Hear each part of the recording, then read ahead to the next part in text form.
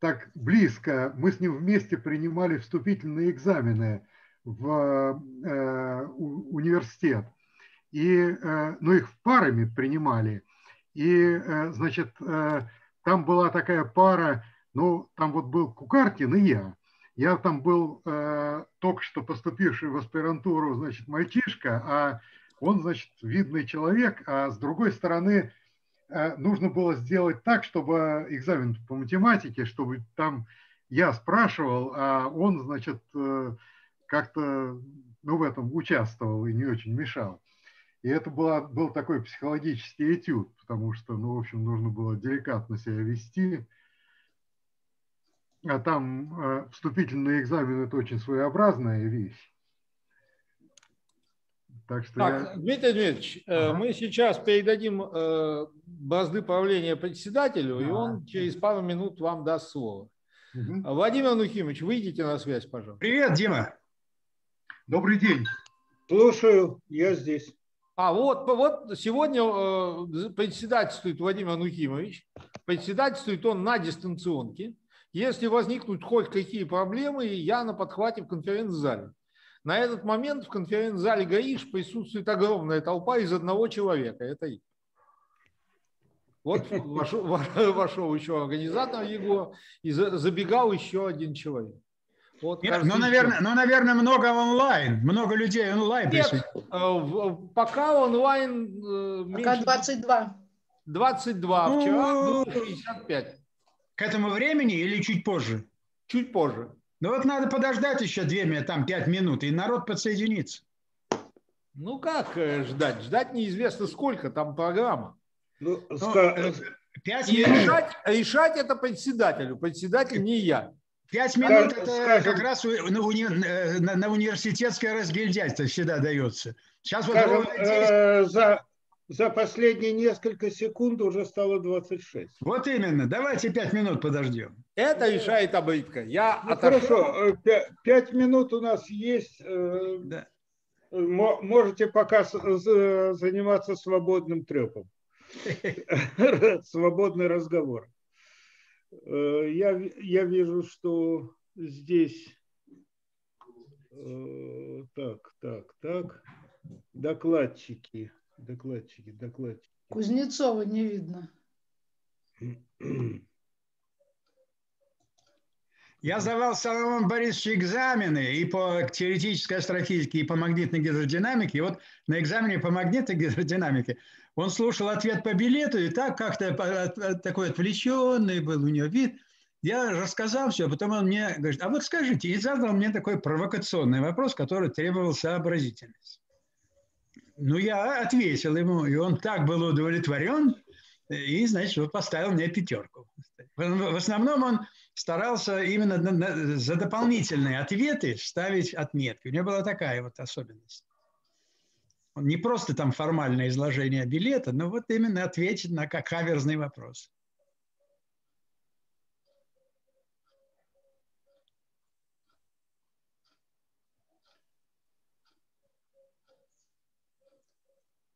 Так, 34. Ну вот сейчас минутку еще и можно начать. Народ бегом бежит, бегом. Да, ну, вот. Далее у нас двое слушателей и организатор второй. Так что три человека на конкурсе. Здравствуйте, коллеги. Здравствуйте. Добрый день. Привет из Казани. Привет. Рад вас видеть и слышать.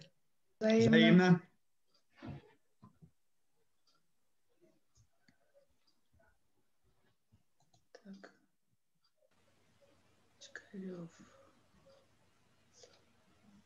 О, докладчик еще пришел один.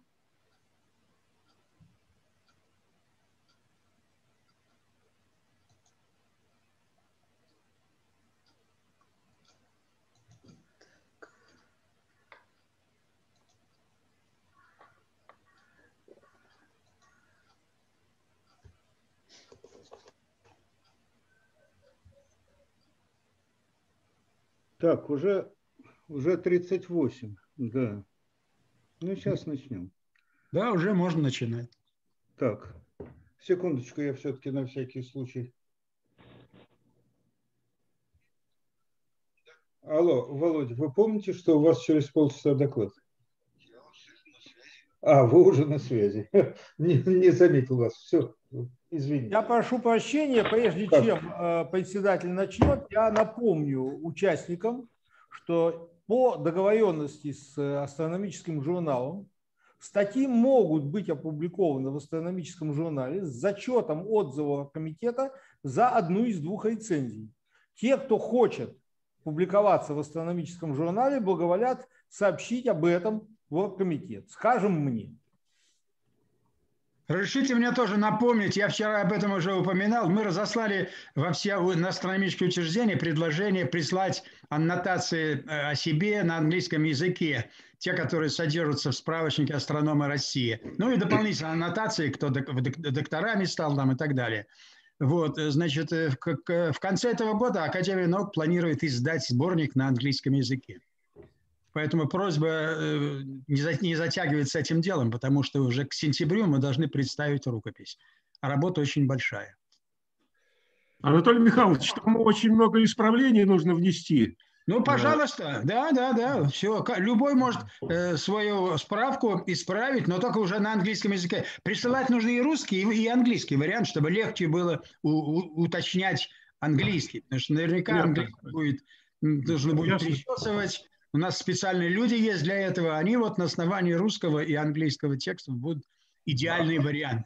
Анатолий Понятно. Михайлович, э, сопроводительное письмо было написано так, что можно понять, что предполагается по- второе издание на русском и второе и первое издание на английском. Или это будет только на английском? Нет, пока только на английском. Если получится удачно, то на следующий год также в Академии наук у них ежегодный план издательства. Если будет нормально, то мы закажем в Академии наук русский вариант второго издания. Хорошо. Сейчас хорошо. пока вот решили начинать с английского издания, потому что большой интерес очень иностранных ученых к нашим исследованиям. Вот мы недавно получили э, из Голландии значит, письмо, что они, видимо, просмотрели наш справочник, он же сейчас выложен в интернете.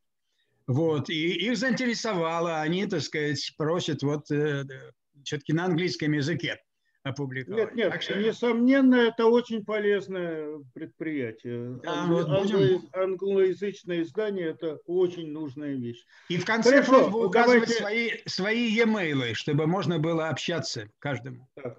В этом онлайн-зале сейчас 37 человек. Я думаю, что все э, можно начинать. Дмитрий Дмитриевич, вы готовы? Э, Да, просьба конечно, конечно. Отключить микрофон у всех участников. Каждый, кто захочет потом что-то сказать или спросить, самостоятельно включает свой микрофон. Прошу, Дмитрий Дмитриевич, начинайте. Да. Значит, я, я хочу сказать, что э, ну, такая традиция исследований э, магнитных полей в космосе, она э, в очень многом связана с именами Пикельнера и Каплана. И для меня это особенно как-то близко. Ну вот э, с Соломон Борисовичем мне не выпало счастье так близко общаться просто по возрасту. А вот когда мы начали э, работать вместе с Сашей Рузмайкиным и написали первую статью, ну, которую стоило как-то обсуждать, первое, что мы сделали, мы поехали в Нижний Новгород, тогда Горький, и рассказывали там ее на семинаре, а после этого Самуил Аронович нас пригласил в гости, и мы там это, значит, рассказывали, и я много про него узнал, сейчас не буду э, всего этого такого личного пересказывать, но, в общем, это был такой совершенно естественный шаг, и э, вот такая традиция горьковской такой вот школы, она много лет э, как-то сопровождала э, все наши работы, и э, много тут есть что рассказать, но давайте перейдем к научной стороне дела. Значит, э, первое, э, э, как открывается проблематика Динамо обычно, это вопрос о солнечном цикле. Ну вот стандартная картина эволюции солнечных пятен. И здесь просто простым глазом, как это в свое время было в XIX веке замечено. Вот есть такие максимумы числа пятен, которые идут приблизительно через 11 лет. Видно, что это достаточно сложное явление, это не просто периодическое явление. Ну, на самом деле, конечно, это самый такой примитивный подход, и за последние десятилетия мы знаем, что на самом деле феномен солнечного цикла это гораздо более сложное, гораздо более богатое явление. Ну вот, вот так к, нему подходили люди, и в ну, такое понимание того, откуда бы эта частота, в общем, необыкновенно, она, конечно, это не буквальная периодичность, конечно, длительность цикла немножко меняется, но по сравнению с очень заметным изменением амплитуды цикла, это, в общем, очень умеренные изменения. И вот э, в классической работе 1955 года. Юджин Паркер, как известно, он э, предложил э, объяснение, которое ну, после развития, после соответствующего там, модификации оно э, дожило до нашего времени, и оно состоит в том, что э, э, в глубине всего этого лежит неустойчивость, которая приводит к росту магнитного поля, ну а потом стабилизации с колебанием. И происходит это в результате действия электромагнитной индукции. Это было известно, понято еще в 2019 году Лармором когда стало ясно, что просто ну вот, ну, ну нет, нет другого чего-то, что может к этому привести. Но реализация этого, этой идеи, она оказалась э, очень сложной, потому что э, закон, правило Ленца, оно говорит, что так просто нельзя вырастить э, за счет электромагнитной индукции магнитное поле, а нужно, потому что правило Ленца говорит, что выращенное магнитное поле, оно направлено противоположно исходному. Но вот Паркер понял, что нужно, чтобы было ну, что-то вот вроде двух эффективных контуров. Э, и один из этих контуров, он символизирует значит, полоидальное магнитное поле, ну или радиальное, там, это, это в зависимости от конкретной реализации. Это поле, похожее на поле Э, просто магнита такое дипольное, а э, второе поле, тороидальное поле, оно где-то там внутри Солнца лежит, и э, от него какие-то следы выплывают на поверхность в виде солнечных пятен. И вот между этими двумя компонентами поля происходит обмен из полоидального поля Э, получается тороидальное, это, это, в общем, понятно, э, это происходит за счет э, дифференциального вращения, магнитное поле вморожено в среду, разные части среды вращаются с разной скоростью, из тороидального поля получается, из полоидального поля получается тороидальное. Просто за счет того, что разные участки среды вращаются с разной скоростью.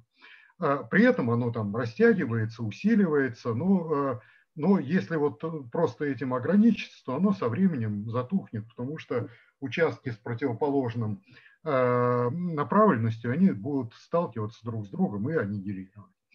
А нужно как-то восстанавливать полоидальное поле через тороидальное. И вот Паркер понял, что это можно сделать за счет Э, того, что среда э, зеркально асимметрична, вот как, как в результате чего она э, именно становится зеркально асимметричной, это не так важно, потому что важно, чтобы в игре появилось, появился какой-то псевдоскаляр, ну вот его сейчас традиционно принято называть буквой альфа, и тогда может появиться компонента магнитного поля, которая не перпендикулярна, а параллельно току. Э, правила э, свойства симметрии это будут позволять. Ну и э, он, в общем, ну, опираясь на здравый смысл и физическую интуицию, выписал в частном случае систему уравнений, а через 10 лет Штейнбек, Краузе и Редлер ее вывели, не знаю совершенно работы, работы Паркера, вывели из ну, таких вот первых принципов электродинамики. Вот, это и вот в рамках этих представлений солнечный цикл – Э, на этом уровне, это некоторое собственное колебание. Можно немножко поработать и установить, э, вот эти уравнения, они довольно сложные, я их не буду выписывать, но они, в принципе, после некоторых замен переменных, они приобретают вид, похожий на уравнение Шрёдингера в квантовой механике. И видно, что вот это вот возбуждающееся колебание, оно э, ну, формально аналогично возникновению Э, дискретного уровня в потенциальной яме, в уравнении Шрёдингера. Ну э, и вот в рамках вот, это, вот этих представлений мысль развивалась, и в общем, ну вот те, кто был вчера слушал секцию, которая была в ИТИ, там был большой доклад Косовичева, где он рассказывал о работах Варей Викторовича Пипина и его Э, как вот, э, вот, вот эта вот схема, ну, такая, э, такая, в общем, ограниченная, она, значит, развивалась в сложную там теорию, где, в, где значит, конечно, этот уровень, ну, за счет того, нестационарности, нелинейных всяких явлений, он размывался, естественно, но в целом, в целом, он э, э, происходил, вот в его основе было собственное решение э, некоторых уравнений.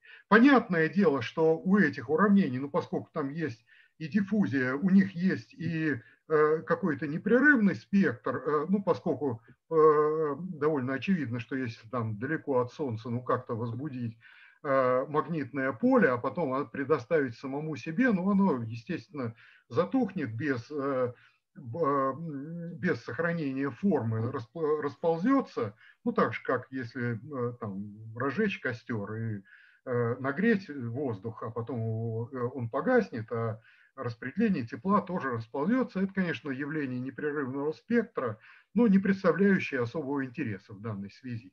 Ну и были э, потрачены там большие усилия, и, и Валерий Викторович там вчера про это много рассказывал, ну и там и другие. Но э, вот э, мысль вращалась вокруг того, как объяснить возникновение вот этого дискретного дискретной линии в спектре активности.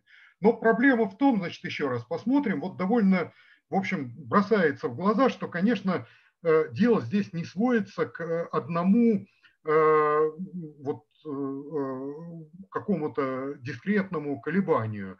Здесь в этом распределении, а также в распределении всяких во временной эволюции всяких других трассеров есть еще много всяких деталей, которые многократно обсуждались. Например, обсуждался многократно вопрос о квази-двухлетних колебаниях, о э, там, пятилетних колебаниях, о цикле Глайсберга и так далее. Вот сама, э, сама терминология, она заставляет думать, что вот если люди говорят о квази двухлетних колебаниях, все-таки они чем, никто же не говорит о квази 11-летнем цикле.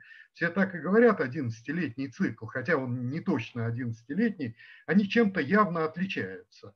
И вот сформулировать, чем они отличаются и проверить это, Э, в общем, оказалось не так просто. А, и э, вот чем больше в это вникаешь, тем э, все больше приходит мысль о том, что это явление, оно во многом похоже на возникновение непрерывных спектров в разных турбулентных и конвективных задачах. Вот смотрите, вот это знаменитая дорожка Кармана, которая возникает там за телом, которое обтекает жидкость, Э, ну, например, там за э, э, плотиной там электростанция, такая дорожка возникает, ну и много еще где. Вот здесь есть, конечно, разные вот образования, вот они здесь видны, эти вихри, но это мгновенный снимок, вот в данный момент вихрь вот здесь вот, а в следующий момент он будет вот здесь, там это, этот разрушится, полу, появится новый. И вот э, постепенно э, у довольно большой э, группы людей, вот авторов вот этой вот статьи, э, формира...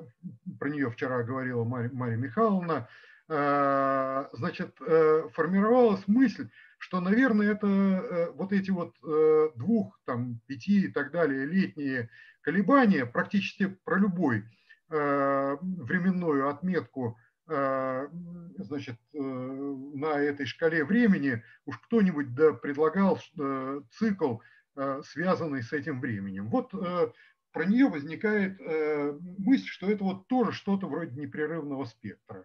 Вот действительно, если анализируется ряд трассеров – активности, то выясняется, что э, э, аппарат wavelet э, анализа позволяет это сделать, выясняется, что да, действительно, вот они разные трассеры, они визуализируют разные участки этой спектральный состав разных участков активности, ну, здесь соответствующие картинки приведены, и вы можете, используя вот этот вот механизм э, анализа, вы можете э, э, выявить, ну, во-первых, глобальный спектр, ну, в зависимости от того, какой вы берете трассер, он с разной степенью детальности, в деталях там отличается друг, друг от друга. Ну вот выясняется нечто, выявляется нечто похожее на спектральную линию, а кроме этого, значит, если вы берете достаточно длинный временной ряд, выясняется, что здесь есть Э, значит, э, и э, вполне такой непрерывный участок спектра. Выясняется, что вот есть деталь, которая отождествляется с тем, что вращение Солнца в это вносит вклад. Это в данном свете не очень интересно. Но вот, вот откуда берется вот этот вот спектр, это, да, это вызывает интерес.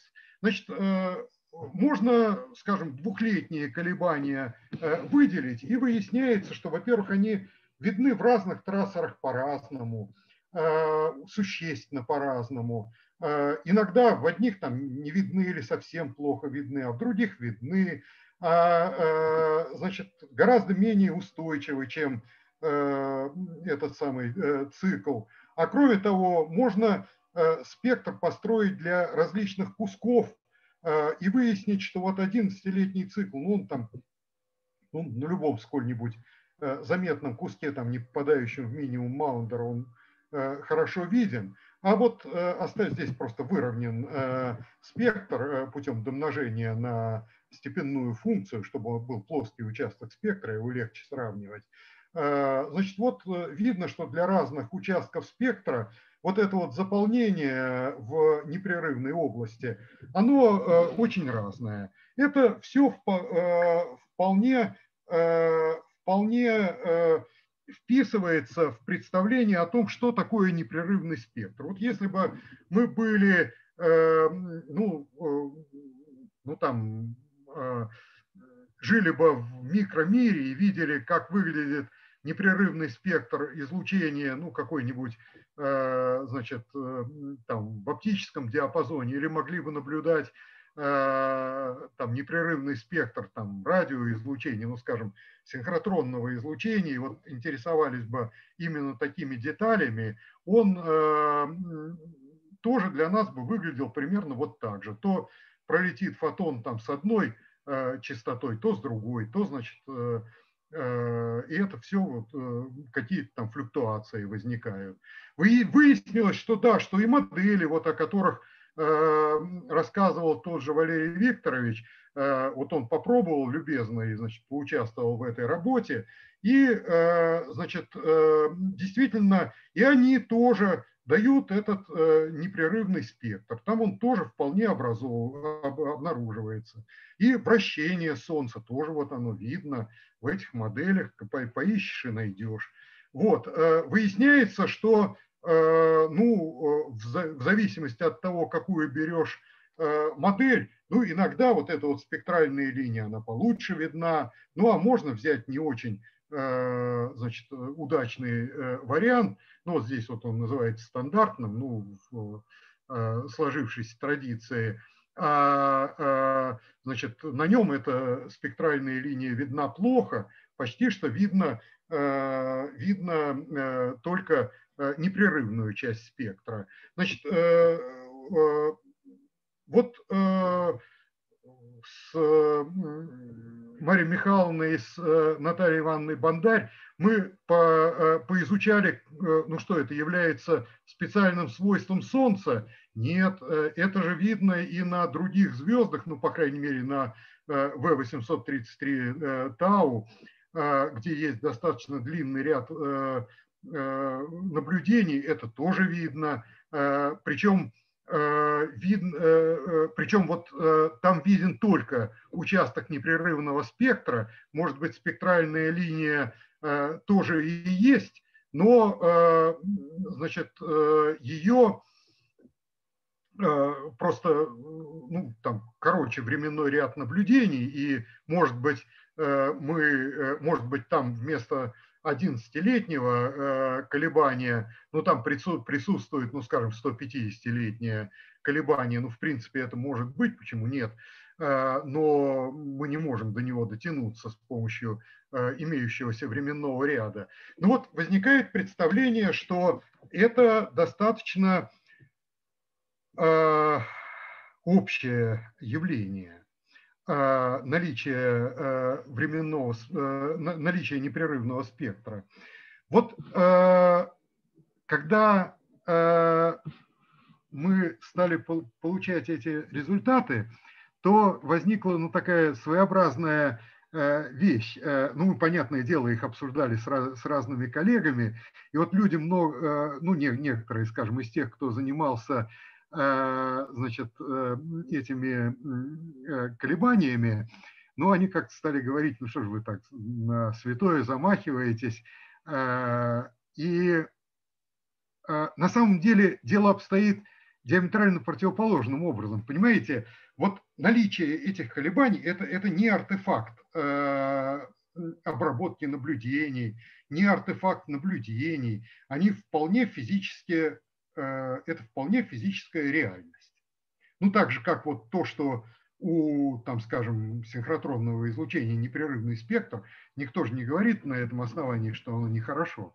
А, и здесь вот возникновение этого непрерывного спектра – это вещь, которая э, крайне мало обсуждалась э, в литературе и, в общем, про которую совершенно не сформированы представления о том, как ее можно Э, как ее можно объяснять? Э, потому что, ну, если вы на протяжении десятков лет э, описывали и объясняли, откуда берется спектральная линия, то остается не очень понятным. Просто, просто никто не пробовал вот этот вот участок непрерывного спектра получить. Ну, естественно, вот в следующей э, работе, э, значит, э, в которую значит, мы написали с Валерием Викторовичем, с Владимиром Нухимовичем, ну еще там с, с Тоней Шибаловой, там показано, что эти, скажем, пятилетние колебания, они могут происходить ну, в результате действия нелинейности. Примерно так же, как э, вот в турбулентности, в этой, э, скажем, дорожке Кармана, там действительно происходит дробление масштабов, только не временных, а пространственных. Э, и, э, ну, из э, там масштаб L получается масштаб L пополам, там L на 4 и так далее. Вот здесь только не в пространственном, а во, во временном спектре получается, ну, может получаться примерно то же самое. Ну, э, ну во-первых, э, все-таки э, то, что это э, может получаться, это не значит, что это является э, основным э, э, основным, сейчас, простите, убежала у меня куда-то э, презентация. Вот. Что это является именно тем основным механизм, который работает в реальном Солнце и в, ре... и в звездах. Ну а потом он молчаливо предполагает, что есть, есть вот эта вот спектральная линия в виде 11-летнего колебания. А пример э, звезды В833 Тау показывает, что может ее и не быть. И, в общем, совершенно это ничему не противоречит. Есть еще другие звезды, где, э, в общем, складывается впечатление, э, что есть примерно такое же поведение, они известны в результате в данных HK проекта тогда, в общем, не видно, э, что может э, приводить к такому удвоению э, значит, временного масштаба, дроблению временного масштаба. Мы с Петром Готловичем Фриком провели, пока я готовился к этому докладу, провели поиск литературы и выяснилось, что, в общем, в литературе ну, разные другие варианты предлагались. Э, но только не обсуждались. Ну, например, э, может речь идти о э, маломерном хаосе. Такие работы есть, но так тоже так, как фон проходили. Ну, так, ну, во-первых, эта мысль так заслуживает, мягко говоря, разработки. А кроме того, в, не очень понятно, как тогда выживает Э, сам 11-летний цикл. Ну вот в модели мы видели, что он может так поглощаться, теряться на э, фоне э, непрерывного спектра. Ну, может быть, так и есть, но тоже как-то это требует выяснения. Наконец, просто, скажем, вот мы, если отталкиваемся от аналогии в кванто, с квантовой механикой, значит, там у операторов бывает просто непрерывный спектр, и ничего такого, ну вот, например, у оператора импульса свободной частицы есть непрерывный спектр у линейного оператора. Допустима мысль, что просто вот у самих уравнений Паркера тоже есть непрерывный спектр, только мы не знаем, как его найти. Но я, естественно, почитал, что написано э, в, про это в учебниках по функциональному анализу. Ну, э, ну, это вот рекомендация, ее понятно, как применить к оператору импульса в квантовой механике, но, так скажем, ну, моих умственных способностей явно не хватает, чтобы эту э, рекомендацию реализовать в данном случае. Ну, там поработаем, может быть, и появятся идеи, как это сделать. Но, в общем, э, такое впечатление, что э, в этом месте открывается совершенно такой неисплеванный и не э, разработанный участок, в котором есть место и проблемам э, ну, чисто таким математической физики, причем самой такой не, э, неординарной, и солнечной физики Солнца, просто астрономии, звездной астрономии, ну и никто не, никто не запрещает подумать на подобные темы и э, во всяких других э, областях космического магнетизма.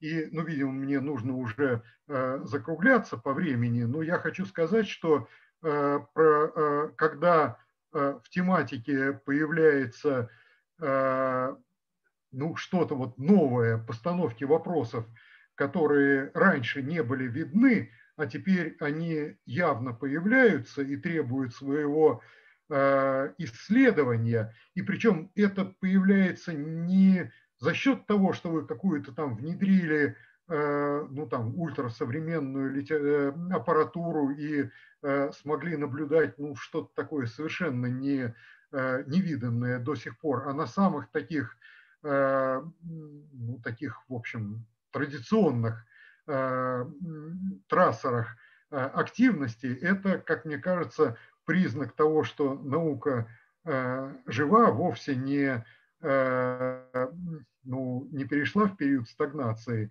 и что впереди еще есть много нерешенных интересных проблем.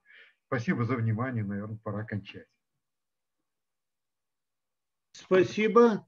э, пожалуйста, несколько самых э, актуальных вопросов, потому что время у нас. Кто хотел бы что-то спросить? Прошу включить себе звук, прежде чем вы хотите задать вопросы. Задавайте. Есть вопросы? Есть Я вопросы. Понимаю... Можно короткий вопрос?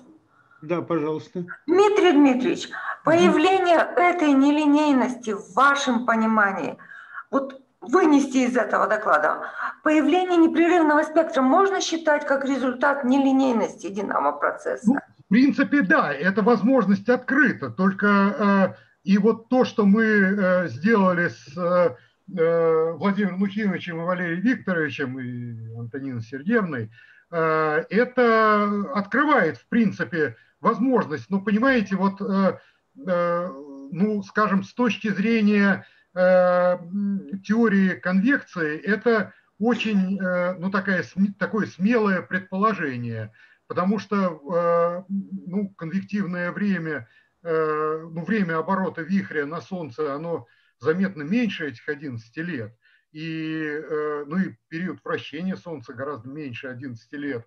И то, что там вот появляется такой непрерывный спектр, ну, никто такого не ожидал особенно. Спасибо. Так, э, если пока больше нет вопросов, я уверен, что вопросы на самом деле у каждого из нас есть, но мы должны все-таки двигаться дальше. Я думаю, что вопросы можно будет э, потом как-то дополнительно донести до э, докладчика и задать их э, письменным образом. А пока э, мы должны двигаться дальше. Следующий докладчик у нас Владимир Дмитриевич Кузнецов, прошу. Сейчас я самое главное должен уйти с этого. Да, унести свою. Кстати, да, к сведению участников у нас сейчас уже 51 участник, так что за, зал, что называется, переполнен. Ага. Удалось мне ее унести, да? Э, не знаю, что-то тут у меня продолжает. Нет, ее Нет, закрыть надо. Ага, так, вот теперь, пожалуй, все. Ага, да, спасибо. Прошу, Владимир Дмитриевич, включайте свою презентацию. Да, я хочу убедиться, слышно меня и видно ли презентацию. Так. Я звук включил и презентацию включил. Звук слышен, презентацию не видно. Я ее запустил и включил демонстрацию экрана внизу. Ничего не могу сказать. Не знаю. В чем дело, не знаю. Так, кто, кто умеет что-то подсказать, скажите. Ну, Share screen там внизу зелененькое в зума.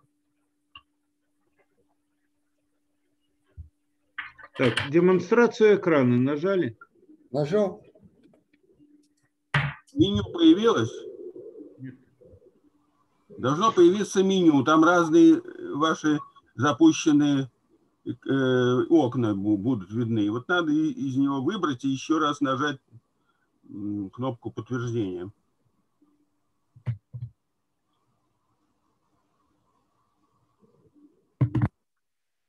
Так. Сейчас появилось. Появилось, да? Появилось, появилось. Ну, прежде всего, э, большое спасибо организаторам за возможность сделать доклад на столь представительной конференции, посвященной нашим выдающимся астрофизикам. И э, мой доклад будет посвящен ударным волнам в реальной космической плазме. И я еще, э, возможно, выписать работы Самого Борисовича и Самого Ароновича, которые в той или иной мере посвящены ударным волнам они изучали э, и сами волны космической плазмы, и использовали эти волны для, ударные волны для описания тех или иных явлений в космической плазме. И мне, будучи тогда еще студентом... На полный экран перейдите. На полный а? экран перейдите. Режим показа. Да, да, да, да. Э, значит, будучи студентом, повезло застать Самого Борисовича и семинары – и все мы можем считать себя учениками их, потому что мы учились по их э, статьям и по их замечательным книгам. Ну вот, рассматривая ударные волны в астрофизике, мы, конечно, исходим из наблюдений.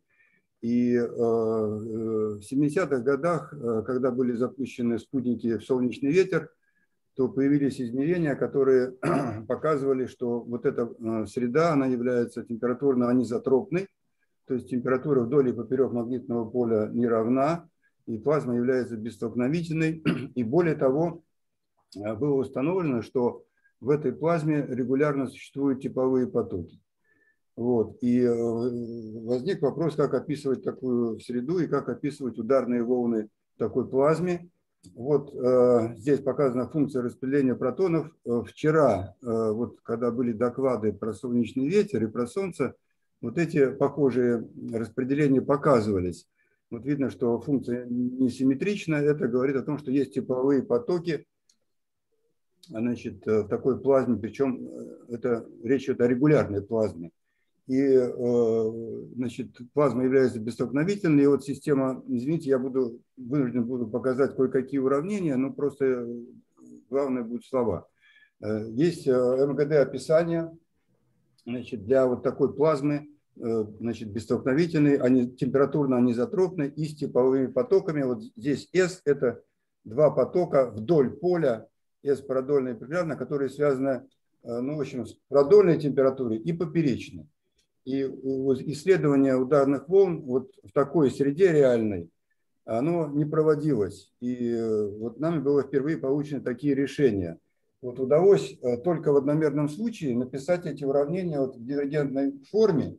Причем ну, это не всегда является достаточным э, для граничных условий на ударной волне, но в данном случае, вот учитывая такую вот показанную стрелками симметрию уравнений – вот когда есть производная по времени и по координате, и они значит, так вот э, заменяют друг друга в последующих уравнениях, мы пришли к заключению, что это э, правильная система, то есть ее можно э, дивергентную форму использовать для описания граничных условий на ударной волне.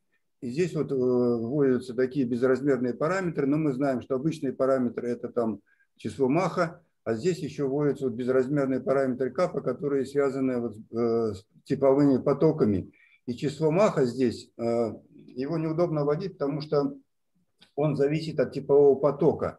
И э, лучше вводить число m, это отношение скорости течения не к скорости звука, а к скорости тепловой.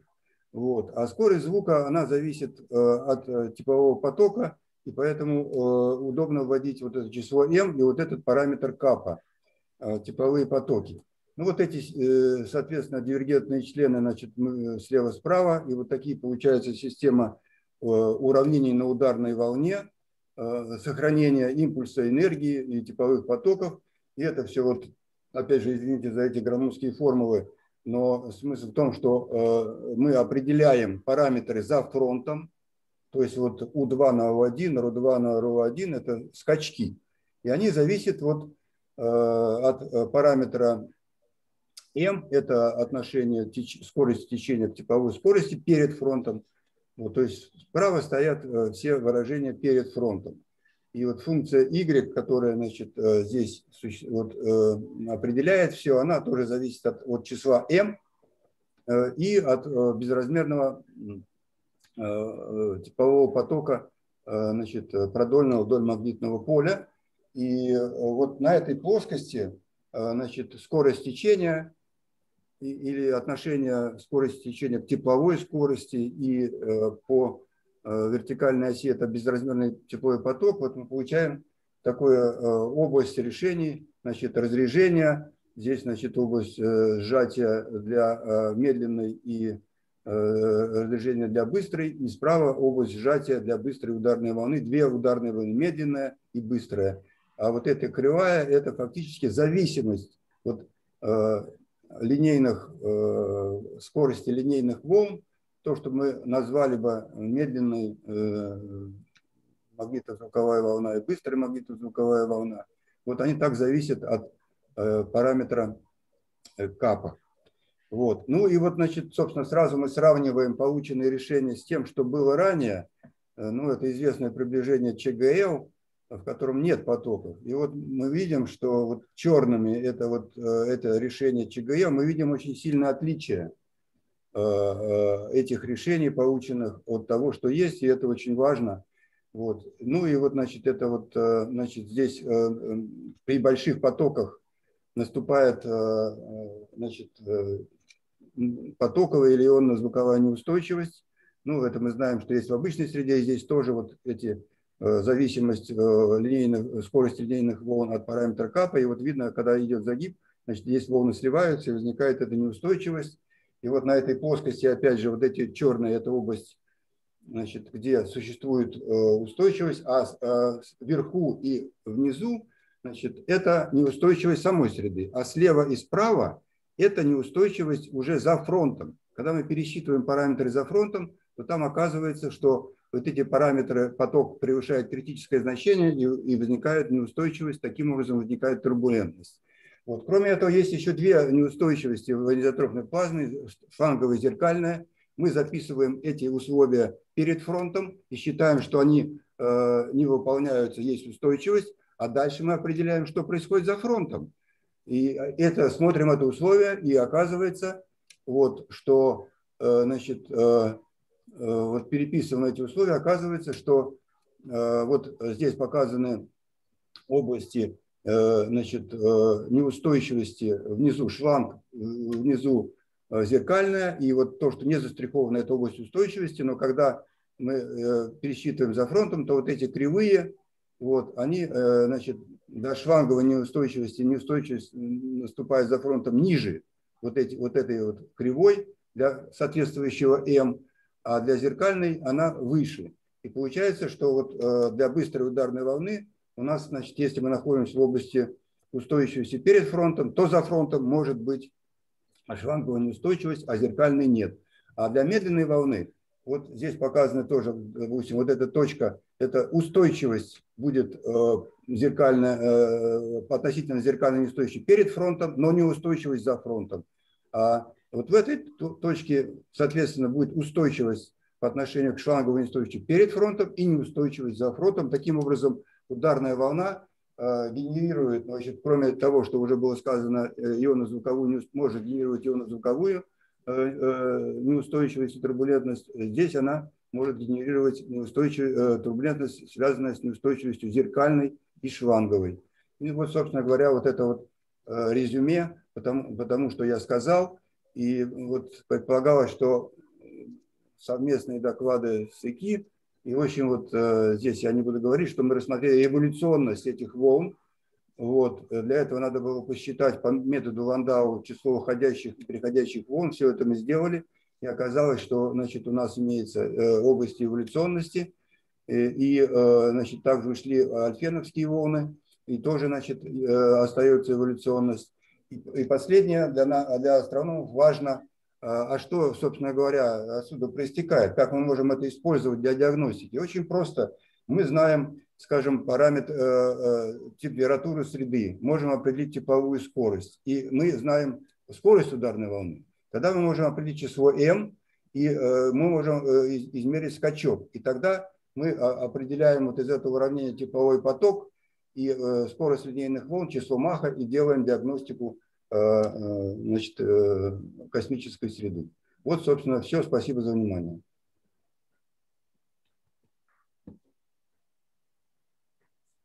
Я закончил, Владимир Ефимович. Да, да, слушай, виноват, не включил микрофон. Так, есть несколько минут на то, чтобы задать вопросы. Есть желающие задать вопросы? Прошу.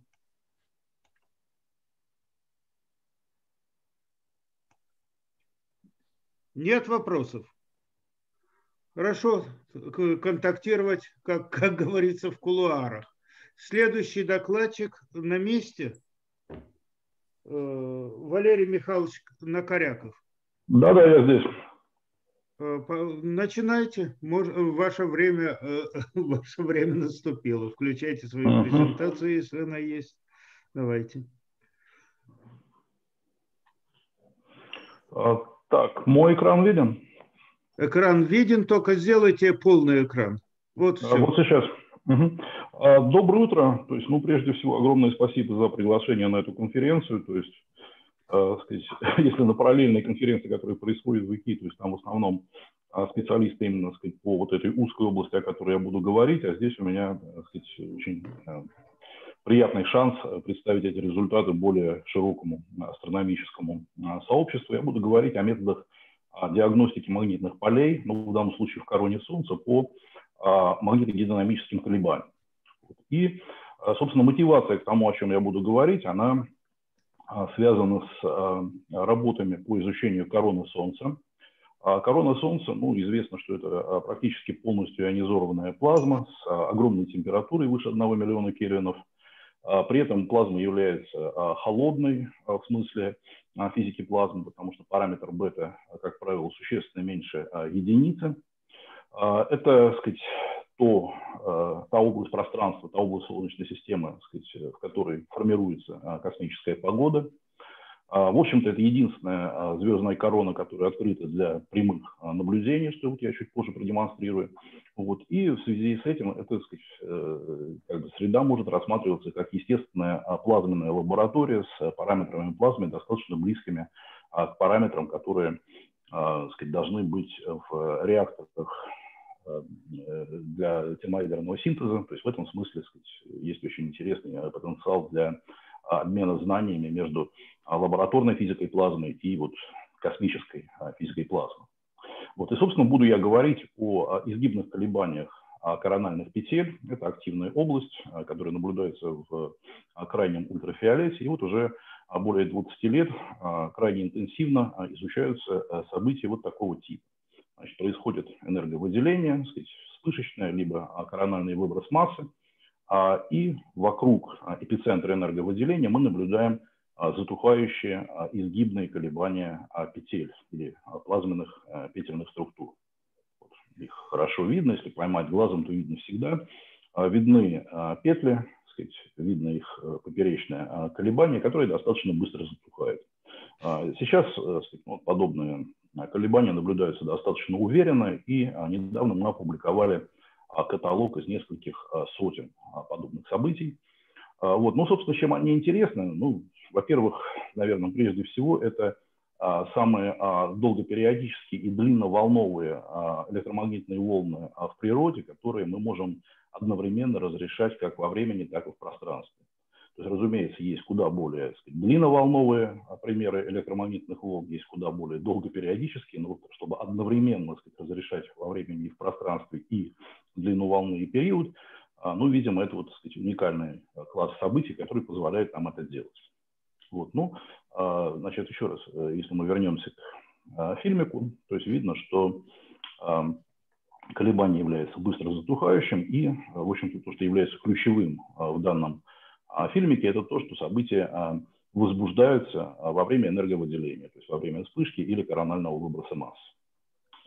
А, значит, теория этих колебаний, то есть они были открыты в конце 90-х, когда появились высокопрецизионные изображающие телескопы космического базирования, которые работают в крайнем ультрафиолете. Но теория этих колебаний была создана существенно до их прямого открытия.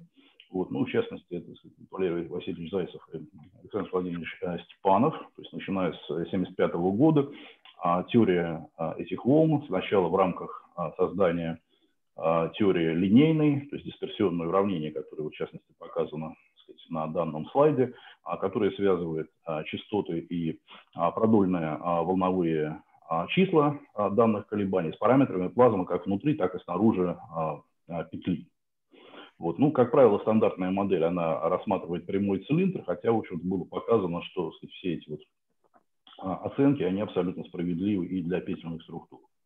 Вот. И если мы рассмотрим а, плазменный цилиндр, в котором а, есть плазма с какими-то параметрами и продольное магнитное поле, значит, который окружен плазмой с другими свойствами и также с магнитным полем, то по вот такой базовой теории а, возможно несколько различных мод колебаний, которые показаны в данном случае сказать, на картинке внизу.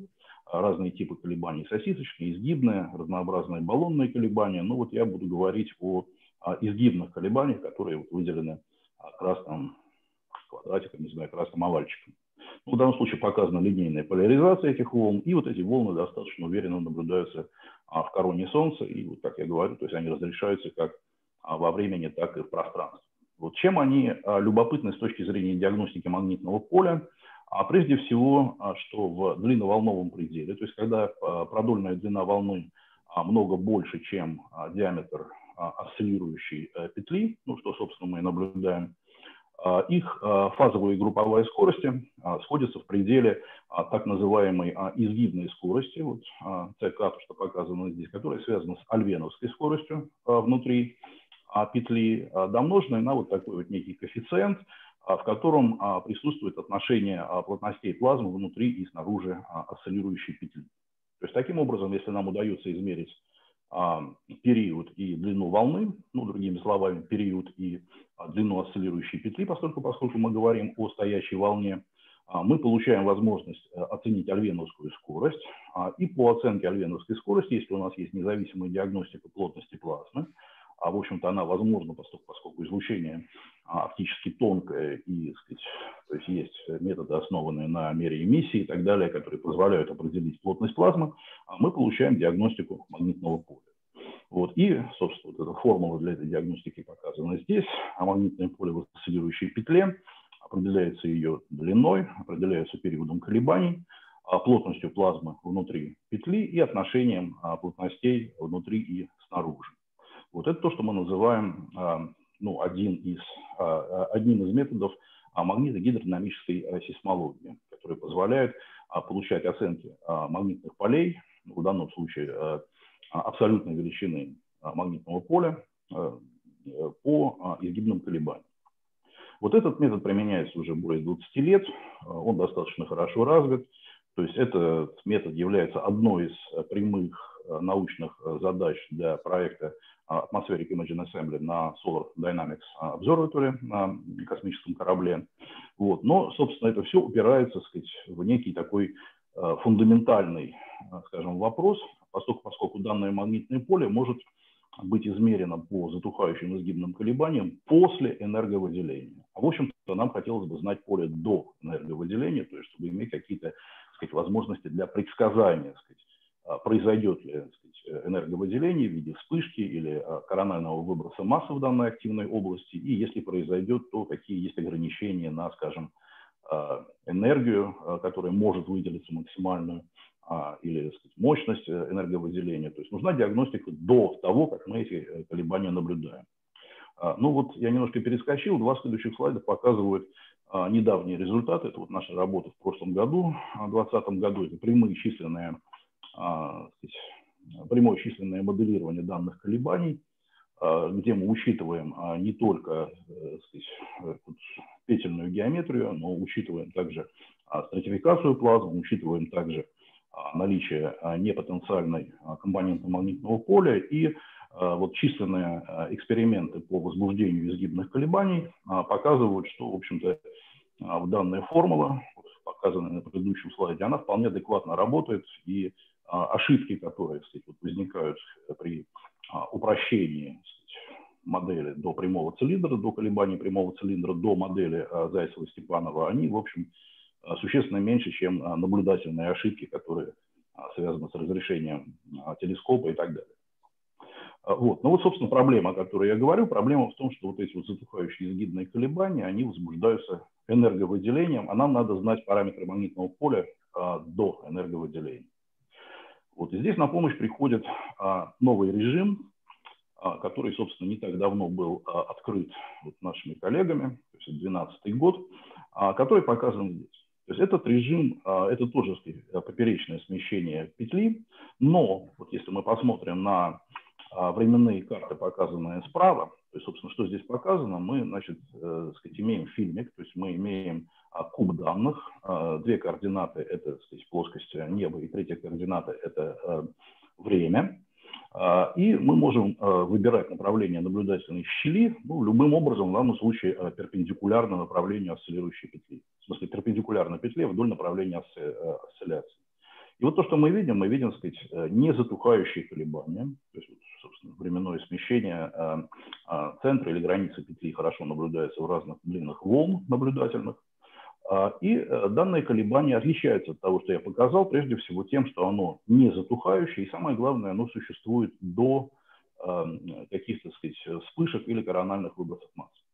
И это очень важно, поскольку, поскольку дает нам возможность диагностики того, что мы видим как бы по этим колебаниям до энерговыделения. Это крайне интересно. Вот, но прежде всего мы должны быть уверены, что эти колебания являются а, собственными модами а, корональных петель, то есть вот вся теория, о которой я говорю, она может быть а, применена. Вот это так, то здесь показан а, скейлинг периода колебаний с длиной петли, то есть видно, что, в общем-то, вот, сказать, разброс данных достаточно большой, а, что такое? Разброс данных достаточно большой, но а, линейная зависимость периода колебания от длины петли а, хорошо прослеживается. То есть это как бы подтверждает то, что колебания являются собственными а, модами а, корональных петель, и магнитное поле может быть а, оценено по вот, сказать, предыдущим а, результатам, предыдущей формуле, которую я показывал. И недавно, так сказать, этот метод был применен, то есть, собственно, впервые мы смогли построить, ну, в данном случае, карту альвеновских скоростей активной области. Это работа с Сергеем Анфинагентовым из Иркутска. То, что здесь показано, это вот лимб Солнца, изображение в крайнем ультрафиолете и разными цветами, ну, в данном случае вот эта серая панель используется, показаны различные значения альвеновских скоростей в разных петлях. То есть это как сказать, а, первый шаг в э, построении карты магнитного поля, потому что, сказать, если сказать, э, продолжить эту работу и по данным, э, значит, которые получены в разных а, каналах телескопа AIA, а, можно построить карту магнитного поля. Ну, в данном случае мы ограничились построением карт альвеновских скоростей, потому что уже само по себе это достаточно интересно и важно. То есть это как бы то, что по-английски называется proof of principle данной технологии. Вот. А теперь следующий вопрос, ну, собственно, откуда берутся вот эти незатухающие колебания? То есть они не затухающие, они квазимонохроматические, а, и, по всей видимости, моделирование этого процесса должно проводиться в самом простейшем как бы, там, философском а, подходе с помощью уравнения гармонического осциллятора с каким-то дампингом и с какой-то правой частью, которая компенсирует потери на затухание. Ну, первое, что приходит в голову, то, что правая часть должна быть периодической, то есть это либо вытекание ПИМОД, либо какие-то, так сказать, вытекания а, хромосферных а, трехминутных колебаний. Вот. Но эта а, гипотеза была практически сразу опровергнута, потому что если мы построим распределение наблюдаемых амплитуд колебаний от длин петли или от периода колебаний, у нас не наблюдается в этом ансамбле наблюдаемых колебаний никакого ярко выраженного резонанса.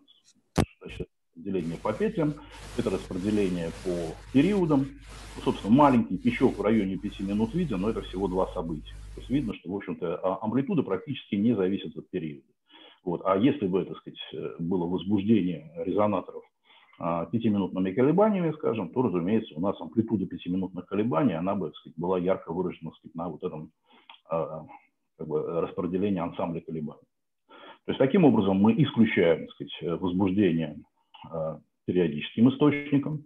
Вот. Но у нас остаются еще две возможности, потому что, ну, как бы сказать, э, хромосфера, фотосфера, они совершают хаотические колебания, это грануляция, супергрануляция. А поэтому правая часть может быть а, а, случайной функцией. Вот. Ну вот когда мы впервые сказать, эту гипотезу сказать, исследовали, у нас а, результат был а, отрицательный, потому что мы можем воспроизвести э, квази, что такое, а, квазимонохроматические колебания петли, вот, но не воспроизводим стационарную фазу этих колебаний. То есть монохромат мы не получаем. Вот. Но совсем недавно с помощью э, Андрея Афанасьева, который сейчас в Америке, мы рассмотрели возможность возбуждения сигналом, который имеет спектр Э, похожие на спектр э, грануляционных колебаний. Вот отклик э, осциллятора, ну, в данном случае волнового уравнения на случайный как бы, источник с красным шумом. Вот. И результат, который мы получили, в общем-то, достаточно адекватен и соответствует тому, что мы ожидаем. То есть в данном случае это вот смещение петли в определенном месте, вот. Но если мы построим распределение смещения вдоль петли, здесь горизонтальные координаты э, вдоль петли и э, вертикальные координаты э, частота, то есть мы получаем совершенно стандартный такой спектр колебаний струны, тяжелой струны, фундаментальная гармоника, вторая гармоника и так далее. И что интересно, сказать, то, что мы получаем, соответствует наблюдениям. Это тоже вот недавняя наблюдательная работа, которая показывает, в принципе, то же самое.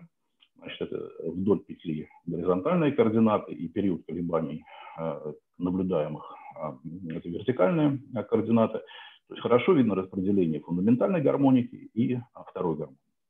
То есть в этом смысле как бы сказать, случайный а, источник, грануляционное или супергрануляционное а, движение вполне могут возбуждать эти колебания. Вот. Хотя есть альтернативная теория, которая связана с теорией а, автоколебаний. То есть, ну, в принципе, сказать, моя кандидатская была в институте прикладной физики, то есть я принадлежу вот этой Горьковской школе радиофизики, поэтому автоколебания ну, как бы у меня в крови, вот, и мы всегда их пытаемся искать где только возможно. Вот. В данном случае альтернативная модель связана с тем, что мы можем рассматривать а, петлю как а, струну, а, а сказать, источник энергии – это такое квазистационарное течение вдоль петли, ну, в частности, например, супергрануляционное течение, что позволяет поддерживать колебания с постоянной амплитудой. Вот. Ну, это некий аналог того, то есть мы поставим значит, грузик осциллятора на кайтен суши конвейер, то есть вот те, кто был в Японии, значит, там, там есть такие конвейеры, на которых э, суши приползают сказать, к клиентам. Вот. И если э, конвейер э, движется с постоянной скоростью, то грузик на нем совершает собственные колебания, которые определяются собственной частотой данного осциллятора с пружинками. Вот. Ну вот, собственно, такая же идея была применена к петлям. Ну, вот, собственно, то, о чем мы говорим, это медленное плавное движение э, смычка и так сказать, то, что возбуждает а, квазигармоническое, квазимонохроматическое а, колебание струны. А, вот. И в данном случае, э, собственно, математика э, достаточно стандартная. Это уравнение релея, которое связано с отрицательным трением между смычком и струной, в нашем случае между супергрануляционным течением и петлей, и удается воспроизвести вот, режим с предельным циклом на фазовом портрете, который соответствует незатухающим колебаниям. Вот. И совсем недавно, вот к нашему огромному сказать, удовольствию, наши коллеги из а, Бельгии а, провели прямую трехмерную численную симуляцию, численное моделирование данного процесса, и это вот результат их численных экспериментов, они показали, что, в общем-то, этот механизм вполне работает и все получается.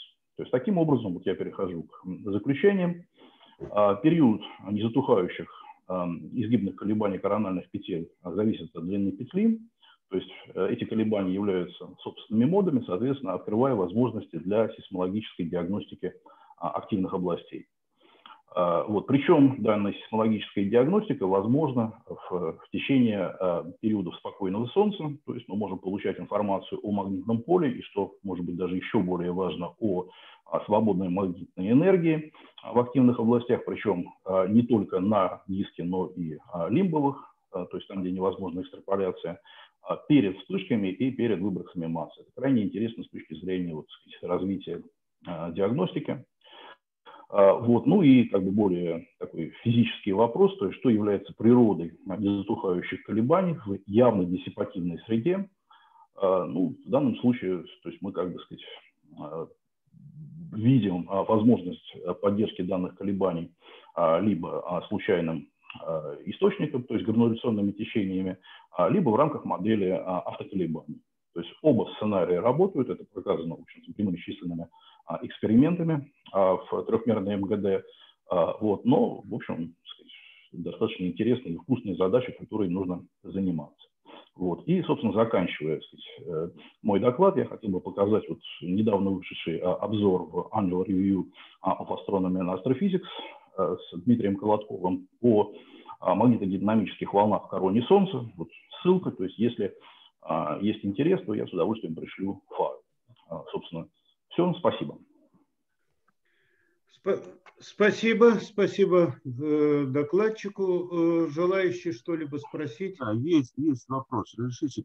Э, да, Можно да. немножко, несколько слов еще дополнительно насчет механизма автоколебаний, вот просто о физических представлениях, которые у вас тут работают.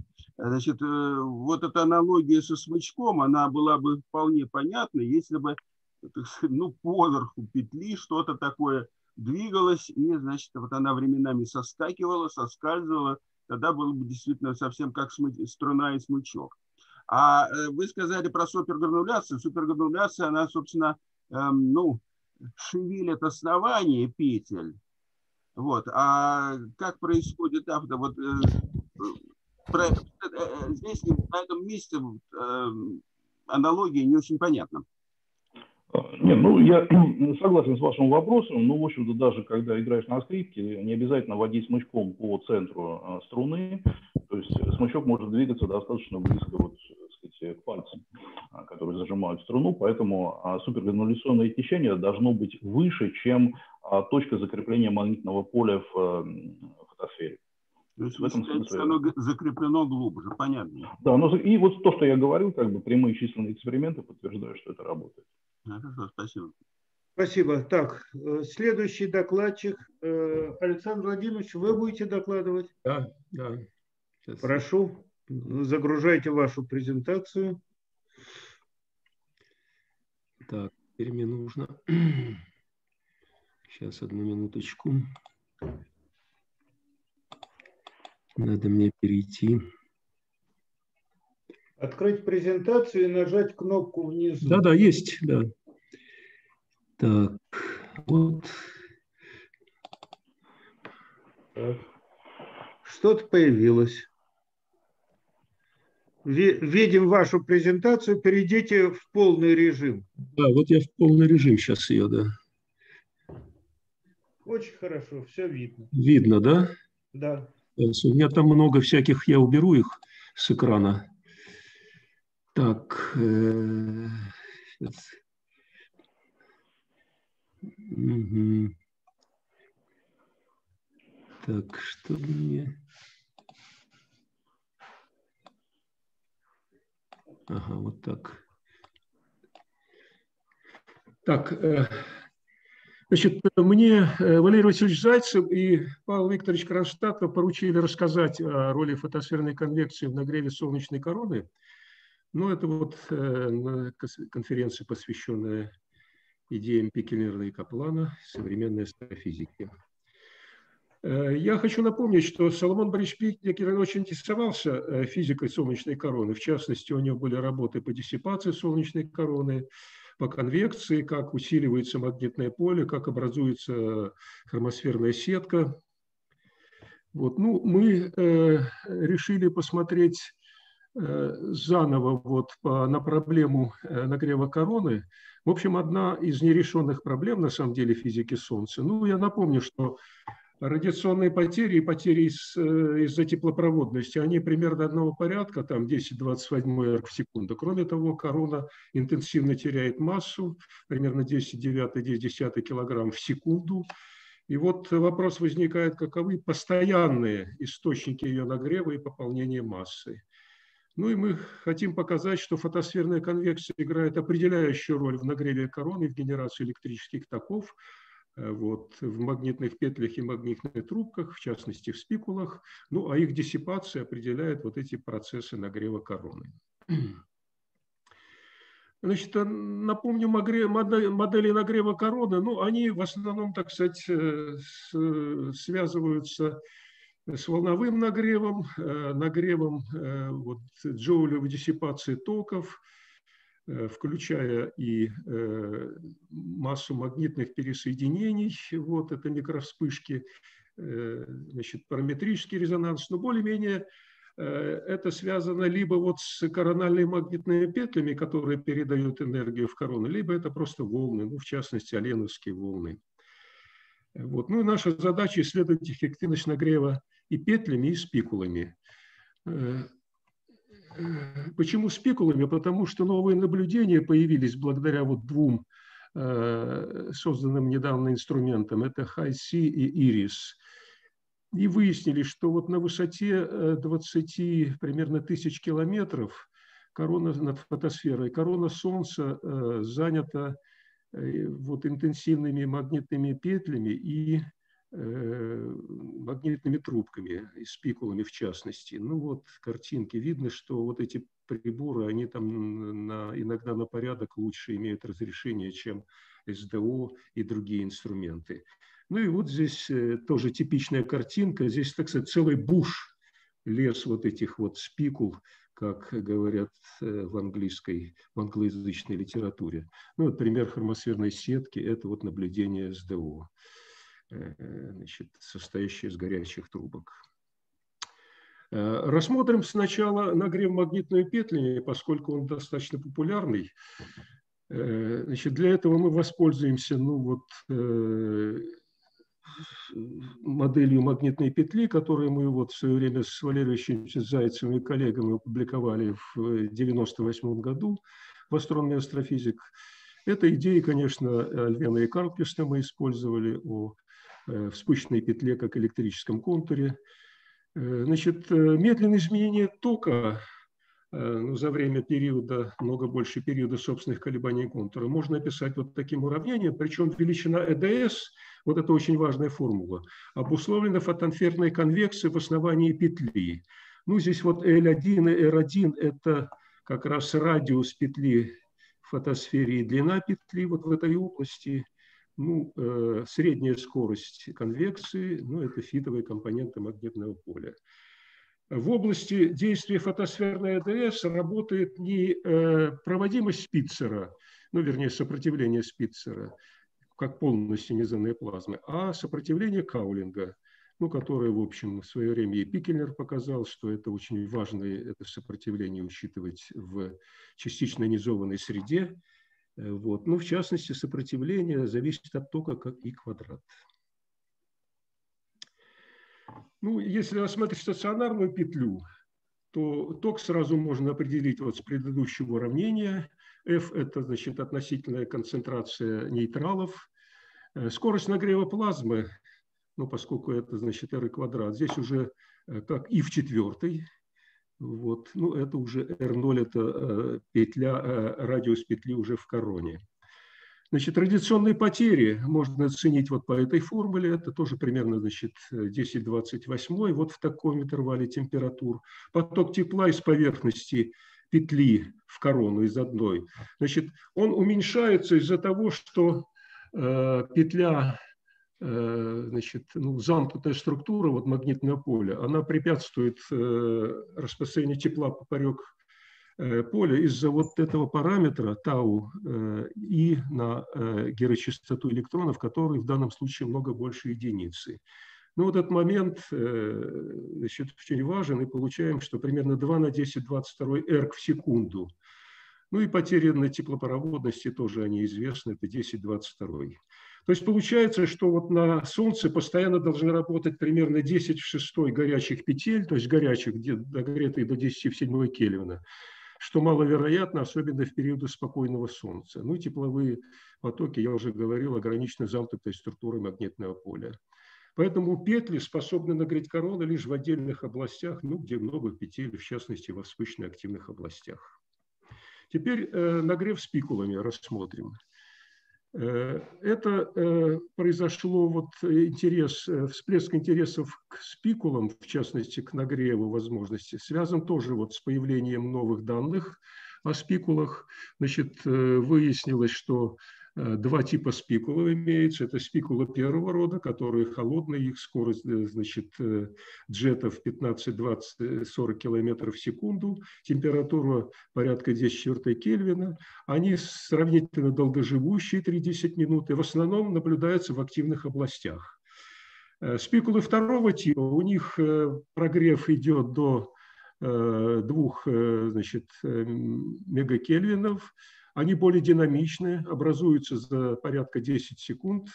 Э, время жизни тоже небольшое, 10-150 секунд. Но скорость джетов достаточно приличная. Вот джеты отсюда вырываются с наконечника спикул ну, вот, э, размеры спикул наблюдаются вдали от активных областей, в частности в корональных дырах, вот в периоды спокойного Солнца. Ну и вот э, наблюдаются также торсионные движения плазмы в этих образованиях, что свидетельствует вот об э, наличии электрических токов. Ну, здесь показано, как вот могут спикулы образуются, когда происходит сгребание магнитного поля благодаря конвекции. Потом в результате перестановочной устойчивости возникает вот разбиение на отдельные трубки, ну или вот просто в узлах э, гранационных ячеек вот может тоже образоваться спикула. Значит, мы э, рассмотрели э, токовую структуру этой спикулы, то есть э, мы брали примерно э, значит, представление спикулы как у Робертса, то есть это открытая магнитная трубка, Э, значит, мороженое в фотосферу. Э, значит, здесь токи, они э, значит, том числе по поверхности текут. Здесь вот центральный ток. Здесь еще токи Холла, они, значит, кольцевые. Значит, из условия вот Q, значит, это радиационное значит, вот это нагрев, да, поскольку это пропорционально четвертой степени тока. Следует, нагрев до корональных температур нагревает не всю спикулу, а только верхнюю часть вот с такой концентрацией. Если вот токи брать вот 10-12 или 10-10 ампер при таком радиусе вот спикулы, то спикула нагревается до температуры 5 на 10 6 верхней части с такой вот концентрацией. Поток тепла из спикулы в корону из электронной теплопроводности вот такой. Значит, при вот такой температуре спикула, ну 5 на 10 6 мы взяли э, максимальное значение, при таком радиусе и вот размере, значит, там, где спикула нагревается, мы получаем 10-24 эрк в секунду. То есть, вообще говоря, э, на два порядка больше, чем, э, тем более это открытая конфигурация, чем это у петли. Вот, поэтому для компенсации потери с короны потребуется всего 10 четвертой горячих спикул, что составляет всего 1% от числа наблюдаемых спикул на Солнце, но это больше миллиона обычно. Э, следующий момент – это э, оценка потоков горячей плазмы из спикул второго типа. Ну, многие занимались э, вот, оценкой этих потоков но все-таки в оценках потоков тепла и в оценках потоков плазмы мы не нашли таких более-менее даже качественных оценок. Вот. Значит, э, в нашей модели они вызваны нагревом отставания трубок кольцевыми токами, токами Холла при взаимодействии конвективных потоков фотосферной плазмы и вертикального магнитного поля трубки. Ну вот там где-то, кстати, ЭДС работает. Кольцевой ток существует в основании магнитной трубки вот примерно на 100 километрах вот в интервале высот, где наблюдаются сходящие потоки фотосферной плазмы. Ну, нагрев основания магнитной трубки из-за диссипации кольцевого тока приводит к скачку давления и появлению потока плазмы из спикулы. Вот модели, особенно там 2D, 3D модели спикул, они обычно задают руками либо скачок скорости, либо скачок давления. Ну вот мы показали, что здесь просто нагрев вот кольцевыми токами идет. Значит, модель цилиндрической трубки мы приняли вот с э, несжимаемой жидкостью и э, использовали э, вот формулу Ландау и Лившица в гидродинамике вот, для уравнения скорости вдоль, э, так сказать, трубки. Э, вот. Ну, она имеет вот такой вид. Здесь сферически симметричная трубка. Это значит, коэффициент ионной вязкости. Стационарность обеспечивает ионной вязкостью. Ее решение уравнения вот при P ро константа по сечению трубки получается вот такое. И при вот скачке давления вот примерно таком, да, э, где кси это просто коэффициент, который можно варьировать там от 2 до 5, и э, значит, радиусе вот таком, мы получаем истечение плазмы из трубки как раз вот то, что примерно наблюдается, то есть 25-100 километров в секунду. Энерговклад и пополнение массы короны. Значит, энерговклад стипула второго типа за 100 секунд равен вот такому вот такой величине 7 на 10-28 в зависимости от радиуса спикула, концентрации инжектируемой плазмы. Плотность потока из спикул э, в корону вот такая. По, сечению спикулы вот, э, ну, 3 на 10-17 сантиметров квадратных – и 10 четвертый спикул, если мы возьмем, пополнение массы в корону вот такое, 2 на 10 в 11 грамм в секунду. Это примерно совпадает с потоком массы солнечного ветра через сферу радиуса в одну астрономическую единицу при плотности плазмы солнечного ветра у орбиты Земли 5-10 сантиметров в кубике и скорости 300-400 километров в секунду. Ну и какие основные выводы нашей работы? Что основной источник нагрева короны является фотосферная конвекция – Потоки частично ионизованной плазмы концентрируют магнитное поле на границах супернгналов до нескольких килогаллов и взаимодействуя с этим полем генерируют магнитные петли в трубке, э, петлях и трубках э, токи 10 в 11, 10 в 12 ампер. Кстати, если вот э, токи меньше 10 в 10 ампер, 10 в 9, 10 в 9 ампер, то это спикула первого типа, там нет нагрева. Диссипация токов существенно возрастает из-за неполной ионизации плазмы и всей проводимости каулинга. Это приводит к двум эффектам. Первое, к нагреву плазмы в спикулах до температуры вот от 2 до 8 мегакельвина и появление потоков горячей плазмы из спикул в корону. Инжекция горячей плазмы из спикул вызвана нагревом токами оснований спикул привлечения скорости фотосферной конвекции. То есть флуктуация скорости должна быть фотосферной конвекции, но это, например, в пятиминутных колебаниях или вот из-за неустойчивости Релея Тейлора, ну или, как это говорят, флот instability, которые, в общем, э, потоки э, плазмы вторгаются в петлю и там приводит к изменению величины токов. Это приводит к скачку градиента давления и появлению инжекции. Для компенсации потерь э, короны на теплопроводность и радиационных потерь требуется 10 четвертых горячих спикул. Ну и спикулы второго типа пополняют корону плазмы, компенсируя массу, уносимую солнечным ветром. Магнитные петли способны нагреть корону, вот как мы показали, только локально, где существуют вот они, например, в активных областях. Спасибо, у меня все.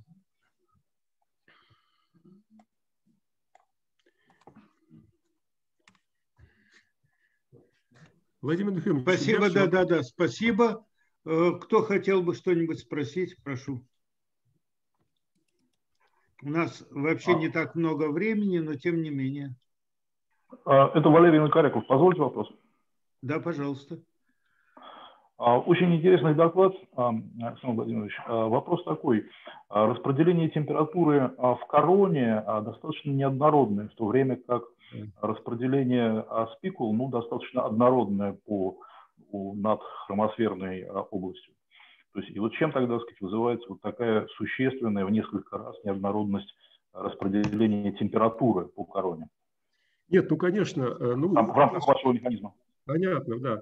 Это мы сделали такую грубую оценку, но на самом деле вот, ну, видно из отменных наблюдений короны, что там э, она, э, в общем, неоднородна, как правило, и значит, потоки солнечного ветра, здесь корональные дыры, и ясно, что в целом нужно считать значит, в разных местах дальнейшее развитие этой работы, нужно э, вот объяснять, почему э, распределение температуры в короне так неоднородно. Да. Спасибо за замечание, да, существенное. Так, переходим к следующему докладу. Леонид Сергеевич Леденцов на месте. Здравствуйте, да, я вещаю из конференц-зала ГАИШ. Да, по, так. Звук есть у вас? Э, звук есть, изображения нет. Вы сюда посмотрите. Так. Вот, сейчас внизу. Вот. Так, появилась презентация. Прошу. Э, так, добрый, доброе утро, участник конференции. Э, мой доклад будет э, о тепловой фрагментации предспышечного токового слоя в солнечной атмосфере. Перед вами изображение известной бастильской вспышки со спутника Трейс в ультрафиолетовом диапазоне. Оно демонстрирует вспышечную аркаду Э, которая э, разрешается на отдельные вспышечные петли. При этом эти вспышечные петли э, представляются расположенными как бы квазипериодически. По современным представлениям над, вспыш... над аркадой вспышечных петель находится присоединяющий токовый слой. Этот токовый слой выполняет две функции. Перед вспышкой он, соответственно, формируется, не дает магнитному полю пересоединяться и за счет этого накапливает своей окрестности избыточную энергию магнитного поля. Э, в процессе вспышки э, он эту энергию магнитного поля преобразует в энергию ускоренных частиц, тепловую энергию плазмы э, и, соответственно, в дальнейшем в электромагнитное излучение, что мы и наблюдаем. По этой причине мы связываем вот это квазипериодическое распределение яркости в вспышечной аркаде с тем, что в токовом слое происходит энерговыделение также не равномерно, а каким-то образом квазипериодически вдоль токового слоя. Э, соответственно, направление тока э, в э, токовом слое идет вдоль направления аркады. Ну, либо в одну, либо в другую сторону. Преимущественно. Для того, чтобы изучить, является, может ли такое квазипериодическое энерговыделение в токовом слое являться, являться следствием его какой-либо неустойчивости, Э, мы поставили э, очень простую э, магнитогидродинамическую задачу на устойчивость кусочно-однородного предвспышечного токового слоя с учетом его джоулевого нагрева, вязкого нагрева, теплопроводности, лучистого охлаждения. Почему я здесь выделяю слово предвспышечного? Э, потому что э, перед вспышкой токовый слой накапливает энергию. Он фактически является не пересоединяющим токовым слоем. Он только экранирует один магнитный поток от другого магнитного потока. Э, при этом для нашей модели мы представляем токовый слой как некоторую область пространства, внутри которой магнитное поле не проникает. И, соответственно, э, граница между внешним, внешней корональной плазмой и внутренностями токового слоя представляет собой э, некоторый тангенциальный разрыв э, с точки зрения терминологии магнитной гидродинамики, через который не происходит проникание магнитного поля. Складывается такая интересная область, нехарактерная, внутри которой отсутствует магнитное поле, однако снаружи магнитное поле присутствует. Э, это такое явление возможно, если у нас токи будут течь по поверхности, собственно, вот этого токового слоя и экранировать магнитное поле. Э, соответственно, при э, диссипации токов это магнитное поле может проникать внутрь области, в которой изначально магнитного поля не было. Э, и тут появляется э, задача, в которой э, нужно исследовать тепловую устойчивость плазмы в таком случае, когда исходного магнитного поля в среде нет, но оно может возникнуть вследствие некоторого возмущения.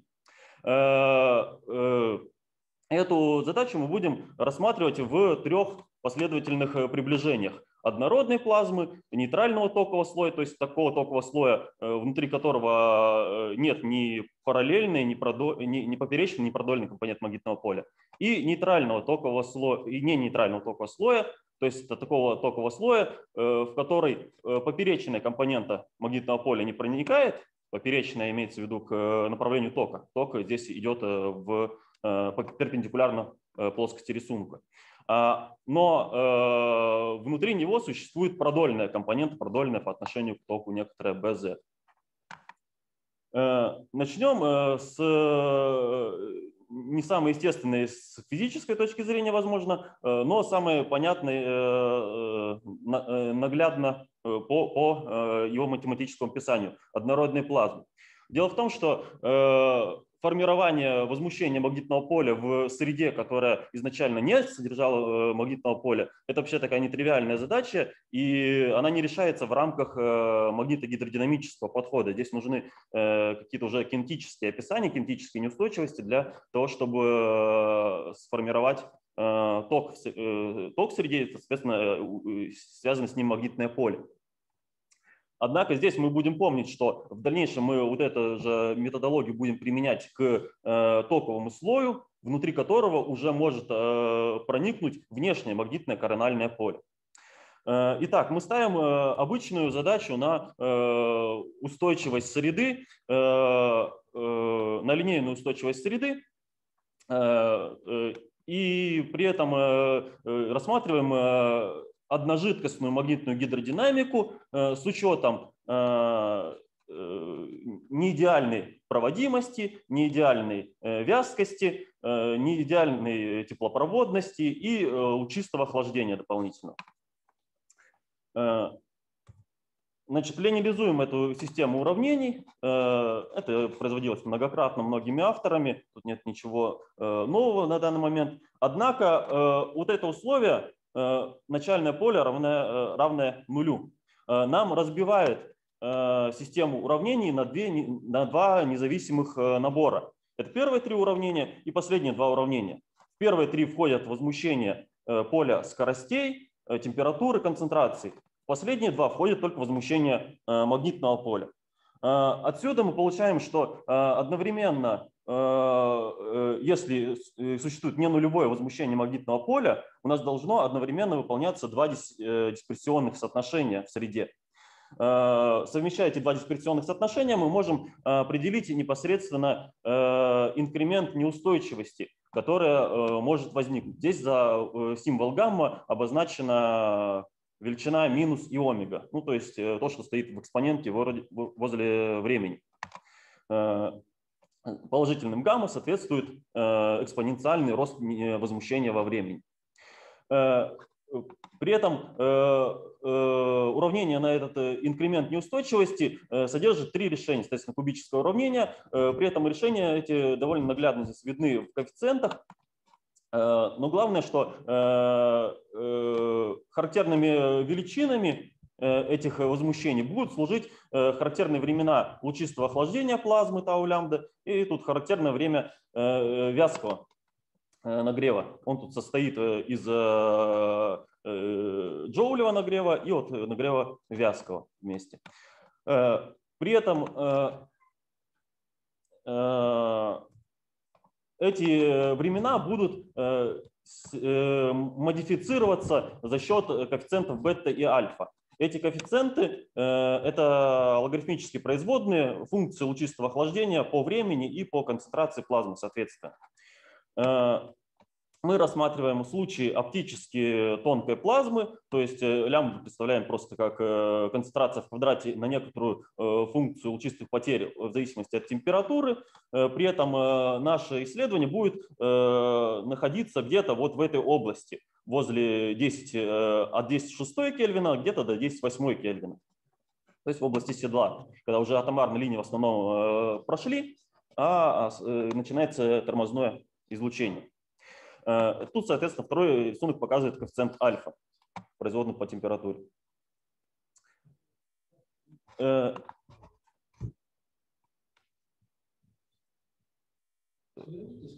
а, то есть это люди тоже не видят?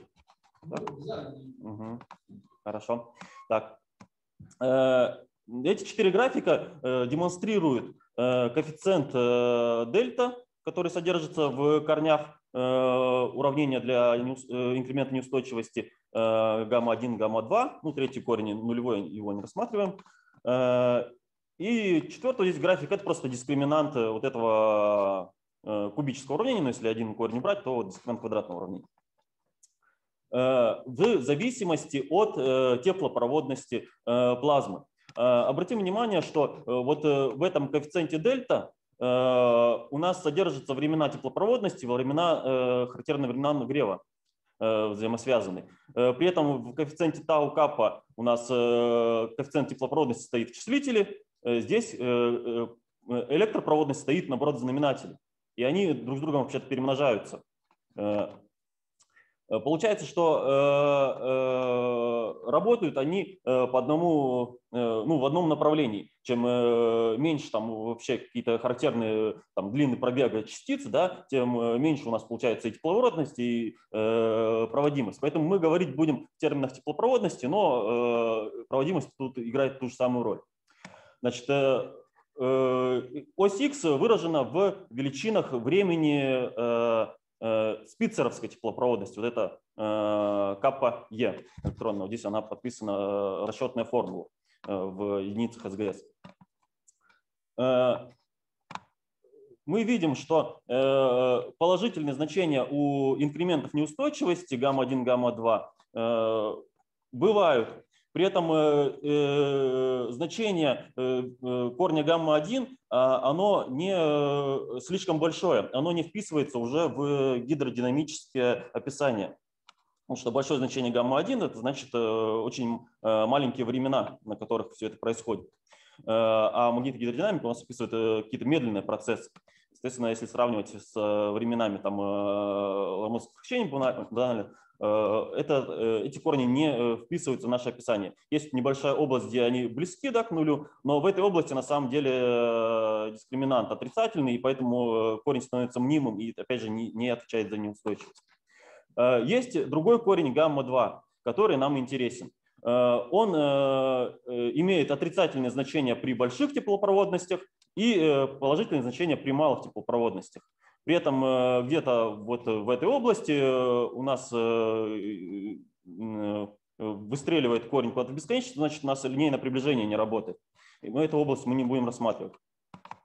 Основной сухой вывод из этого в том, что если каким-то образом в такой среде, где может, куда может проникнуть магнитное поле, произойдет уменьшение эффективной теплопроводности, то э, возможно переключение с какого-то э, устойчивого режима на некоторый неустойчивый режим, когда инкремент становится положительным.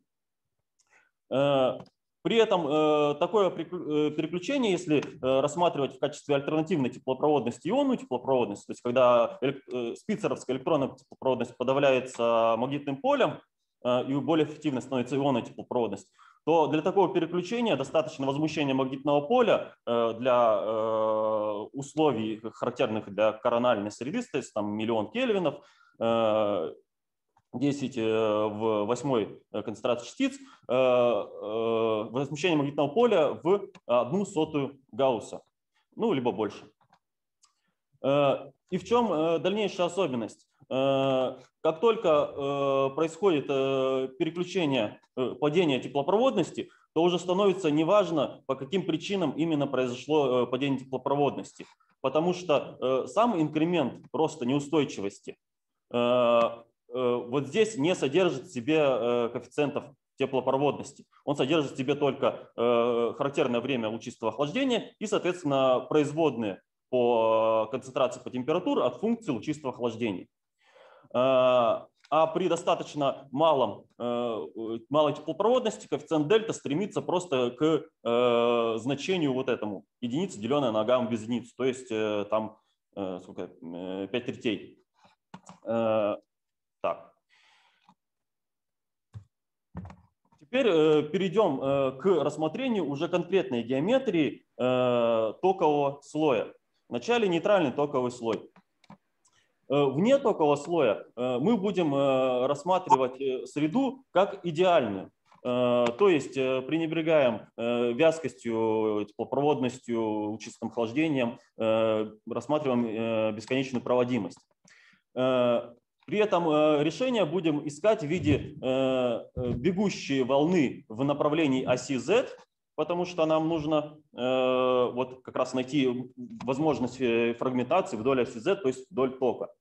Э, затухающим в направлении оси Y, то есть э, э, э чем дальше от э, токового слоя, э, тем оно, возмущение будет экспоненциально сильнее затухать. И пренебрежем зависимостью от оси X. Э, на рисунке это будет значить, что мы э, считаем вот этот токовый слой бесконечно длинным в направлении оси X влево-вправо. Э, математически мы так делаем для того, чтобы избежать взаимодействия с другими известными типами неустойчивости токовых слоев, слоев такими как тиринг неустойчивость. Она бьет токовый слой в, как бы вдоль тока, а нам интересно, как он может фрагментироваться поперек тока. Ну и, соответственно, упрощаем для себя эту модель в том числе.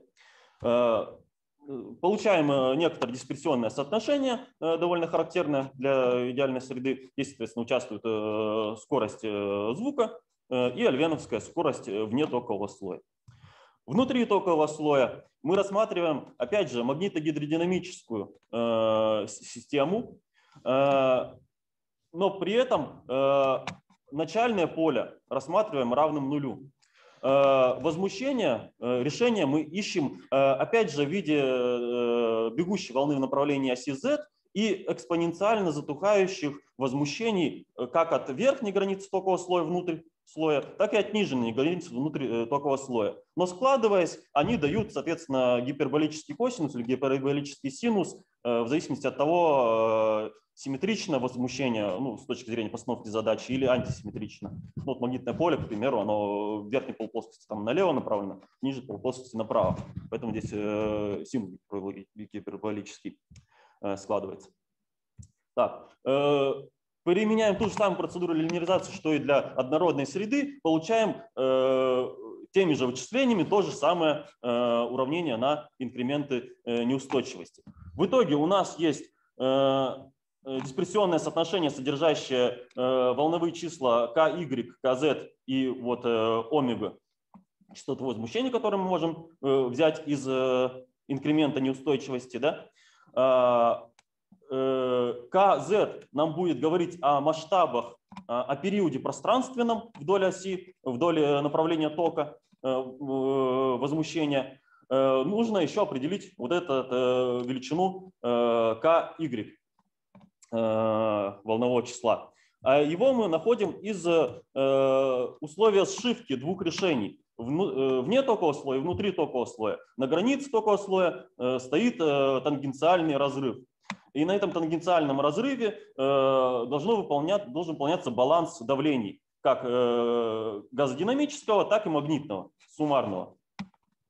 Э, и кроме того, э, мы считаем, что этот, э, перед вспышкой этот тангенциальный разрыв не преобразуется в другие разрывы, что возможно в магнитной гидродинамике, а некоторым образом под действием возмущения скоростей искривляется волнообразно. И вот эти два условия соответствуют непрерывности вектора скорости на границе токового слоя. Ну, соответственно, они разделены на два да, э, я заканчиваю. Э, разделены на два э, условия. Это непрерывность абсолютного значения и направления. Извините, Леонид Сергеевич, у вас да. еще много, вы исчерпали свой... Я заканчиваю, я заканчиваю. И из этих соотношений мы можем определить, соответственно, волновые числа неустойчивости. При этом Э, если мы перейдем эти волновые числа в пространственный масштаб неустойчивости, то для э, характерных параметров плазмы, корональной плазмы в широком диапазоне их изменения э, мы получим волна, масштаб неустойчивости вблизи 1-10 мегаметров.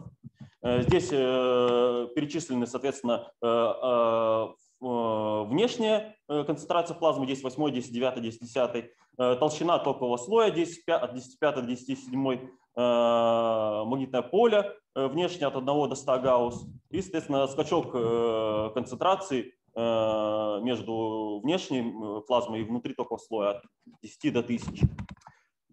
Пользуясь тем, что у нас две конференции совмещенные про ненейтральный токовый слой, я более подробно как раз расскажу завтра на своем выступлении в, на плазме в Солнечной системе поэтому сейчас я его пропускаю.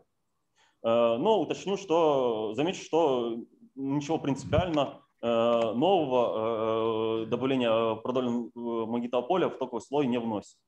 И в заключение хочу сказать, что исследуемая кусочно-водородная модель токового слоя может быть неустойчива в связи с потерями тепла Э, при этом мы предполагаем, что э, проникающее э, магнитное поле внутрь токового слоя подавляет электропроводность внутри токового слоя. За счет этого нарастает неустойчивость, которая может быть оценена по вот такой аналитической простой формуле. И ей соответствует два характерных приближения в случае тонкого токового слоя Э, и толстого токового слоя – это э, когда э, банально там в дискуссионном соотношении тангенс гиперболический либо пропорциональный своему аргументу, либо пропорциональной единице.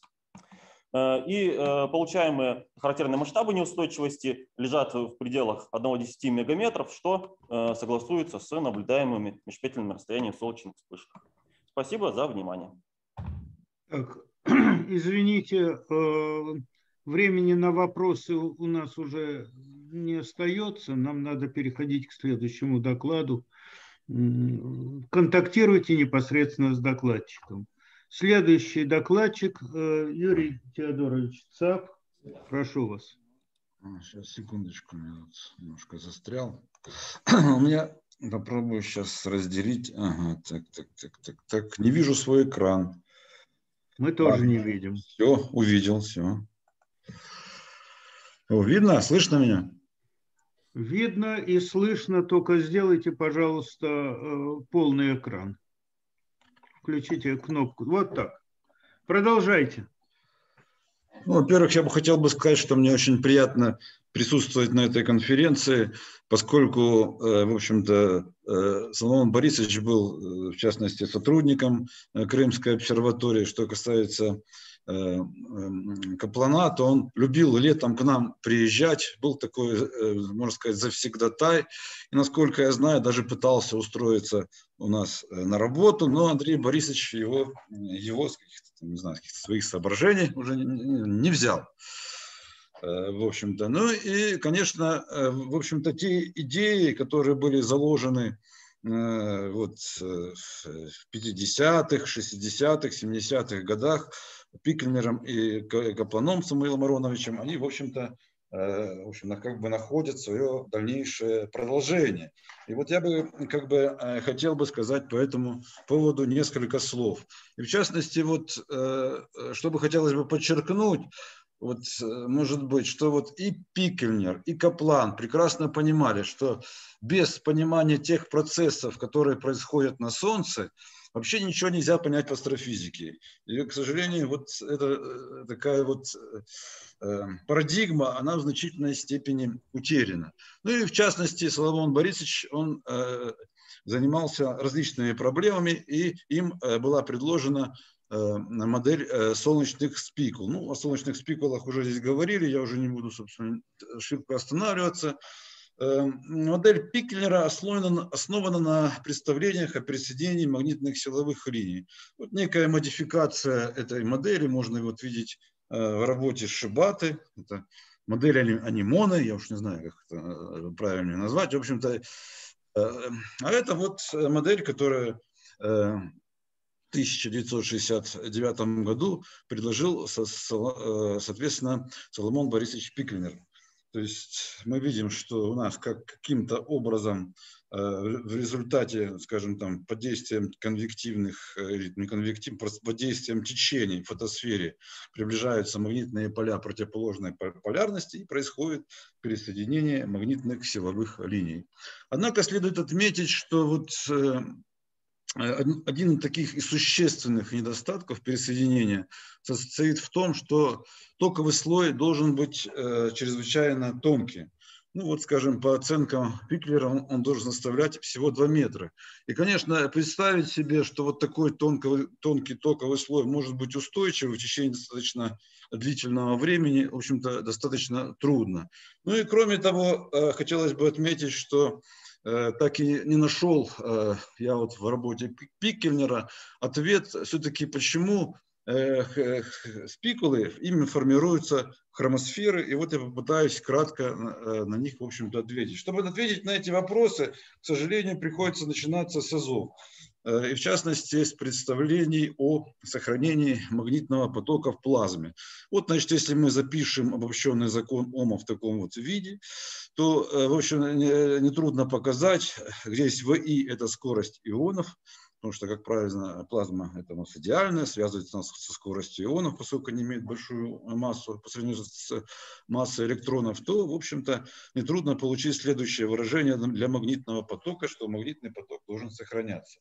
Но вообще говоря, вот что интересно, что почему мы должны, собственно, брать именно привязываться к ионам. Мы, в общем-то, можем привязаться просто к магнитным силовым линиям. И вот оказывается, что если у нас вот выполняется вот это равенство, где у нас ВМ, ВМ это, соответственно, скорость магнитных силовых линий, то в этом случае также будет сохраняться магнитный поток. Правда, теперь этот магнитный поток просто будет связан с магнитными силовыми линиями. Ну, немножко парадоксально, конечно, звучит, но тем не менее. И, э, э, почему это важно? Дело в том, что если у нас сохраняется магнитный поток, то, как нетрудно показать, в этом случае сохраняется связность магнитных силовых линий. То есть в этом случае магнитное пересоединение становится невозможным. Вот. вот теперь мы рассмотрим э, частично ионизованную плазму. Вот, собственно, уравнение движения, так написанное так называемом трехжидкостном приближении. Это уравнение движения для электронов, уравнение движения для ионов и э, уравнение движения для нейтральных атомов. Собственно, здесь обозначения стандартные, я не буду, видимо, на них останавливаться. Э, ну, проведя некие, так сказать, пертурбации математические, мы можем получить три закона Ома. Первый закон Ома у нас, соответственно, связан с движением электронов в системе координат электронов. Второй закон Ома, соответственно, связан с движением э, ионов. И третий закон Ома мы получим, э, так сказать, в системе координат, связанной с центром масс. Вот здесь сигма, это будем, ну, грубо будем говорить, это спицеровская проводимость.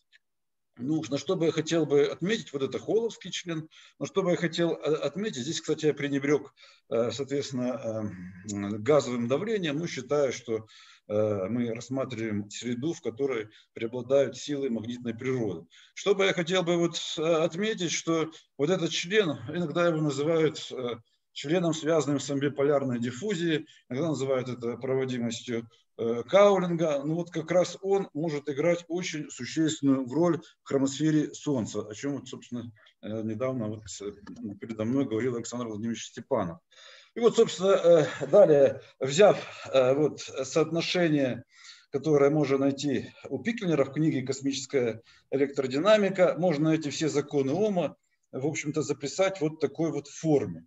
И что отсюда следует? Из этого следует вот такой парадокс, такая парадоксальная вещь, что если мы, скажем, свяжем вот эту вот сумму, ну, этих скоростей, допустим, каких-то там, это электронов и плюс там еще чего-то, связанное со спицеровской проводимостью, э, с движением магнитных силовых линий, то мы приходим к такому парадоксальному выводу, э, который состоит в том, что у нас значит, пересоединение или, скажем, изменение потока магнитных силовых линий э, возможно только под действием спицеровской проводимости, что, в общем-то, выглядит довольно неожиданно и, я бы сказал, странно. И в результате довольно много работ на эту тему, и в частности, некоторые авторы вот приходят к выводу, что только э, амическая диссипация, ну, будем называть это только диссипация, связанная с проводимостью спипер, с, с, спицера, э, э, может э, уменьшить магнитный поток или привести к изменению магнитного потока. Ну и, собственно, авторы идут дальше и, скажем, э, это вот школа Цвейбл, что э, они приходят к выводу, что толщина токового слоя определяется эм, исключительно кулоновской диффузией, то есть или исключительно спицеровской э, проводимостью. Ну, на наш взгляд, такой подход, он вообще говоря, не совсем правильный.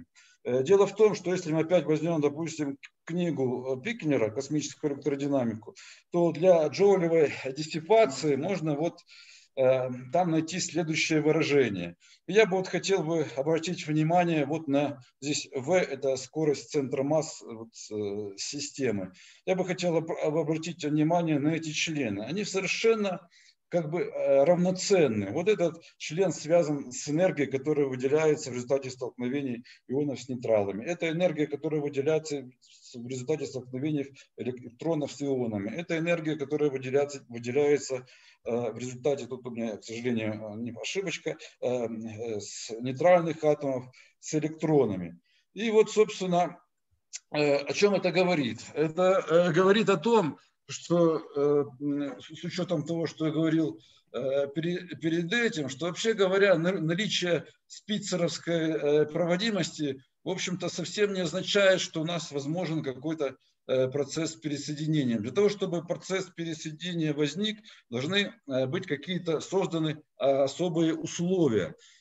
Э, ну, в частности, во-первых, должны быть, мы должны организовать каким-то образом потоки, так называемая точка X типа, если идти по ДНЖ, и должна быть какая-то особенность, должна быть некая сингулярность. Только в этом случае, ну, например, сингулярность связана с тем, если строго математически, более строго подходить к этому, тем, что у нас магнитное поле равно нулю, или, скажем, с тем, что у нас, скажем, вот этот потенциал, который здесь э, записал, имеет какую-то особенность. И, в общем, вот выражение для скорости магнитных силовых линий нельзя представить вот в такой вот форме. Э, ну и, собственно, э, вот исходя из таких вот предпосылок, самых общих, еще в 2012 году мы вот написали работу о пересоединении магнитных, э, о пересоединении магнитных силовых э, линий в условиях э, частично ионизованной плазмы. В общем, мы сделали все то, что в свое время делал Паркер, вот получили некие такое вот выражение, ну, выражение для поперечного тока. Здесь вот, соответственно, вот эффективное состоит из проводимости Каулинга и проводимости Спицера. F – это у нас, соответственно, степень ионизации. И, э, в общем-то, э, пришли э, к такому интересному выводу, который можно получить, используя просто размерностное соотношение. Они достаточно здесь очевидны. Это уравнение непрерывности массы, уравнение непрерывности поперечного равновесия, уравнение продольного движения, уравнение диффузии. Они достаточно все прозрачные. Обозначения здесь, в общем-то, общепринятые. И еще мы также приняли во внимание, что чрезвычайно эффективной может быть охлаждение плазмы в результате ее выплевывания из токового слоя. Это мы э, явление назвали динамическим охлаждением. И, э, в общем, как оказалось, этот процесс охлаждения является наиболее эффективным. И пришли к выводу, что вот толщину токового слоя можно оценить с помощью этой формулы Э, которая применима, извиняюсь, для хромосферы Солнца. Ну, в общем, это классическая формула, с той лишь разница, что здесь коэффициент диффузии стоит, э, не Спицера стоит, а Каулинга. И ну, взяли какие-то там характерные значения, и у нас получилось, что толщина токового слоя может составлять порядка 100 э, километров. В общем-то, ну и теперь возвращаюсь к постановке задачи естественно, э, которой я только что говорил, все-таки почему, э, значит, э, спикулы образуются где-то там в средней хромосфере. Да очень, в общем-то, просто. Вот здесь, скажем, взять работы там Лены Хоменко, там много таких графиков, там Максим Ходоченко что-то там настроил, вот сейчас вот Елим там появилось что-то такое. Вот для коэффициентов диффузии, связанных с, с проводимостью Кауринга, э, связанных с, хол, э, с членом Холла, связанных, скажем так, со спицеровской проводимостью, то нетрудно видеть, что, в общем-то, э, проводимость или непроводимость, что коэффициент диффузии достигает максимального каулинга, достигает максимального значения где-то как раз в области средней э, хромосферы. В общем-то, еще хотел бы отметить, что вообще эти графики, они довольно бессмысленные, потому что Э, скажем, это как было отмечено в свое время еще Зайцевым и Степановым, что, в общем-то, говорить о проводимости каулинга можно в том случае, если плазма является нестационарным. Поэтому, ну, это не более чем доброе пожелание, но, тем не менее, в общем-то, суть какая-то в этом есть. И вот если мы будем э, предполагать, что источником нестационарности плазмы является токовый слой, то у нас вот мы вот приходим к такому выводу, что, в общем-то, толщина этого токового слоя может составлять Э, сотни километров. Ну вот, собственно, это, пожалуй, и э, основной вывод сводится к тому, что именно в хромосфере создаются более благоприятные условия для э, значит, формирования спикул в рамках модели Пикнера, только потому, что там, в общем-то, большую роль играет проводимость, или может играть большую роль проводимость Каулинга. Спасибо. Спасибо. Спасибо. Вопросы? А, это Валерий Накаряков. А, позвольте? Да, пожалуйста. А, Юра, очень интересный вопрос такой. То есть для того, чтобы этот механизм работал, в спикулах магнитное поле должно быть горизонтальное, правильно? То есть чтобы была вот сила направленная вверх за счет магнитного натяжения. Есть ли наблюдение того, что в спикулах магнитное поле действительно горизонтальное? Ну, в общем-то, безусловно, какое-то пересоединение, к сожалению, должно происходить, значит, где-то там должно быть какое-то горизонтальное поле. Я согласен э, с этим. Но каких-либо наблюдений, подтверждающих, в общем-то, э, э, такое, ну, в общем, существование такого поля, я, к сожалению, каких-то наблюдений не, наш, не видел не нашел. Я, могу, я думаю, что измерение поля в спикулах практически невозможно, потому что надо переходить там, проводить измерения в хромосферных линиях, которые достаточно широкие. В общем, это очень тяжелое дело.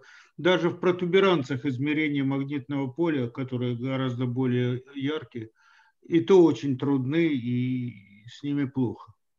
Тем более поперечные поле, которые вообще трудно мерить. Нет, но тем не менее достаточно важный вопрос, потому что если экстраполяция... Нет, я, я не спорю, что вопрос чрезвычайно важный, просто обращаю внимание на большую трудность э, проведения такого эксперимента. Да-да-да, я согласен, конечно. Все, переходим к следующему докладу. Э, Елена Семеновна, вы здесь? Да. Прошу вас, вашу презентацию загружайте. Демонстрация. Видно? Пока нет. Вот теперь видно. видно. Пожалуйста, начинайте. Так. Сделайте только полный экран. Да. Так, пожалуйста. Динамо во внешнем гелиошизе. Проверка по имеющимся данным космического аппарата Voyager 2. Ну, здесь показана схема, достаточно грубая, э, строение гелиосферы. Гелиосфера та область вокруг Солнца, которая, в которой доминирует солнечный ветер. Солнечный ветер, испускаемый из Солнца, сначала идет в таком режиме, когда скорость следует за магнитным полем, до особых точек. Эти особые точки э, – те, в которых мах альвеновский, мах звуковой равны единице. После этого остается сверхзвуковое движение с единственной компонентной скоростью – радиальной. Это продолжается до пересечения с termination shock. Termination shock – это внутренняя ударная волна. И область пространства от termination shock до границы гелиосферы гелиопаузы называется внутренним гелиошисом. Внешний гелиошис – это область пространства от гелиопаузы до возможной внешней ударной волны, уже в звездной, межзвездной среде. Возможно и потому, что в межзвездной среде скорости движения среды, скорость движения среды близка к альвеновской звуковой скоростям. Поэтому, может быть, существует э, внешняя ударная волна, может быть, нет. Это покажут данные Voyager в дальнейшем. Ну, кроме того, она может зависеть от времени. А, оба Voyager пересекли э, сначала termination shock, а потом и гелиопаузу. Гелиопауза Voyager 1 была пересечена 25 августа 2012 года на расстоянии 121,7 астрономических единиц. Voyager 2 5 ноября 2018 года пересек гелиопаузу на 119 астрономических единицах. Оказалось, что, ну, во-первых, характеризовалось пересечение магнитопаузы тем, что одновременно возник быстрый а, и резкий рост числа галактических космических лучей одновременно с резким убыванием числа гелиосферных частиц. Таким образом, это был маркер, что космический аппарат пересек гелиопаузу. Для Voyager 1 получены следующие измерения магнитного поля. Во внутреннем гелиошисе, значит, красная линия – это пересечение гелиопаузы, э, магнитное поле усилилось от 0,2-0,3 Э, нанотесла, позже 0,4, э, нет, извините, от 0,2-0,3 до 0,4 уже во внешнем гелиошисе. Причем переход через гелиопаузу был достаточно резкий, на примерно 1 сотой, 2 сотых астрономических единиц. И таких пересечений Voyager 1 насчитал 5. Э, такие были вот пересечения гелиопаузы. Voyager 2 пересек гелиопаузу позже. Тоже одновременно был зафиксирован рост э, галактических космических лучей и падение числа частиц э, внутри гелиосферного происхождения. Поле э, магнитное, нет, извините, поле магнитное, померенное на Voyager 2, носило немного другой характер. Сначала возник во внутреннем гелиошисе магнитный барьер, а потом резкое увеличение на гелиопаузе величины магнитного поля. Причем в обоих случаях при пересечении Voyager'ами гелиопаузы направление магнитного поля практически не менялось. Главная компонента ММП у гелиопаузы была тангенциальная. Скачок магнитного поля на гелиопаузе, измеренный Voyager 2, был от 0,5 нанотесла до 0,65, а масштаб э, ширины этого слоя, где происходил резкое изменение магнитного поля, был еще меньше, чем в случае Voyager 1. Он составлял 5 тысячных астрономических единиц. Таким образом, э, было обнаружено, что э, на гелиопаузе возникает резкий рост величины магнитного поля практически без изменения его направления. Э, когда это было измерено на Voyager 1, было выдвинуто много гипотез, объясняющих такое достаточно неожиданное явление. Ну, вот среди них э, были мои работы, в которых 15-18 годов, в которых я предложила механизм динамо для объяснения э, этого явления – было показано, что самые простейшие необходимые условия динамо выполняются на гелиопаузе. Таким образом, можно было предположить, что и для Voyager 2, который должен пересечь был гелиопаузу симметрично относительно экватора практически, э, эти условия тоже соблюдаются, и там тоже должен наблюдаться такой эффект, что позже и подтвердилось. Но в отличие от Voyager 1, Voyager 2 непосредственно измерял скорости плазмы. А, прибор плазменный на Voyager 1 не работал, и там скорости восстанавливались. А, после э, Termination Shock, который здесь вот левая координата, а, восстановились все три скорости солнечного ветра, уменьшилась радиальная, и возникли азимутальная и нормальная скорости – вот черная линия – это непосредственное изменение Voyager 2. Э, таким образом, вот главная компонента – это тангенциальная компонента скорости, которая была измерена непосредственно и позволила оценить э, величину эффекта, о котором идет речь.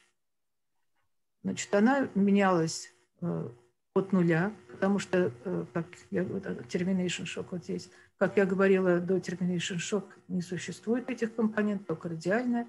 А азимутальная возросла и стала там порядка 100 и потом 75 километров в секунду. А измерение э, плотности в межзвездной среде можно было проводить, э, зная осцилляции, измеряя лингмировские осцилляции. А корональный выброс массы Солнца – прошел и в эпоху Voyager 1, и в эпоху Voyager 2, э, пересек гелиопаузу и прошел в межзвездную среду. И по осцилляциям, по частоте можно было найти плотность плазмы. В случае Voyager 1 это был 8 сотых сантиметров минус 3, в случае Voyager 2 – 4 сотых. Таким образом, зная величину магнитного поля, плотность плазмы, мы могли оценить альвеновскую скорость.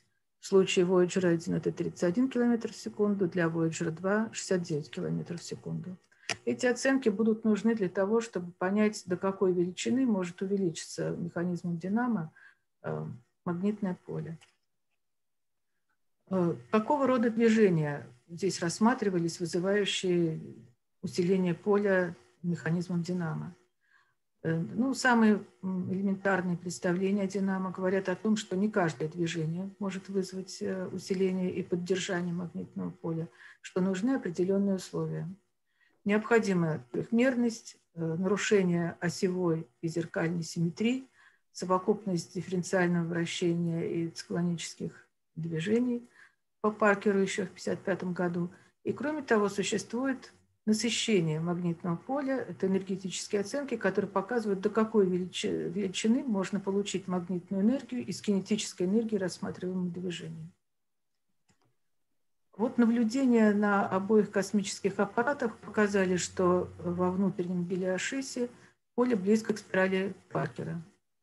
А во внешнем гелиошисе магнитное поле драпируется вокруг гелиосферы, но сохраняется на каком-то расстоянии направления и увеличивается величина магнитного поля.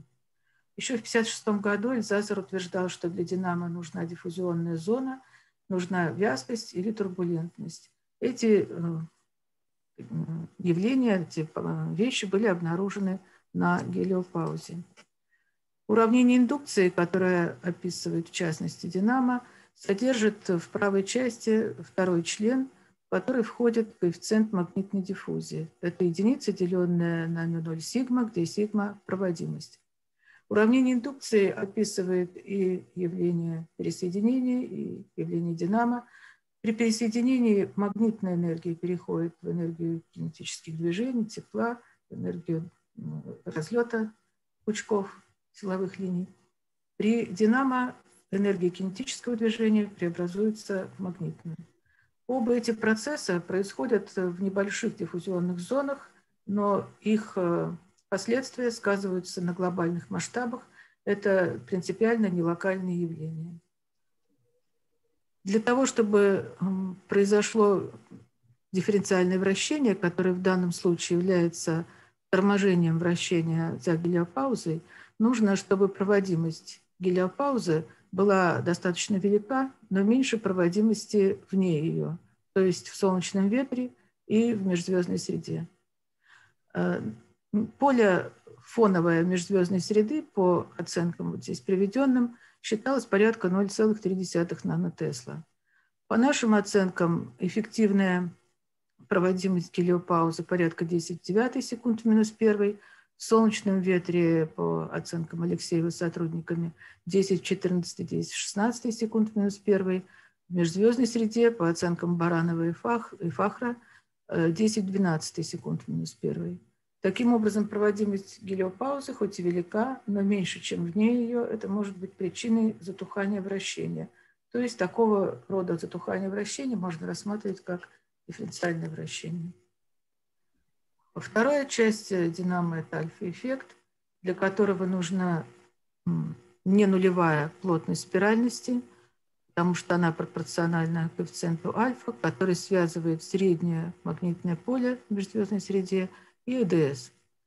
Вот в нашем случае ЭДС мы расписали как среднее от векторного произведения. Компоненты скорости межзвездной среды в полоидальной, в полоидальные компоненты, на произведение магнитного поля межзвездной среды в направлении S. S – это направление перпендикулярное э, оси вращения Солнца.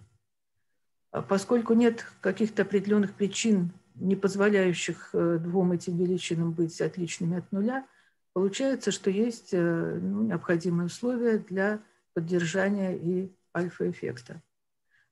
И а, грубо схема а, альфа-омега-динамо написана, представлена еще Вайнштейном и Зельдовичем в 1972 году.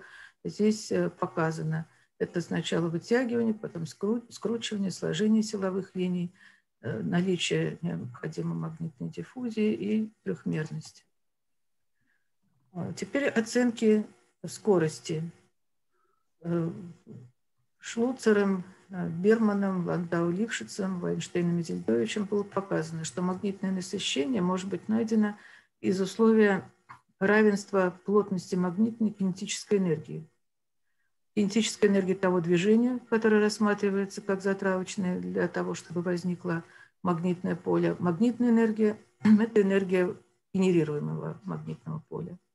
Это эквивалентно тому, что должны быть одного порядка скорости рассматриваемого кинетического движения плазмы и э, альвеновской скорости. Оценки альвеновской скорости я приводила. Выяснилось, что для Voyager 2 почти в два раза была больше альвеновская скорость, чем для Voyager 1, поэтому и поле может быть больше, которое усиливается на гелиопаузе.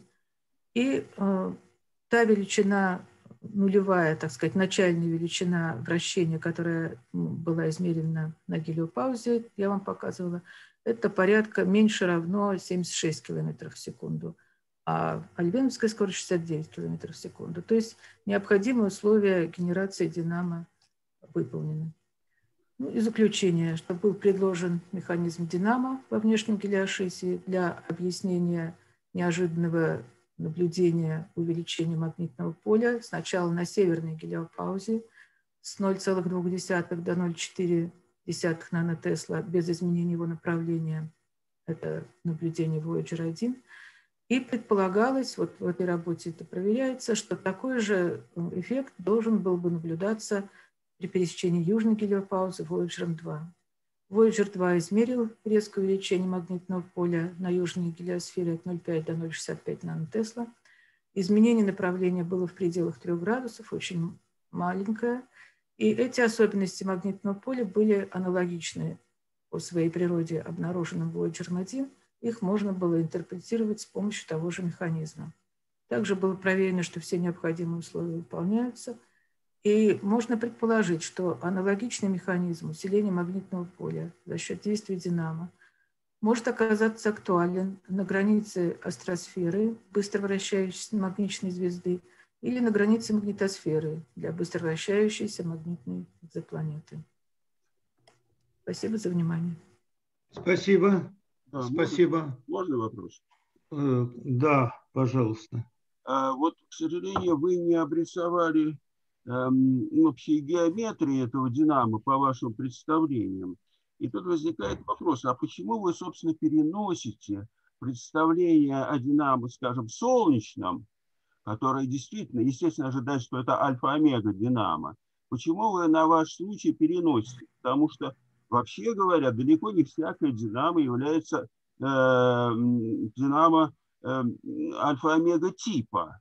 И э, то, что должно быть дифференциальное вращение плюс альфа-эффект, это, э, это создает условия для работы динамо, но это не является необходимыми условиями. И в частности, вот то, что вы показали, эту самую модель Вильдовича, это самое, эту петельку, которая перекручивается, складывается, это никакой не альфа-омега-динамо. Это как раз тот случай, когда э, динамо работает, но нет Э, взаимодействия дифференциального вращения с альфа-эффектом.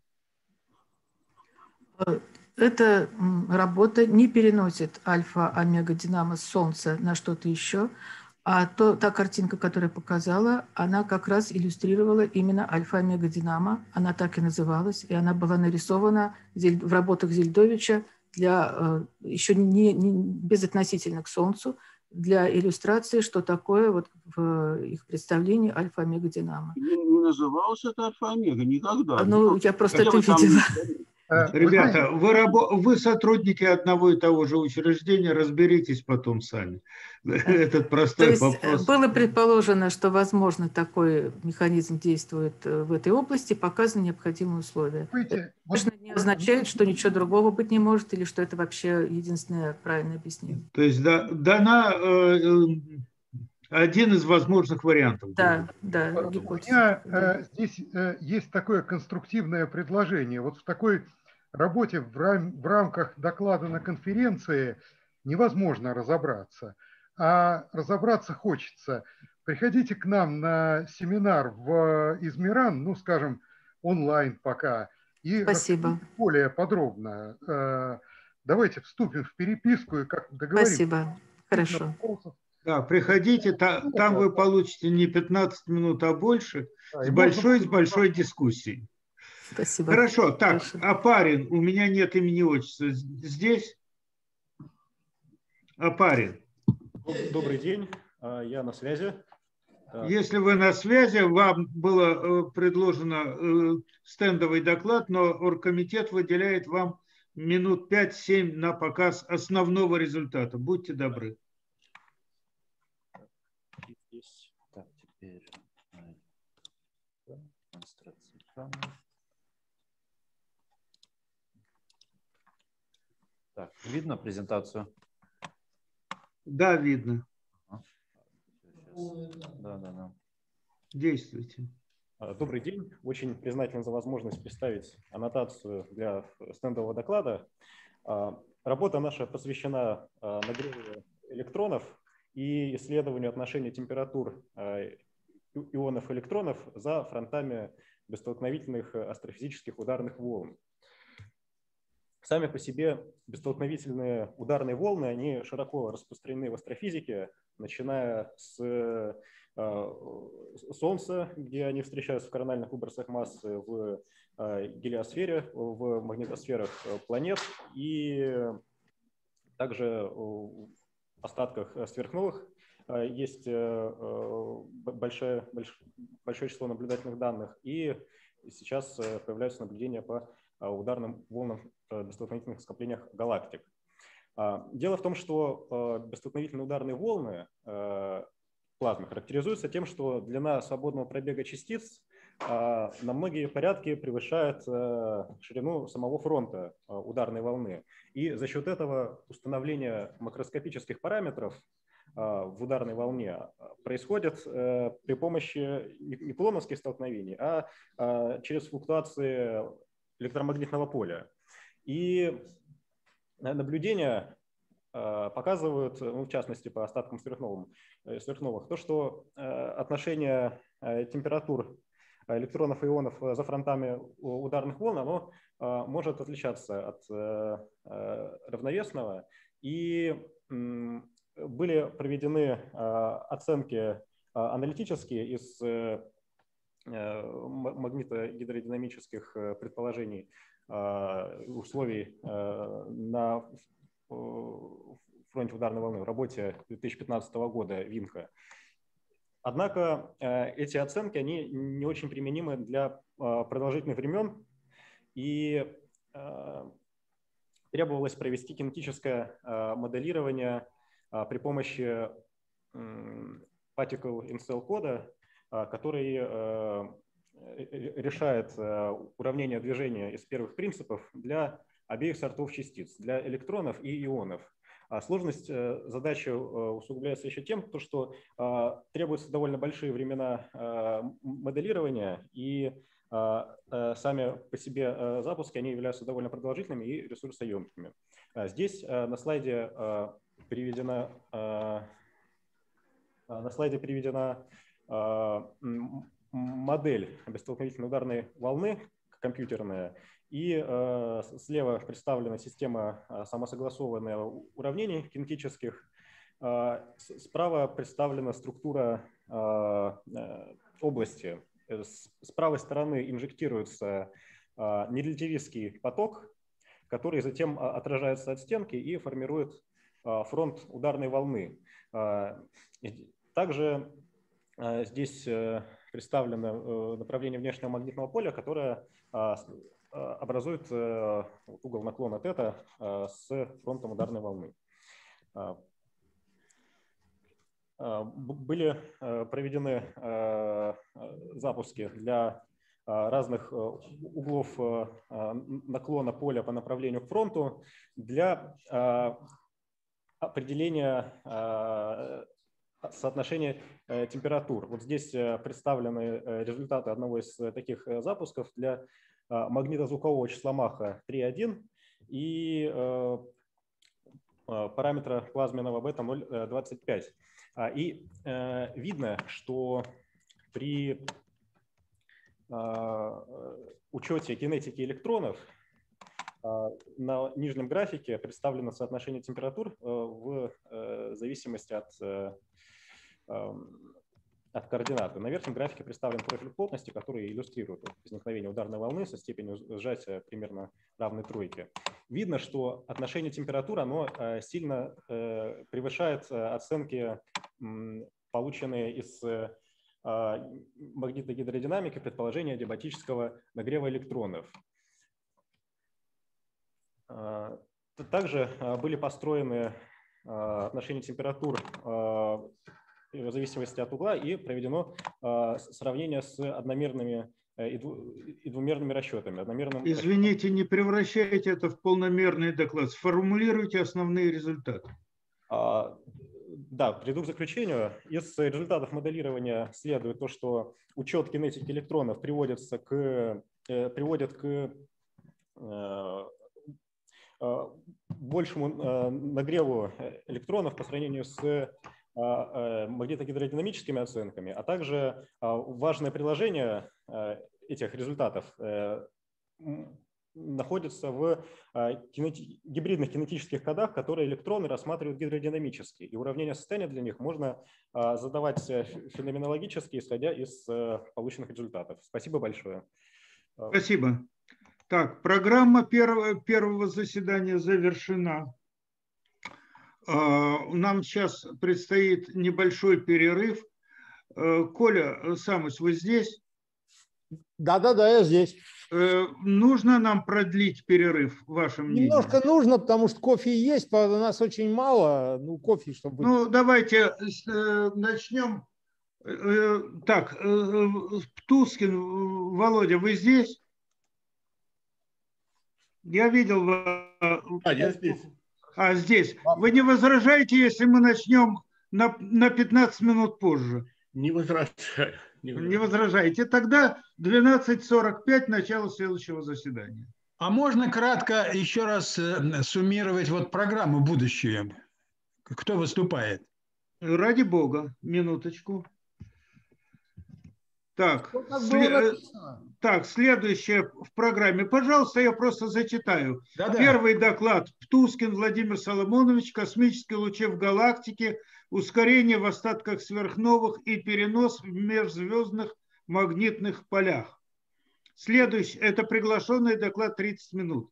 Следующий доклад. Меня слышно? Да, да, да, слышно. Следующий доклад Ихсанов. Размеры магнитосферы астрономических объектов. Приглашенный доклад. Кейков. Магнитокавитационная модель космических радиовсплесков. Рязанцев образование нейтронного вещества в, гипер, в гипертяжелых ядрах, что-то в этом роде. Э, очень длинное и сложное название. Никифоров о возможном движении центральной сверхмассивной черной дыры в сглаженном потенциале галактики. Ну и так далее. Всего довольно много. Это будет в общей сложности 19 докладов, которые кончится э, к 6 часам вечера.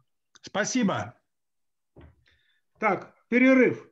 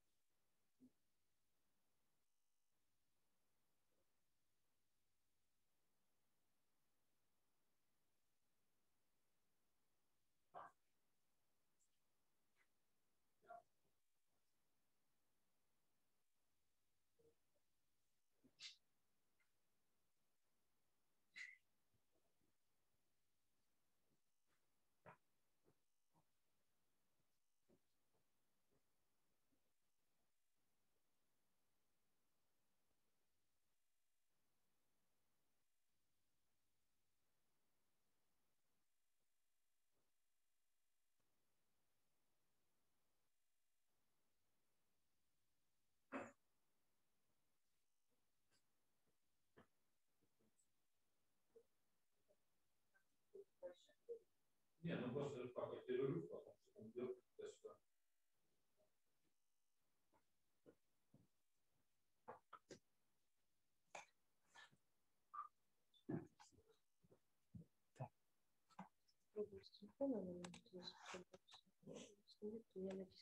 Нет, с телефона не получится, порты все заняты. Поэтому А на, на почту. Можете мне прислать? Хороший вариант было бы неплохо иметь это просто здесь работать.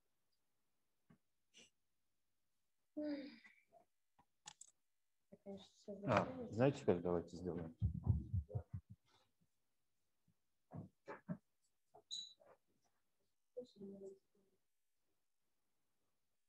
Thank you. Ну,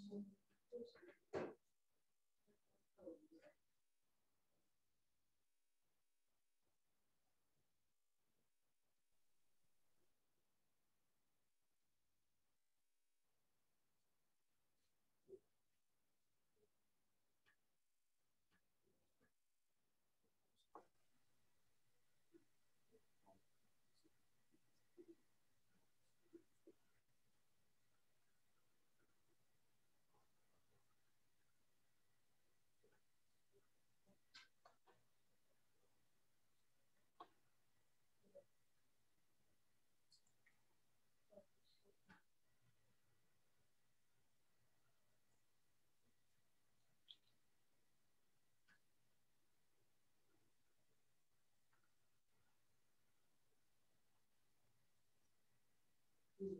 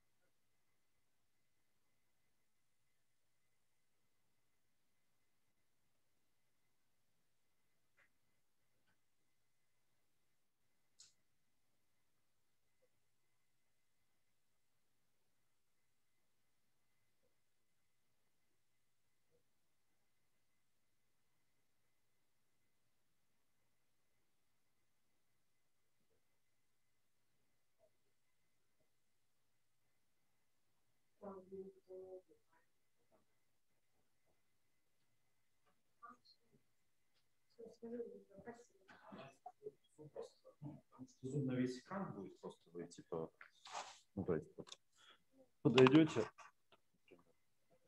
нажали, вот она появилась, открывайте. Ну я могу сейчас ее в принципе уже открыть. Я так понимаю, потому что больше никого у нас нету, здесь. Я просто думаю, такая веселая.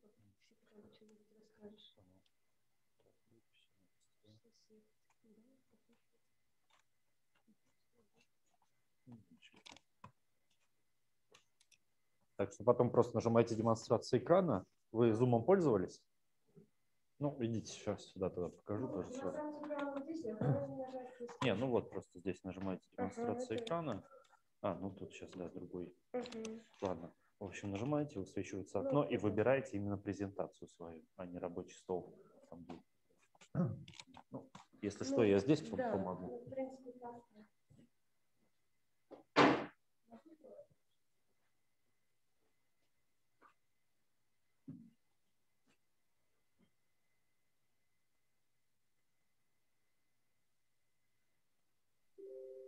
Здравствуйте, можно задать вопрос?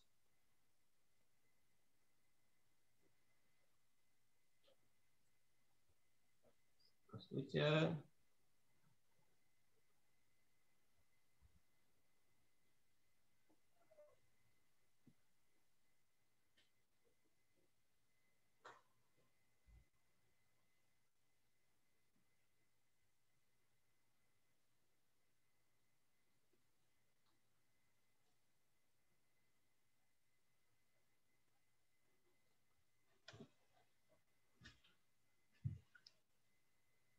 Простите, а можно задать вопрос? Извините, кому, чей вопрос? А, организаторам. Я, я просто, я из Пулковской консерватории Карелин Георгий, лаборатория динамики планет. Я не регистрировался, но я хотел просто послушать. Так можно делать? Да.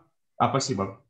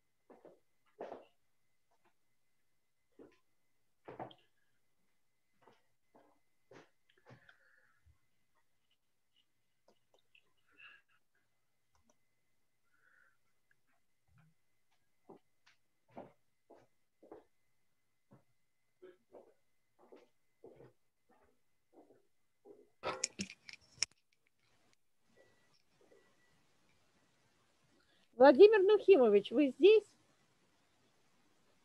Алло. Так, что там? Володя, тебя не слышно. Презентацию Привет. видно, но тебя не слышно. Привет. Так, ребята, Гаиш слышно? Где у нас тут? Коль, самый. Да, Я, мы, я тебе Лёва. пытаюсь дозвониться, ты не берешь трубку. ты не, я, звонок не проходил. Да. Сейчас посмотрим. Ты кто А, конвинер? так у меня телефона нет с собой, поэтому и не проходил. А, а кто конвинер сейчас?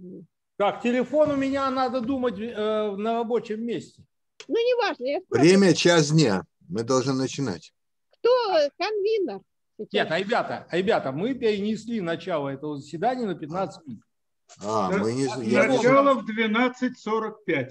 А, ясно, извиняюсь, потому что я этого не получил. Нет, э, дело, дело в том, что немножко на, 10, на 5 минут начали позже, ну а потом по минутке накопилось на 9 докладах.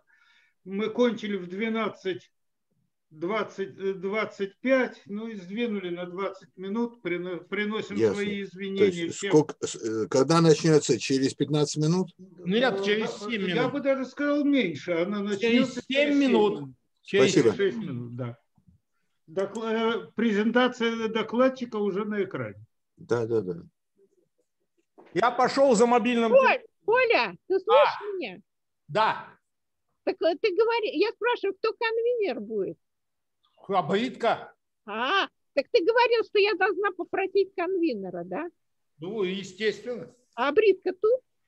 Так, а Бритка тут. Женя, вы просили 15 минут и 5 ответов на вопросы. Это вас устраивает? Ну, вы знаете, я просто, если вы не очень будете свирепствовать насчет того, что если я не Ну, бо- э, видите ли, Я буду стараться. Я вот буду... стара- старайтесь уложиться в 15 минут. Ну, я Несколько, несколько минут мы вам простим. Ну вот, я буду очень стараться, но если у меня не получится, то Ну, не- старайтесь, старайтесь. я буду очень стараться, но может не получиться. Спасибо.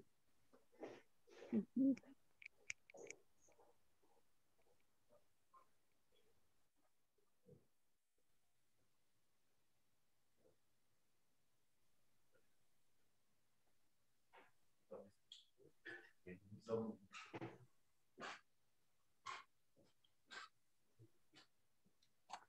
Так, значит, э, э, вот, она ваша, да? Да. Так, хорошо. Всё, Я думал, что у нас сейчас никого не будет. Пока что. Так, ладно, это пускай будет. Вы второй сейчас во второй части, да, получается? второй во второй части. Всё, смотрите, если что, я ее открыл уже, вот она здесь лежит. Так что потом просто, ну, в конце концов, я здесь сижу, там, Вы если здесь, надо да? будет, да, Ну, помочь. ну. Да, да. А отсюда, да, докладывать? Как Да, вас? веб-камера, микрофон здесь, ну, как это, в принципе, чувствительный, нормально слышно с него все. Собственно говоря, всё. То есть у нас сюда просто дублируется экран, отсюда здесь Да, на, полный, понимаю, на да. полный экран делают, и все. Любом Ну, вы будете, Да, да. да, да, Pardon, pas fait.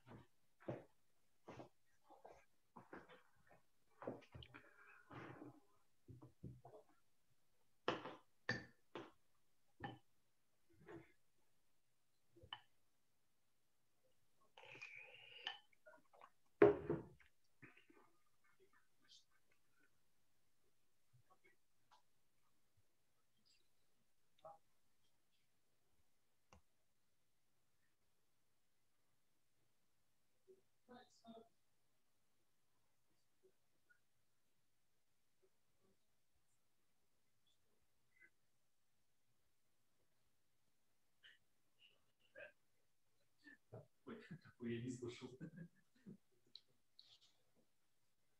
Так, сейчас.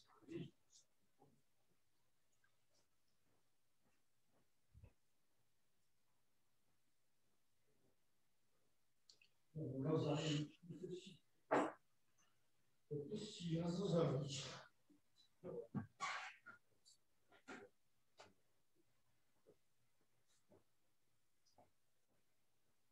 все происходит нормально. Нет, ну там я к этому, там же надо принять тех, кто включается в комнате. А, да, да, да.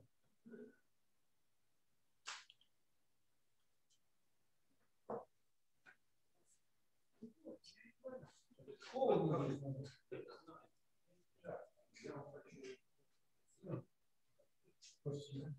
Шикарно.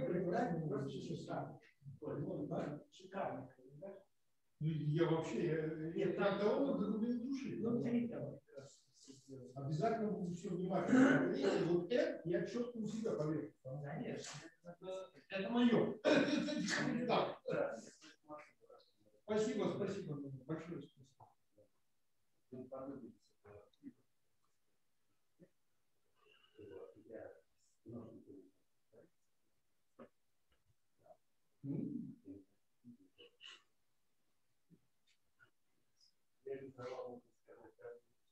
Нет, ну а чего?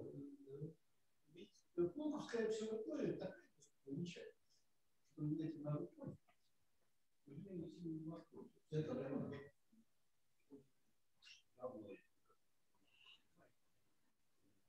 В 1959 году мой бабушка привез меня по моему требованию сели на машину и поехали. Я и смотрю, ну ты заикаешь. Ну, не решились, потому, потому что полковник, мой отец, считал, что ну, если есть режим на территории, а это ну, я- Но подъезжали и что Я в 1959 году впервые оказался вплотную. Причем настоял я, школьник требовал.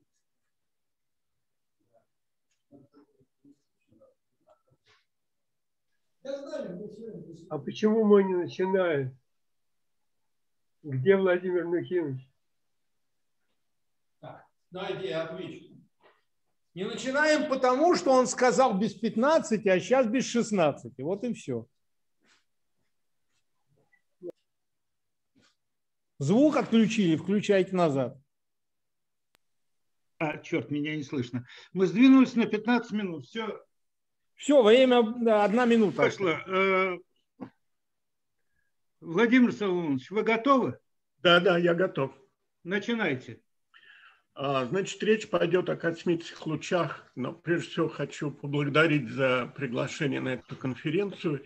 И, конечно, она мне напомнила, при моем преклонном возрасте, конечно, она мне напомнила замечательные годы вот объединенного э, ОАС этого семинара полвека назад, когда были живы э, многие замечательные люди, и так было интересно, это был семинар фантастический, Соломон Борисович там всегда был, но Самуил Аронович, конечно, приезжал изредка, и поневоле вспоминаешь это как золотое время, не только потому, что молодой был, но и потому, что замечательные вещи там были. Значит, сегодня мы обсуждаем космические лучи в галактике. Сейчас. Ну, замечательный спектр космических лучей на много порядков по интенсивности, на много порядков по энергии, вот почти степенной такой, с показателем дифференциального спектра энергия в степени минус 2,7. Есть некая, некий загиб и воплощение при малых энергиях, энергиях. Это вызвано модуляцией космических лучей в солнечном ветре. Ну и при самых больших энергиях тоже тут некая структура, но из-за недостатка времени мы сегодня самые большие энергии не обсуждаем. Они считаются, эти частицы приходят извне галактики, экстрагалактические, а мы ограничимся энергиями меньше примерно 10-18 электронных вольт. Вот это схематическое изображение нашей галактики, потенциальные классы источников, которые тут есть. А, Заодно изображены потенциальные классы источников негалактических, но просто из соображения энергетики и состава, и из данных радиоастрономии, гамма-астрономии и прочих, почти, ну, кажется почти достоверным, что основными источниками космических лучей, которые заполняют нашу галактику, до энергии вот 10-18, скажем, электрон-вольт, это остатки сверхновых. Сразу некое замечание насчет энергии. Вот 10-18, этот небольшой злом тут, но очень существенный во всех рассказах 10-15. Дело в том, что ускорение частицы их распространение в основном определяется не просто энергией, а гирорадиусом. Или при ультрарелятивистских энергиях это вот то, что называется магнитная жидкость, это энергия, деленная на заряд. Поэтому если мы хотим объяснить все галактические космические лучи, нам не надо ускорять, скажем, протоны до 10-18. Состав показывает, что там протонов нет. Вот протоны и гелий кончаются где-то при 10-15, а дальше все более и более тяжелые ядра, но благодаря этой формуле, как функция энергии, спектр получается непрерывный. Поэтому вы увидите, что у нас будет много сосредоточено на том, чтобы ускорение довести в галактических источниках вот примерно до 10-15 электрон-вольт или до 1 П, что называется. А, ну, сами космические лучи – это очень разреженный газ ультрарелятивистских частиц, плотность здесь минус 10, но плотность энергии значительно, потому что они такие ультрарелятивистские. Максимальная энергия несколько выше 10-20, что существенно, что они приходят почти изотропно. Вот при энергии, где уже солнце, солнечный ветер несущественный, где-то вот здесь, вот здесь 12, здесь 14 сантиметра, дипольная анистропия, первая гармоника, находится на уровне 10 минус 3, то есть они приходят изотропно отовсюду. И объясняется это, конечно, тем, что имеется галактическое магнитное поле – частица вращается по спирали вокруг магнитных силовых линий, рассеивается случайно магнитным полем. Ларморовский радиус даже при певных энергиях всего лишь один парсек, что очень мало на всех этих масштабах. И тут э, интересно также, что космические лучи заполняют область гораздо большую, чем галактический диск, в котором источники находятся. И это, собственно, концепция, которая была предложена и разрабатывалась Соломон Борисовичем еще в начале 50-х годов как некая галактическая корона, где есть магнитное поле, космические лучи, э, имеется неустойчивость и какие-то динамическое влияние космических лучей на магнитное поле, на турбулентность. Он предложил, предлагал ну, по понятным причинам назвать это галактической короной, но как-то не прижилось и э, называется голов космических лучей вокруг галактики. Так что это система на самом деле довольно такая толстая, как минимум 4-5 килопарсек высотой над диском даже больше. Э, вот этот замечательный закон э, энергия в степени минус 2,7 для наблюдаемого спектра, на самом деле за ним два других замечательных закона, наверное. Потому что в компактных источниках, в остатках сверхновых появляется, не, должен быть некий степенной закон – он примерно, э, вот этот показатель степени 2,2. И имеется время удержания в галактике, которое, собственно, и обеспечивает такую изотропию. И здесь показатель 0,5. Тогда вы складываете все, получается 2,7.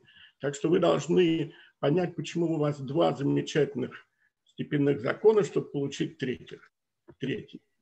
Ну, что касается вот этого выхода из, из галактики и оценки времени, которое космические лучи тут проводят, он в основном делается по так называемым вторичным ядрам, когда фактически в этом же соотношении источником для этих вторичных ядер является не, не прямое ускорение в остатках сверхновых, например, бор, его в природе вообще нет. Он возникает в результате фрагментации первичных космических лучей в межзвездной среде, и по обилию этому, и зная сечение, можно вычислить, например, толщу, сколько они проходят в галактике, там 10 граммов в сантиметр квадратный, время, которое они в голов проводят и так далее. Самая простая модель распространения в галактике – это просто рассеяние на заданном спектре неоднородности. В принципе, они, безусловно, существуют в межзвездной среде.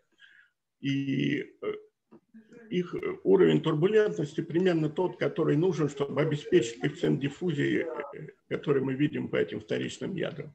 Длина свободного пробега при гемных энергиях для рассеяния частиц случайных магнитных полях галактических примерно один парсек. А, что касается теории, это рассеяние устроено так, что частица с гирорадиусом неким рассеивается волнами с волновым числом, вот обратным этого герорадиуса. То есть, ну, грубо, длина волны порядка герорадиуса частиц. Это очень хорошо известно из, из физики плазмы. И коэффициент диффузии, который можно здесь посчитать для космических лучей, он зависит от того, сколько, какой, какой уровень турбулентности в резонансном масштабе, и он должен быть не очень большим. Для гевных частиц он всего там 10 минус 6 где-то. Э, вот это отношение случайного, квадрата случайного поля к э, регулярному полю. А скейлинг вот этой турбулентности, как она, какой тут наклон спектра, он дает вам зависимость коэффициента диффузии это э, выражение для коэффициента диффузии вдоль магнитного поля, а, тоже степенным и вот с таким показателем, которые разные для разных типов спектра. Вот здесь те, которые часто встречаются в теории и в наблюдениях, Колмогоровский спектр, спектр Рошникова, Крейкмана. Если случайные разрывы и неоднородности какие-то, э, такие резкие, или белый шум, который соответствует так называемой э, скейлингу бомовской диффузии. Реально, если изучить, как распространяются волны, как они в пространстве распределены, как рассеиваются частицы, скорее всего, рассеяние, вот это, да и наблюдение, вот то, что нам нужно примерно 0,5, вот эта вот величина, она соответствует тому, что это спектр магнитозвуковых волн, более или менее изотропных, это спектр э, быстрых магнитных волн, спектр Рошникова Крейкмана. К сожалению, нет больше времени на... Э, это самая простая модель, есть более сложные модели распространения, но нам сейчас они не важны. А теперь несколько экспериментальных результатов. Их очень много, и за последние годы, даже называют там золотой век, вот как-то не странно, в измерениях космических лучей, которые вроде денег не так много на эксперименте, но довольно много экспериментов есть. Но вот один, который сегодня перед обедом уже упоминался, это Voyager. Его нельзя не упомянуть. 40 с лишним лет. Два аппарата летели и, наконец, вылетели за пределы гелиосферы и померили космические лучи в межзвездной среде. То есть вышли за область модуляции солнечного ветра.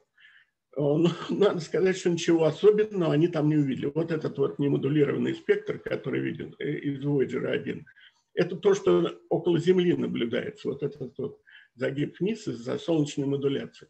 Но видно, что никаких таких уж особенностей нет. Естественно, интенсивность выше, чем наблюдается, когда ветер действует э, солнечный на нее.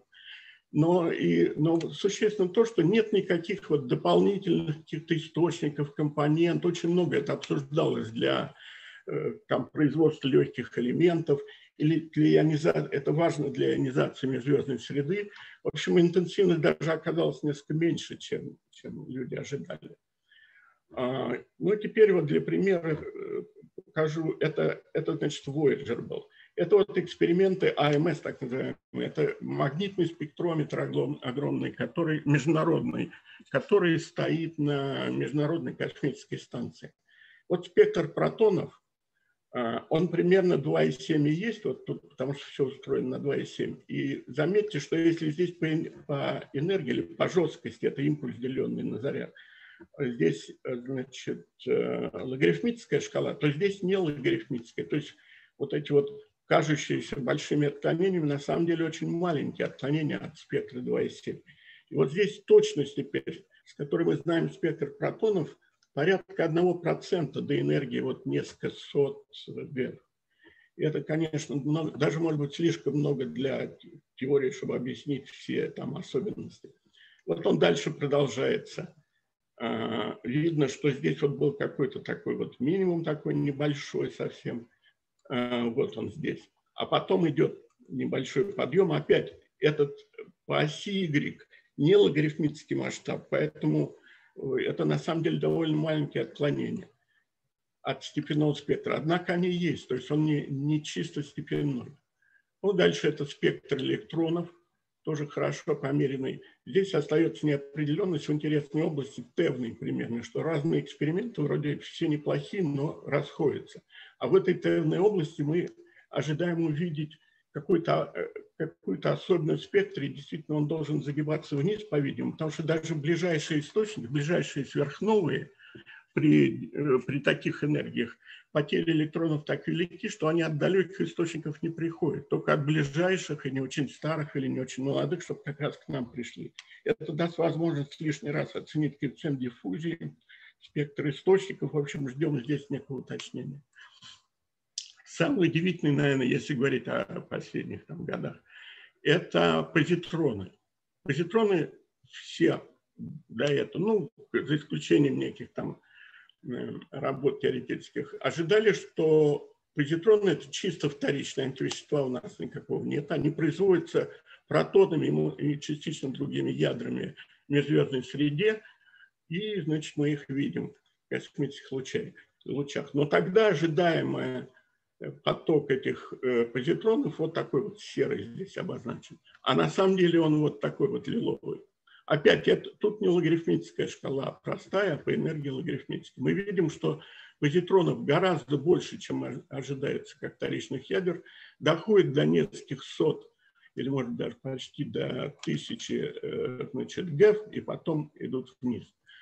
А, это было, кстати, впервые вот так хорошо установлено в эксперименте итальяно-российском или российско-итальянском, не знаю, как это, наверное, помело, и сейчас очень хорошо померено вот этим ЭМС, о котором я говорил. На самом деле, э, значит, э, два основных объяснения такие. Или это пульсары, в которых, как известно, там ультрарелятивистские пары, как раз темные энергии там вполне возможны, что это электрон-позитронные пары, и мы видим вклад вот этих пульсаров. По сравнению с потоком электронов, это примерно 10, да, в пике даже, это вот тут значит, получается 5%, что ли.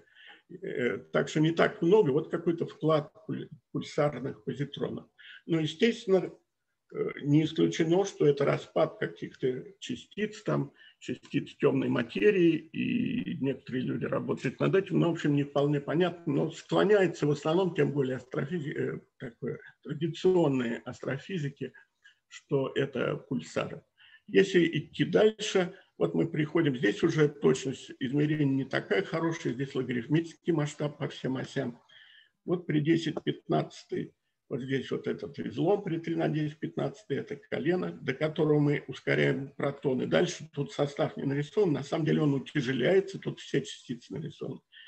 И в конце концов при энергии вот где-то за 10-17 вот здесь, здесь уже почти сплошное железо остается. И потом вот какой-то переход, это, по-видимому, внегалактические космические лучи.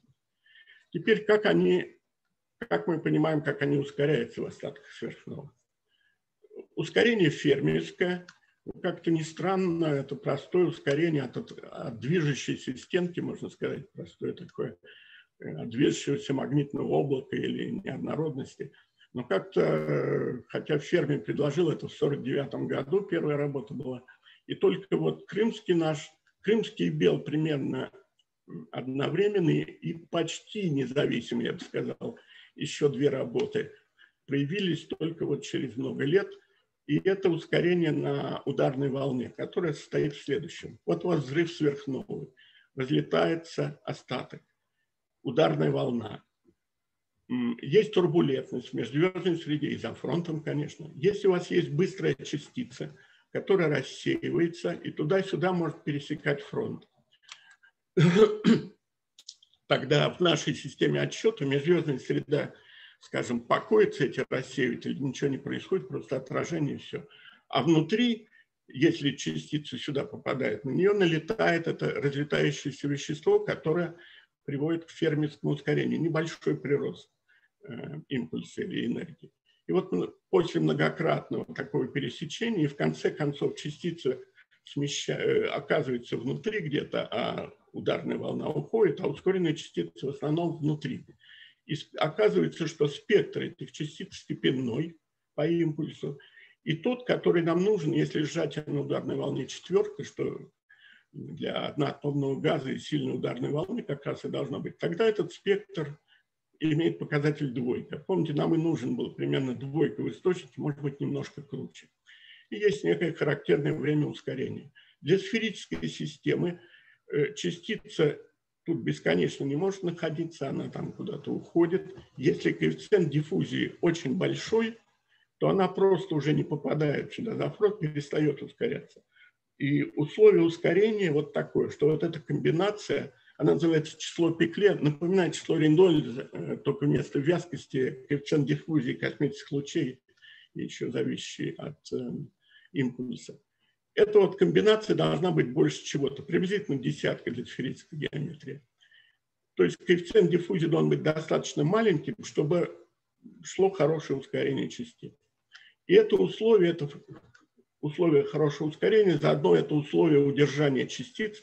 Но вот самые-самые высокие энергии, где это на грани вот это выполняется, они могут ускользнуть. То есть какие-то самые высокие энергии, они выходят наружу, основная масса остается внутри, потом, когда уже рассосется этот остаток сверхновой, все космические лучи выходят наружу. К сожалению, если вы подставите реальные числа, скорость ударной волны, радиус – коэффициент диффузии, который вот находится э, вообще в галактике в среднем, то это неравенство не выполняется. Оно может выполняться только для очень маленьких энергий, там меньше гэвы даже. Но уже в первых работах стало понятно, что космические лучи, вот если вы начали как-то ускорение, они постараются отсюда уйти, то возникает потоковая неустойчивость, турбулентность, магнитогидродинамической, которую они сами же себе создают и сами в ней застревают и многократно могут возвращаться вперед и назад. Таким образом, сами себя держат за волосы, ускоряют, и тогда можно уже хорошо ускорять до больших энергий. Помните, что нам надо примерно до пэвов протона ускорять, э, или э, жесткость порядка пэва. Ну, если быть оптимистом, то можно сказать так, если у вас диффузия вдоль поля примерно, то лучше рассеять, чем сделать свободный пробег, пробег порядка радиуса для частицы невозможно, потому что нечем рассеивать. Тогда вот то, что тут называется бомовским коэффициентом диффузии, вот он э, скорость, герорадиус, э, там, тройка. И у вас получается некие максимальные энергии, которые действительно вот так вот выражаются.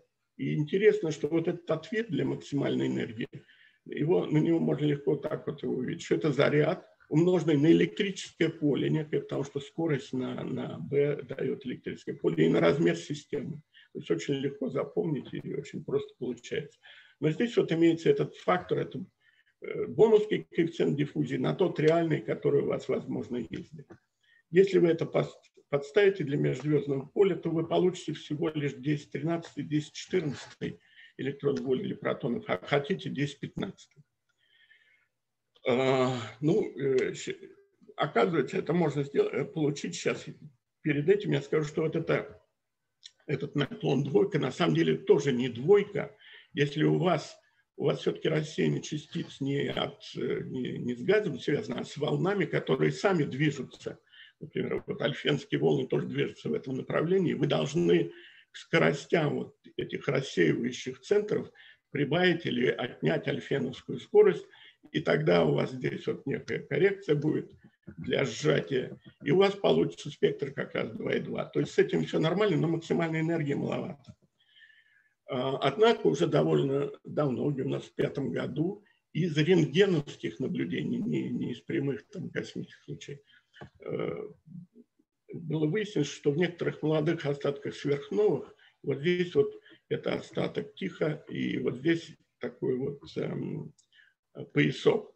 Это на самом деле синхротронное излучение электронов, должны быть терные электроны в магнитном поле, которое очень большое, в некоторых случаях может быть до 10 минус 3 Гаусса здесь вот внутри, а, а, ну и здесь тоже большой перед фронтом. И тогда магнитное поле гораздо выше, чем, больше, чем межзвездное, и вы можете те же формулы повторить, и получится, что вы можете ускорять до колена этого, до 10-15 электрон вольт. Это формула для однородной среды, это для взрыва ветер. И, э, значит, э, все опять это бонусский коэффициент диффузии, но уже в этом усиленном поле. Откуда оно берется? Оно берется из космических лучей, безусловно, из-за этой потоковой неустойчивости, иначе здесь поле не создать никак. И теория, в общем, подтверждает, что так и должно быть. Теория неустойчивости потоковой сильной. Э, но вот это кси оказывается равным там, не больше 0,2 примерно. То есть вы до бомовской э, поле у вас сильное, но рассеяние не такое эффективное, и до бомовского коэффициента вы не дотягиваете. С этим вы можете рассчитать излучение, радиоизлучение, гамма-излучение, там, э, посчитать спектры протонов, электронов, позитронов, э, которые тут могут быть. Вот, скажем, для Кассиопеи какие-то варианты. При этом вы решаете систему уравнений гидродинамической эволюции сверхновой, плюс добавляете там давление космических лучей, которое непренебрежимо мало.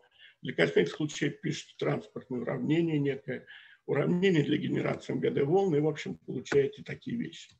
Э, потом можно сделать, проследить эволюцию, проследить, сколько частиц производится релятивистских за все время жизни сверхновой, взять разный набор сверхновых, сложить все там, учесть выход из галактики и получить некие спектры космических лучей, которые вообще неплохо согласуются с наблюдениями, но это работа 2010 года, с тех пор таких хороших, э, таких больше расчетов вообще не было. И она была сделана в предположении обомовской диффузии в этом усиленном поле, которая, как я сказал, на самом деле не, в общем, не оправдалась. Она в несколько раз меньше, э, менее эффективно это рассеяние. Поэтому вместо того, чтобы попасть сюда на излом, вот этот спектр здесь 15, он, он будет немножко, несколько сдвинут.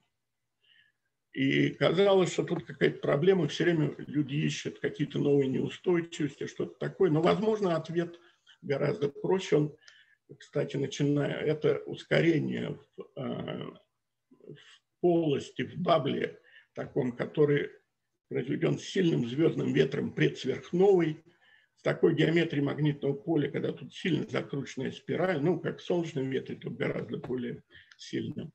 И вот вся эта система, которая, кстати, впервые теоретически изучена была Соломон Борисовичем Пикелером, это э, самая цитируемая его работа, по крайней мере, на Западе.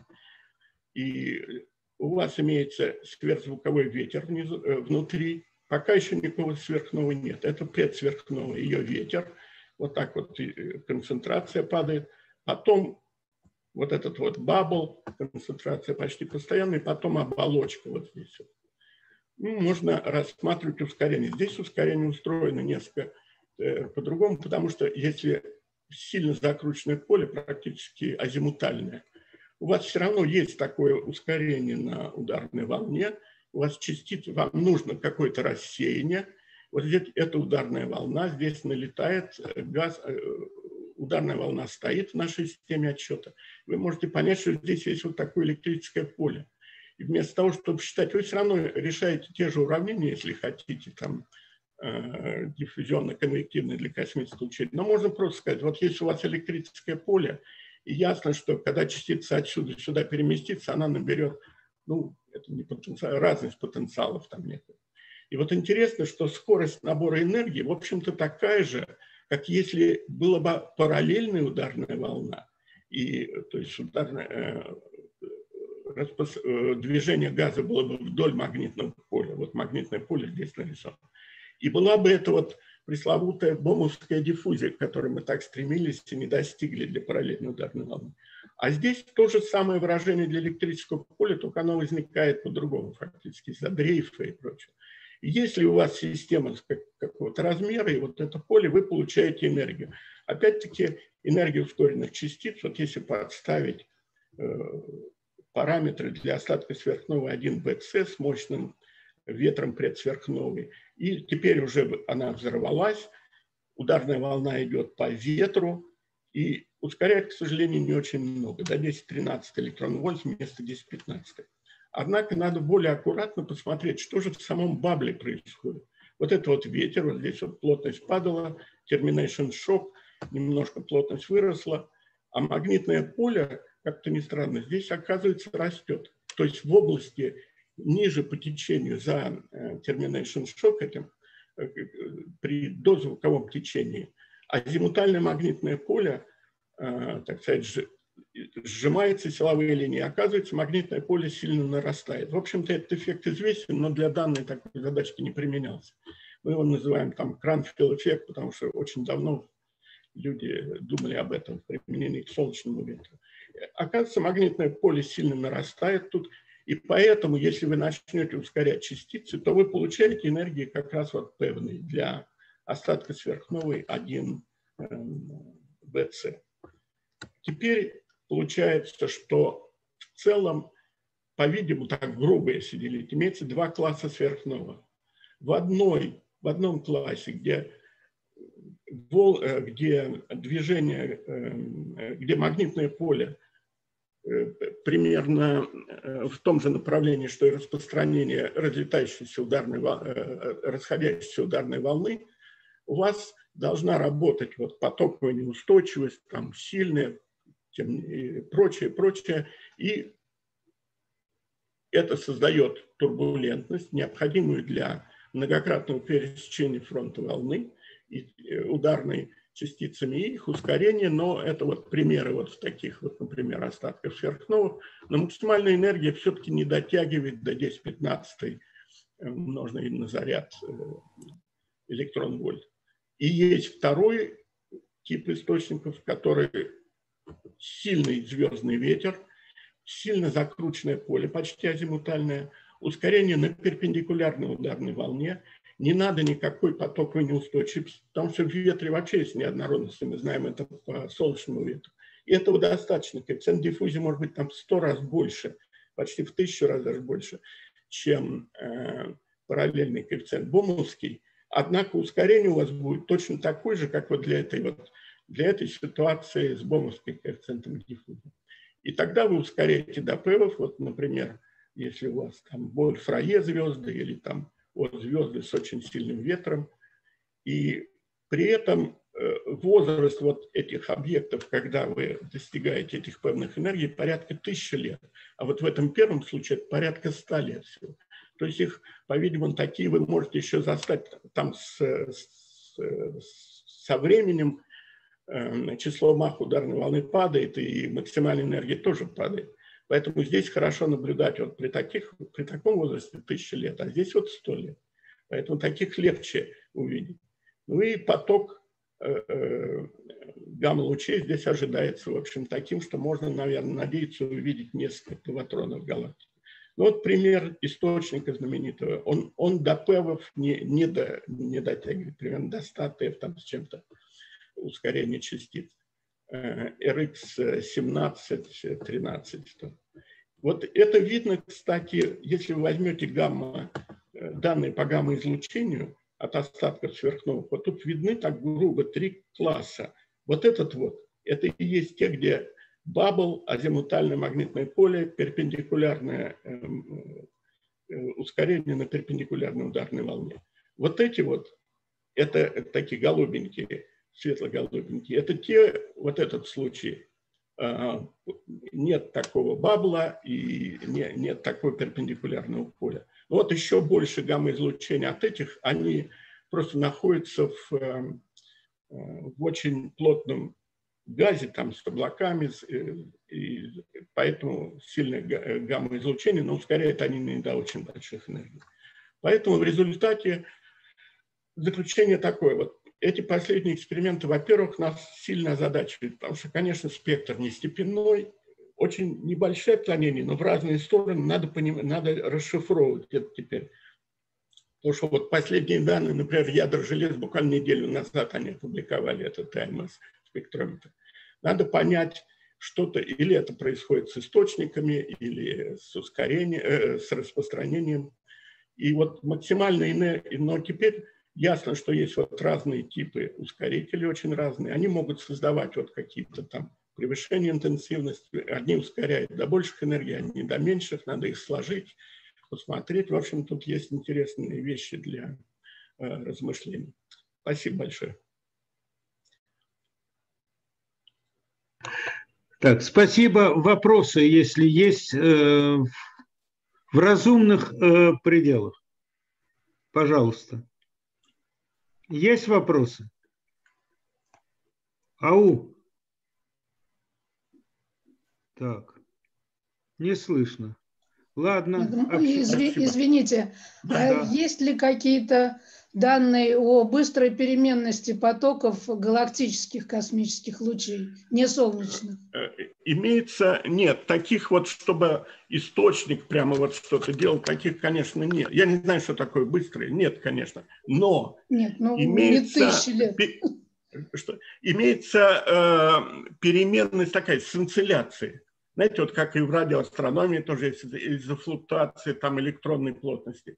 А здесь из-за неких прирассеяния, изотропия большая, но тем не менее на фоне этой слабой... Есть еще какие-то флуктуации, мы видим флуктуации по, по углу, если смотреть. Но это не связано с переменностью источника, а связано Понятно. с распространением. Спасибо. Просто я имею в виду э, данные, которые вот получены группой Сташкова, Синицыны, э, тевные э, потоки на интервале 10 лет у них область там показывает некую переменность. Вы знаете ли что-то? Не знаю, сейчас я пытаюсь, был еще на самом деле, э, что-то было до них, э, Хоуп, что ли, какие-то были, но как-то не знаю, не, не, не очень хорошо подтвержденные, но как говорил Виталий Гилберг, надо держать порох сухим, но я не уверен, что есть что-то, чтобы другие, подтвержденное другими группами. Спасибо. Так, переходим к следующему докладу. Назар Робертович Ихсанов, прошу вас. Включите вашу презентацию. А где он? В зале. А, в зале. Ну что ж. Тогда давайте через зал.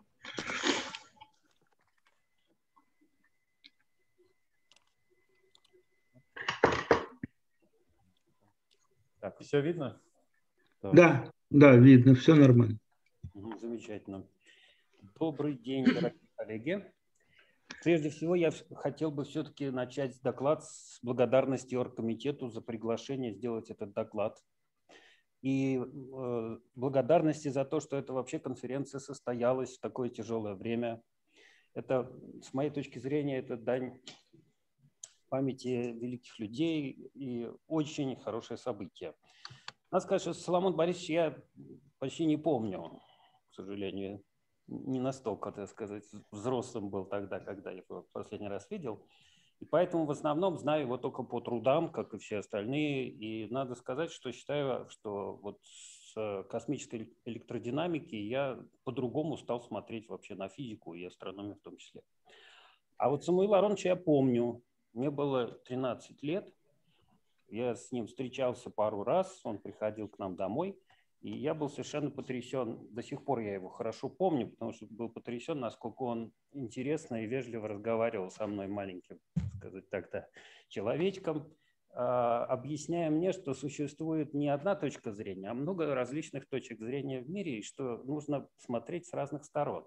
Поэтому, когда я начал в дальнейшем читать э, его книжку «Физика звезд», он как бы стоял передо мной, и в этом смысле э, я каждый раз вспоминал вот тот э, метод, а, который с разных сторон подход рождает возможности действительно э, рождения новых идей.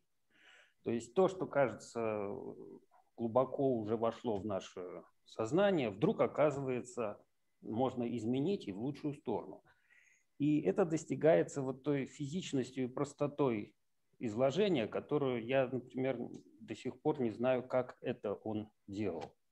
Ну, вот сегодня я попробую сделать такой качественный доклад на тему о размерах магнитосфер. Ну, я на самом деле за отведенное время про все магнитосферы все равно не расскажу, поэтому я сфокусируюсь на своих любимых вещах. Это размер магнитосферы аккрецирующих звезд. Но начну я все-таки с пару слов скажу про магнитосферу Земли, с которой все есть пошло. Разница между ними, э, этими магнитосферами этих объектов, э, вроде бы как не очень большая. И в первом и во втором случае у нас есть э, тело с дипольным полем. Ну, можно это тело, оно, в общем-то, намного меньше магнитосферы, но, грубо говоря, как некоторые мои коллеги говорят, ну, болванка. С магнитным полем, магнитное поле дипольное, и это магнитное дипольное поле взаимодействует с потоком плазмы, ионизованной плазмы.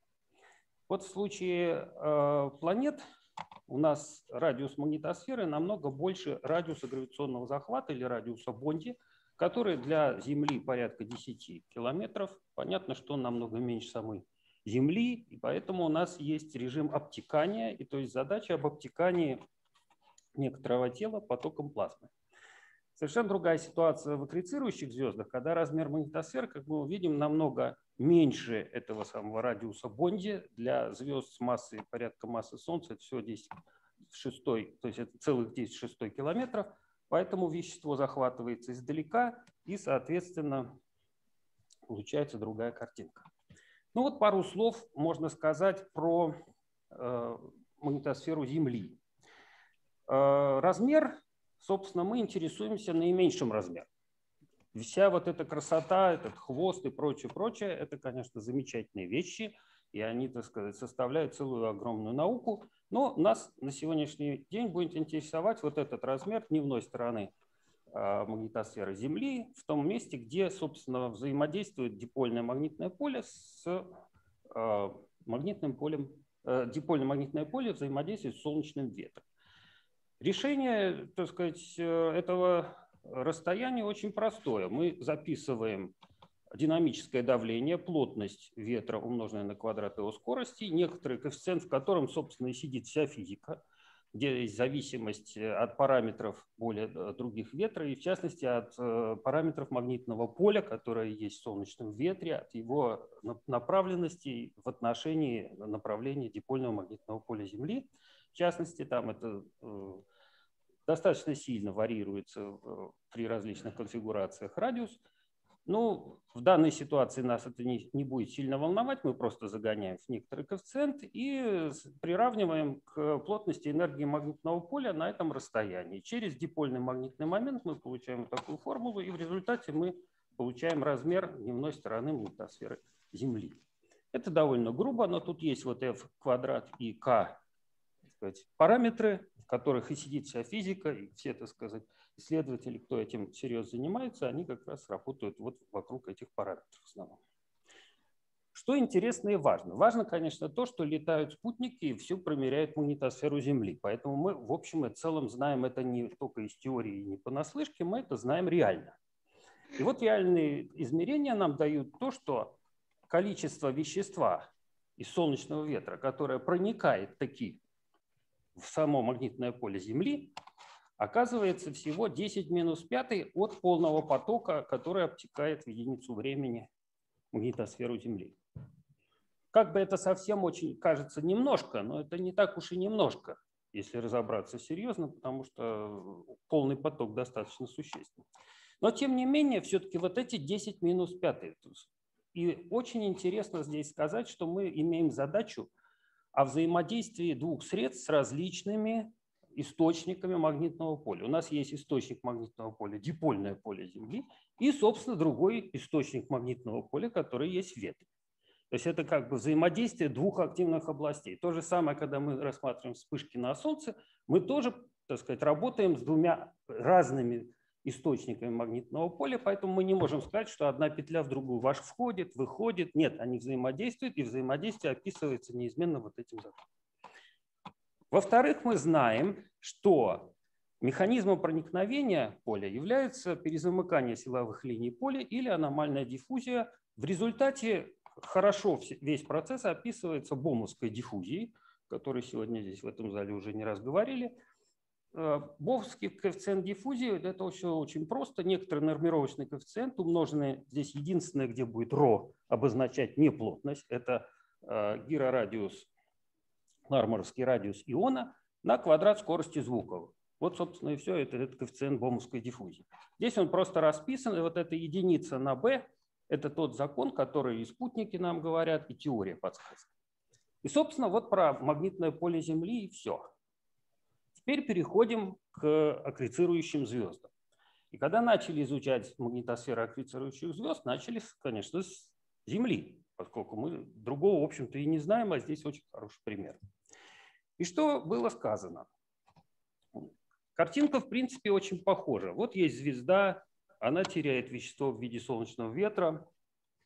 Допустим, нейтронная звезда вращается вокруг нее, летит в этом ветре, захватывает вещество, захватывает не так много, как и в случае с Землей, большая часть втекает этого ветра и вообще теряется в пространстве. Но захваченное вещество под действием силы притяжения компактной звезды начинает движение в направлении на звезду, то есть на ее центр. Радиальное движение. Можно дальше рассматривать сферическую окрестность. Почему, в принципе, можно рассматривать? Потому что скорости свободного падения невдалеке от звезды нейтронной будут намного больше, чем скорость ветра. Поэтому там понятно, что от того, что ветер идет, там относительное движение мало что остается. Здесь легко, конечно, написать, это все было сделано, записывается относительная скорость э, нейтронной звезды, учитывается орбитальная, все вместе.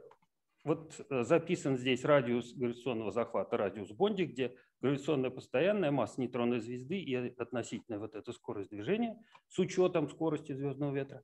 Количество вещества, которое захватит нейтронная звезда, все это просчитано, все это хорошо рассматривается. И дальше образуется вот при сферической окрестности такая вот магнитосфера.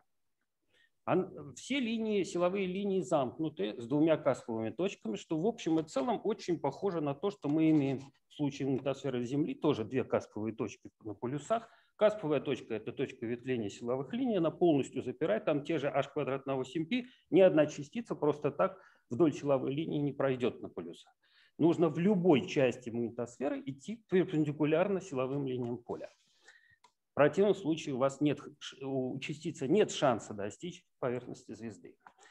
И дальше, значит, ну, дальнейшая работа, так сказать, нас мало будет э, здесь интересовать, как работает пульсар. Ну, два слова, что вот на границе магнитосферы проникает каким-то образом плазма в магнитное поле, и дальше вдоль силовых линий стекает на полюса, образуя колонку, и много чего в этом зале э, на протяжении больше 50 лет обсуждалось. Радиус, на котором так сказать, э, считается, останавливается падение вещества, это так называемый альвеновский радиус. И в случае, если мы все-таки вспомним, что звезда вращается, есть еще такой радиус корротации. Радиус корротации, это, грубо говоря, вот в случае э, Земли, это расстояние геостатической орбиты. То есть, когда спутник летает, вися на, над одной и той же точкой пространства. То есть, значит, этот э, радиус важен в случае аккреции ЧЕП что если магнитосфера больше этого радиуса, то сила эффективная, центробежная, превышает гравитационную. Поэтому если вещество проникает в магнитное поле и вращается вместе с ним, то оно не может упасть на звезду, а улетает назад. Ну и там режим пропеллера или эжектора, если вращение очень быстрое. Альвеновский радиус вот этот, как он вычисляется? Все очень просто. Падение со скоростью свободного падения, вот здесь она написана – Дальше, если у нас сжимается объем, то у нас плотность будет расти как r степени минус 3 вторых. Здесь написано при стационарном стационарной аккреции, когда у нас э, количество вещества, падающего на каждом радиусе, равно константа. Значит, э, динамическое давление получается r степени минус 5 вторых. Мы его приравниваем к магнитному давлению от, за счет дипольного поля звезды и получаем вот это вот знаменитое выражение, которое вы найдете в любом учебнике, в большинстве абсолютном статей, которые на сегодня печатаются по этой тематике. И казалось бы, вот можно сказать, что вот и все. Но не совсем. Значит, дальше очень хорошее изложение в книжке Владимира Михайловича Липунова о том, что почему все-таки у нас проникновение издали не происходит в магнитное поле, потому что характерное время падения вещества внутри радиуса Бонди оказывается на много-много порядков меньше, чем время характерной диффузии. Поэтому, конечно, за какую, в любом случае вещество проникает в магнитное поле на расстояние порядка ионного э, ларморовского радиуса, но не более при таких вот э, ситуациях. Ну а дальше, значит, э, вроде бы как к этой идее а, наши предшественники пришли в 69 году, если я правильно понимаю. В циркуляре была статья или Гусейнова, где они фактически написали альвеновский радиус, немножко там по-другому написана формула, но в целом она такая же. И уже в 1970 э, году появилась статья Шварцмана, Виктория, значит, два поколения радиопульсаров. Э, очень интересно, это на то время очень такая прорывная статья, в которой уже впервые было отмечено, что в отличие от магнитосферы Земли, все-таки вещество, которое падает на аккрецирующую звезду, в конечном итоге должно достичь ее поверхности. Оно не может никуда улететь, оно уже сидит глубоко внутри э, потенциальной ямы, которую создает гравитационное поле нейтронной звезды. В данном случае, вы смотрите, 10 девятых сантиметра. Это в тысячу раз больше, чем размер радиус нейтронной звезды, но это в тысячу раз, э, да, в тысячу раз меньше, чем радиус Бонди. То есть это все происходит очень уже глубоко. Оттуда веществу просто так не улететь. Нужно какую-то дополнительную энергию. Поэтому, значит, если все в конечном итоге упадет на звезду, то оно должно каким-то образом проникнуть в ее магнитное поле. И вот тут возникла так называемая проблема проникновения. Много об этом говорилось, но, в общем, мало где это, к сожалению, так вот просто написано. Вы рассматриваете стационарную аккрецию. Вещество, сколько вещества звезда захватила из ветра, столько же достигает границы ее магнитосферы, столько же с тем же темпом должна проникнуть магнитное поле, и с тем же темпом она падает на поверхность звезды. И вот последнее мы знаем. Последнее мы знаем, вычисляя по рентгеновской светимости пульсара аккреционного. Потому что это просто количество вещества в единицу времени умножаем на квадрат скорости падения. Ну и одна вторая. Это кинетическая энергия переходит в тепло. Вот и вся формула. Поэтому с очень высокой точностью, поскольку мы знаем точно радиус, так сказать, гравитационно постоянную, радиус и массу нейтронной звезды, они э, за счет э, уровней состояния в узких пределах известны, мы эту величину хорошо знаем. А что на границе происходит? Давайте запишем в случае диффузионного проникновения. В случае диффузионного проникновения тоже все очень просто. Получается, вот мы, так сказать, записываем формулы, ну, площадь на, на плотность, на скорость проникновения. Идея состоит в том, что как только вещество попадает в магнитное поле, оно вдоль силовых линий тут же утекает. Утекает у нас со скоростью свободного падения. Если вы это вспомните, то вы сразу же запишете вот эту простую форму. А второе еще нужно вспомнить, что на границе магнитосферы у нас равенство давлений. Внешнего давления, давления потока и давления, собственно, магнитного поля. Решая эту систему и считая, что граница, толщина границы магнитосферы, в которую проникает магнитопаузы, значит, э, это есть характерное время процесса, а все, все происходит на временах свободного падения, когда у вас, так сказать, подвешенном состоянии, что называется, да, другого времени у вас нет. На коэффициент эффективной диффузии вы можете найти, сколько вещества проникает на границу магнитосферы. А дальше мы подставляем радиус альвеновский и получаем эффективный коэффициент диффузии. Вот здесь его величина написана. Тот, кто когда-нибудь работал с коэффициентами диффузии, сразу же поймет, что это порядков на 10 больше, чем обычно мы встречаем. То есть фактически, если у нас такой коэффициент диффузии, то у нас плазма вообще магнитного поля никак не чувствует, она просто падает, тут же заходит с тем же скоростью свободного падения и дальше падает. Практически магнитного поля как бы нет. Но этот коэффициент диффузии откуда взялся? Проблема, собственно, состояла в том, что когда мы сравнили с кулоновским коэффициентом диффузии на границе магнитосферы, то у нас не хватает 16 порядков, а с бомовским коэффициентом диффузии у нас 10 порядков не хватает. И вот тут возникла проблема. И проблема, по-видимому, возникла давно, еще, так сказать, в 70-м году. Уже в статье Шварцмана говорится, что не очень понятно, как она проникает. Но вот Сергей Иванович Сыроватский подсказал, что может быть неустойчивость. Это сносочка на, на, я не помню какой странице, но смотрите, есть, так сказать, в статье Шварцмана, там просто сносочка такая есть, что вот Сергей Иванович нам подсказал.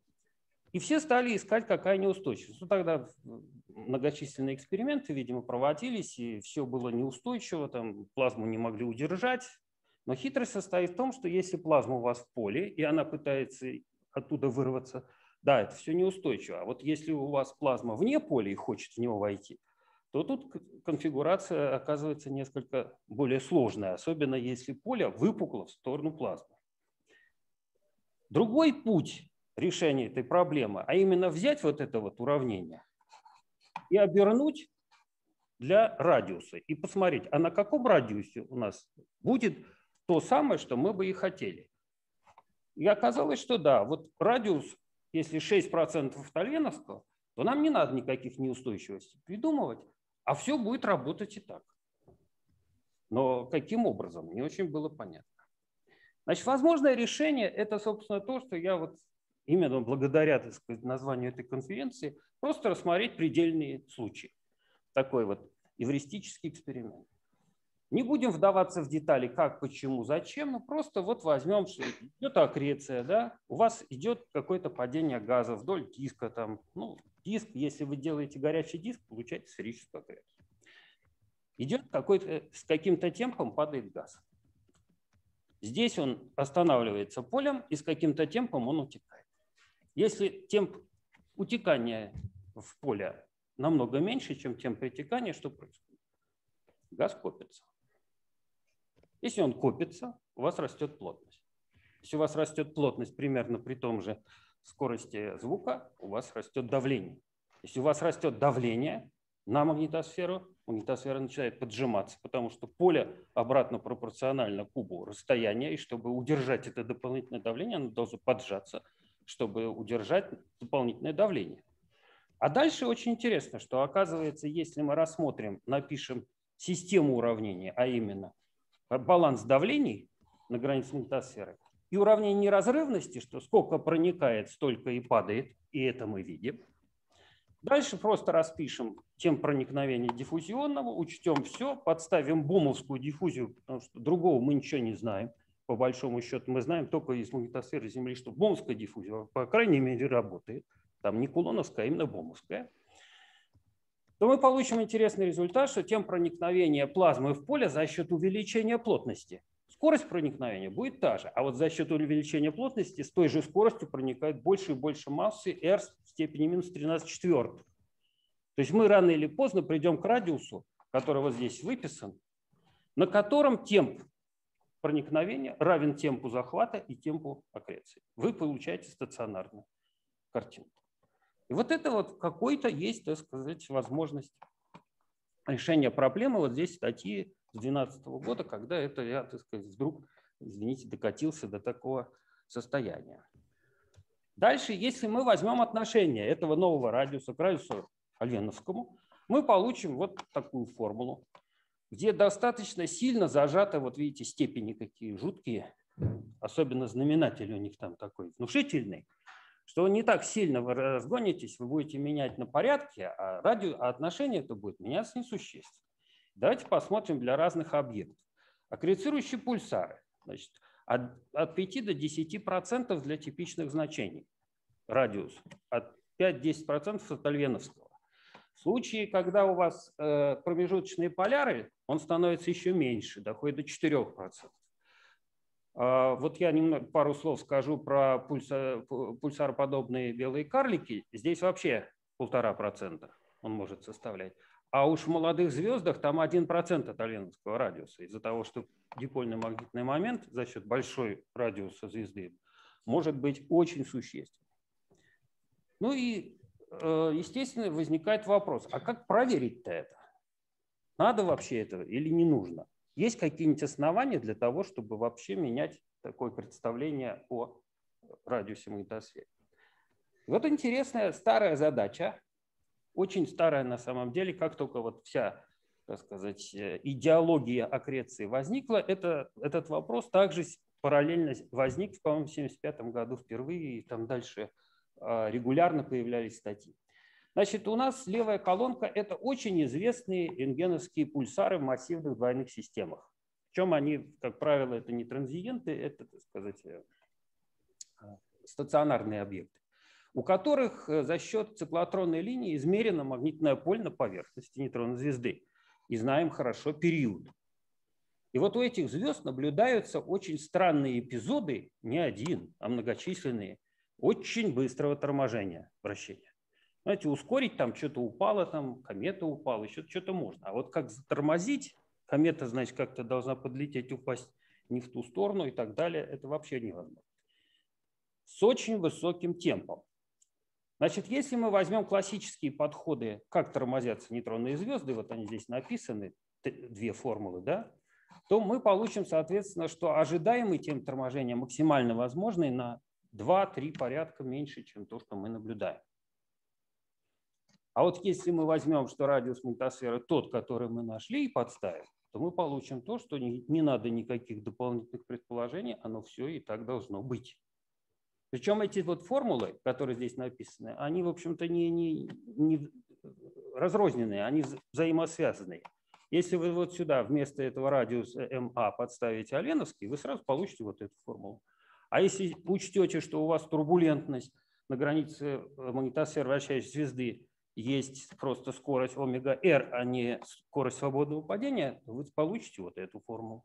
Все это очень взаимосвязано, и получается, что вот это есть развитие от этой идеи к этой идее, и в конце концов мы приходим, что если радиус магнитосферы меньше, вы объясняете ротационную эволюцию пульсаров, что, в общем-то, уже насчитывает 50-летнюю историю. А, в принципе, приложений очень много, но я вот еще одно последнее остановлюсь. Сколько у меня времени? Есть еще чуть-чуть, да? Значит, э, есть э, две очень интересные двойные системы, которые как бы взрывные переменные считаются. У вас еще 2-3 минуты. Да, спасибо. Значит, э, взрывные переменные – это системы с красным карликом и белым карликом.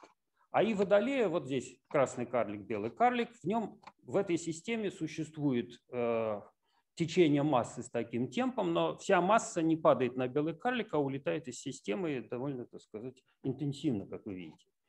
Белый карлик очень интересный, он массивный, вращается с периодом 33 секунды, тормозится так, что его энергия торможения, энергия, э, тем потерь вращательной энергии на три порядка больше, чем его светимость. Э, если это торможение пульсароподобное, то у него на поверхности поля 50 мегагаусс, и характерное время торможения у него 10 миллионов лет. А недавно открытый вот этот аэр Скорпиона, которого немножко более поздний э, красный карлик компаньон, вращается немножко меньше, теряет энергию примерно с таким же темпом, поле требуется 150 мегагаусс, тоже время торможения 10 миллионов лет, а вот по температуре поверхности этих звезд мы видим, что у них возраст у этих белых карликов миллиард лет. Возникает вопрос, а как вообще они такие образовались? Решить это не так трудно. Нужно лишь предположить, что у вас была фаза раскрутки этих белых карликов всего 10 миллионов лет назад. Просто на них шла дисковая аккреция. За счет этого они раскрутились. Можно или нет? Темп раскрутки мы знаем. Сравниваем с тем темпом торможения, который сейчас наблюдаем. Получаем характерный темп обмена массы, который требуется. И он меньше того, что мы сейчас наблюдаем в Айвдале. Но еще есть неприятность, что этот радиус магнитосферы в случае этой фазы должен быть меньше радиуса корротации. И вот тут мы получаем, что у нас радиус магнитосферы был всего 2%. 2% от альвеновского радиуса, если мы все дел, правильно делаем. И ситуация возникает достаточно сложная, если мы будем пытаться все моделировать с альянским радиусом, если мы возьмем вот это отношение и получаем, что у нас в действительности отношение радиуса реального коленовского очень маленькое, то удивительно, но можно объяснить происхождение этих объектов, обоих, не прибегая ни к каким дополнительным предположениям относительно эволюции магнитного поля белого карлика или даже эволюции перетекания массы в системе, не надо предполагать, что сильно, так сказать, текла раньше и перестала течь сейчас. Она как текла, так и текла, как на мельнице воду, так сказать, на колесо падает, оно раскручивается, потом оно вдруг останавливается в некоторый момент, раскрутившись до определенного периода, и потом опять раскручивается. И в таком состоянии эти объекты проводят огромное количество времени. То время, пока идет обмен массы в системе. Получается, что всего лишь правильный учет радиуса магнитосферы в данной ситуации решает почти все проблемы происхождения этих объектов. Ну и заключение таково, что, собственно, главное, что сходство моделей магнитосферы планет и аккрецирующих звезд в том, что един механизм взаимодействия плазмы с магнитным полем. И это есть перезамыкание и аномальная диффузия. А вот в отношении того, как сжимается принцип сжатия, он разный. В случае планет это динамическое давление, а в случае аккрецирующих звезд это вес плазмы, накопленный на границе магнитосферы. И в этом случае получается радиус магнит, магнитосферы существенно меньше. Ну и вот здесь эта табличка хорошо показывает, собственно, переставить, что там в, центр мира ставить, Землю или Солнце. Значит, вот канонический подход говорит, что да, значит, у нас динамическое давление в том ином случае, а я говорю нет. У нас в одном случае динамическое давление, в другом вес. Говорят, нет, не может проникать также в магнитосферу аккрецирующей Земли, как в магнитосферу, э, э, аккрецирующей звезды, как магнитосферу Земли. А я говорю, именно это и сохраняется. В этом случае получается новый ответ. Ну и последний слайд, который вы можете сами прочитать, это вот то, на что повлияет это изменение. Практически а, работы очень много, тут можно кучу статей понаписать. Так что, если кому интересно, пожалуйста, обращайтесь. Спасибо. Спасибо. Э, вопросы? Есть кто-нибудь, кто, э, прочтя эти вопросы, кинулся э, этим заниматься или, или прояснить что-нибудь? А спросить можно? Да, конечно, конечно. А, а я все-таки ну, хотел уточнить, в случае Земли у вас а, радиус а, корротации, вы, э, вы исходя из какого эффекта определяете? Я как-то пропустил немножко. Ну, в случае Земли вращение слишком маленькое, там радиус корротации э, получается большой. Это э, уже нужно говорить про магнитосферу Юпитера, которая вращается быстро, имеет сильное поле. Там получается, что радиус корротации близок к, к радиусу магнитосферы. Нет, я просто имею в виду, в случае Земли мы все хорошо знаем, как бы там, какой он реально, а вот как бы из ваших оценок он откуда берется? Радиус корротации? Да. Радиус корротации зависит только от периода вращения и массы, и все. Он легко вычисляется. Ну, так для Земли он, по-вашему, сколько будет? Ну, для Земли я, я не вычислял, но он намного больше радиуса магнитосферы. Нет, ну что -то. Там область корротации в случае Земли гораздо, э, там всего лишь несколько радио, меньше, внутри магнитосферы. Ну, надо посмотреть просто. Это...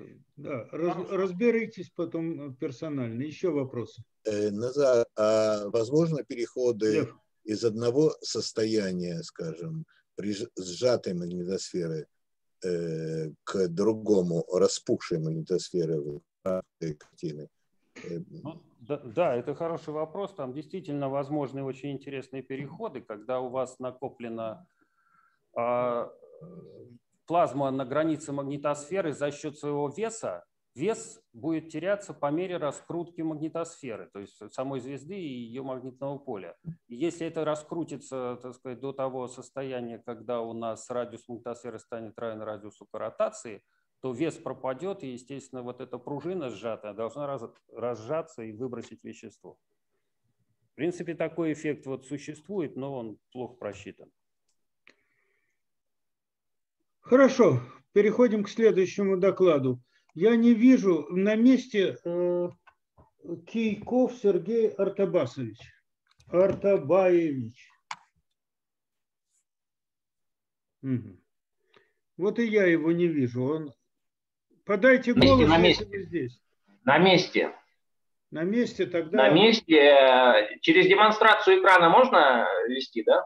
Доклад? Что значит через демонстрацию экрана? Все демонстрируют экран. Э, в каком смысле?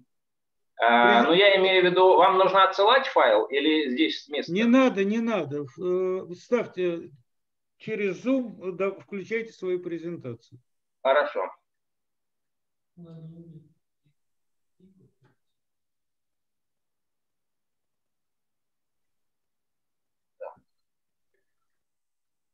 Через демонстрацию экрана действуйте. Откройте да, да, да. вашу презентацию и сделайте шеринг. Да, я знаю, знаю. Да, хорошо.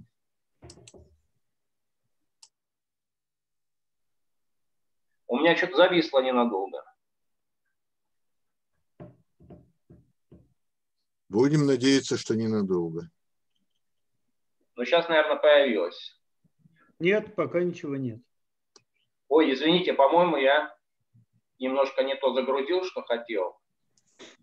Давайте, ищите. Ладно, давайте я буду поэтому. У меня было, чтобы время не тратить. А У меня загрузилось а там что-то? Пока я ничего не вижу. Пока вас нету.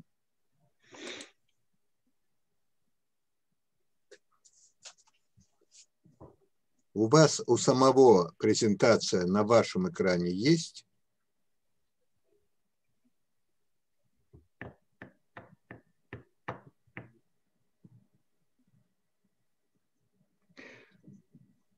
Так. Есть. Замечательно. Нечто, видно нечто. Сделайте полный экран и начинайте доклад. Так, сейчас.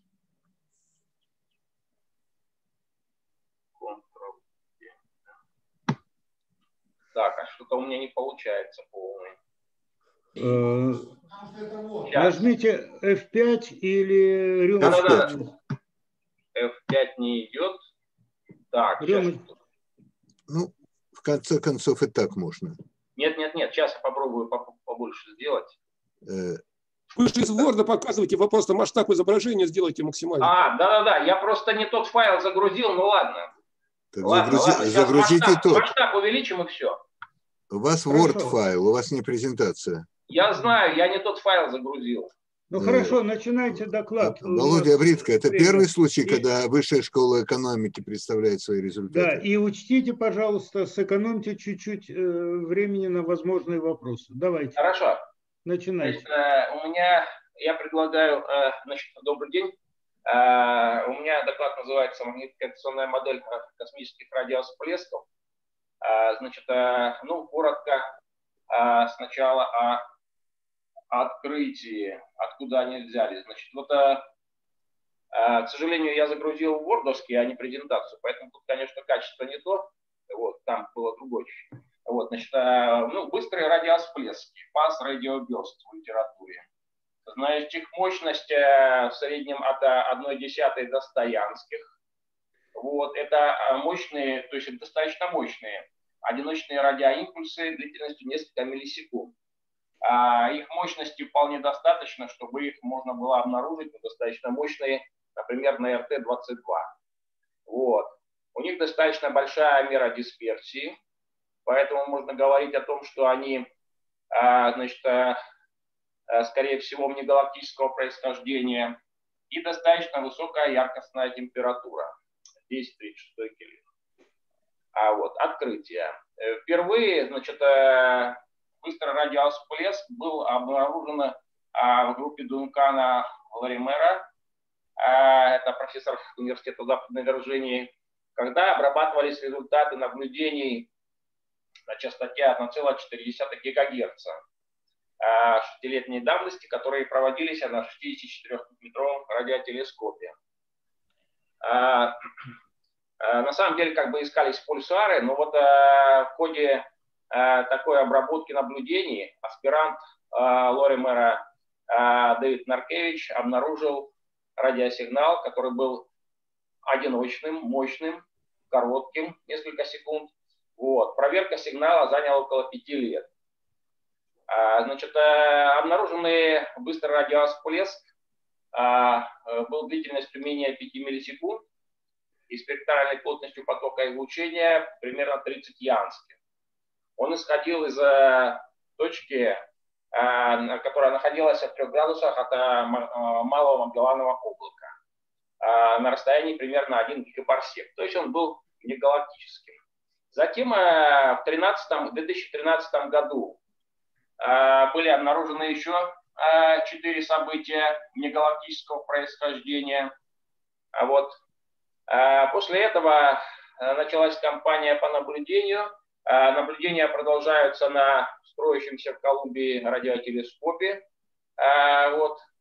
Э, В 2019 году был обнаружен источник одиночного импульса, тоже быстрый радиовсплеск из галактики, находящейся в 4 миллиардах световых лет от Солнца созвездии Журавля. Это все не галактические радиовсплески. Но вот в апреле 2020 года был локализован источник быстрого радиовсплеска в созвездии Лисички, то есть в нашей галактике. Э, вот, э, ну, предполагается, что это магнитар. магнитар. Значит, на сегодняшний день известно более 30 быстрых радиовсплесков. А вот Значит, каковы гипотезы обнаружения, значит, образования быстрых радиовсплесков? Ну, основные гипотезы две. Значит, либо они внегалактического происхождения, либо галактического. Если галактического, то радиосплеск рассматривает как событие а, например, как слияние нейтронных звезд, испаряющихся черных дыр, э, вот, э, или как э, слияние, существование нейтронных звезд с мощным магнитным полем магнитаров. А, ну, точнее, если говорить, а, как следствие магнитарных вспышек, вспышек на магнитарах. Вот. И вторая гипотеза – это галактический радиосплеск, а, предполагается, что радиосплески такие могут излучаться некоторыми звездами галактики. Вот. Значит, э, ну вот э, как бы э, моделей много, полностью они на, как бы не удовлетворяют описанию того, что значит, вот, дают наблюдения. Поэтому есть возможность предложить еще одну из моделей, Э, которая вот э, может объяснить какие-то вот э, характеристики. Вот. Ну, а я начну с нейтронных звезд. Точнее, даже с магнитаров, магнитные поля, которых достигают 10 до 10-15, а то и до 10-16 гаусс на поверхности. Вот. Что нужно отметить по поводу этих объектов? Ну, Самое важное, что э, это очень сложная, запутанная структура магнитных полей. То есть топология магнитных полей достаточно непростая. Э, в первом приближении можно говорить о дипольном э, распределении магнитного поля. Но если, э, так сказать, исследовать более детально, то получается э, квадроупольная, а там уже и мультипольные какие-то компоненты играют свою роль. Вот. То есть э, структура достаточно сложная. Более того, эта структура, то есть конфигурация магнитных полей, магнитного поля магнитара, да и нейтронной звезды, она постоянно находится э, в процессе эволюции, в процессе из, изменяется. Речь идет в данном случае, я говорю о аккрецирующих нейтронных звездах, об аккрецирующих нейтронных звездах. Под действием аккрецируемой плазмы могут э, происходить такие процессы, как неустойчивость э, э, взаимодействия магнитосферы с специализированной плазмой может приводить к неустойчивости поверхности магнитосферы. Можно говорить о неустойчивости как, неустойчивости как локальных, так и глобальных конфигураций магнитных полей. О глобальных конфигурациях я имею в виду ну, как дипольное магнитное поле, а локальные это какие-то вот области, где силовые линии выходят и заходят где-то Э, в локальных областях на поверхности этой звезды. А причины неустойчивости. А каковы могут быть причины неустойчивости? А, ну, на сегодняшний день э, можно выделить три основные причины неустойчивости магнитных конфигураций. Это звездотрясение магнитара, поверхности магнитара, взаимодействие его магнитосферы с аккреционной плазмой, как я уже говорил, и действие ударных волн которые постоянно идут из аккреционного диска. А, а, значит, каковы последствия неустойчивости структуры магнитных конфигураций, то есть магнитосферы? А, значит, а, значит, тут а, в какой-то степени можно проводить аналогию с солнечными процессами. В первую очередь, это быстрая перестройка структуры магнитных полей, э, которая сопровождается процессами магнитного пересоединения. А, разрушение, ну, я тут называю коллапс прежних, но при этом а, магнитосфера не исчезает, и э, происходит, как бы она просто меняет свою структуру, топологию чуть меняет, перестраивается, и образуются новые магнитные конфигурации. А в результате звездотрясений, резонансных взаимодействий магнитосферы нейтронной звезды с потоками аккрецируемой плазмы и под действием ударных волн из аккреционного диска. А, ну вот а, теперь, значит, перейдем а, непосредственно к той модели, которую я предлагаю. Магнитокационный подход к динамике магнитосферы. Магнитосфера глобально, если говорить, можно э, в данной модели рассматривается как магнитный пузырь, каверна, с очень малым газовым давлением. То есть э, давление есть электронов, но очень маленькое. И второе, она также может рассматриваться одновременно с глобальной так сказать, вот, точки зрения, как локально, как рассматривается как совокупность магнитных пузырей разных масштабов. А, значит, глобальные магнитные пузыри, а также и совокупность этих пузырей находятся постоянно в потоке аккрецируемой плазмы и взаимодействуют с ней подобно газовому пузырю в жидкости. То есть, если мы возьмем газовый пузырь, просто замагнитим э, и, собственно говоря, поместим э, замагниченную жидкость, э, замагниченную среду э, ну, в плазму, то, собственно, жидкость, то, собственно говоря, э, уравнения полностью будут Э, будут отличаться от описания поведения газового пузыря в жидкости только э, введением магнитного поля. Магнитного поля, ну и еще каких-то э, вещей, связанных, связанных со, со свойствами плазмы. Теперь непосредственно перейдем к той модели магнитокоррекционной, значит, которая будет вот описывать процесс. Уравнение, которое описывает, перейдем сначала к уравнению, которое описывает поведение самого такого магнитного пузыря. Э, его значит, э, выражение для этого уравнения было получено вот еще э, ранее, в 2001 году, значит, вот в работе совместно с Нединым. Значит, в, этой, в этом уравнении, в левом соотношении этого уравнения у нас радиус, ну, точнее, характерный размер магнитосферы, то есть радиус магнитосферы. Вот, значит, L – это расстояние от центра э, э, магнитосферы, ну, если мы центр возьмем, до, э, значит, вот, до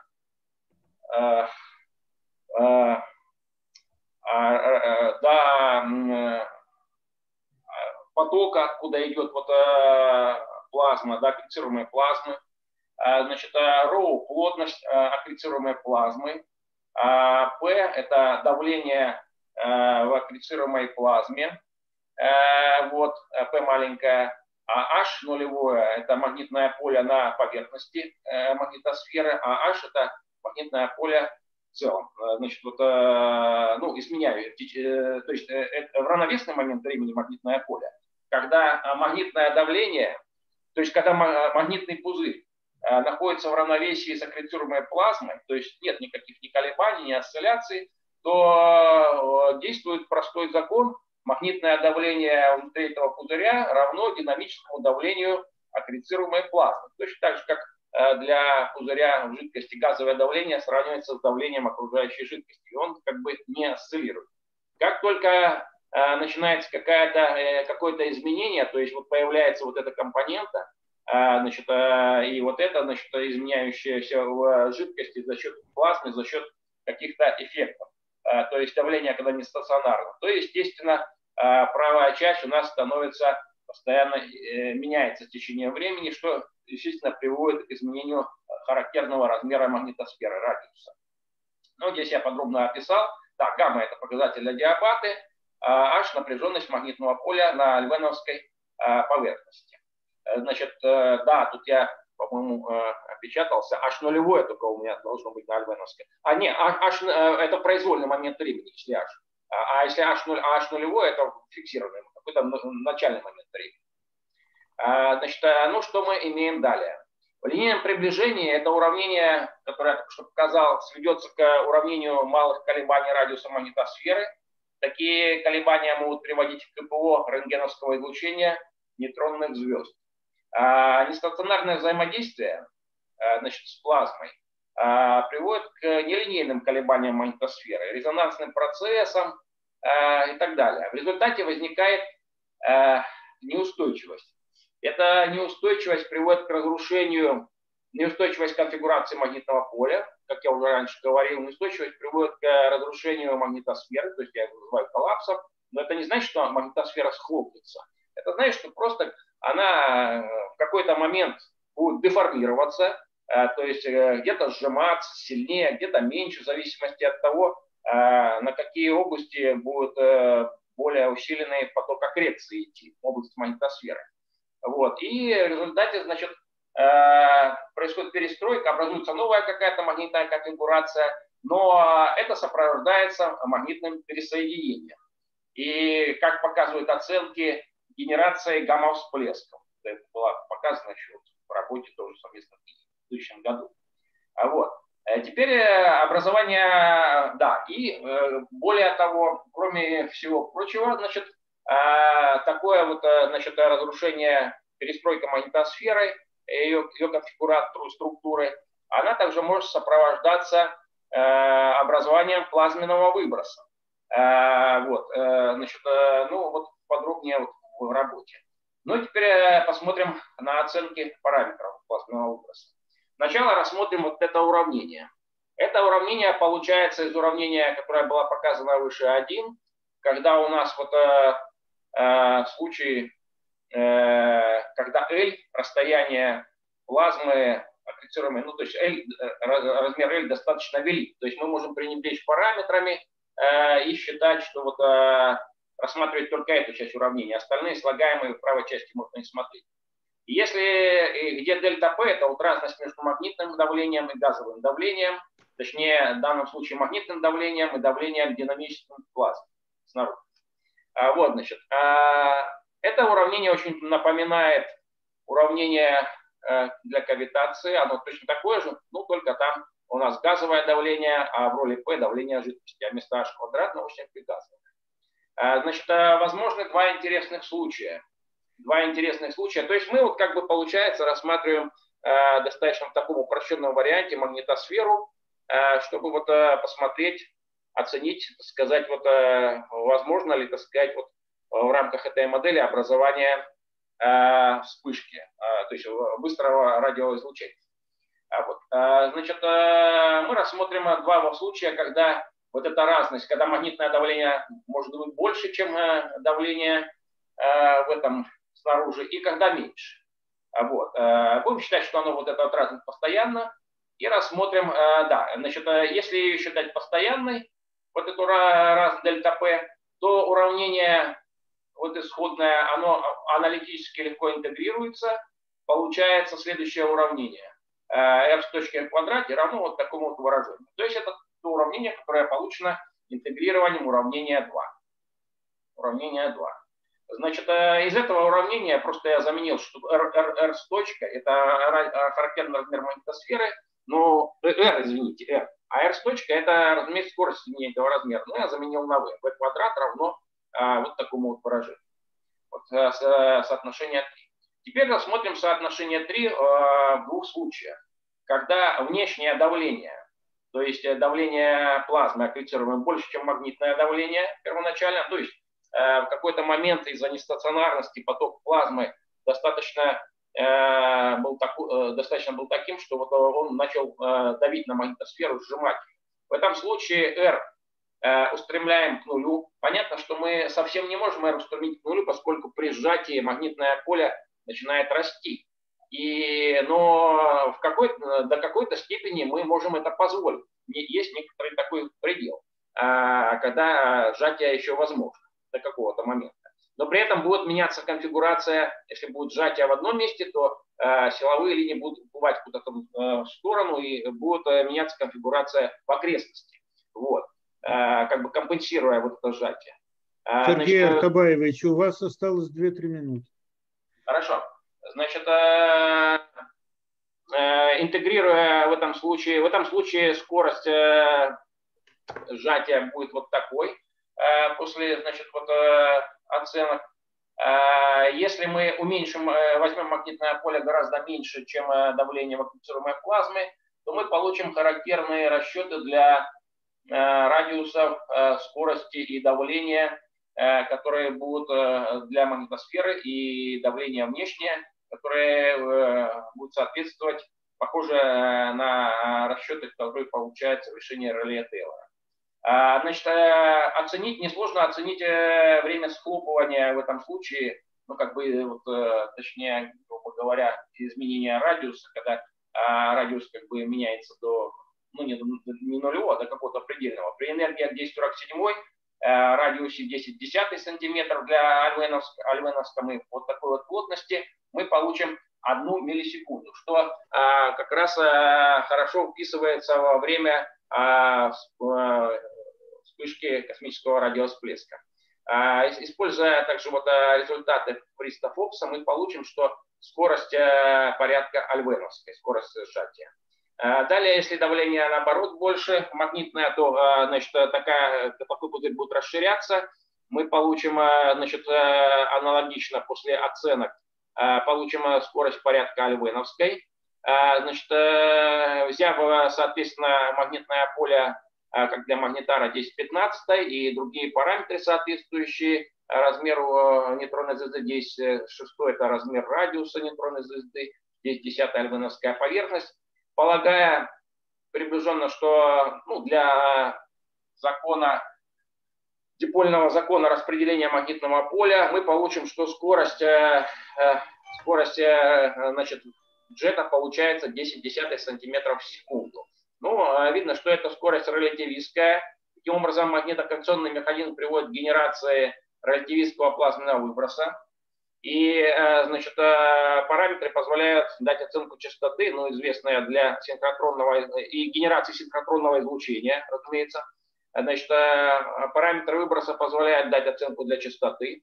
Частота у нас вот синхротронного излучения, максимальная частота, значит, она как раз лежит в радиодиапазоне, ну и находится в пределах как раз таки одного 5 Гц. Ну, я так э, расчеты делал примерные, значит, я тут сюда вот в, этот, в эту часть я не написал. Э, вот. Ну и выводы. То есть получается, что мы таким образом можем объяснить синхротронное радиоизлучение джета, то есть э, синхротронным механизмом, который возникает в результате вот этого выброса, э, быстрый радиосплеск. Ну и выводы. Первый вывод, то что расширение приводит, то есть магнитосферный коллапс приводит к выбросу скорость выброса порядка альвеновской. Магнито, э, значит, плазменный выброс может ускорить первоначальный джет из нейтронной звезды. То есть, э, если у нейтронной звезды, ну, как по некоторым э, статьям имеются джеты, могут быть джеты, и этот джет может быть ускорен. И также, если два джета, этот будет его, так сказать, ускорять, также возможно в этом случае дополнительная какая-нибудь вспышка. Ну и плазменный выброс может быть источником, как я уже сказал, почему быстрого радиосплеска. А вот. Ну вот если вопросов нет, то спасибо за внимание.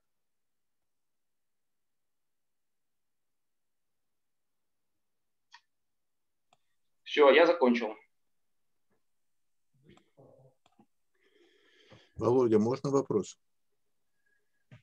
Э, за доклад.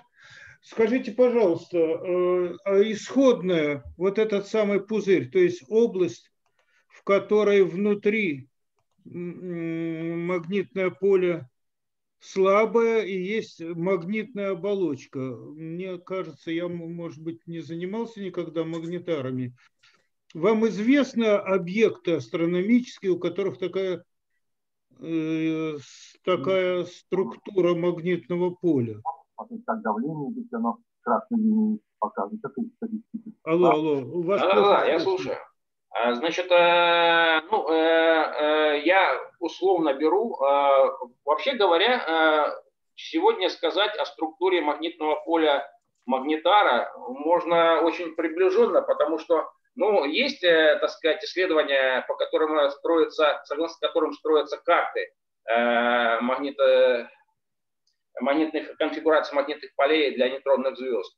Вот, но э, быть полностью уверенным, что это как бы вот э, правильно, ну, целиком трудно. Поэтому... Ну, извините, бог с ним, с магнитаром. А вы можете себе представить физический процесс, который приведет к такой странной конфигурации магнитного поля? Я всю жизнь занимался Солнцем, и я человек, так сказать, не сильно грамотный в этих вещах. Э, как создать такой пузырь? А, ну то понятно. А, ну нет, на самом деле как бы сейчас я поясню, значит, нет. Э, дело в чем? Дело в том, что глобально, вообще говоря, глобально а, я рассматриваю а, и не только, ну это я не первый как бы, а, магнитное поле как э, вот магнитосферу как магнитный пузырь. То есть, если э, как бы не обращать внимания на то, что там какой-то объект внутри, э, вот как э, звезда, то в целом это то, чем отличается газовый пузырь от вот этого магнитного пузыря. То в целом, значит, это просто вот магнитосфера. Магнитосфера, в которой, значит, вот давление преобладает, преобладает магнитное давление, в отличие от, ну, если про газовое давление забыть, в отличие от какого-то пузыря. Но это по Солнцу, например, я бы с Солнцем так сравнил. Если взять пятно, пятно, и если считать, допустим, что плотность в пятне, в солнечном пятне, Э, скажем, э, меньше, чем э, в окружающей фотосфере, то приближенно можно рассматривать солнечное пятно как, собственно говоря, магнитосферу, но только имеющую... Не, ну, выйдет, не выйдет. Пятно имеет гораздо большее магнитное поле и, плот, и сумма давлений балансируется. Ладно, давайте не Володя, будем. можно вопрос? Да, замечание? Лев, давай, твой вопрос. Э, Ну, во-первых, небольшой коммент, а потом вопрос. Э, Эта э, работа мне ужасно напоминает э, серию работ начала э, 60-х, которые в мировой литературе называются э, сферической коровой в вакууме. Для исследования физиологии животных предполагалось рассматривать для начала простейшую задачу. Точно так же у вас идея, да, это восходит, кстати, замечательному совет, российскому математику Чайбушеву, приглашенному в свое время в Париж закройщиками одежды, чтобы он рассчитал оптимальную задачу раскроя. Он начал лекцию с того, что давайте предположим, что человек – это сфера. Почему-то закройщики встали и покинули аудиторию. Э, э, вот ваше предположение, грубо говоря, абсолютно не физичное предполагать, что магнитосфера – это нечто, заполненное средой под названием магнитного поля, и игнорировать центральный объект, источник этого поля, это просто, ну, как бы мягко сказать, не физично. Все магнитное поле исходит из тока внутри Земли, внутри э, нейтронной звезды, внутри белокарлика и так далее. Это гигантская энергия, игнорировать ее, это все равно, что выплескивать сразу младенца. Э, то есть поле без генератора – это просто абстракция такая. Возможно, решаемая аналитически, но не имеющая никакого отношения к физике тела. Хорошо, То есть- ребята, э, более подробное обсуждение мы не можем себе позволить, очень сожалею, но э, мы должны перейти к следующему докладу. Спасибо за комментарий. Алло, Я- секундочку. Нет, э, во всяком Ой, случае, прежде, э, пока не я будет показана принципиальная возможность существования таких конфигураций, ну, очень трудно двигаться дальше. А, ну, это, конечно, можно, можно многое там рассчитать. Так, прошу, Рязанцев Георгий Борисович. Суще... Здесь он? Георгий Борисович Рязанцев. Кто будет док- делать следующий доклад? Отсутствует? Отсутствует. Пока э, тогда пропускаем э, Никифоров Игорь Иванович. Здесь Так, меня слышно? Алло? Вас слышно? Э, ста- дел- Запускайте вашу презентацию. Хорошо, да. Мгм.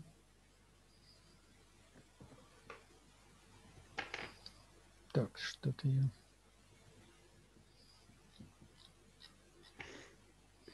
Палки любовь какая. Да. Ну как?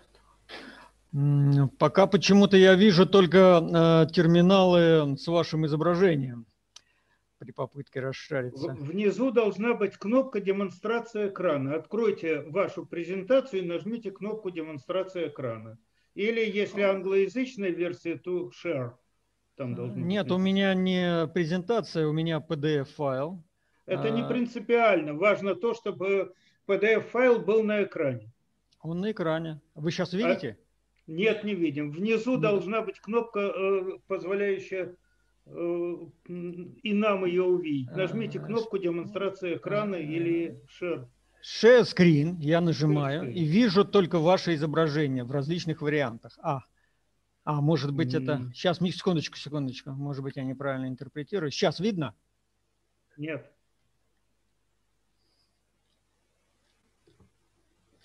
Что ж такое?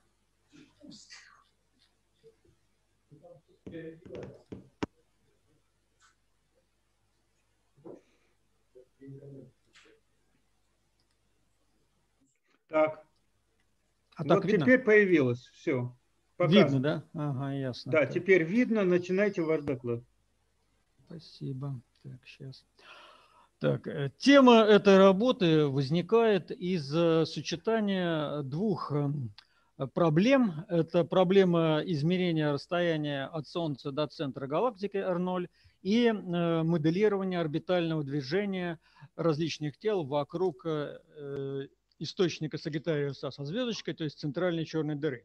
Какова тут связь? Дело в том, что в пространственных методах определения R0 а, находится расстояние до некоторой особенности в конфи- конфигурационном пространстве, то есть в распределении э, пространственного эм, объектов эм, опорных, либо расстояние до какого-то центрального объекта. А вот как раз моделирование орбитального движения вокруг э, центральной черной дыры и дает э, расстояние до фокуса, общего фокуса всех тел, э, орбит всех тел, то есть до центральной черной дыры, которая мыслится таким центральным объектом.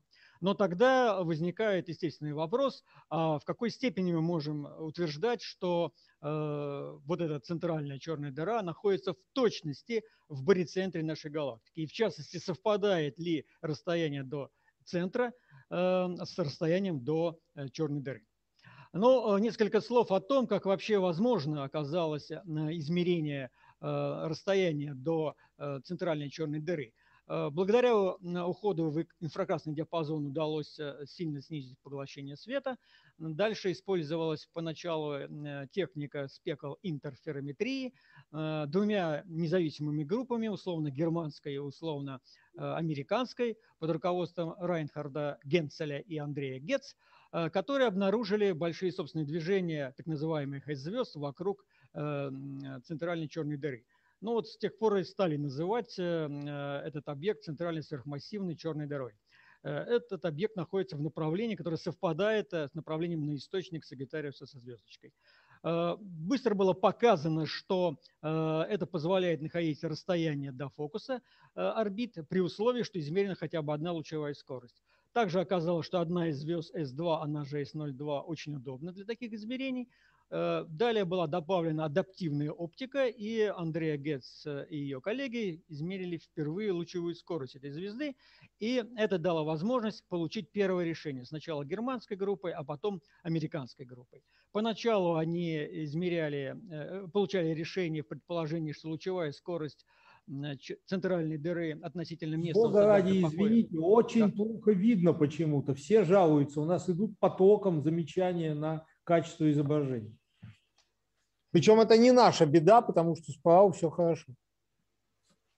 Так. Не знаю, а что мне сделать?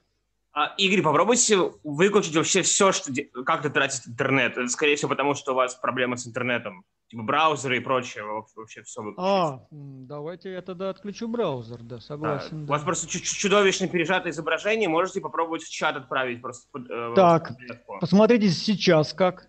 Все еще Я- чудовищно пережато. Пережато это что значит? Ну, как JPEG картинка, когда очень сильно мно- много раз сохраняли. Все, все размыто. Да, у меня все прекрасно видно. Да. Так, ну я закрыл практически. Так, еще, может быть, я попробую вот это вот убрать. Так. А сейчас? Ладно, придется терпеть. Эффекта нет. Ну, честно говоря, не знаю, в чем дело. Э, эм, Ладно, Причем с хорошо. самого начала было нормально. Это, это появилось по ходу. Ах, вот так вот. А давайте я перестрою изображение. Так, Ctrl-L. Так. Не стало ли лучше? К сожалению, нет. М, Вы боюсь, можете что- в чат отправить файл презентации, и люди смогут его листать, Эм, думаю, которые что- онлайн смогут. Я понял, да, да. То есть тогда я должен... а, Так, сейчас, секундочку. Да ну, нельзя. Нельзя? Ну хорошо, э, мне кажется, что надо продолжать. Будем слушать то, что говорит автор. И по возможности понимать, что там нарисовано. А, Вот ну это ладно, можно хорошо. быстро исправить. Продолжайте. Хорошо, да. Э, Так вот, э, ну это я попробую говорить э, м, описательно, да.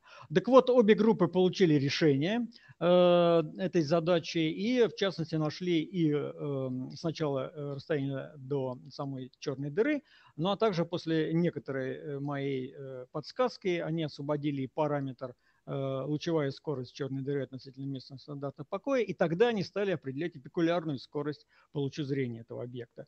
Э, На всякий случай напомню, что эти, э, руководители этих групп э, Генцель и Гетц стали лауреатами Нобелевской премии по физике за прошлый год, как раз именно за эту работу.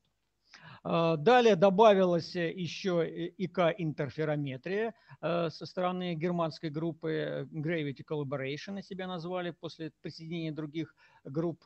А, И тогда им удалось э, получить решение, которое сразу э, в несколько раз улучшило точность астрометрии, вплоть до 20 микросекунд дуги. И это дало э, вот текущее решение. Наверное, вы плохо видите, но вот тут я привожу сравнение результатов двух групп. А, Они близки в принципе, то есть R0 там порядка 8 килопарсек, но если мы сравним э, с учетом э, неопределенностей, которые приписывают авторы своим результатам, то мы увидим, что результаты вообще отличаются на уровне больше трех сигм, то есть пока такого полного согласия нет.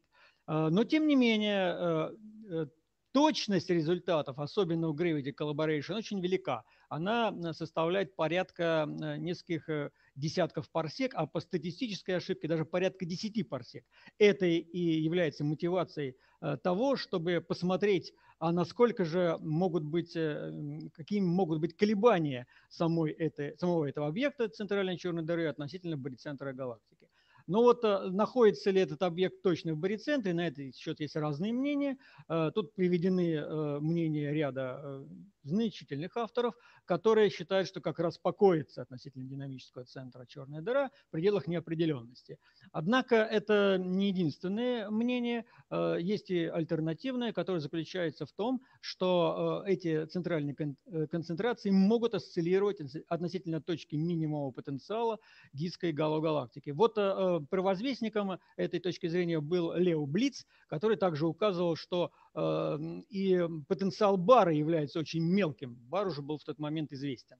Э, Кроме того, эм, э, существующие измерения пекулярной остаточной скорости эм, источника Сагитариуса со звездочкой э, не исключает значений скоростей порядка нескольких километров в секунду. И поэтому и было интересно посмотреть, собственно, э, каков может быть масштаб орбитальных осцилляций этого объекта, основываясь вот на современных измерениях. Это также стимулировано было и тем, что по ряду других работ эм, получалось при учете некоторых динамических эффектов получать смещение порядка нескольких парсек. Тем более, что в галактике Мессия 87 такое смещение реально обнаружено и составляет порядка 7 парсек. А, Мы э, использовали, да, э, чтобы получить э, вот эту пекулярную скорость, ну, в общем случае три компоненты по радиусу, по долготе и по широте. И вот по радиусу это будет пекулярная скорость, потому что для этого надо принять предположение о движении Солнца относительно местного стандарта покоя. Тогда мы получаем вот эти пекулярные скорости порядка 3-4 км в секунду со знаком минус, то есть движение к нам. В случае долготной скорости мы, долж, мы не должны принимать дополнительные предположения о местном стандарте, поэтому это остаточная скорость. А, Достаточно лишь э, измерить э, скорость, э, угловую скорость Солнца и расстояние до центра галактики обработав кинематику, э, данные кинематики какой-либо э, под- подсистемы галактики, например, Мазеров. Вот здесь собраны данные и показано, что э, значение по современным результатам этих работ для остаточной скорости по долготе черной дыры может быть от минус 2 до плюс 7 км в секунду с неопределенностями от 2 до 4 км в секунду. Э, Также можно поступить и при оценке пекулярной скорости в вертикальном направлении, то есть по галактической широте. Там получается порядка полутора километров в секунду. А, и вот далее, э, взяв эти скорости в качестве основы, в качестве начальных данных, мы можем э, решить такую задачу. Э, будем стартовать пробное тело из центра галактики и использовать вот эти скорости, которые мы получили, в качестве номинальных значений возьмем точно те точные оценки, которые э, были найдены, и еще посмотрим, какие предельные значения могут быть с вероятностью 95%, так называемые 2 сигма значения, которые здесь указаны. И далее будем численно интегрировать уравнение движения в потенциале, которое обязательно включает диск, сферической голой и эллипсоидальный бар. И э, он также может включать и сфероидальный балж, и ядерный звездный диск. А, что касается первых трех составляющих, то там все а, параметры принимались те же, что и в работе кассете Денеско. Здесь приведены конкретные значения и выражения для диска Гало и бара. А, обращаю внимание, что э, у бара есть и другие параметры, в частности, скорость, угловая скорость вращения, рассматриваются три значения от 20 до 60 км в секунду на килопарсек. Ну и вот что касается Балджа, то э, модель, э, которая была принята касательно Денеску и другими, нам не подошла модель Хенквиста, он плохими свойствами обладает. Мы рассматривали другие модели Балжа, Миямото, Нагая, сферу Пламера и захоронный потенциал. Но детали не так существенны. Что более существенно, так это то, что, э, вообще говоря, существование классического Балджа в нашей галактике не доказано. Данные, которые сейчас есть, они не требуют, чтобы этот эта э, составляющая вообще вводилась. Однако верхний предел указать можно. Поэтому мы, собственно, так и поступали. Мы рассмотрели два предельных варианта. От Балч присутствует 20%, 20% в общую массу центральной компоненты вкладывают, или он отсутствует, только бар остается. Но суммарная масса во всех моделях для центральных компонентов оставалась постоянной. А, кроме того, если мы рассматриваем э, движение вблизи центра, нельзя игнорировать еще одну компоненту, которая обычно не учитывается при э, интегрировании орбит в потенциале галактики. Это ядерный звездный диск, потому что он довольно тяжелый, порядка 7 э, на 10 восьмой масс Солнца по последним оценкам, и доминирует в гравитационном потенциале на масштабе немногих, пар, немногих сотен парсек. Вот, э, он, как оказалось, играет здесь э, существенную роль, даже, можно сказать, определяющую. А что же касается ядерного звездного скопления, которое окружает непосредственно центральную черную дыру, то, как показали наши предварительные расчеты, э, здесь существенных отклонений от барицентра самого звездного скопления для черной дыры не ожидается, их можно проигнорировать. Плюс там есть звездный КАСП, и э, в проекции черная дыра наблюдается вблизи этого центра, поэтому это дает нам основание и рассматривать э, черную дыру и ядерное звездное скопление как единый комплекс общей орбиты и ее, собственно, находить. Вот примеры этих орбит. Не знаю, видели, видите ли вы хоть что-нибудь. Здесь четыре рисунка. Э, слева сверху это вариант, когда мы учитываем и бар, и небольшой вклад балджа, а справа, когда вверху, когда мы не учитываем балдж. Э, разница радикальная. Это показывает, что даже небольшое включение составляющей Балджа резко ограничивает возможные ассоциации черной дыры относительно барицентра. Э, но, однако, добавление в модель, это справа внизу рисунок э, ядерного звездного диска, вновь довольно сильно ограничивает движение. Мы видим здесь максимальное отклонение может быть вдоль бара порядка 7 парсек. Лево, слева внизу представлена орбита, если мы все вкладываем в модель, и балдж, и бар тоже. Но это менее вероятная, вероятный случай. Наиболее вероятная модель – это та, что представлена э, справа внизу. И так будет на всех схемах. Э, здесь мы для номинальных скоростей э, приводим э, такие орбиты. Но что еще можно отметить, что орбиты вытянуты вдоль большой оси бара, и внутри есть довольно значительная зона с четырехкратным полем скоростей. Э, мне она хорошо видна, вам, наверное, нет, к сожалению. Если мы теперь э, смотрим другой номинал, где долготная скорость отрицательна, то это резко уменьшает э, движение вдоль бара, в большой оси бара и увеличивает значение колебаний вдоль, поперек ее, потому что за счет отрицательной скорости гасится энергия движения вдоль большой полуоси. Ну, вот это решение... У для... вас осталось одна-две минуты. Хорошо, согласен, да. А, спасибо. А, да, так вот, э, при эм, рассмотрении двух сигма значений э, колебание увеличивается, порядка 16 парсек становится, да. Но здесь для отрицательной скорости, да. А, существенно не влияет скорость вращения бара, как оказалось. Я особенно комментировать не буду.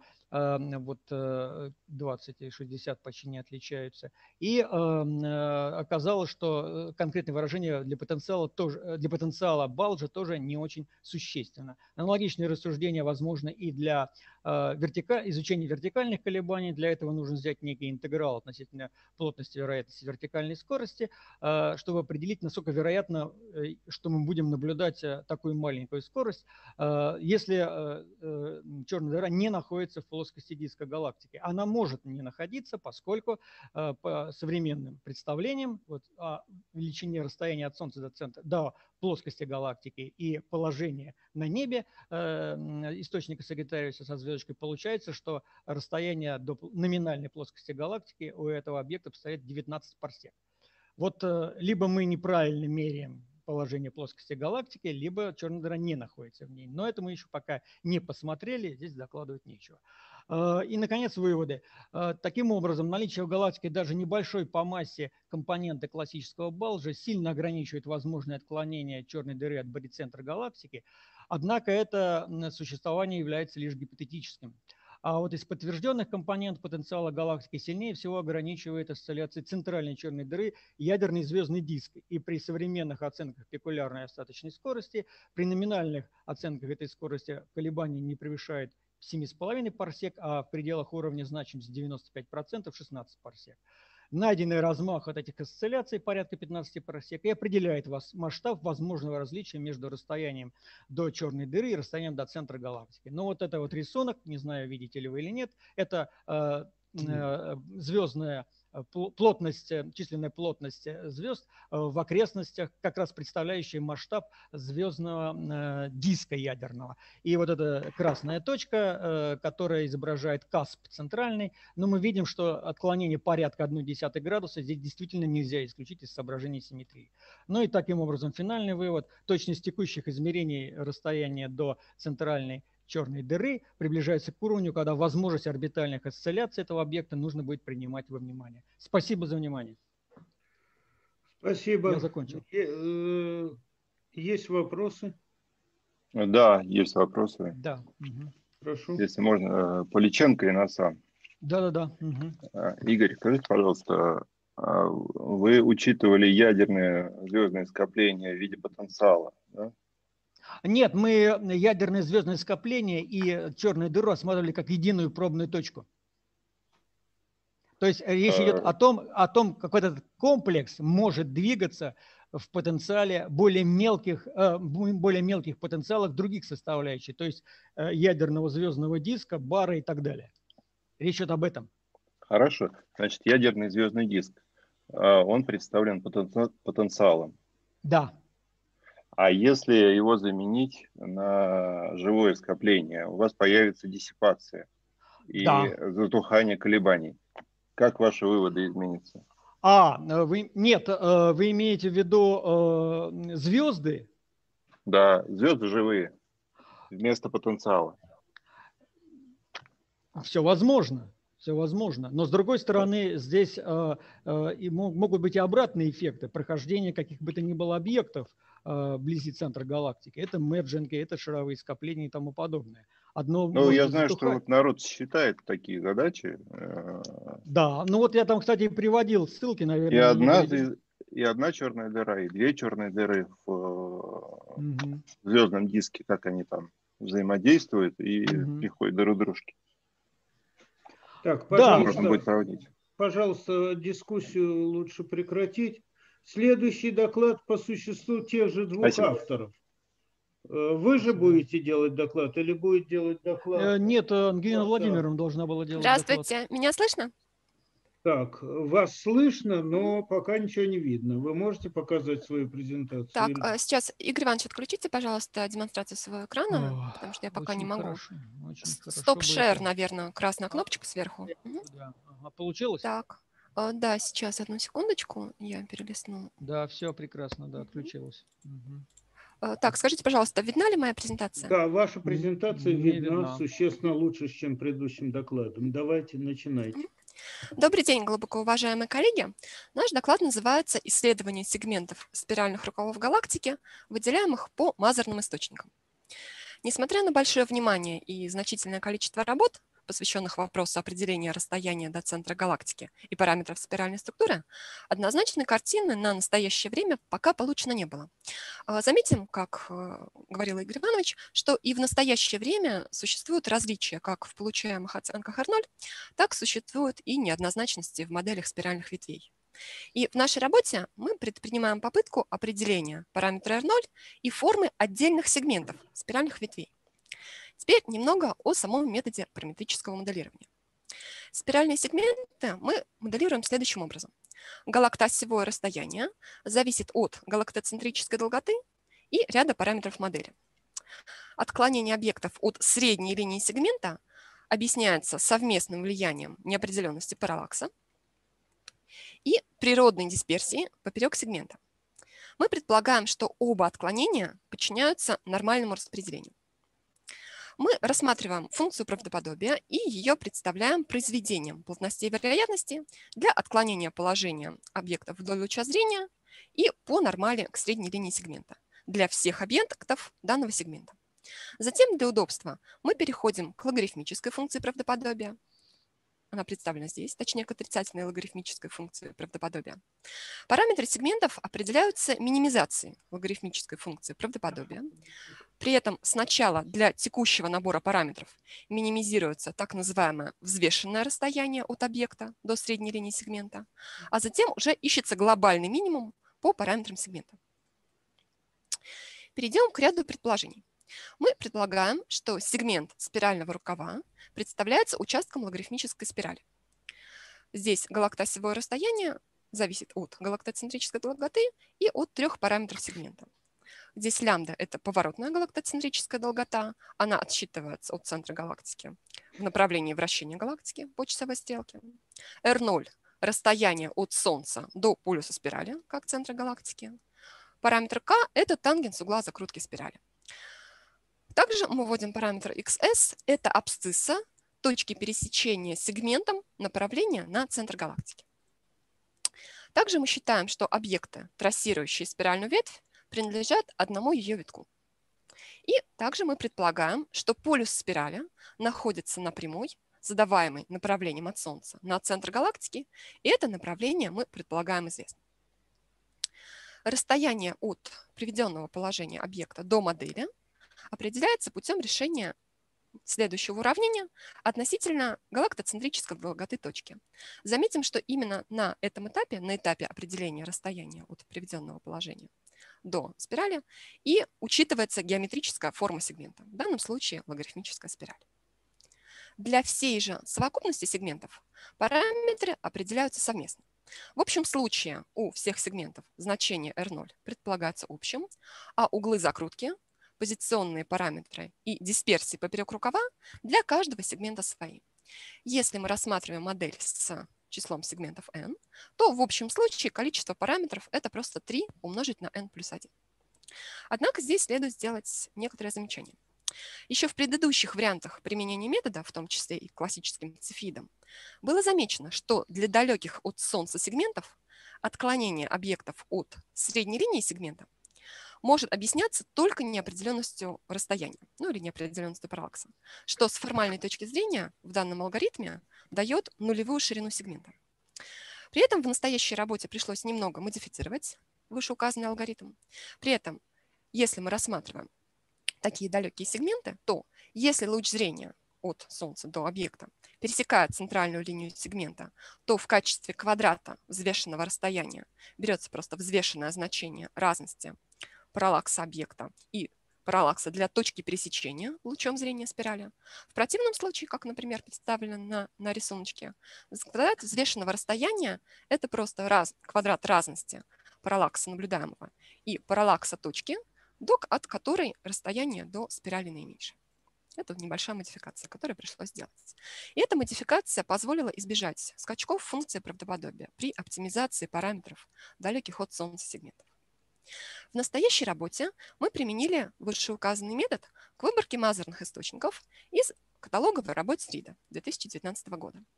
Сам каталог содержит данные о примерно 200 мазерах в области около молодых звезд. Авторы выделили выделяли 6 сегментов по данным в том числе и о кинематике объектов и получили оценку R0 8,15 плюс-минус 0,15 килопарсеков. Слева приведен рисунок из работы Рида и коллег с распределением объектов по сегментам. Солнце здесь показано кружочком с точечкой. Серый эллипсоид – это галактический бар с центром в центре галактики. Сегменты идут в таком порядке. Сначала идет внешний рукав, потом рукав Персея, вот этот голубенький местный рукав, рукав Стрельца, щита и рукав наугольника, а также выделены некоторые объекты, лежащие в центральной области галактики. Справа показана карта распределения объектов также, но с учетом неопределенности расстояний. И мы можем заметить, что в области, занимаемой рукавами стрельца, считая наугольника, неопределенности параллаксов, переведенные в данном случае в неопределенности расстояний, визуально не позволяют разделить сегменты щита и наугольника. Здесь мы видим такую единую полосу. Первоначально мы применили разработанный ранее метод к распределению объектов по сегментам по версии Рида и коллег. При этом у трех наиболее далеких от Солнца сегментов, то есть у сегмента наугольника, сегмента щита и сегмента внешнего, дисперсию поперек сегмента определить не удалось. Получается, что отклонение объектов от средней линии полностью определялось неопределенностью параллаксов. Для трех оставшихся сегментов некоторые оценки дисперсии поперек рукава были получены. Можно заметить, что полученное нами в данном случае значение R0 в пределах ошибок согласуется со значением, полученным в работе Рида. В проекции на плоскость галактики сегменты и полученные средние линии сегментов выглядят следующим образом. Здесь у нас Солнце находится в начале координат, центр галактики изображен черным кружком. Мы можем заметить, что сегменты щита, вот это синий цвет, и сегмент наугольника перекрываются, перекрывают друг друга. То есть они действительно находятся в очень близких областях. Мы для справки решили обратиться к диаграмме долгота-скорость из работы Рида и коллег можно увидеть, что и на этой диаграмме области расположения объектов, вот красным это в данном случае э, объекты рукава наугольника, синий – это объекты рукава щита, и на данной диаграмме эти объекты также находятся в перекрывающихся областях. То есть можно сделать вывод о том, что кинематические данные тоже не позволяют с уверенностью разделить объекты по сегментам. Поэтому далее мы решили проверить, возможно ли объединить два указанных сегмента в один. Что мы далее сделали? Мы объединили объекты сегмента, считая наугольника, в единый сегмент и также применили указанный выше метод. Несмотря на то, что сегмент щита наугольника в данном случае оказался самым населенным, все равно дисперсию поперек рукава определить не удалось, даже несмотря на высокую населенность. Тем не менее, Совместная оптимизация и при таком соотнесении объектов дала разумное значение R0, даже в пределах ошибок, не противоречащее предыдущему результату. Тем не менее, такое самовольное переопределение принадлежности объектов сегменту строгим не является. И также чуть более, здесь э, я об этом не сказала, в случае, когда мы объединяем рукав считая наугольника, то картина выглядит примерно так же. Вот у нас единая спираль. А, здесь может казаться, что сегмент проходит не очень строго по объектам. Тем не менее, если мы вспомним изображение с картой, на которую нанесены неопределенности, то мы вспомним, что объекты, которые я сейчас обвожу, они имеют очень высокую неопределенность расстояний, поэтому сегмент и не должен проходить близко к ним. Чуть более подробный анализ приведенной диаграммы долгота-скорость выявил еще ряд объектов, чье отнесение к тому или иному сегменту э, находится под вопросом. В основном это касается объектов э, не только считая наугольника, но и ряда объектов, лежащих между рукавом стрельца и рукавом щита. После чего мы для того, чтобы минимизировать субъективность отнесения объектов к тому или иному сегменту, решили провести так называемую процедуру итеративного переприписывания. В чем она состоит? Сначала на сетке значений R0 и углов закрутки анализируется распределение параметров XS отдельных объектов. Получается, что мы при фиксированном значении R0 и угле закрутки проводим спираль через каждый объект, считываем значение XS и смотрим на распределение. Первичное разделение объектов по сегментам проводится на основе провалов в данных распределениях. Здесь для сравнения приведено распределение XS для одного из вариантов в сетке R0 и I. В случае как разделение объектов сегмента щита и наугольника, наугольник рыженьким здесь представлен, так и при объединении этих сегментов. При рассмотрении всей сетки значений R0 и I не удается даже по таким диаграммам разделить объекты, считая наугольника. Поэтому мы в дальнейшем приняли решение рассматривать эти сегменты как единое целое. После того, как мы осуществляем первичное разделение объектов по сегментам, мы выделяем так называемую базовую выборку. В базовую выборку объектов относятся те объекты, которые для всех значений R0 и углов закрутки сетки принадлежат одним и тем же сегментам. Для этой базовой выборки оптимизируются параметры, а оставшиеся спорные объекты приписываются к тем или иным сегментам в соответствии с минимальностью взвешенного расстояния. В случае данного каталога базовая выборка содержит 160 из 170 рассматриваемых объектов. Спорных объектов было всего 10. После этого включается процедура итеративного переприписывания. В ее рамках после каждой оптимизации параметров выявляется базовая и спорная выборка, после чего на каждой итерации у нас проводится рассмотрение только текущей базовой выборки. После того, как процедура сходится, мы оптимизируем параметры для финальной базовой выборки, и затем оставшиеся спорные объекты приписываем к сегментам также в соответствии с минимальностью взвешенного расстояния. В данном случае алгоритм сошелся на второй итерации на 165 объектах, и 5 оставшихся объектов были приписаны в соответствии с минимальностью взвешенного расстояния. Итоговые параметры приведены в таблице. В данном случае значение R0 оказалось примерно равным 8 с неопределенностью 0,3. Можно заметить также, что по углам закрутки сегменты оказываются довольно сильно разными. То есть мы можем утверждать для данного каталога, что различные объекты не могут быть описаны спиралями с одинаковыми углами закрутки. Видно, например, что для рукава стрельца и для рукава щита наугольника различия углов закрутки составляют более трех сигм. Поэтому можно сделать вывод, что при описании отдельных сегментов, выявляемых по источникам, требуется рассматривать в модели возможность э, различных углов закрутки у тех или иных сегментов. А таким образом выглядят сегменты в проекции на плоскость галактики. Какие можно сделать выводы из данной работы? На основе метода наибольшего правдоподобия проведено совместное определение параметров сегментов спиральных рукавов по данным о мазерах каталога Рида и коллег 2019 года. Также было пересмотрено первоначальное соотнесение объектов и сегментов, применен алгоритм итеративного переприписывания. При этом определены параметры пяти сегментов и получена оценка R0 равная 8 плюс-минус 0,3 килопарсека, что, в общем, не противоречит современным представлениям об оценке R0. Большое спасибо за внимание. Спасибо.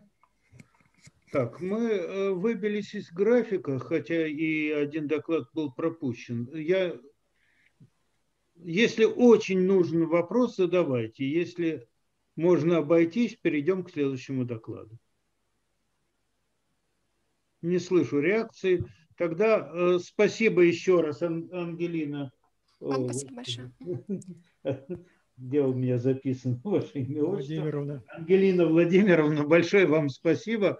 Переходим к следующему докладу.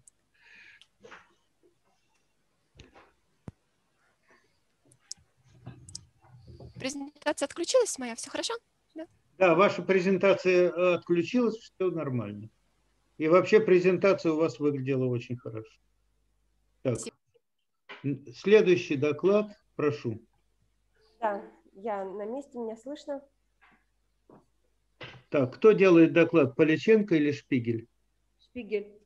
Шпигель. Начинайте, прошу вас. А видно, слышно, да?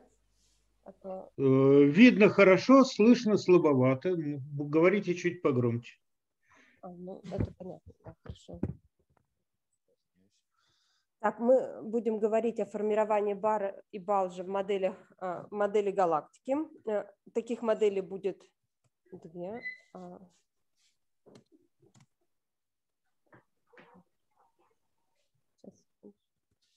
Да. Я не могу никуда не передвинуться. А, мышкой? Да, нет. Так. А, а, таких моделей будет две у нас.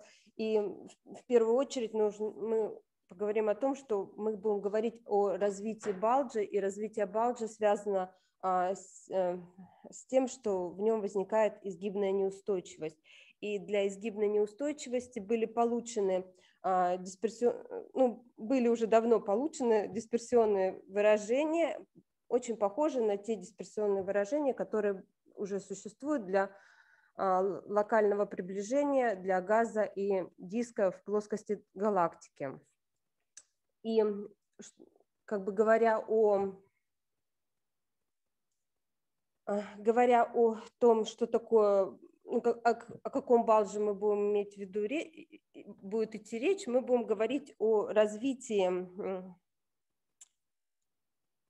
сейчас, в нашей развитии, у нас в галактике образует, есть бар, и кроме бара сейчас э, еще начинается, как бы наблюдается э, такое э, явление, как утолщение диска в виде X-образной формы, Э, которая наблюдается в распределении звезд в инфракрасном диапазоне. И вот об этом, о том, как это как может развиваться в численном эксперименте, мы будем говорить. Мы будем рассматривать две, два вида моделей галактики. Э, одна из них будет называться D, а вторая, второй вид модели будем называть H.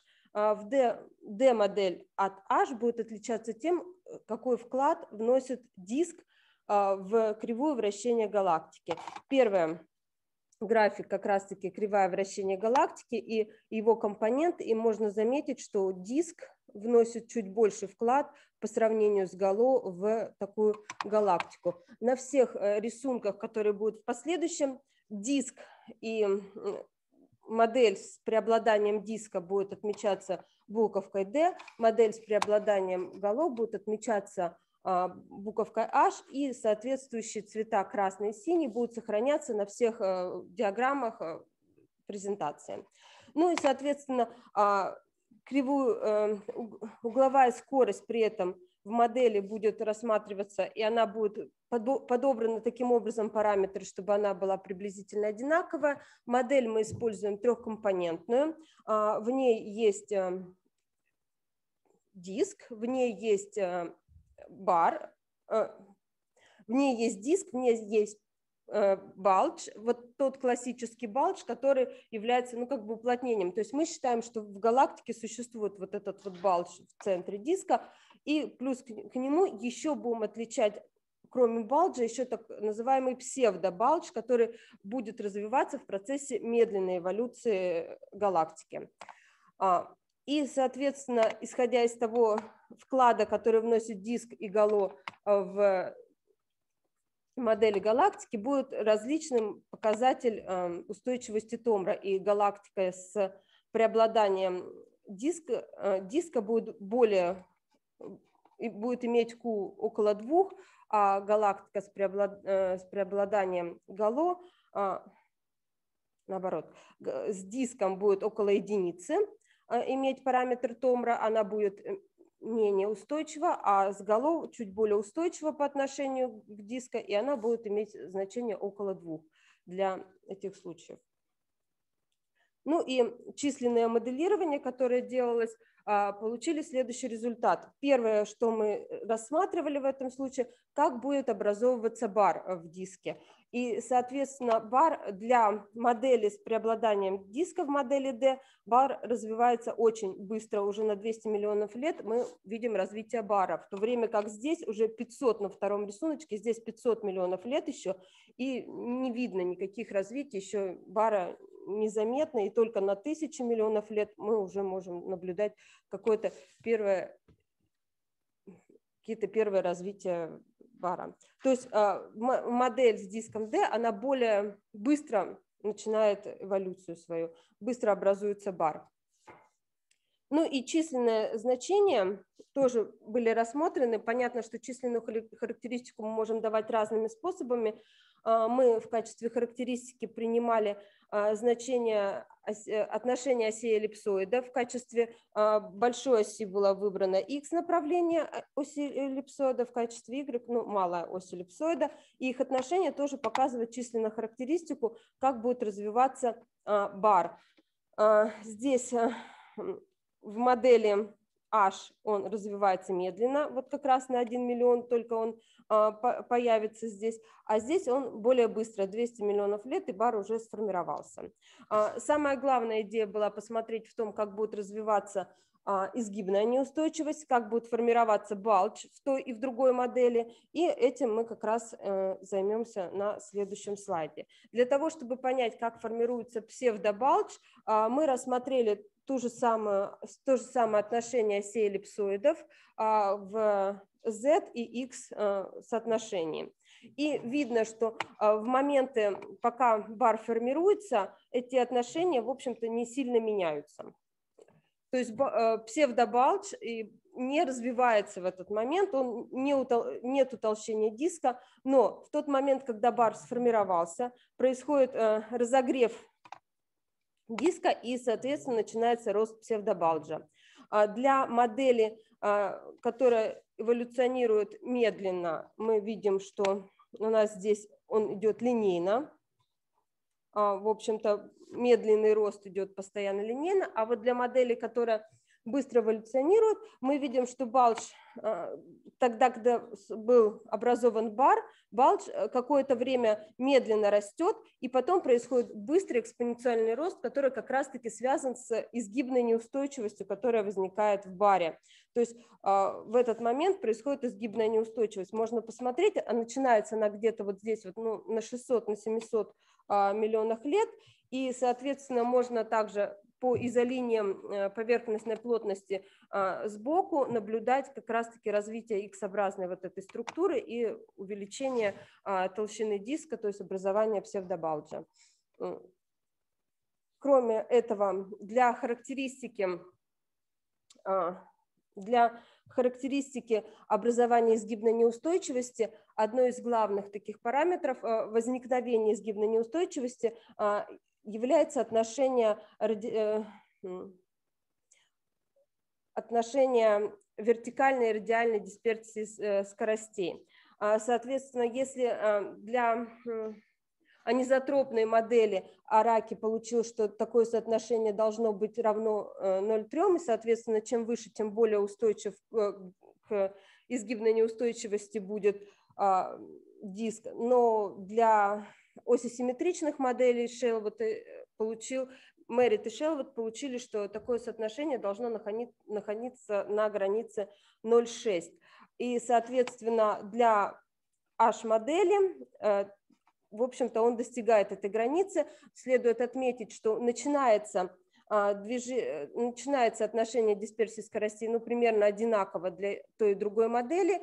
А, после, и пока бар не образован, и та, и другая модель, в общем-то, имеют приблизительно одинаковое отношение этих а, дисперсий ну, в общем, около 0,9, видно, что вот пока бар для первой модели и пока бар для второй модели образуется, ничего особо не происходит. В момент образования бара бар начинает разогревать диск, и разогрев диска приводит к тому, что увеличивается а, радиальная дисперсия скоростей, которая а, находится у нас э, в знаменателе, соответственно, у нас вот это отношение начинает падать. И для того, и для другого, для другой модели это отношение падает, но для более неустойчивой модели с диском это отношение падает гораздо быстрее. Достигает оно а, в общем-то, меньше 0,6, соответственно, действительно происходит изгибная неустойчивость. Сам, ну, как бы последний момент, который я скажу здесь, что а, было сделано, и вот это,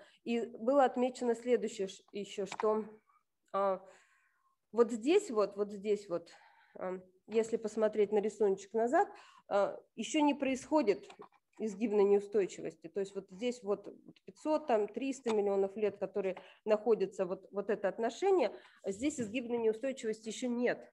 Но как бы отношение дисперсии скоростей это вроде как уже необходимое есть. И система еще какое-то время выжидает, она ждет, в общем-то. И ну, с чем это связано, как раз это вопрос дальнейшего исследования. Вот. Пока что мы предполагаем, что вероятнее всего это связано с количеством частиц в системе. И чем их будет больше, тем больше система выжидает, чем меньше, тем система выжидать, наверное, будет меньше. Ну и выводы, что а, изгибная неустойчивость характерна для более холодной среды оказалась, и вследствие быстрого развития в ней бара, который разогревает, ну и критически вот важный вот этот параметр, он в работе подтвержден, и, соответственно, вот это вот выжидание системы тоже пронаблюдалось с нами. Спасибо. Да, спасибо за внимание. Все. Есть вопросы? Угу. Можно спросить, а у вас какой размер а, бара получился для нашей галактики? Так, размер бара нет, наверное. Я здесь, наверное, не вам не скажу по этим картинкам, а так я вот не очень помню. То есть вы не отождествляли с тем, что наблюдается на самом деле? Нет, такого отождествления мы не проводили, но я не помню размер. Нет. И вот потом я не очень хорошо понял. Вы сказали, что у вас э, изгибная неустойчивость быстрее развивается при маленькой э, радиальной дисперсии скоростей? Нет, Или... нет, нет. Радиальная дисперсия скоростей, она, в общем-то, приблизительно здесь отношение. А, у нас а, у нас отношение дисперсии скорости вертикальной и радиальной, если оно начинается меньше 0,6, то да, возникнет э, изгибная неустойчивость. Ну, это да, тогда другое дело, понятно. Угу. Так, еще вопросы? Есть? Нет. Спасибо. Следующий доклад. Извините, можно вопрос к ведущему? Э, да. Я по техническим причинам не смог вовремя подключиться. Э, наш доклад четвертый. Могу я в конце выступить? Да, но, но теперь уже только да, в конце. В конце все, все. Рязанцев, нетрудно. Я понял, я понял. Теперь уже только в конце. Спасибо. Так, э, до, следующий доклад Корицкая, Бочкарев. Э, Евгений, Евгения Алексеевна, вы готовы? Так, включите. Так, вижу, презентацию вижу, голос слышу. Чуть погромче было бы совсем хорошо. Начинайте.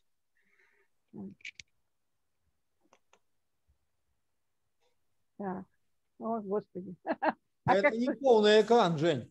Полный не экран сделан. А как его полный экран? F5 э, или... Вид наверху, строчка, вид. Подожди, а, вот я нашла. Вот так. Все прекрасно. Начинайте. Ага. Понятно. Ага. Гер... Геркулес X1 – это рентгеновская двойная система, состоящая из э, оптической звезды F7, и, которая находится в поле тяжести нейтронной звезды рентгеновского пульсара с периодом 1,24 секунды. Вокруг этого, э, вокруг нейтронной звезды образуется аккреционный диск, который искаженный такой, и наклонный, и прецессирующий. Ну, вернее, содержит э, квазипрецессионные движения совершающие. Это не совсем периодом 35 дней. Все это э, наблюдатель находится почти в плоскости орбиты, поэтому наблюдается затмение в этой системе, как рентгеновские, так и оптические, а также эффект нагрева звезды. Э, звезда нагревается рентгеновским излучением до температуры 30 тысяч градусов.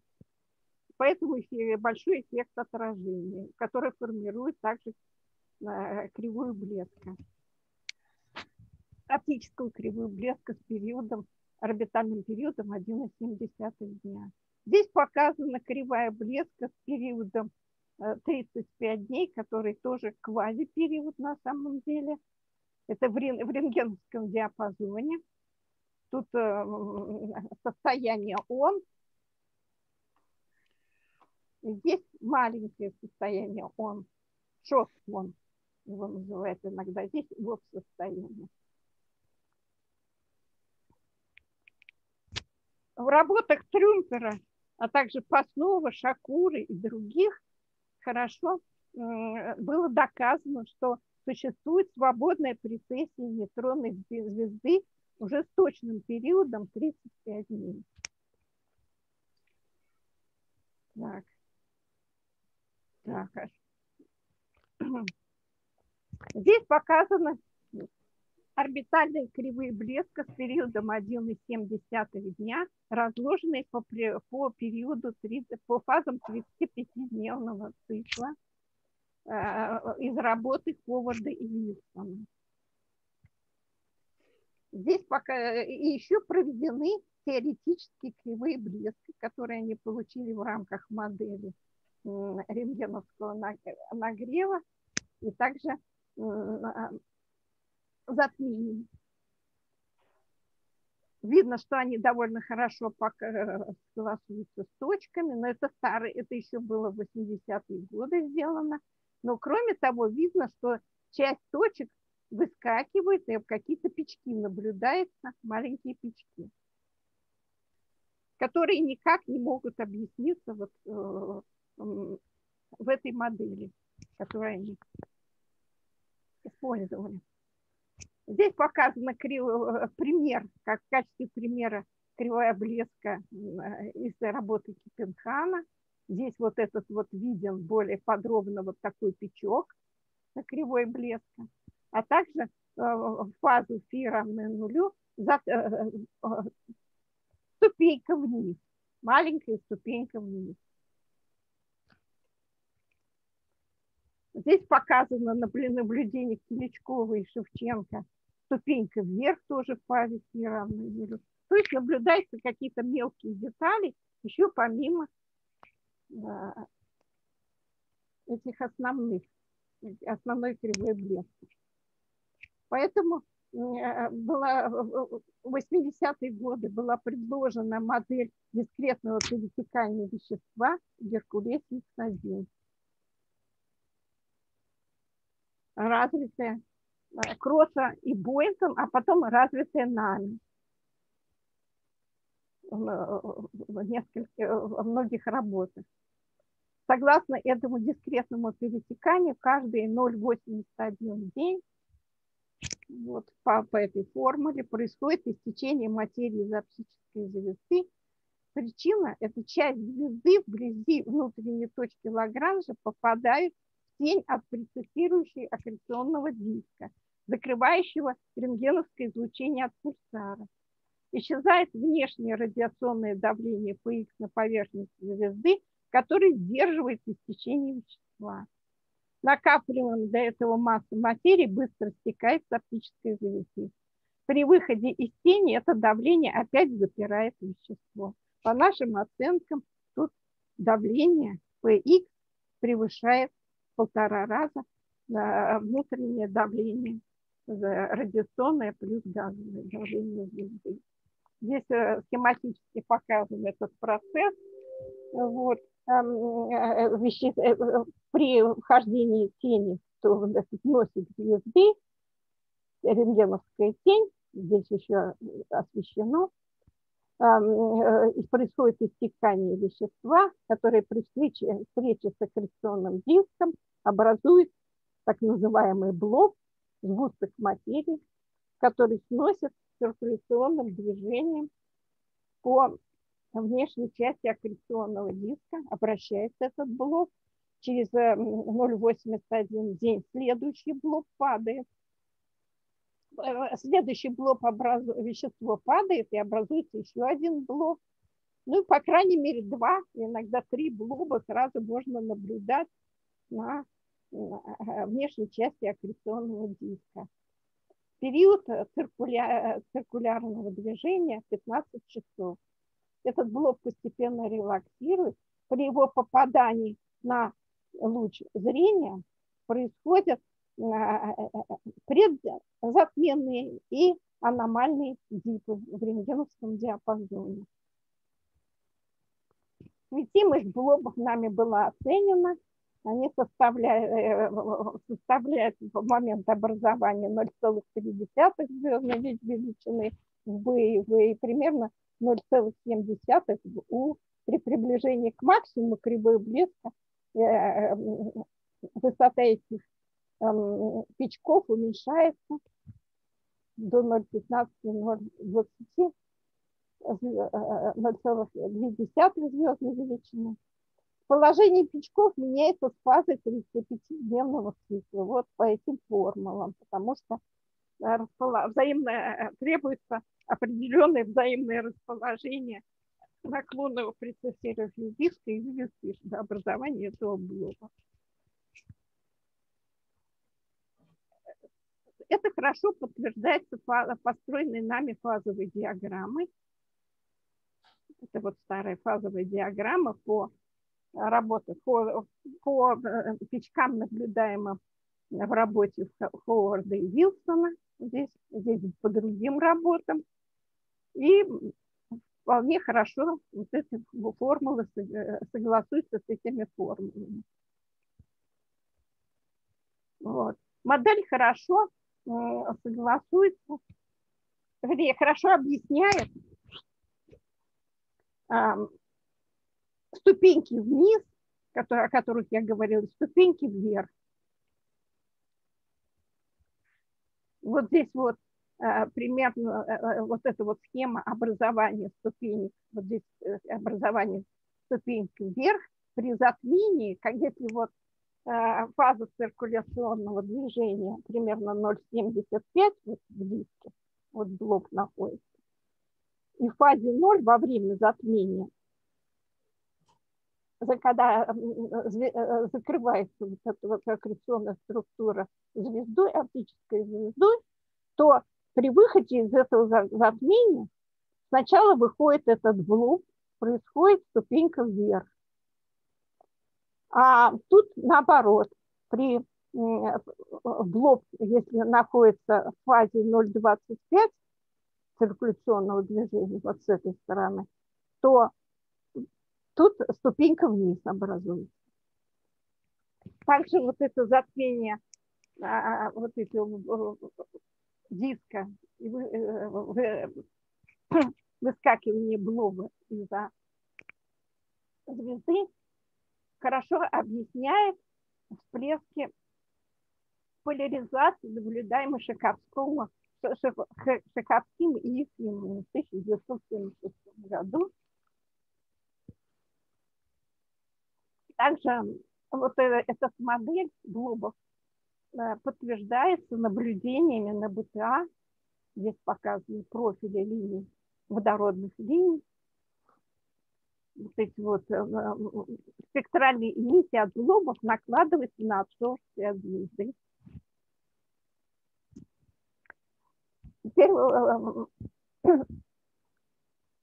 в прошлом году вышла работа Колесникова, Шакура, Паснова и других в Мантлиносе, где были опубликованы данные, вернее, данные не были опубликованы, была работа, основанная на данных фотометрических наблюдений, старых данных 72 и 98 года были взяты точки, в том числе и наши с Гарамским наблюдением домашним.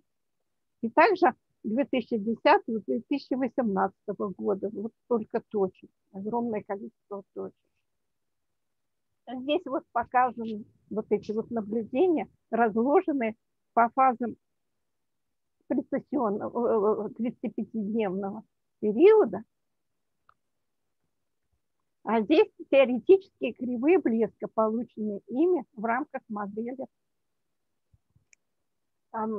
И опять мы видим, что часть точек выскакивает здесь в виде таких пучков, то есть пучки продолжают наблюдаться.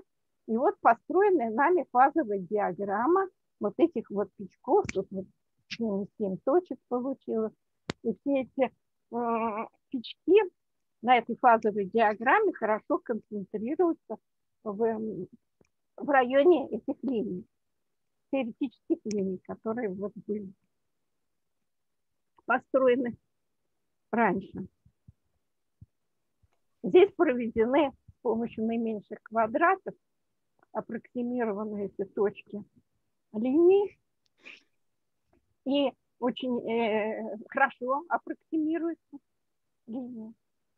То есть закон линейный, и причем интересно, что фи d0, вот получилось 0,77 здесь, а, а у нас э, раньше было 0,78, то есть согласуется с тем, что было.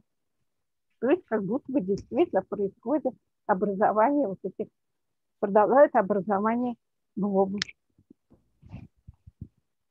Но на самом деле все намного сложнее, потому что были открыт, был открыт рентгеновский фликеринг во время наблюдения рентгеновских дипов 80-е годы Буртиликом, Ивагесом.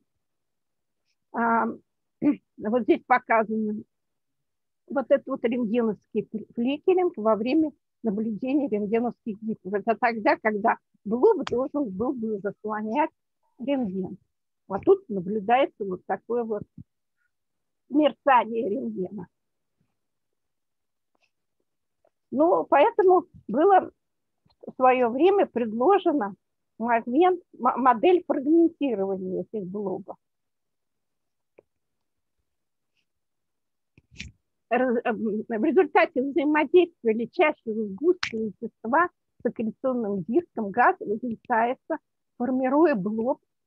При взаимодействии с горячей короной вокруг диска развивается неустойчивость типа реле Тейлора, и через несколько часов блок распадается на отдельные капли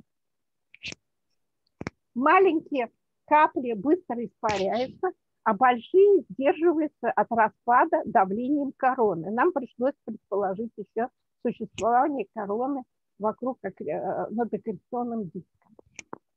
Каждая капля вращается вокруг диска по своей кеплеровской орбите. В случае пересечения орбит с диском капли выпадает на него, остальная часть двигается дальше. И может существовать полтора-два оборота вокруг диска. Вот здесь вот все это тематически показано.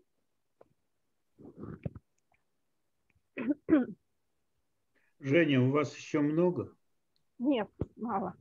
Так, Давай. Бочкаревым э, в 1989 году было рассчитаны физические условия вот этой горячей короны.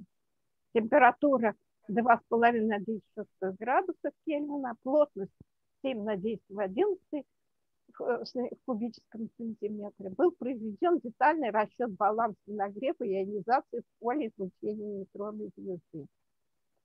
Все, в основном ядра оголяются в этой короне, а железо-никель, водороды, имеют, э, э, водороды и гелеподобные ионы –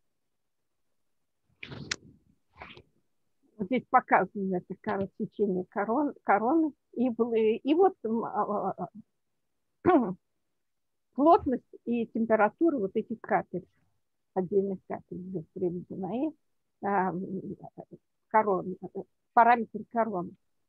Существование короны с близкими параметрами нашло подтверждение в наблюдениях РХТЕ формы рентгеновского затмения в 2015 году.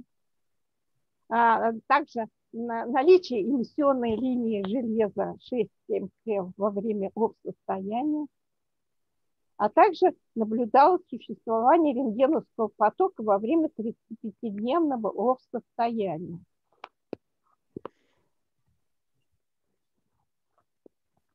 На конференции в 2020 году как раз вот недавно конференции, в докладе Шакуры было показано, что э, Еразита наблюдала вот это вот растение,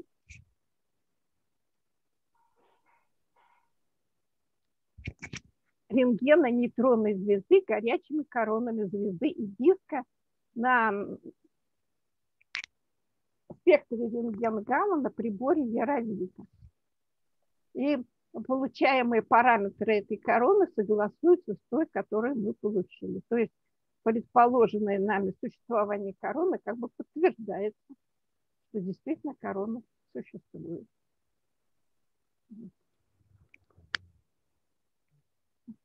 Ну, тут э, резюме, я не знаю, стоит ли читать.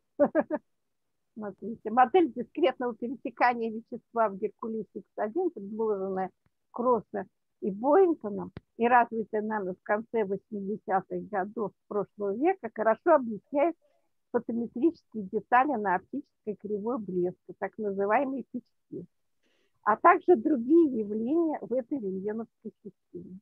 Они связываются с образованием сгустков плазмы, бломов, образующихся в результате взаимодействия дискретного пересекающего вещества с внешними частями аккреционного диска. Показано, что установленная связь между моментами появления пучков с определенными фазами орбитального и 35-дневного цикла прослеживается до сих пор. При взаимодействии расширяющегося вещества блоба с горячей короной возникает неустойчивость типа Тейлора, что приводит к фрагментации вещества на отдельные капли. Это позволяет объяснить наблюдающиеся глубокие мерцания во время рентгеновских дипов наблюдения на Ерозите подтвердили существование короны вокруг фотоционного диска, предсказанный нами в конце 80-х годов. Все. Спасибо. Спасибо. К сожалению, для дискуссии у нас времени совсем нет. У нас впереди еще очень много докладов.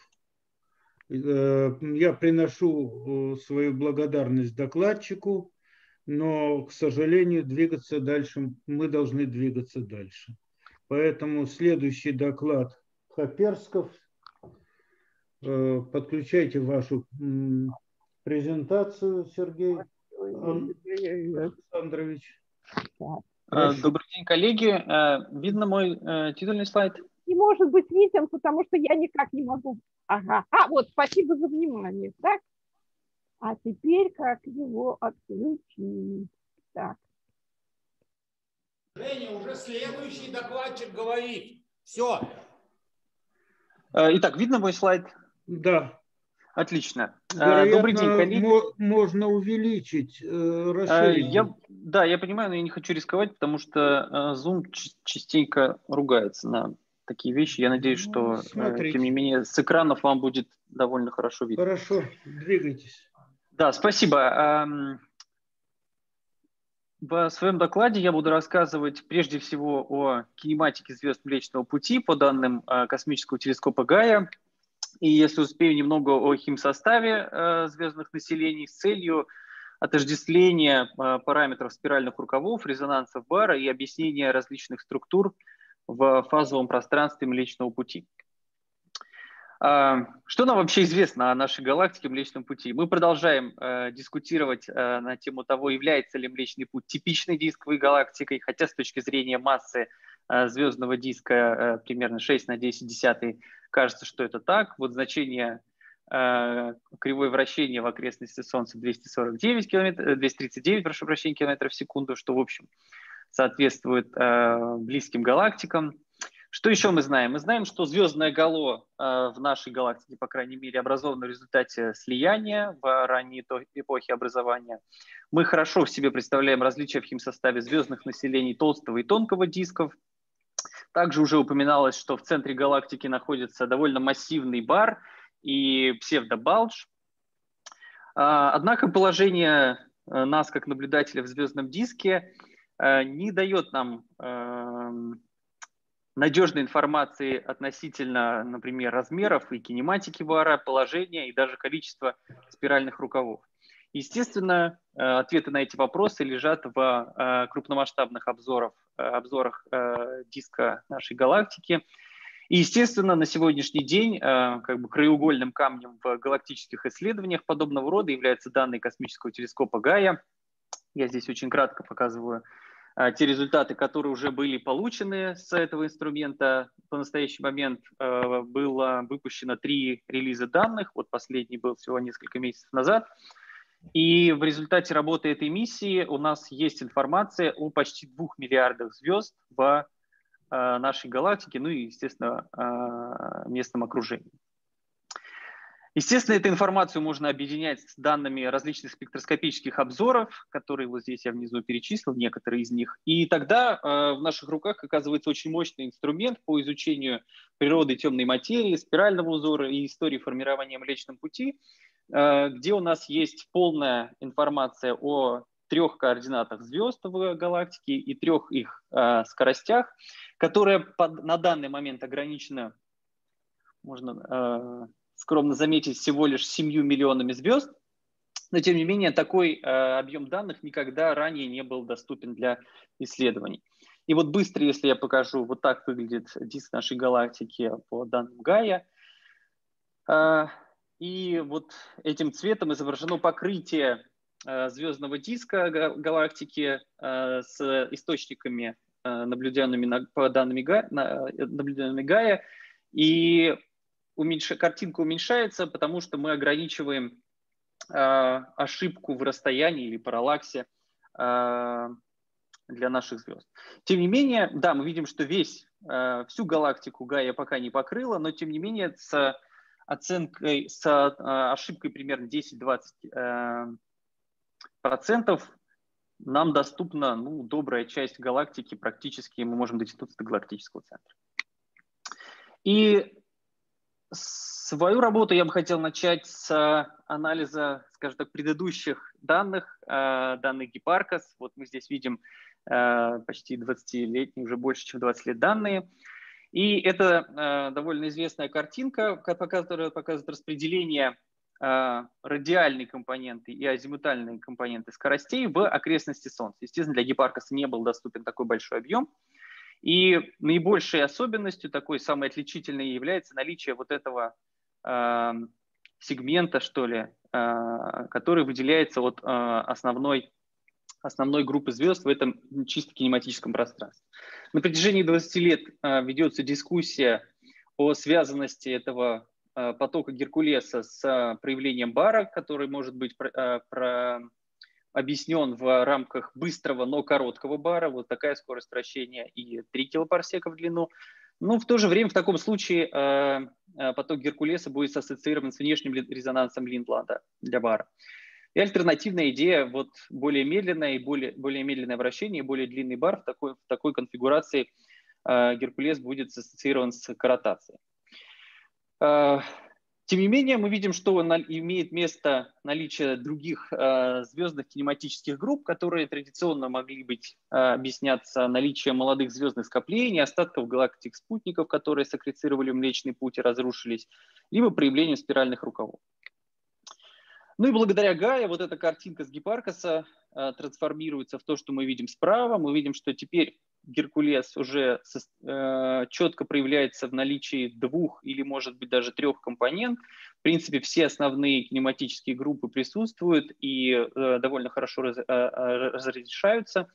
И мы видим даже открытие новых э, структур, которые, в общем, благодаря большему числу звезд, большему количеству данных, сейчас э, известны в Солнечной окрестности. Однако, благодаря Гае мы можем пойти на гораздо большие галактические масштабы и рассмотреть вот эту пока локальную картинку на различных расстояниях от радиуса. Вот здесь слева я, э, прошу прощения, в центре я показываю ту же самую э, распределение плотности звезд в координатах радиальной и азимутальной скорости. Это для э, солнечной окрестности. А вот эта колонка соответствует звездам, которые находятся немного ближе к центру галактики, и вот это немного дальше от центра галактики.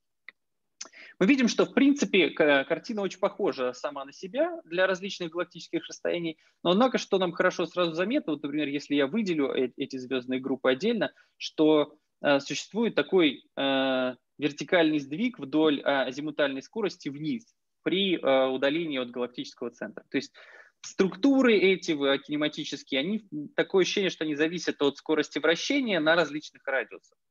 Но скорость вращения на различных радиусах мы традиционно называем кривой вращения. И давайте посмотрим, э, вот здесь один из примеров, как, как мы до появления Гаи, как мы представляли себе кривое вращение в Млечном пути. Один из примеров.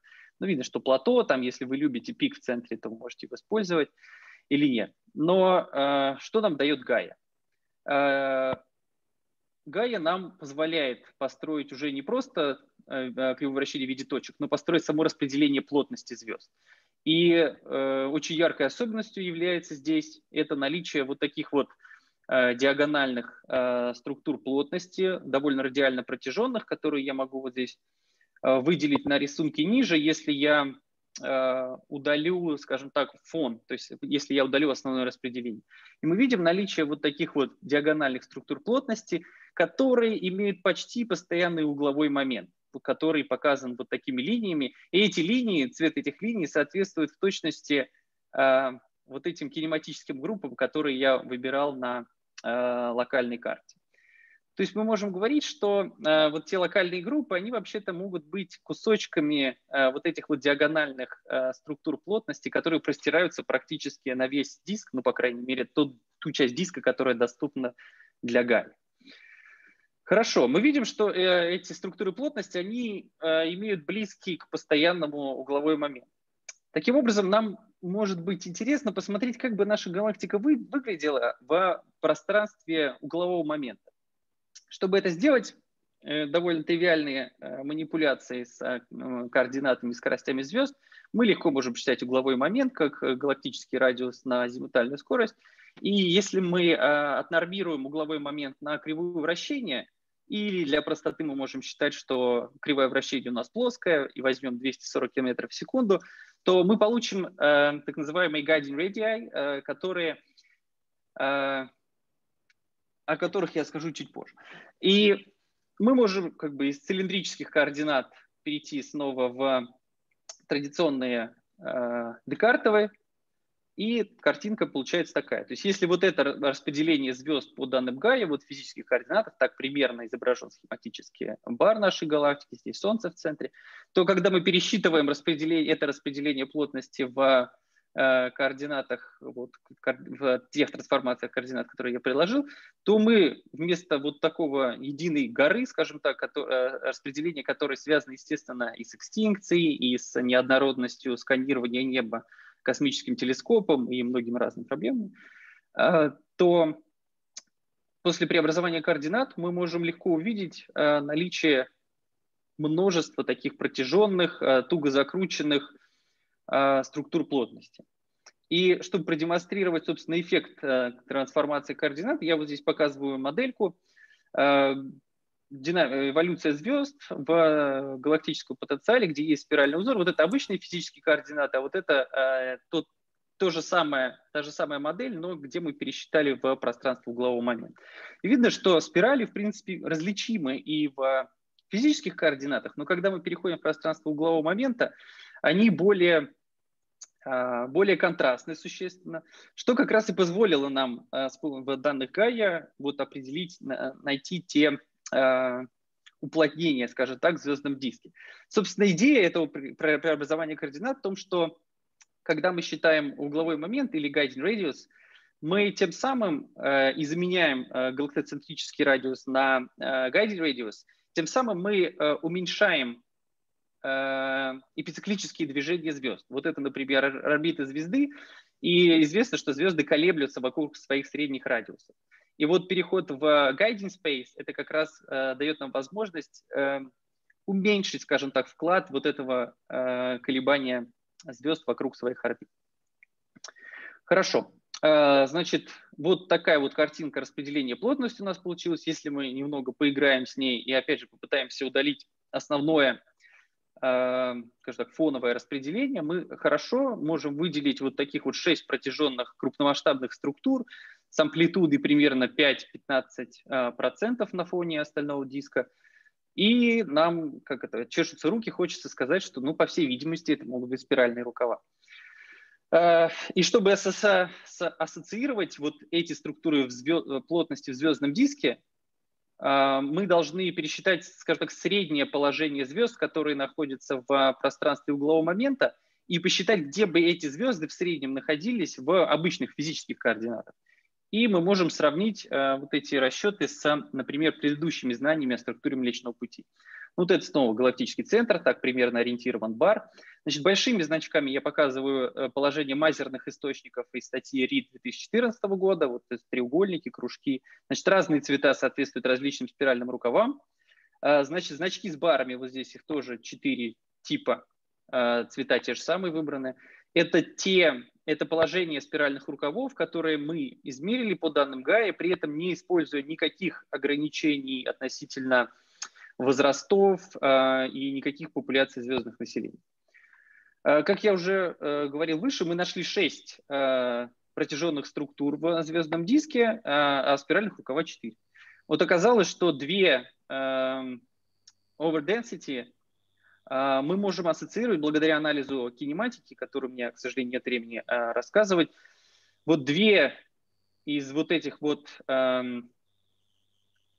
увеличений плотности оказываются, можно, могут быть ассоциированными с резонансами бара, которые показаны вот здесь серыми областями. Вот это корротационный э, радиус бара и вот это внешний лейбладовский резонанс.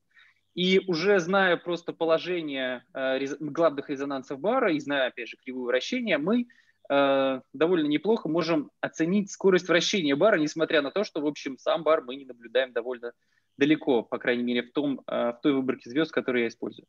И у нас получилось вот такие значения 38-41 км в секунду на килопарсек, что, в общем, неудивительно, но хорошо согласуется с более прямыми измерениями э, кинематики бара. Если у меня есть время, я бы хотел перейти к последней части, связанной с химсоставом, но я постараюсь коротко об этом. Времени у вас практически нет. Ну, дай бог, Отлично. одна-две минуты. Отлично, то, что нужно. Спасибо.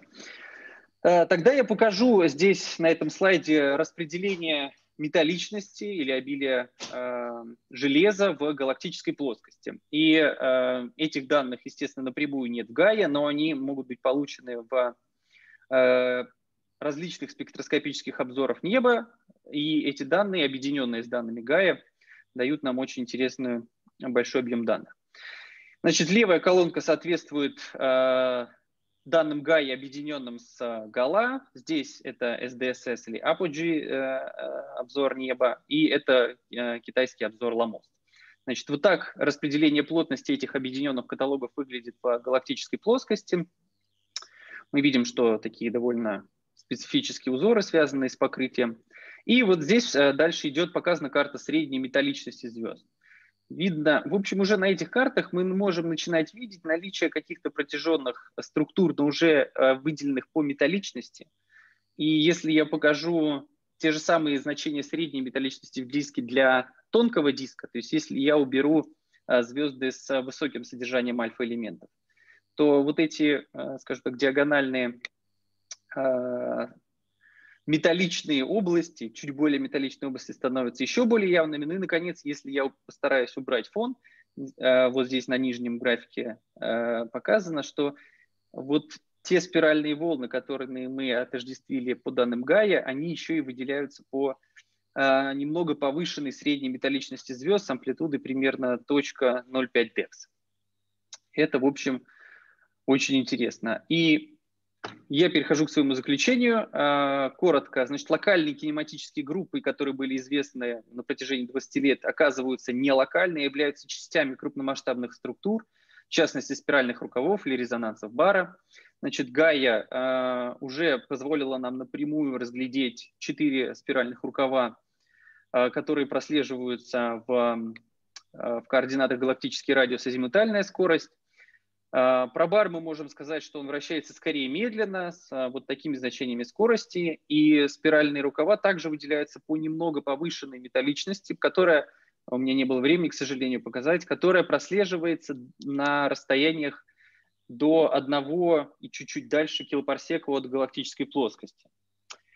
А, причины этого как э, а, немного больше металличности в спиралях и их вертикального, вертикальной протяженности, по всей вероятности, вскрыты в механизме их образования, э, о котором я тоже, к сожалению, не успел рассказать.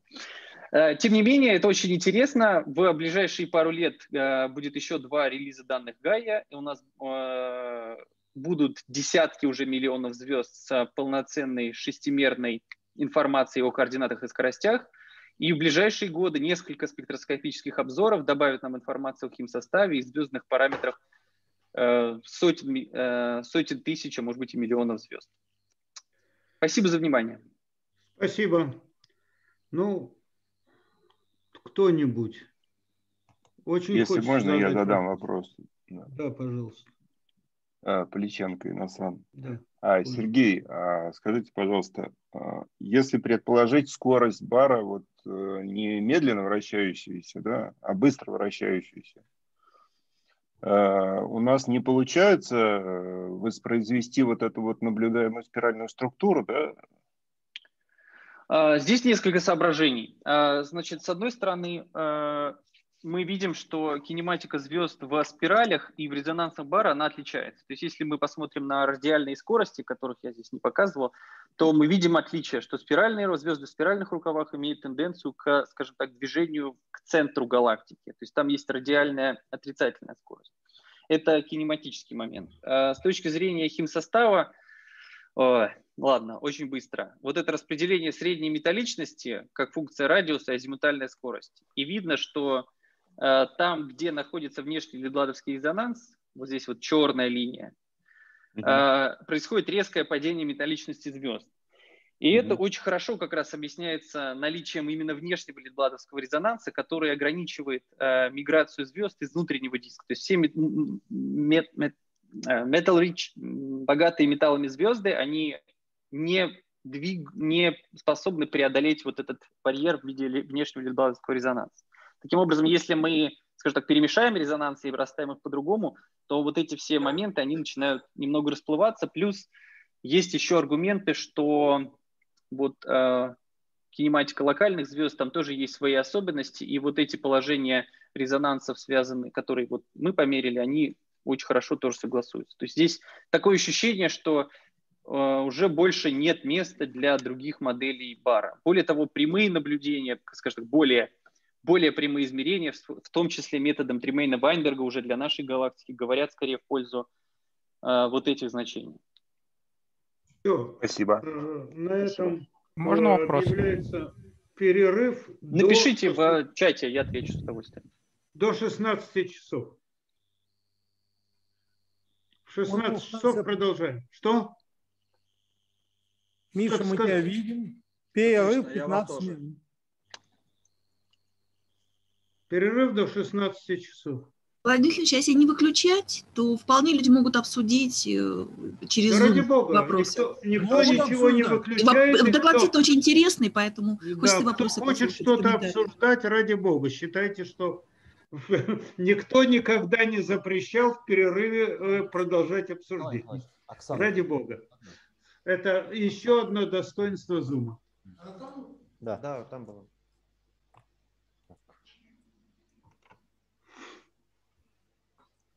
А, блин, нет, сейчас, сейчас того. Появился кто-то. Приветствую вас, Михаил Иванович. Приветствую, да, что-то я под, попал под этим самым инкогнито. Вот, интересно. Ну, решил так немножко, как говорится, по это самое, интригу, интригу закрутить. Да, да, ну я вас узнала. Спасибо. А в нашей одесситов кто-то там еще присутствует? Нет. Нет, нет. Должна Никого. была Тамара Мишенина быть. И сейчас мои сейчас авторы. У нас... А, вот Тамара, привет, вот она.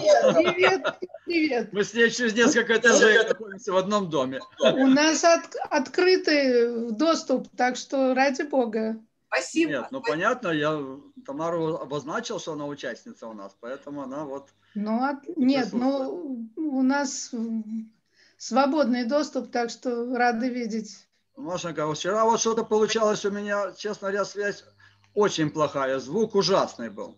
Вчера вообще не было видно никого с вашей Нет, стороны. я был, я присутствовал, но ну, я да. решил отключить и видео, и даже какой-то показ, только тогда я услышал звук. А так у меня звука, честно говоря, ну, в общем, прерывистый постоянно был. Ну, это связь плохая, действительно. Но у вас было все в порядке там э, на время Да, заседания. да, все нормально. Приходите завтра тоже.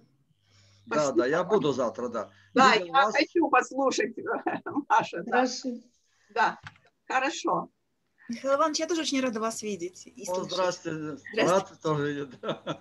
Видите, где бы мы еще увиделись, да? Как говорите, как ну, тут как... в зуме. Да, да, да, да.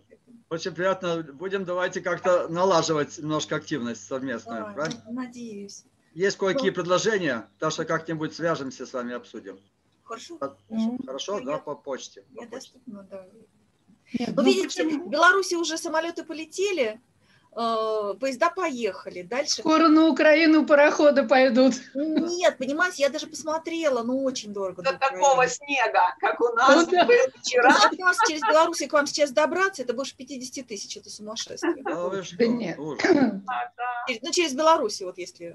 А если через Турцию- 12 тысяч слетать туда-сюда, то... Через Турцию еще лучше. Не, у нас идет объявление, такие вот э, ходят маршрутки, маршрутки, а, микроавтобусы из Москвы в Одессу и обратно. Пожалуйста, можно ехать. Но вот условия про пересечения каковы, не знаю, вот эти нужно. Не, лучше, лучше не экспериментировать сейчас. Да, Было бы нет, очень потому что интересно получить комментарий последнего наверное, докладчика. Да. Извините. А э, докладчик вообще присутствует? По-моему, ушел уже, нет? Присутствует. Я в чат написал свой вопрос. А знаком вы ли с работой Ю из Сингала? А, Может быть, сейчас открою. Так. Ух, так, наверное, не очень. Ну, тогда, собственно. э, Ну, стрелочками или что-то? Так, ну у них тут кривое вращение, та-та-та. Ага, и вот они тоже видят вот эти. Ага. Теперь. Да, все, теперь когда Или вот этим пробелом. Ну, вот Ну, окей, за ссылку спасибо. А, чего они здесь? Ага. За Welcome. ссылку спасибо. Да, может быть полезно. экрана. А, понял. И выбирайте А, вот свою. вот Все договорились. Я демонстрацию экрана Просто если вдруг я к четырем не успею. Ага, и дальше я как всегда. Да, да. Маша, как у вас там погода? Что-то пугали, что в Москве там вообще ужас какой-то. Ну Вот сейчас 10 градусов. А, минус 10? Да. Ну, ночью до 20. А так у нас... Вообще у нас хорошо. Лу- Лучше Ну, так, чем когда около нуля вот это... Ночью мы не гуляем, так что Понятно. А то говорили, что-то минус 25, там что-то Ночью? вообще. ночью, да. Было, да? А. Да. Потому что у нас вчера был Армагеддон полный. У нас шел дождь, снег, и выйти из дома невозможно, был гололед. В общем, ну, Деревья день был... падали, ветки и сосульки, из крыш тоже. Да, да. А сейчас солнце, полная солнечная погода, А вообще сейчас как будто... вес- весна, просто весна плюс 8. Так что меню у нас разнообразное. Резкие такие перепады, ну. Да. Да, на голову, конечно, Маша, я до Карагульской обращаюсь, очень хорошо сейчас проявляют себя эффекты проявления гидрометеорологические эффекты. А, конечно, когда с размахом почти в 20 градусов э, болтает туда-сюда, Ну да, и у нас когда болтает за температура. задние сутки. А солнышко пока помалкивает. Нет, ну солнышко не... э, Понимаете, у нас же что плохо? Из-за того, что э, всех закрыли, самое вроде бы эффективное время, когда пошло слегка вверх, и каждую бурю можно отслеживать отдельно, а измерения у нас не ведутся, институт закрыт был все это время. Мы за с марта 2020 года месяц работали, по-моему, с 29 августа по 29 сентября. Ну вот сейчас, вот неделю назад открыли. Ну вы сейчас в активном режиме или вы по домам сидите? Домам, по домам. В основном По по домам? домам. То есть измерения в результате у нас прервались. Не, мы выбираемся, если есть необходимость. Правда, Тамара? Можем На выбраться. защиты. У нас в пятницу было две защиты. Да. Живьем? Всем вот я, Живьем, я второй да. день на работе. Понял? Я второй день на работе. Нет, у нас ИКИ активно работает. ИКИ не закрывались. Они и защиты проводили в очном виде, и, семин- и там семинары, конференции в очном виде открытом. Не, ну- ну, Измиран практически закрыт. Но у нас в смешанном виде. То есть оппоненты, например, присутствовали онлайн на защите. Они не приехали. А в защите- защите докладчики и защищаемые, они вживую рассказывали. И часть совета была, а часть совета онлайн. То есть такая смешанная. Мгм, Это у нас то же самое на диссертационных. Да. Такой смешанный. Короче, правила изменены, так что учитываются эти моменты. Да, да, и голосование онлайн, и все это, да, так что. Российский ВАК написал сложную э, инструкцию, как проводить такие советы э, в смешанном формате. Миш, у меня Да. к тебе одна просьба. Рябов, вот в связи с этой конференцией. перестань входить в конференцию под ником кто-то. Да. Я так получилось. Нажал, Когда зашел. вот когда ты первый раз не вошел, ты не вошел именно из-за этого. А, Вот. Я тебя пустил, потому что я с тобой вдвоем репетировал. Сегодня тебя пустили, потому что я предупредил, что кто-то это ряб. а я вчера заходил под, под именем. Но Да, плохо вчера- слышал. вчера Вот, Рябов, чтобы больше этого кто-то у тебя не было, понимаешь? Ну, Хорошо, хорошо. Но только почему-то вчера у меня был очень плохой звук. Не знаю. Ну, это, это каналы связи. У нас, э, в принципе, в принципе, все в порядке. Но вчера я на связи был по своим именем. Вчера, кстати. Да, да, да. А может быть, кто-то тебе лучше действует. да. Это уже кто-то не я был. А я был точно под именем и даже пытался себя поставить. Вчера, вчера кто-то, я не знаю, был или нет. Сегодня Не есть. было, не было вчера. Ну вот. Кто-то не был. Но, но был Рябов. Да. Принципе, Но я был. В принципе, наш системщик э, предупрежден, что Рябов может прятаться за ником кто. Ну так меня э, э, это самое, как говорят. Псевдоним есть такой. Да, псевдоним кто-то. Кто-то. Это тоже не вредит. Учитывая наши Э, Тамару интересные. с огромным удовольствием вижу, так давно не видел, что просто вот пытаюсь... Я тоже рада, спасибо, я тоже рада. Давно не виделись. Да ну, господи, такая жизнь пошла. Так, по всем параметрам странная. Значит, что у нас со временем? Значит, времени... Иванович, и если э, доеду, быстрее всего я доеду до Львова. Четыре минуты еще. Поэтому, если какие-то конференции во Львове э, сход- схожие по тематике есть, вы мне пришлите. Я попробую, ча- ну, вдруг э, Да, четыре удастся минуты, совершенно живьем э, это добраться. Хорошо. Значит, участники, я всем объявляю, что власть переменилась, и что до конца заседания председательствовать буду я. Слушайтесь меня, потому что я строгий председатель. А Бритка так устал от... Пугаешь, Коля, пугаешь народ. Ну, надо же вас запугать немного. Нет, это, это цитата. Командовать парадом буду я. Ну, да, да, да. Это можно Нам сказать- хватает, чтобы по телевидению что говорят, а ты тут еще и на конференции такое говоришь. Не, ну, понимаете, какая штука. Когда, ну, не знаю, как э, украинские ток-шоу происходят, а в российских в большинстве ток-шоу орут одновременно 4-5 человек. Да, на грани мордобоя, короче. И на одном из ток-шоу мне очень понравилось. Они пригласили мужика, начали так орать. Он говорит, ну что, ребят, я пойду. И направился к выходу. Так они заткнулись. Молодец. Да, это как бы выглядит очень, так сказать, непривлекательно. А, Эмоционально и поэтому. да. Ну, это стиль, вообще-то мо- можно было бы, наверное, как-то по-другому это сделать. Просто стиль такой вот. Накачки, накачки это самое. Как-то Да, это лучше, лучше не, не смотреть. Вот лучше, вот, правильно, что такие вещи. Жуйко, заходи в зал, твой первый доклад. Так, Тамар, Наташа присутствует. Да? Да, под именем Наталья. Только она не включает камеру, как правило. Жуйко, заходи, тебе скоро. Понятно. Через две минуты стартуем и стартуем твоим докладом. Ну вот, будь в зале, не, не убегай. Оля, а сколько в зале народа? Ну, не более семи человек. От двух до пяти называется. Да, от двух до пяти. А участников сейчас 49. А, Вчера доходило до 65. Да. Да и Да, сегодня да. с утра было на пленарных докладах тоже. Так, Жуйко, где ты? Где твоя это? На- Нажать вот сюда. Куда? Не, не сюда. Вот. этот А, экран. вот это ты. Да. Мгм. Так, И щ- F5 щ- надо. понял, понял. Нет, сейчас мы должны. Нет, да, Вот, открыто. Сейчас.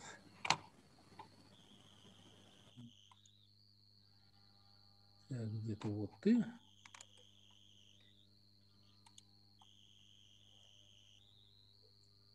Так, вы видите сейчас презентацию Жуйко? да, видно. Да, видим. Осталась одна минута, сейчас я ему даю слово. Все, запустили, сейчас Сергей Валентинович будет делать. 15 минут. 15 минут, но это, в принципе, включая вопрос. Да, я сейчас таймер пущу. Не забыл. Так, мы возобновляем нашу работу. Первый докладчик Сергей Валентинович Жуйко, которому и предоставляется слово.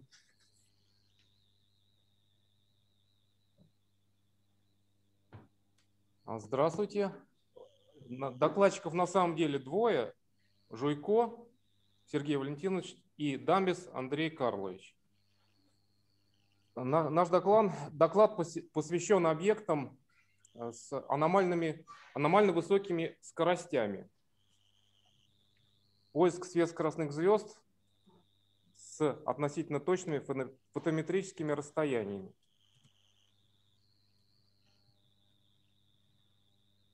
Почему слайд не перелистывается? Мышкой? Вы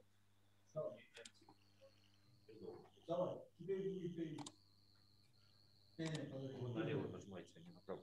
А, все. Прежде всего, классификацию сверхскоростных э, звезд много, э, входит большое количество объектов. Они были открыты в 2005 году в результате э, наблюдений из спектроскопических наблюдений. А затем было, была составлена классификация, и в эту классификацию вошли самые различные объекты с аномально высокими скоростями. Но самый первый это была звезда главной последовательности спектрального класса Б. Основные, основные гипотезы существует две. Гипо- э, сценарий Хилза и сценарий двойной сверхмассивной черной дыры. Э, В галактике Млечный Путь э, мы наблюдаем сверхскоростные звезды, образованные по сценарию Хилза. Об этом косвенно говорят а, наблюдения, а, которые а, по наблюдениям видно, что траектории звезд, они почти радиальные и исходят из центра галактики. Но не ограничивая общности, существуют и другие гипотезы образования сверхскоростных звезд. Когда в модельной галактике имеется не одна черная дыра, а две черные дыры, сверхмассивная и черная дыра промежуточной массы. И в результате динамического трения об, об ближайшие звезды а, начинается генерация сверхскоростных звезд. Ну вот на этом слайде приведен а, а, объяснение сценария Хилза, которое было э, введено в науку в 1988 году, еще за 20 лет до физического открытия сверхскоростных звезд. В, галактике Млечный Путь находится сверхмассивная черная дыра, которая э, разрывает тесную двойную систему, оставляя один компонент на стационарной орбите, образуются так называемые S-звезды, хорошо известные, открытые на телескопе Кека и хорошо известные сейчас. А компонент, который называется HVS, он улетает со скоростью больше тысячи километров в секунду, э, которая на э, границе в районе темного гало превышает скорость покидания галактики дв- э, 240 километров в секунду. В центре 1200, на краю галактики более 240 должна быть. А, Здесь на этом слайде вторая, э, вторая основная гипотеза происхождения сверхскоростных звезд, но э, мы ускоримся немножко. Но в данной работе э, мы с автором проводили поиск, то есть расширяли классификацию сверхскоростных звезд, так, так как в результате непосредственных наблюдений на телескопе, это был 6,5-метровый телескоп ММТ, то есть достаточно большой, за 5 лет было открыто всего 21 сверхскоростная звезда с 2003 года по 2008 год. То есть эффективность, эффективность эм, м, прямых наблюдений, она, понятное дело, это очень рутинное, рутинное наблюдение, обработка спектров и так далее. За 5 лет открыта 21 звезда. Значит, в данной работе мы, мы с автором исследуем, а, расширяем список сверхскоростных звезд и заходим уже а, на, на такие а, исследовать, начинаем исследовать такие объекты, как переменные звезды. То есть мы изучаем наличие сверхскоростных звезд среди переменных звезд. Мы изучали э, лириды и мириды в данной работе, а также звезды э, голубой горизонтальной ветви, используя, э, если так можно выразиться, виртуальную обсерваторию Гайя. Вот. Нет необходимости получать спектры каталог Гая сразу дает нам э, высокоточные данные, которые можно анализировать. А, прежде всего я показываю э, на этом слайде, что было сделано до нас. Значит, вот уже в работе, которая указана на этом слайде, здесь 5000 звезд было выбрано уже, почти 5000 звезд. Вот. Мы, значит, уточняем эти данные и расширяем их на переменные звезды. Значит, что мы, мы берем э, э, данные Гая и выбираем из них те, для которых э, очень высокая точность. Точность оценка тригонометрического параллакса. И а, оставшиеся данные снова анализируем и получаем прежде всего Э, фото, фото, фотометрические расстояния и значит, э, лучевая, э, исходя из собственных движений, мы получаем все компоненты вектора скорости сверхскоростных звезд. А вот это, на этом слайде приведены ошибки. Ошибки, значит, которые дает нам вычисление. И, наконец, а, а, выборка данных дает нам кандидаты сверхскоростные звезды. Сейчас на конференцию у меня доклад будет. Завтра я с утра приеду и займемся. В зависимости от галактического расстояния, значит, вот принято пограничное значение 400 километров в секунду. И то, что выше, значит, является кандидатом в сверхскоростные звезды. Также каталог Гая дает возможность э, получать компоненты э, скоростей, значит, ну, прежде всего наблюдательные, потом их нужно скорректировать, э, сделать из них галактоцентрические, то есть скорректировать за счет движения Солнца по орбите вокруг центра галактики. Вот. И значит, у нас в итоге получается распределение скоростей звезд. Вот такой, как приведено на слайде.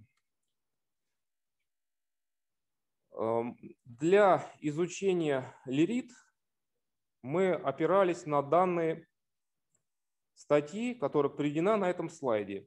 Это вот Лорио и Белокуров, 2021 год. А Белокуров – это выпускник астрономического отделения.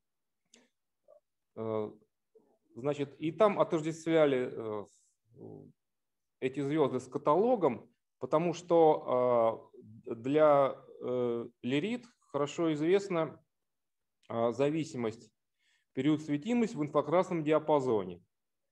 Учитывая межзвездное поглощение, мы получили фотометрическое расстояние, вот, а из зависимости период металличность светимость мы получили вот остальные данные и ошибки этого движения.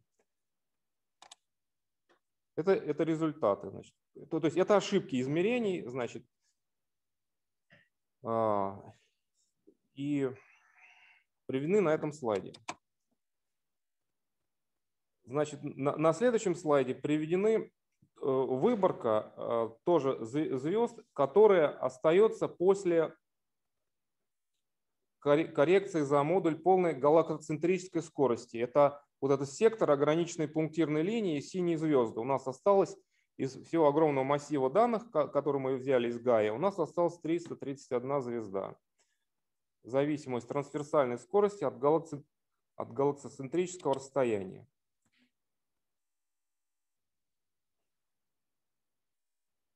Значит, э, следующий слайд относится к меридам.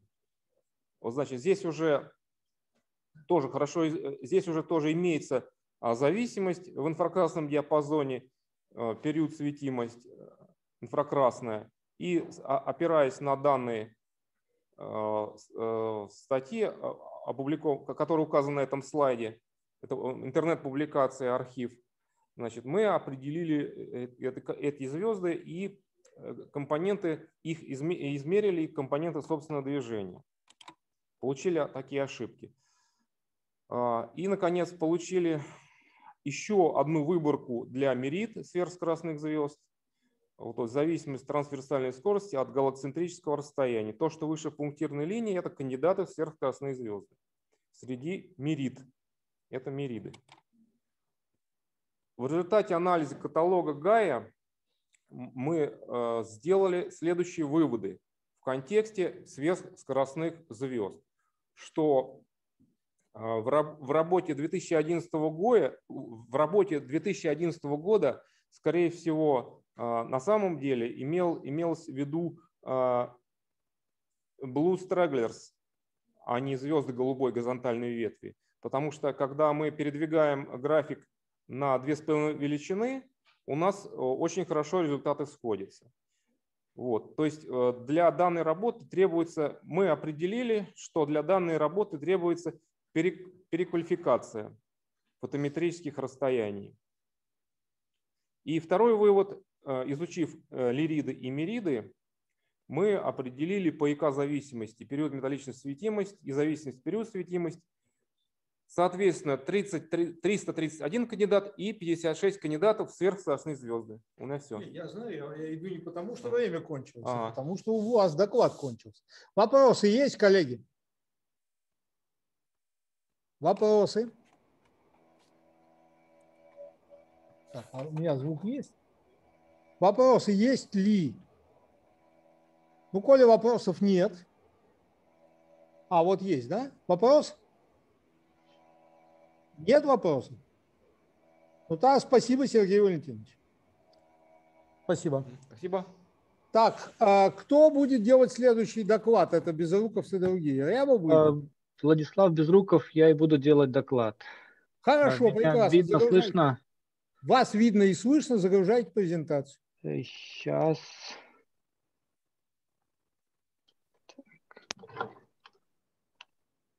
А экран мой видно? Пока нет. Вы должны, чтобы у вас была открыта презентация, и дальше нажать Share. Так. Зелененькая кнопочка внизу под экраном. Да, пытаюсь. Что-то мне не хочет. Сейчас.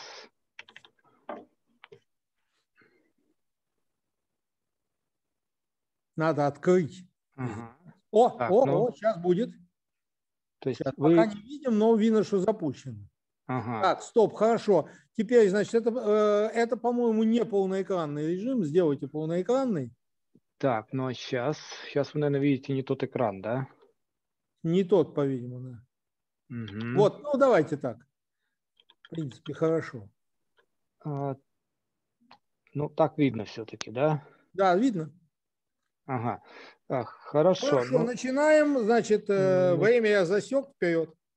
А, да, добрый день. Я Владислав Безруков, э, представляю международную команду латвийскую-украинскую. Э, сам я нахожусь в Венспилсе, Латвия, на радиотелескопах ВИРАК. И предоставлю наш доклад по совместной работе по Персею-А, наблюдение оптика и радио. А, ну, сначала, конечно, хочу сказать спасибо, что дали время здесь поучаствовать. И э, прошу Михаила Рябова, если что, поддержать с ответами, потому что это э, больше э, Рябова и Сухарева доклад, чем мой. Но я попытаюсь его доложить. Исторически получилось так, что где-то с 2017 года мы ведем совместные наблюдения в оптике и в радио активных галактических ядер. И в прошлом ну, начиная с сентября, мы подали заявку на латвийский грант, и в декабре было приятно удивлены, что его получили, и с декабря начали проект по наблюдению Персея. И на радиотелескопах э, в Ирбане, Латвия, то есть Венспилс, Словакия, Одесса и Оп... Балдон и Латвия оптические телескопы. Ну, пару слов о Персее. То есть это крупная линзовидная галактика NGC 1275. Ее радиоисточник 3C84 Персей А. А, скопление галактик имеет индекс Абель 426 и содержит около 50 галактик, а возможно и больше, которые пока, может быть, не видны. В оптическом диапазоне видны остатки другой галактики, которая поглощается NG1275, и поэтому предполагается, что вторая черная дыра может быть в ядре э, этой галактики.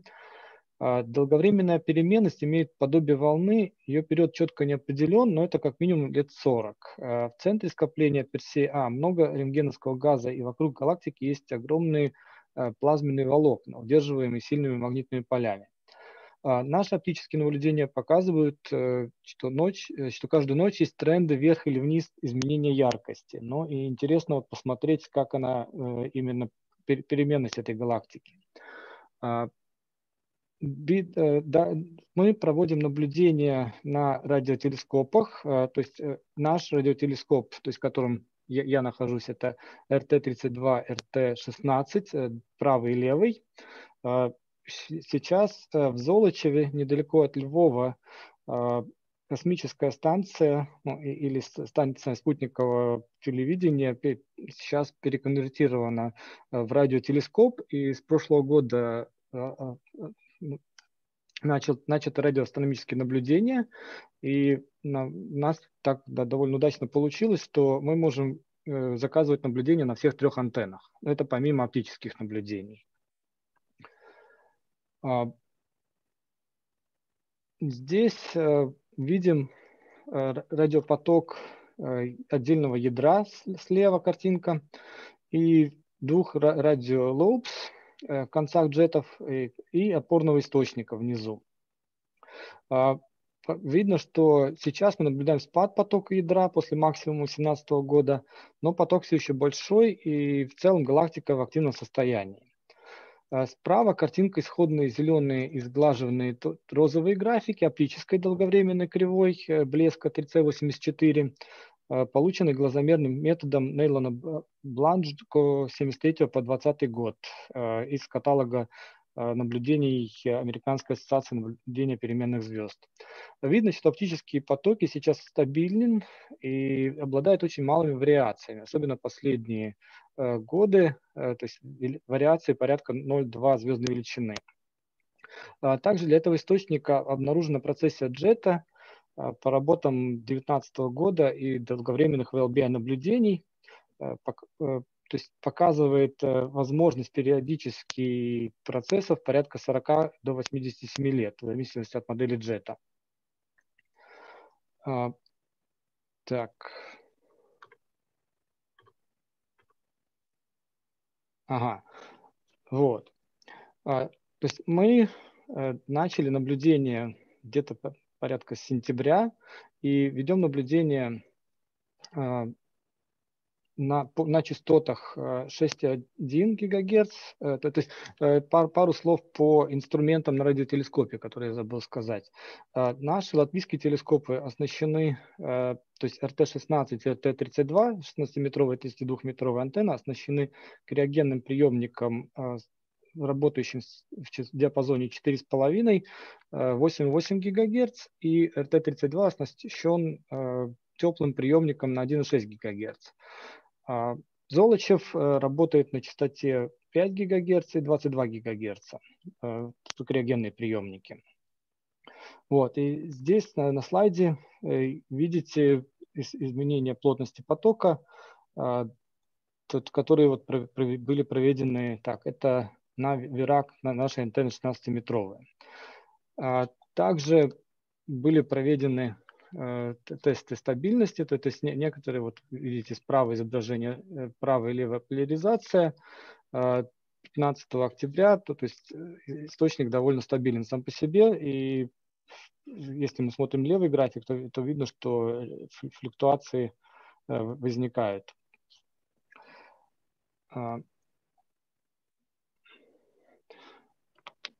Дальше для анализа влияния технических параметров телескопа и в том числе наблюдения на разных углах высоты были проведены наблюдения Кассиопеи и Сайгнус Альфа для, для того, чтобы проверить, насколько изменение потока – это именно атмосферные и Персея, а нежели технические какие-то параметры.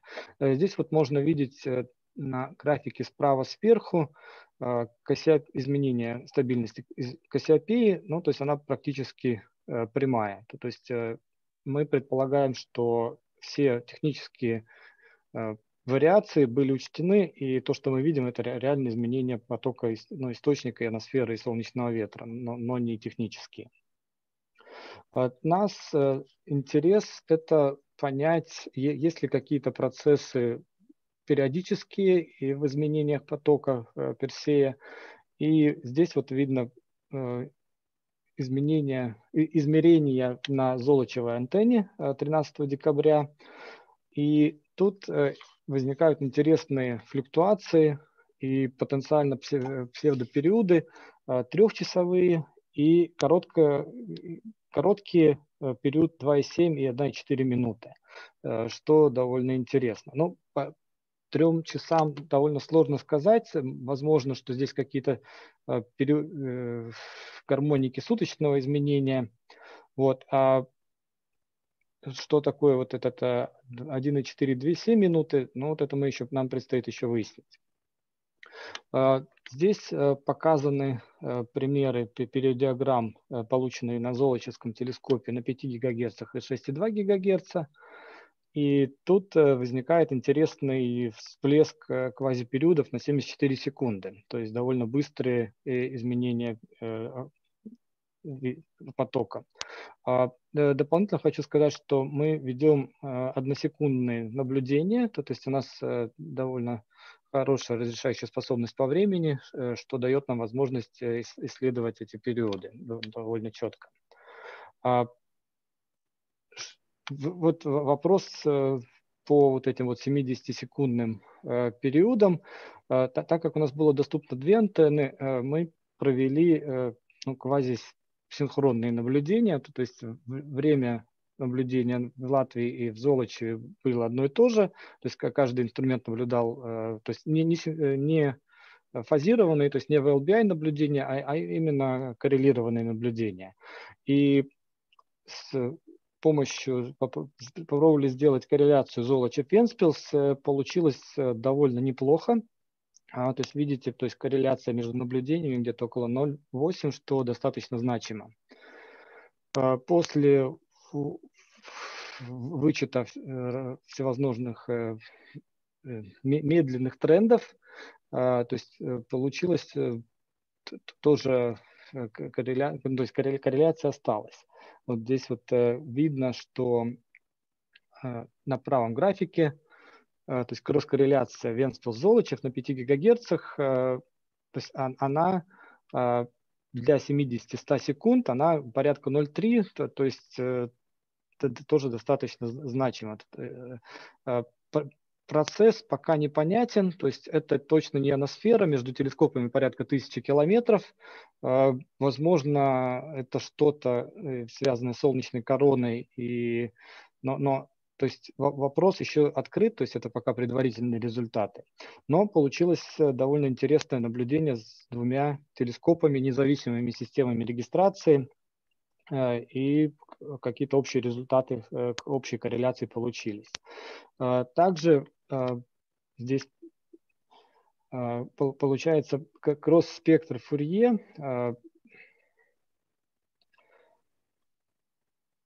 То есть следующий шаг проверки были э, построены взаимные спектры Фурье, и Здесь вот показано, что спектр до, до излома, а, то есть это да, дальше идет шумовой хвост, а, видно, что здесь появляется слабый максимум 86 э, секунд. А, то есть это наблюдение 19-20 декабря прошлого года. Для подтверждения значимости вот этих кросс-корреляций было, наблюдения были разбиты на четыре части. Для золочевских и латвийских антенн провели для каждой пары кросс-спектральный анализ. Результаты показаны вот справа здесь, вот видите на этих рисунках. Квазипериоды проявляются на всех четырех спектрах, а, но период этих вариаций с лица меняется, а, но в целом в среднем для всех четырех пар около 81 секунды. А, то есть э, таким образом можно сказать, что это не ионосферные изменения и мерцания, и то есть это не помехи технического содержания, то, то есть не помехи, связанные с RFI или э, регистраторами. А, возможно, какие-то э, связи с солнечным ветром, а, но опять-таки солнечный ветер динамически меняется, и трудно предположить, что межпланетная среда может обеспечить э, влияние, ну, так, такое влияние на э, долгие измерения. А, следующий слайд показаны оптические наблюдения на Э, маяки Украина и Вихарлат Словакия телескопах. Э, Балданы пока еще не подключились. Э, у нас в Латвии климат не очень располагает к оптическим наблюдениям, то есть ждем, когда будет удачная, хорошая ночи, чтобы подключиться к этим наблюдениям. Минута а, осталась, Владислав, минута. Да, да, хорошо, я уже подхожу к концу. А, то есть э, здесь мы видим достаточно стабильные наблюдения, то есть, то есть флюктуации порядка 0,1-0,2 магнитуды. А, планируем это продолжать как минимум в течение года, эти наблюдения. Посмотрим, что у нас э, получится. То есть э, следующий слайд то есть пытались э, вписать э, наблюдения, то, есть моделировать эти наблюдения. Получаются периоды порядка 17 дней, квазипериодические периоды.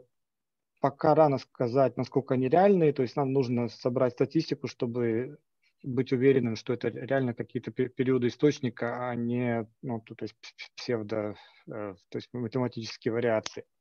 А, по выводам а, начат интересный э, международный проект, э, может быть такой своеобразный бонус наших ковидных времен, что мы можем работать, сидя дома и сидя в разных странах, но при этом вести наблюдение на различных инструментах и обрабатывать данные. И то есть в деньгах это не требуется никаких поездок, и по времени это, это тоже какой-то бонус. Ну, конечно, хочется видеть всех коллег реально. Надеюсь, что это будет э, возможно. А, то есть Золочев работает, Венспилс работает, оптика тоже нам помогает очень сильно. Э, хочу еще порекламировать немножко Венспилс как красивый город и радиоастрономический центр. Э, то есть мы работаем, несмотря на все запреты, то есть удаленно, но телескопы доступны для наблюдений. И если есть желание понаблюдать с нами, то мы открыты для сотрудничества. Э, Все, спасибо за внимание. Большое спасибо. Так, на много вопросов времени нет, вопросы есть? Так, не слышу.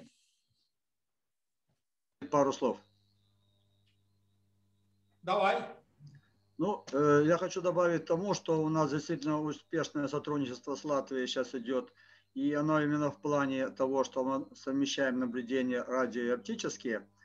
Данный уже есть опыт наблюдения кратковременной переменности большого числа активных ядер галактик, лацертит – а сейчас вот этот объект э, Персей, а он представляет достаточно интерес в том, что его внимание, э, он наблюдался и на радиостроне.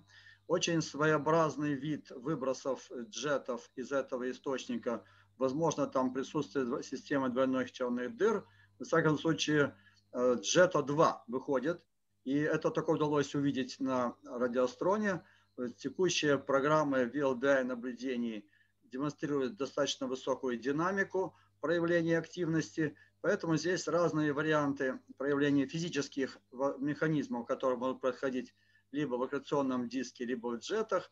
И вот это интересная возможность, так сказать, э, применяя такую систему наблюдений, попытаться понять, что такое кратковременная переменность активных ядер галактик. Так, ну ладно, теперь времени на вопрос уже точно нет. А, благодарим докладчиков. А, следующий докладчик у нас Михайлов. Свойства радиогалактик FR0 в сантиметровом диапазоне. Есть Михайлов? Да.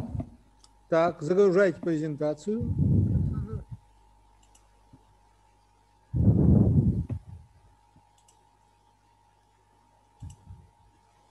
А, ви видно, да? Хорошо. Видно, давайте полный экран ее дуйте. А, добрый день, коллеги. Так, Я расскажу... Полный экран не пошло, что-то не видно ее теперь. А, не видно, да? Вот она когда была не на полной, вот так ее видно, а на полный экран ее почему-то не видно. Ну, пойдет. Сейчас. А может быть мы сделаем вот так? Так видно? Нет, к сожалению, не видно. Хорошо. Ну, сделайте частичный экран. Эх, так. Вот, вот, вот, увеличьте. Хорошо, ее. тогда я буду так. Вот, вот, вот, вот, вот. Вот так сделайте, так будет хорошо. Да, хорошо. Так, Добрый день я еще раз. Свое имя, во имя пошло. А, я расскажу о свойствах радиогалактик FR0 в сантиметровом диапазоне. А, ну, вначале небольшое введение касательно радиогалактик. Исторически это одни из первых типов активных галактик, которые исследовались э, в астрофизике. Э, для них характерна радиосветимость в широком диапазоне от 10 в 39 до 10 в 46 степени в секунду. Э, радиоструктуры развитые на масштабах от парсек до мегапарсек. И в основном они ассоциируются с эллиптическими галактиками и также морфологически классифицируются на фонарев ралли первый тип – и фонарев брали второй тип. При этом второй тип несколько более мощный.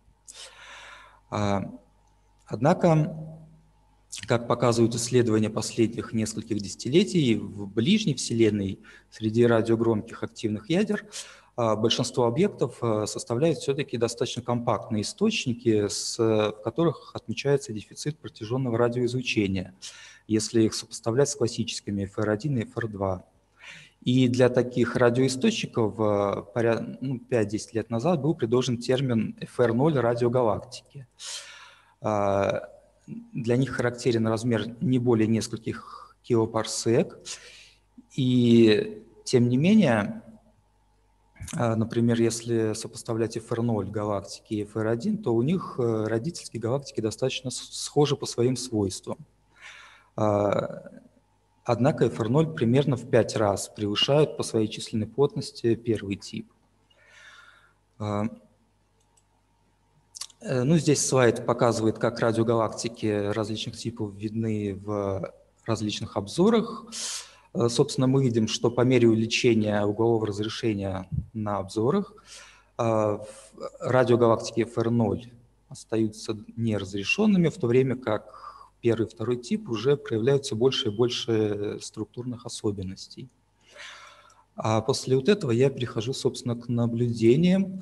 Наблюдения проводились на радиотелескопе Ротан-600. Э, для этого была сформирована выборка из 34 объектов каталога радиогалактики FR0 э, со спектральными плотностями потоков более 30 миллиятьих на частоте обзора НУСС 1,4 ГГц. Все эти объекты достаточно близкие, у них красное смещение не превосходит 5 сотых. И наблюдения проводились в 2020 году на северном секторе Ротан-600 на 6 частотах одновременно. А, ну, здесь приведены параметры приемной аппаратуры, и в результате наблюдений нами получались, получался квазиодновременный спектр, под которым понимается результат осреднения всех записей прохождения источника на масштабе временном масштабе порядка 7 дней. А, перейдем к результатам. Во-первых, все источники были детектированы на частоте 4,7 ГГц, и для них была вычислена на этой частоте радиосветимость, а, распределение которой показано на слайде, и ее характерное значение порядка 10 в степени 39,7, то есть достаточно умеренной энергетики.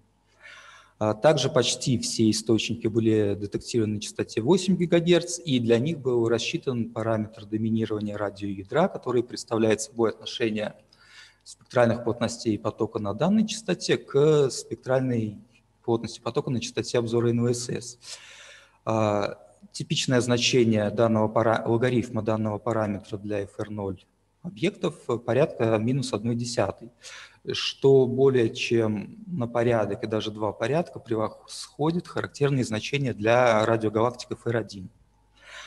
А, то есть тем самым мы видим подтверждение, еще одно подтверждение того, что это очень компактные объекты. Вот также мы рассчитали радиогромкость по данным в оптике, дополнительным данным в оптике и нашим данным в радио. Ну и среднее значение радиогромкости порядка 10, то есть это соответствует границе разделения между обычно применяемые границы разделения между радиотихими и радиогромкими объектами, хотя встречаются некоторые отклонения в ту и в другую сторону. А, далее к важным результатам следует отнести получение квазиодновременных спектров. А, здесь, э, которые были классифицированы по своей форме для объектов, э, для, для которых были получены измерения, по крайней мере, на трех и более частотах. Вот. Большинство спектров оказались спектром типа Пикет, то есть обладают максимум в спектральном распределении энергии, а, к чему мы далее вернемся. Ну и здесь также мы приводим спектральные индексы квазиодновременные, которые рассчитаны по нашим измерениям а, и их распределение. То есть уже здесь видно, что спектр объектов плоский, особенно в диапазоне примерно от 5 до 8 ГГц, где спектральный индекс практически равен нулю. А, также по вот этим квазиодновременным спектрам с тремя и более точками на с тремя и более измерениями мы построили усредненный спектр а, по потокам, который приведен справа вверху. И вот, вот этот спектр, он, в принципе, отмечает все отмеченные на ранее особенности, так, сейчас, ранее особенности, когда я говорил о спектральных индексах. И его можно рассматривать как результат сложения, по крайней мере, двух компонент. И, в принципе, эта картина может быть достаточно качественно, по крайней мере, описана тем, что мы наблюдаем э, ярко компактное ядро э, с некоторым вкладом компактных джетов, видимо. А, идем далее. А, далее Следует отметить, что помимо что на VLA проводились целенаправленные наблюдения выборки радиогалактик FR0 на трех частотах а, с угловым разрешением вплоть до 0,3 угловой секунды, но при этом протяж... признаки протяженного радиоизлучения были детектированы только у 4 из 18 наблюдавшихся объектов. А, из выборки VLA а, на Ротане мониторились 7 объектов, а, и мы сравнили наши измерения с измерениями зарубежных коллег. То есть в этой табличке приведены отношения спектральных плотностей потока, измеренные на ротан 600 и на близкой частоте VLA. Видно, что практически во всех случаях это отношение мало отличается от единицы, за исключением двух объектов, которые вот помечены звездочками. А, это те объекты, для которых было детектировано протяженное радиоизлучение в VLA наблюдениях, и вот их карты на трех частотах приведены на слайде слева. Э, далее, э, также Чен Киан в 2018 году провели анализ архивных данных VLBI для 14 объектов FR0, э, в результате чего они смогли выделить структуры у этих объектов типа ядро, ядро односторонний джет и ядро двусторонний джет на масштабах порядка ну, от 2 до 20 парсек. Вот здесь приведены характерные изображения на частоте 8 ГГц. А, так же, как и в случае с наблюдением на VLA, мы сопоставили наши измерения, а мы наблюдали 12 объектов из 14, о которых речь шла в статье Чен Гаяна. И здесь тоже показано в таблич, табличке отношение спектральных плотностей потока, измеренных на ротан 600 и на VLBI, на близкой частоте. А, практически во всех случаях здесь также вот это отношение близко к единице. А, то есть сопоставление наших измерений с данными VLA и VLBI в принципе тоже подтверждает крайнюю степень компактности вот этих э, галактик FR0. Как я уже ранее говорил, среди FR0 радиогалактик, среди их квази-одновременных спектров широко представлены спектры типа Пикет, что, и также они обладают характерной выпуклой формой в большинстве случаев, что позволяет исследовать вопрос об их возможной принадлежности к классу GPS-источников, то есть источников, которые обладают пиком в спектре на частотах гигагерц нескольких гигагерц. Вот здесь приведены классические примеры таких источников и критерии отнесения к данному классу. А, мы а, привлекли также дополнительные данные литературные, э, дополнительно к данным Ротанс э, 600, и, в принципе, выделили три наиболее таких возможных кандидата, которые можно рассматривать как э, GPS-источники. Однако я подчеркну, что GPS-источники, если это действительно GPS-источники, то они обладают достаточно малой мощностью. А, ну, здесь также приведены помимо их спектров а, значения вот, вот этих параметров низкочастотные, высокочастотные спектральные индексы и прогнозируемая частота пика. А, Интересный вопрос, который остается пока без ответа, это природа радиогалактиков R0. А, существуют три основные возможности, которые рассматриваются. Первая возможность заключается в том, что, возможно, это молодые радиогалактики, которые с течением времени могут э, эволюционировать э, в протяженные радиогалактики наподобие FR1. А, вот справа здесь показана диаграмма, которая показывает размер проецируемый размер источника, радиоисточника и его мощность. В принципе, радиоисточники FR0 попадают как раз-таки в левую нижнюю часть вот этого рисунка, что, по крайней мере, для некоторых таких объектов позволяет допустить э, возможную истинность вот такого эволюционного, эволюционного сценария. Следующая возможность, которая рассматривается, это то, что радиогалактики FR0 представляют собой объекты, в которых, э, которые претерпевают кратковременные стадии аккреции. То есть вполне вероятно, ранее они были активны, и у них были какие-то протяженные структуры. Ну, в принципе, здесь можно посмотреть э, наиболее перспективно, наверное, на низкочастотные обзоры, Например, обзор ЛОЦ, который проводится на Лафаре на частоте 150 МГц, что было сделано вот Капетти в 2020 году. И для 12 источников из 66 попадающих в полосу обзора ЛОЦ были действительно обнаружены некие протяженные структуры разной формы, примеры которых приведены на слайде, ну, с, характер... с размерами от 15 до 50 килопарсек. То есть, в принципе, вполне вероятно, что некоторые объекты могут и были активны в прошлом. А третья возможность, э, то, что это сверхмассивно, то, что в центрах FR0 э, радиогалактик находятся сверхмассивные черные дыры э, с малым спином, ну, также рассматривается. Некоторые авторы считают, что косвенным подтверждением этого может являться наличие умеренно-релятивистских струй на масштабах парсек. Вот. Но здесь тоже вопрос еще далеко не ясен. Ну, собственно, после этого я перехожу к заключению. Первый вывод, который сделан благодаря нашим наблюдениям, это то, что объекты FR0 обладают умеренной радиосветимостью, мы подтверждаем, подтверждаем дефицит протяженного радиоизлучения.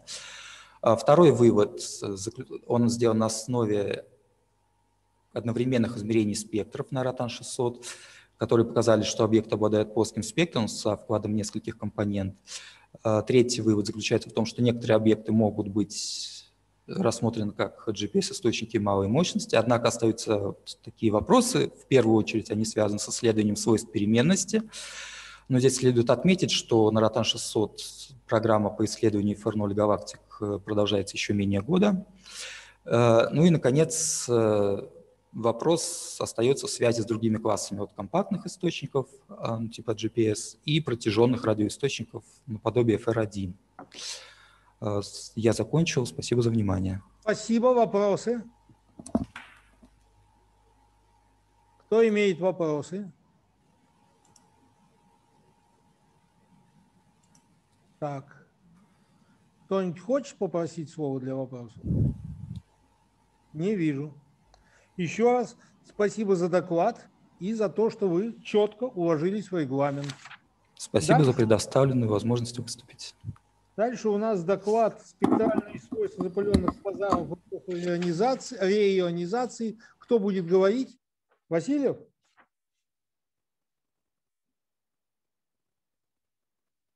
Так, что происходит, не понял.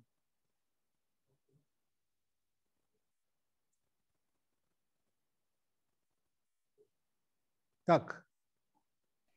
Не слышно меня? Так, э, вот сейчас чуть-чуть стало слышно. Так, лучше слышно. Еще постарайтесь погромче, значит, видна ваша Сейчас презентация. буду громче говорить тогда. Да, говорите громче и запускайте на полный экран. Все, Все видно? отлично. Отлично. Ну, Стартуем. Да. Значит, Василь... я расскажу о запыленных квазарах на больших кратных смещениях. Собственно, известно, что вот есть черные дыры в галактиках, и вопрос об эволюции черных дыр, э, как происходит эволюция, как происходит рост черных дыр в галактиках, э, ну, наибольший вопрос состоит в том, как это, как это было на разных ну, на больших кратных смещениях в раннюю эпоху Вселенной. Вот э, для современной эпохи, для кратного смещения порядка э, нуля, у нас есть какое-то масштабное соотношение между массой черной дыры массой звездного населения, массой Балджа, динамической массой. А вот, ну, в частности, есть какое-то отношение более-менее стандартное для вот таких масс. Оно равно это 2000. Ну и дальше, собственно, вопрос, как это происходит, потому что никто не ожидал, что на больших кратных смещениях в эпоху где-то ну, на Z-семерке, то есть это соответствующий возрасту Вселенной где-то 700, тысяч, 700 миллионов лет, обнаружат галактику, э, галактику с массой черной дыры 2 на 10 девятой массы Солнца. И такая галактика обнаружена не одна. То есть их уже десятки таких галактик. Вопрос в том, что какие, как они там образовывались, как это все происходит, как мы смотрим на эти галактики.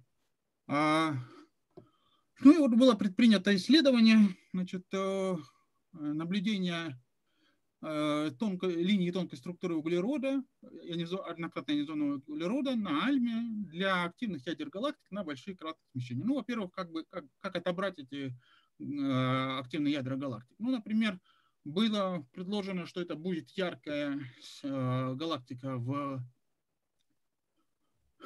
в оптике, то есть это на 1450 ангстремах, ну это, э, если надо семерки, то это смещается в ИК-диапазон.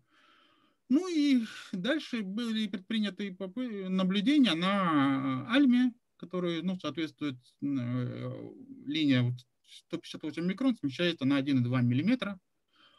Вот слева показаны, собственно, какие-то э, ну, наборы различных галактик, ну и в частности вот темно-красным это те галактики, которые будут ну, а, а, ну, интересующие нас галактики, так скажем. Вот. А справа показано то, что эти, если пересчитать эту светимость на массу черной дыры, то масса черной дыры будет достаточно большой. Вот.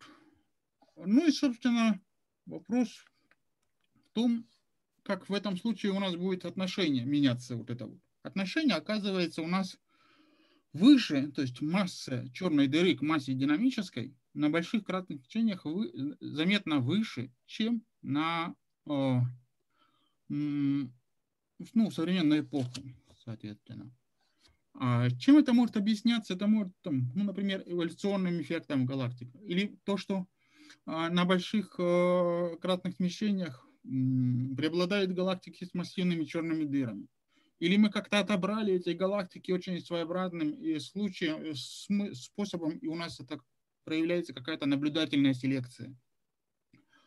Да, у нас выборка исключительно из ярких галактик. Да, скорее всего, оптически, толст, оптически толстые галактики в оптике, они не видны. Ну вот, собственно, мы попытались как-то моделировать это. Значит, э, мы берем спектр, у нас есть спектр э, черной дыры вот красным спектр различных звездных населений, вот, э, другими линиями изображены. И мы смотрим, как, как будет, каков будет спектр туманности, ну, фактически газа в галактике, который будет происходить, получаться, если этот, этим газом окружить этот источник э, излучения. Ну, вот это то, что получается спектр для различных масс, чер, масс э, э, черных дыр, то есть на 10 5, 10 6, 10 7, 10 8 масс Солнца. Синие линии показаны исходные спектры или, ну, если газа нету, то есть это вот часть от черной дыры, а вот эта часть от звездного населения. Постепенно при увеличении массы черной дыры, ну, понятно, она пересвечивает э, звездное население, здесь оно более ну, считается постоянным. И при а, окружении этим, э, поглощении, собственно, этого излучения в галактике, в газе окружающем, у нас выедается достаточно серьезно, вот здесь вот на, здесь, наверное, закрыто, я уберу это, вот это вот массы газа 3 на 10 8, 3 на 10 9, 3 на 10 9 и 10 10. Ну и вот видно, что оптика и часть ультрафиолетового диапазона, она сильно выедается. Эта энергия перекачивается в энергию пыли, в пылевой вот этот пик, который, ну и, а, и остается еще какая-то рентгеновская часть. Собственно, это не сильно противоречит наблюдениям в локальной вселенной. Вот это вот э, точки наблюдательные, то есть синие точки, это наблюдательные наблюдения в лока, галактик в локальной вселенной. А вот эта точка, это рентгеновское наблюдение, соответственно, этой, этих галактик. Ну и какие-то вот а, красные линии, соответствующие более-менее модели, то есть попытка а, э, этих авторов, они пытались моделировать эти галактики. Оно не сильно противоречит. Значит, э, ну, поскольку у нас э, достаточно мощные пики излучения при, приходятся в инфракрасную область, то есть это перекачка пыли, и, собственно, мы интересуемся в линии углерода, то есть э, какие-то соотношения между этими линиями для чисто звездных, если у нас есть газ, облучаемый звездным населением и активным ядром. Ну, видно, что здесь наклоны разные. Ну, а вот на правой рисунке вот э, темно-красными точками показаны вот эти галактики, на, то есть наблюдение галактик для больших красных смещений. То есть вот те, которыми мы интересуемся на красном смещении больше шестерки. Э, здесь эти же галактики показаны серыми точками. А э, треугольниками наши модели. То есть по цветам, цветом у нас показано, это масса газа, это логарифм массы газа. А вот наверху, сейчас это уйдет, значит, наверху вот эти, это логарифм, то есть 5, 6, 7 и так далее, это логарифм массы черной дыры. То есть видно, что для массивных э, черных дыр и достаточно малой массы газа мы вполне можем получать такие, то есть а, соотношение светимости углерода к инфракрасному похожие на то, что наблюдается. Формально это соответствует тому, что это действительно оптически тонкие а, галактики, то есть массы газа достаточно маленькие, вот, ну то есть вот поглощение, поглощение вот э, в оптической области недостаточно сильное. Действительно, мы же их отбирали таким образом. То есть, не, точнее, не мы отбирали, а вот кто наблюдал, они отбирали таким образом, чтобы галактики были достаточно мощные, мощно светили в оптике. Ну, в оптике на больших кратных смещениях, в, инфра, ближнем инфракрасе на а, э, то, что мы наблюдаем. То есть это, потому что 1450 ангстрем смещается там на а, где-то около микрона на а, с кратного смещения шестерка. Вот. Ну, собственно, что мы получаем, если мы будем рассматривать звездное население? Если мы будем рассматривать чисто звездное население, вот справа, правая панель, или звездное население с небольшой черной дырой, то мы никак не можем объяснить вот эти наблюдаемые точки. А связано это, собственно, с тем, что в случае массивной черной дыры у нас есть достаточно мощное излучение в рентгене. Это рентгеновское излучение, оно остается после поглощения. И именно это рентгеновское излучение греет газ и дает возможности для э, существования углерода, однократно ионизованного углерода С2, вот он показан толстыми линиями здесь, вот в более широком диапазоне массы газа. Для звездного населения это очень узкая, узкий диапазон и очень малой массы газа. А для в случае черной дыры, массивной, сверхмассивной черной дыры, у нас этот интервал достаточно широкий, и э, на, даже при больших массах газа, там, где поглощение очень мощное, из-за нагрева э, рентгеновским излучением у нас С2 остается достаточно, концентрация С2 достаточно высока. Ну, собственно, посмотрим мы еще на какие-то наблюдения. Значит, э, вот здесь вот по осям это светимость на 6 микронах, это светимость на, в рентгене, это наша модель. А вот это наблюдение локальной Вселенной. То есть видно какое-то соответствие более-менее. Здесь э, различными точками, вот, э, ну, группы точек, это соответствует э, массе, различным массам черной дыры, а цвет, соответственно, массе газа, логарифм массы газа. Видно, что, да, по массе черной дыры они различаются достаточно хорошо, а, а по массе газа, ну, здесь вот это соотношение оказывается вырожденным. Ну, здесь вот то, что здесь фактически то же самое для наблюдений – и хотелось бы посмотреть, если мы сдвинемся в более длинноволновую инфракрасную область, то мы увидим, что это вырождение уходит. И на 70 микронах мы уже видим какое-то разделение точек для массивных, э, для массивных, массивных черных дыр. То есть это вот тоже там масса черной дыры 10 5, 10 6, 10 7, 10 8, 10 9, 10 10. И здесь показаны потоки, потоки из красных смещений 11, 9 и 7, ну и, соответственно, символы, чем дальше они, тем крупнее. Для масс черных дыр 7, 8, 9, 10. Мы видим, во-первых, что, скорее всего, мы будем, если будут проведены какие-то наблюдения или будет проведено какое-то сравнение, то мы сможем различить эти массы газа предельные потоки где-то для, для Чандры где-то вот несколько на 10 минус 16, а для Хальмы несколько на 10 минус 2. 10, 10 во 2. Где-то тут мы будем наблюдать вот эти вот объекты без проблем. Ну и, собственно, в заключение, значит, галактики с массой звезд, соответствующей динамической массе в спокойном состоянии, не могут обеспечить и светимость в наблюдаемую или светимость в инфракрасной области. Э, соотношение вот, э, отношений светимости э, в линии однократно ионизованного углерода и к инфракрасной более согласуется с нагревом массивной черной дыры. Выборки, вот, основанные на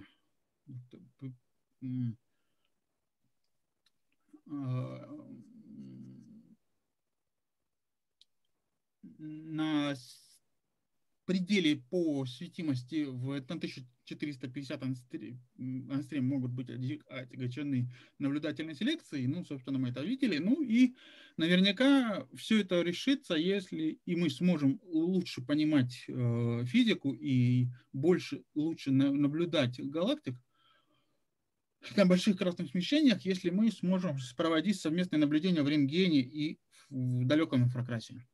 Спасибо. Спасибо большое. Один вопрос есть время.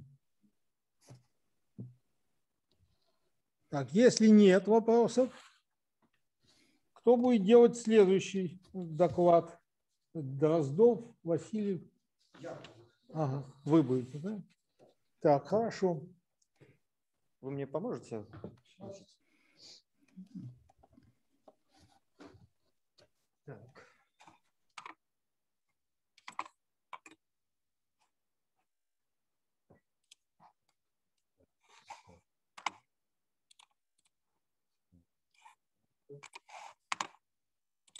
Так, вот этот спикер.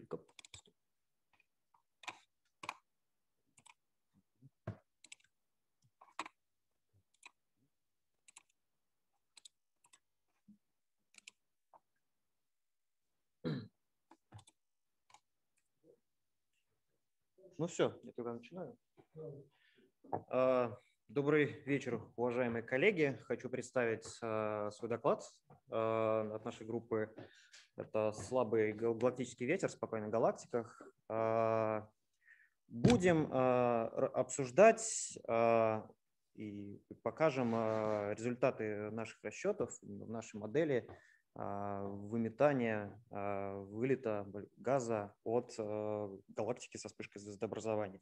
Так, в принципе, звездообразование у нас, если мы рассматриваем, ну, если она обычно протекает в практически всех галактиках в той или иной мере, но и в некоторых а, близких и не очень галактиках мы наблюдаем мощные ветра, мощные потоки истечения газа, как вот на этих примерах NGC 3079 и Galactica M82, которые, а, по идее, а, чаще всего пытаются объяснить а, вспышками звездообразования, большим количеством взрывов сверхновых звезд и вылетом газа,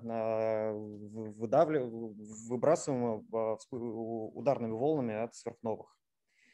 Так, Подобные структуры, как вот здесь мы наблюдаем, а, надеюсь, видно мою мышку, а, как наблюдаем вот на этих а, фотографиях, подобные структуры мы, в принципе, можем увидеть и в нашей галактике. Если здесь посмотреть на, это уже, наверное, я думаю, всем известную фотографию, которая появилась, э, которую сделали на, с помощью обзора э, всего неба на телескопе э, СРГ, спектр рентген-гамма, то, в принципе, подобные структуры здесь видно и в нашем Млечном пути, называемые пузыри а, ерозиты. А, но наша галактика, она спокойная, то есть у нас темп звездообразования, он не превышает 0,1 масс Солнца в год. А, но подобные структуры все равно наблюдаются. Э, это вопрос, можно ли что-то подобное сделать, такие большие образования, э, которые поднимаются достаточно высоко над плоскостью галактики с помощью э, небольшого, ну, с помощью не сильно высокого темпа звездообразования, насколько высоко. Сейчас поговорим. Так, в принципе, до этого попытки объяснить э, подобные вот образования, подобные пузыри, поднимающие над плоскостью галактики, предпринимались и раньше. Ну, например, в работе Саркара НАТО, э, правда, использовали э, не сами взрывы сверхновых, а некий постоянный ветер, который закачивал энергию в расширяющиеся оболочки газа. Но там эффективная мощность, которая, в принципе, соответствует темпу звездообразования, в пять раз больше, чем наблюдалось.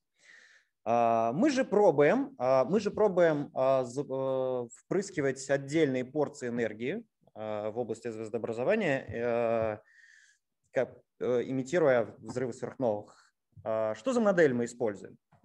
Модель, во-первых, у нас двухкомпонентная модель газового диска. Это сам диск. Здесь вот можно посмотреть профиль плотности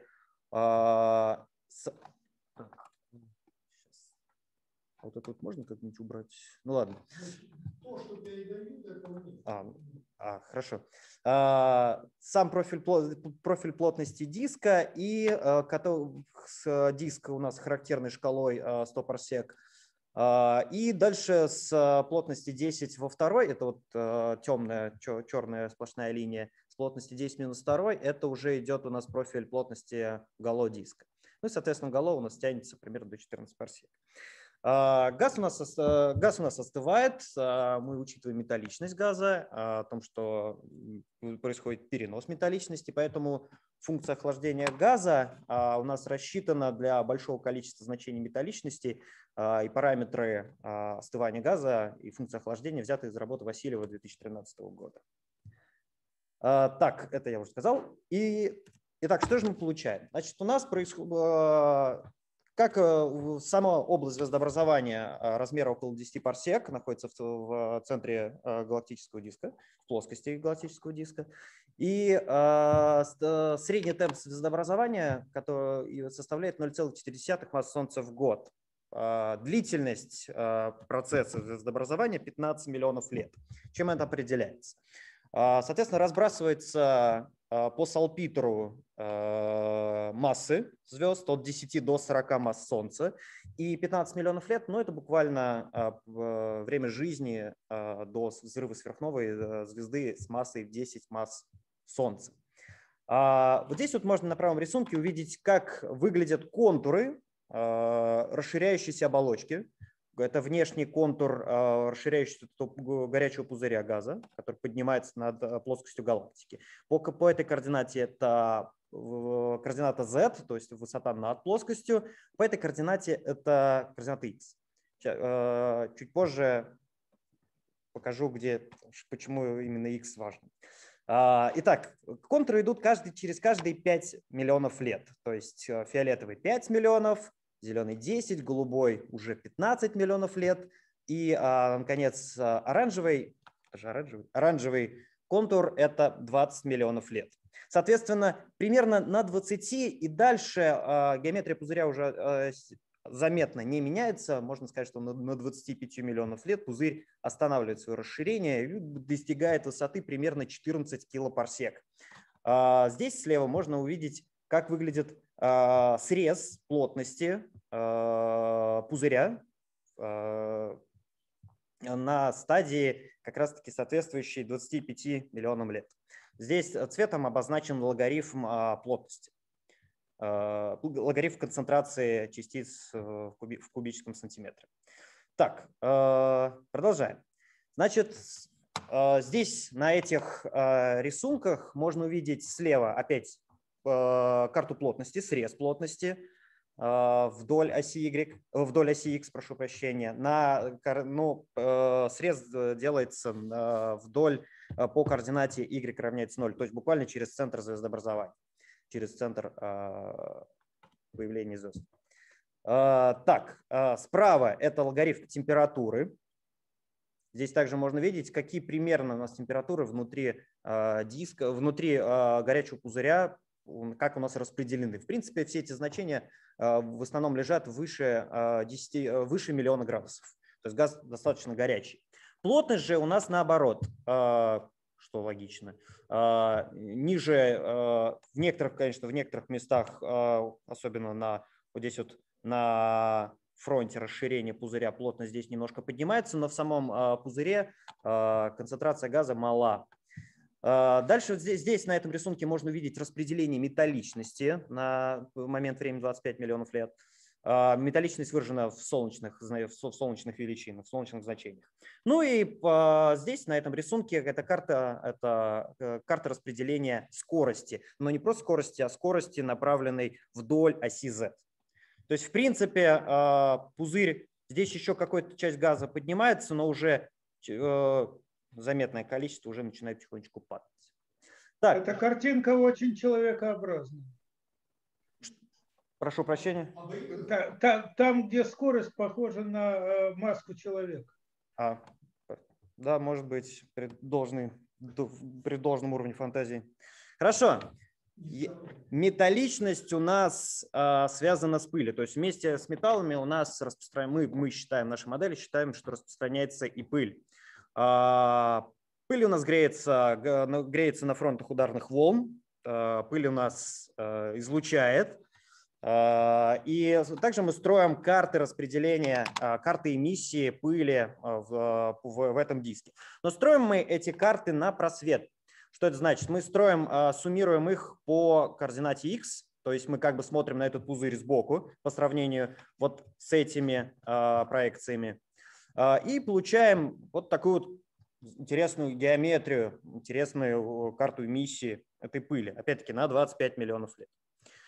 Дальше. Затем мы строим карты излучения рентгеновского, карты излучения рентгена от горячего газа для нескольких диапазонов, от 0,2 до 0,6, от 0,6 до 1 кэва, от 1 до 2, от 2 до 10 и, наконец, от 20 до 30 килоэлектрон вольт. Ну, а затем просто проводим корреляцию. Связано ли у нас рентгеновское излучение с инфракрасным в этих картах? В принципе, а, эта корреляция наблюдается. То есть чем сильнее у нас а, рентгеновское излучение, тем более ярко светится пыль. Это ожидаемо, логично. Э, цветом здесь обозначена точками, каждый цвет точки обозначена это высота конкретного области излучения над плоскостью диска. Как мы можем видеть, а, во-первых, корреляции встречаются а, в первых, очень хорошо заметно встречаются в первых четырех диапазонах э, рентгеновское излучение, но более слабо заметна корреляция на самом жестком, самом жестком диапазоне рентгена. Ну и цветом можно увидеть, что точки разного цвета или разных высоты встречаются в принципе а, в любой вот этой области. То есть мы, и у нас корреляция и у высокой части пузыря, и низкой части. Не сильно это зависит. А, само по себе а, инфракрасное рентгеновское излучение с определенного момента времени начинают именно излучение от пузыря полное падать. То есть пузырь у нас начинает остывает, э, хорошо видно вот здесь вот по, э, на этом графике э, полную, полной эмиссии в рентгеновском диапазоне для разных, диапазон, для разных полос рентгена. Видно, что пузырь потихонечку остывает, поток рентгена падает, что также наблюдается и в потоке в инфракрасном диапазоне. Но что очень так характерно и заметно, это то, что падение достаточно медленно. То есть обратите внимание, от 10 до 25 миллионов лет, а, то есть практически 15 миллионов лет, поток падает ну, чуть больше, чем на полпорядка. То есть, в принципе, дальше, если протянуть а, в более а, поздней эпохе развития этого горячего выброса, то пузырь будет продолжать светиться. Несмотря на то, что звездообразование закончилось примерно вот на этой точке. 15, э, на 15 миллионах лет. То есть пузырь, по идее, должен в инфракрасном, да и в рентгеновском диапазоне продолжать светиться дальше, несмотря на, э, несмотря на то, что звездообразование закончилось уже. А, что можно предположить? Ну, давайте возьмем, а, мы наблюдаем рядом с, с нашим лечебным путем некоторые, некоторые интересные галактики, особенно вот галактика NGC 891. Это карты а, карты э, фотографии ваш альфа, а контурами это э, рентгеновский диапазон излучения. А, вот, вот здесь указаны а, диапазоны для полосы, в которых померено рентген. И мы видим, что над некоторыми галактиками наблюдаются вот такие вот протяженные структуры, в некотором, а, в некотором образе похожие на то, что мы наблюдаем, ну, например, в нашем личном пути, пути в виде ерозиты баб. Как будет наблюдаться инфракрасный, вот инфракрасная часть, э, точнее, инфракрасный след этого пузыря, если мы будем э, смотреть именно на эту галактику? Вот здесь вот как раз на рисунке это и показано. Э, здесь перестроено, построено, как будет, во-первых, выглядеть пузырь в угловых минутах, насколько он будет подниматься над прошу прощения, над плоскостью этой галактики. Ну и можно увидеть значение потоков, которые мы можем наблюдать от этого пузыря. В принципе, а, именно сами потоки вполне себе доступны современным э, субмиллиметровым инфракрасным телескопом для наблюдения. Ну и заключение. Итак, пункты. А, даже небольшой темп звездообразования способен создать протяженные структуры, поднимающиеся на высоты до 15 килопарсек. А, пузырь будет излучать а, в инфракрасном диапазоне и рентгене продолжительное время, многие а, миллионы или даже десятки миллионов лет спустя окончание процесса звездообразования. Инфракрасное излучение и рентгеновское излучение коррелируют между собой. Ну и, наконец, последнее. Это подобные структуры должны, по идее, мы надеемся, должны наблюдаться в соседних галактиках, достаточно близких, близко расположенных к нам. Ну и напоследок, спасибо вам за внимание, а это вот просто сравнение, как бы подобный пузырь мог бы, по идее, если бы эти параметры у нас были, именно по параметрам модели, наблюдаться в нашей галактике. Спасибо большое за внимание. Так, спасибо. На один вопрос есть время. Нет такового. Хорошо. Так, спасибо большое. Э, так, а хочет вопрос задать? Нет? Да, это я закрываю. Закрывайте. Мне просто хотелось бы выразить восхищение докладом. Очень интересно было слушать. Спасибо большое. Спасибо вам. Так, э, коллеги, э, значит, следующий доклад кто будет делать? Та же группа. Я буду делать. Хорошо, Юрий давайте загружайте вашу презентацию. Спасибо. Сейчас я, сейчас э, я покажу свой экран. Так, давайте на полный экран. Да, хорошо видно. Да, все хорошо, спасибо. Начинайте. А, галактика, о которой мы говорим, э, GNZ11, расположена на красном смещении 11. Вот ее диаграмма. А, диаграмма здесь абсолютная величина и э, здесь красное смещение. Она очень яркая, достаточно массивная. Извините, у нее светимость э, в три раза больше светимости, которая соответствует красному смещению в Z-семерка. И, то есть галактика явно необычна. Она э, из, э, вот, э, идентифицирована по спектроскопическим измерениям, то есть красное смещение спектроскопическое, оно подтверждено, это, это, то есть это измерение, эта галактика подтверждена. Э, я не буду останавливаться здесь на деталях того, как они идентифицировали, то есть там ну, хорошая техника, наблюдения были на Хаббловском телескопе, наблюдалось в э, ближней инфракрасной области, э, выделялась то, что называется Lyman Break э, линия, ну и дальше определялись свойства. Я это пропущу, потому что, ну, это можно посмотреть детали. Таких галактик явно очень мало – в принципе, оценка вот из того, что здесь с этой галактикой сделано, это где-то э, э, количество таких галактик на, ну вот если смотреть сопутствующий объем, это где-то порядка одна галактика на, по крайней мере, 100 миллионов кубических мегапарсек. То есть их мало в самом деле. И это большая удача, можно сказать, для наблюдателей увидеть ее. Она подтверждена Здесь вот э, указана уже вторая группа авторов, подтверждена в конце 2020 года. Сейчас она находится в Nature Astronomy во временных файлах. Вот здесь ссылка. Ее свойства. Звездная масса, 10, это звездная масса, 10 девятая солнечных масс. Э, характерный радиус 0,6 э, килопарсек. Звездный возраст 40 миллионов лет – и дальше, вот что удивительно, дальше следующее.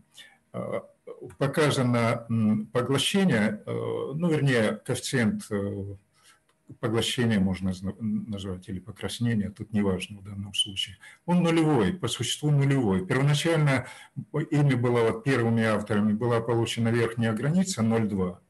А вот в последней работе, вот этой Джанки и другие, практически нулевой, 0,01 плюс 0,01 при том, что звездная металличность, металличность составляет вот около, ну, где-то между 0,05 и 0,5, то есть, ну, можно там условно принять 0,1.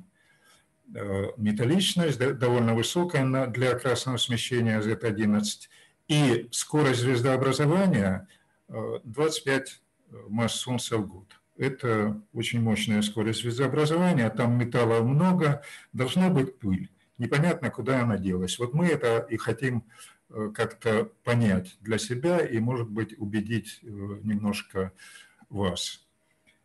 Э, я делаю оценки, я показываю здесь оценки, но это наши общие оценки, естественно. того, как это могло быть. Значит, смотрите, вот возраст звездного населения – это 40 миллионов лет. Значит, если мы отступаем туда 40 миллионов лет назад, то там начиналось звездообразование вот этого наблюдаемых звезд. А, то, что было раньше, предыдущие 360 миллионов лет, непонятно. А, ну, это потом, может быть, мы выясним. И если я теперь возьму эту скорость звездообразования, вот такую вот, посчитаю, какое количество сверхновых взорвалось, каждая сверхновая, предполагаю, что каждая сверхновая выносит одну массу Солнца металлов, по порядку величины, справедливо, э, ну, более-менее даже консервативная оценка, то мы получим вот такое количество металлов, 10 миллионов солнечных масс металлов.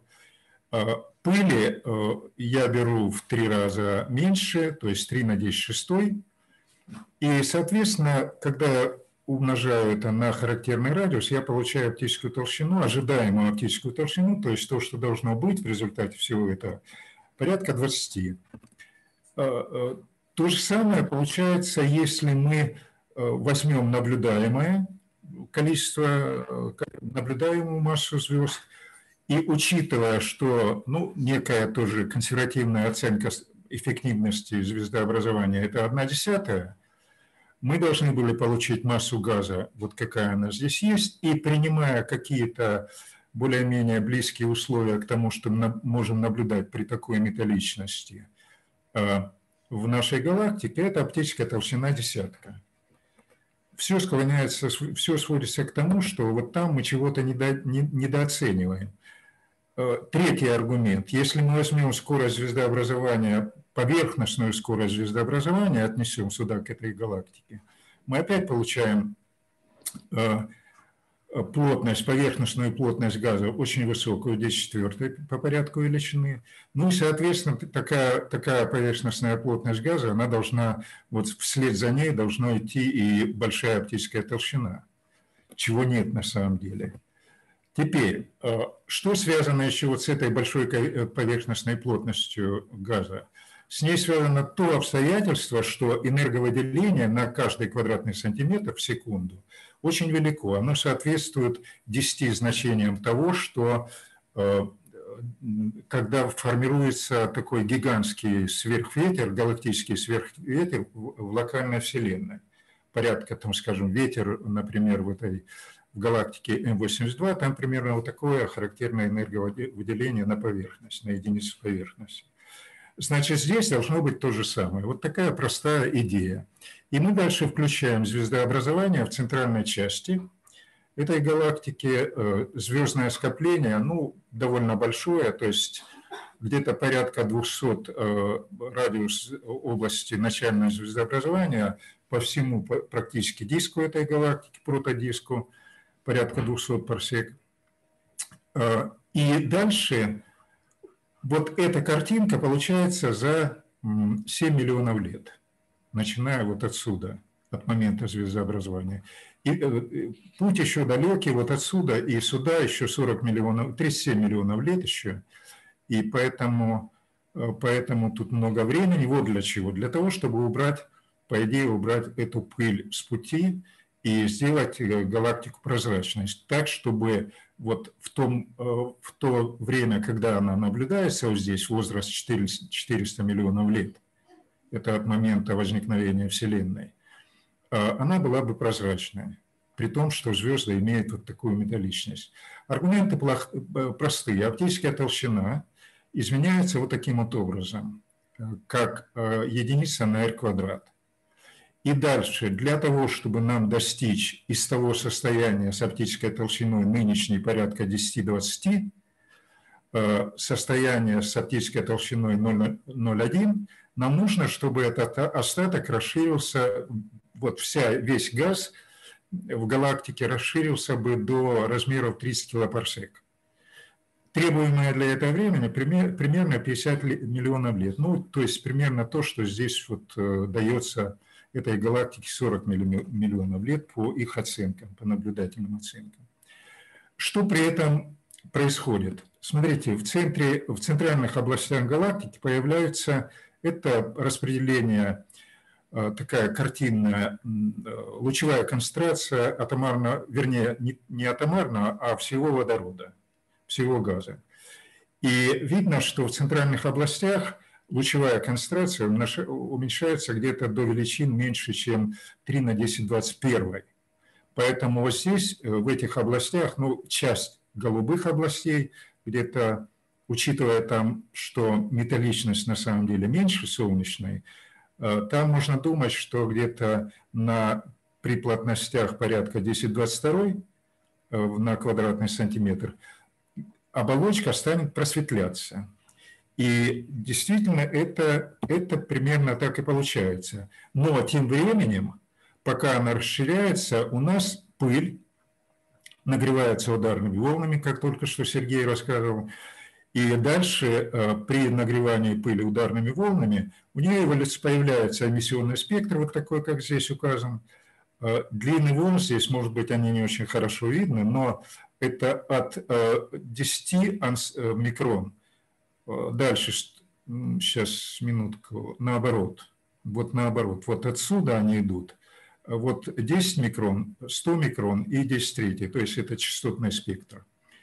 Э, типичный по существу спектр, э, который виден для ярких инфракрасных галактик, ярких и ультраярких инфракрасных галактик звездного, звездного спектра почти не видно, но зато очень мощный такой инфракрасный спектр. То есть вот эти галактики, эта галактика, она должна была пройти стадию яркой инфракрасной галактики, э, чем, прежде чем мы ее увидим.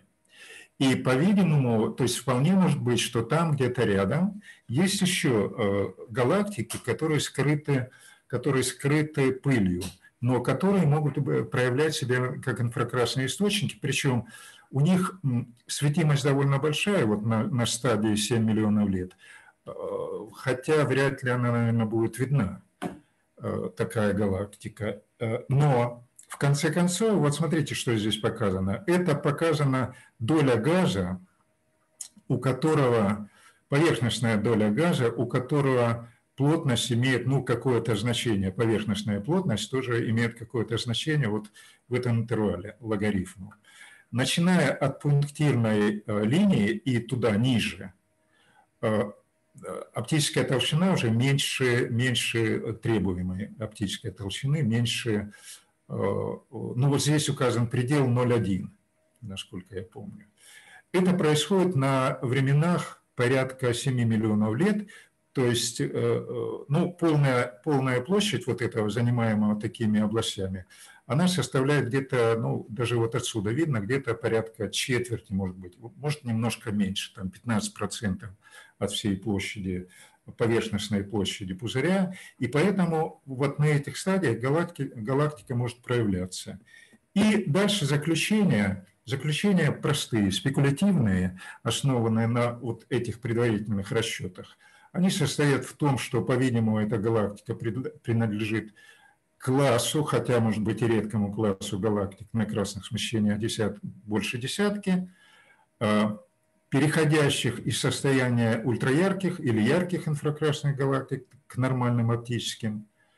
А, в принципе, их, наверное, какую-то часть из них можно будет наблюдать в, инфракрасном, а, в инфракрасной области.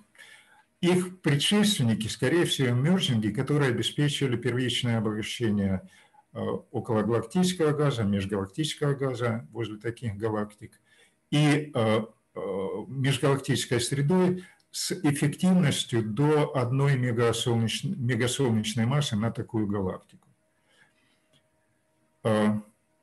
Похоже дальше, действительно, это можно посмотреть на э, функции светимости. Э, такое, это, эти галактики выходят за пределы функции светимости в яркой области и выходят на некоторое плато при большой светимости. Такие наблюдения есть, подтверждаются при красных смещениях где-нибудь на 10, в интервале 10-9-10. Ну и понятно, что они дают начало ионизации. Все, спасибо. Спасибо большое. Имеем время на вопросы. Кто хочет задать вопрос?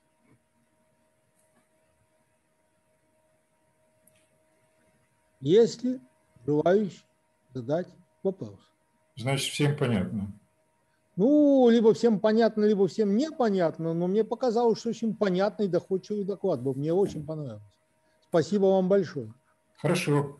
Пожалуйста, и вам спасибо всем. Так, спасибо. Всего Значит, а, следующий доклад Бонда и Шляпников. Кто будет? Где? А вот где, где будет?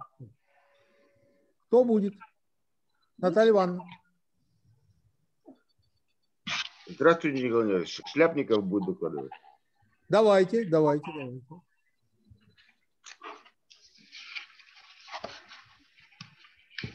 Так, давайте на полный экран и вперед. Ну, Во-первых, добрый вечер, многоуважаемые коллеги. На Хочу- полный экран переключитесь. Меня нормально слышно, Николай? Ну, вы знаете, что-то экран ма- маленький, что-то вы как-то вот не так сделали. Во, во, вот теперь хорошо. Давайте, поехали, я засеку.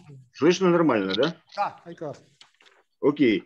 Э, Говорю сразу, что э, доклад больше посвящен второй части его названия, поскольку является составной частью более широкой программы по изучению фотосферной активности звезд солнечного типа. Ну, немного истории. Фундаментальные исследования вспышек у звезд средних и малых масс в КРАО э, начались довольно-таки давно. Основными исследователями в этом направлении были э, Ролинч Герберг, э, Надежда Ивановна Шаховская и Павел Федорович Чугайнов. Вот. Была выпущена монография в 1971 году Гербергом, посвященная как раз вспыхивающим звездам малых масс. И буквально в этом году уже э, вышла книга, посвященная данной же тематике, где дается хорошее и теоретическое обоснование наблюдаемых эффектов, вот, и описанная история э, изучения фотосферной активности. Что мы подразумеваем под поиском э, вспышек у звезд? Ну, прежде всего, мы говорим о том, что э, супервспышки – это вспышки с энергиями более 10 эргов, и э, знаем, что для Солнца типичными вспышками являются вспышки с энергиями 1027. Э, Космические наблюдения, базы данных космических наблюдений, которыми мы пользуемся, это проекты Гиппаркос, Кеплер, TESS. Э, Работы были опубликованы рядом авторов, и довольно продуктивность высокая этих экспериментов. Ну, в частности, Стоит отметить, что э, проект ТЭС был предназначен для поиска экзопланет, тем не менее дал довольно интересные наблюдательные данные, которые позволяют в том числе искать и вспышки у звезд. Э, ну, об этом будет несколько позже сказано. Э, работы по поиску вспышечной активности у звезд по наблюдениям Кеплера миссии 1 и миссии 2 тоже широко известны и опубликованы. Значит, извиняюсь.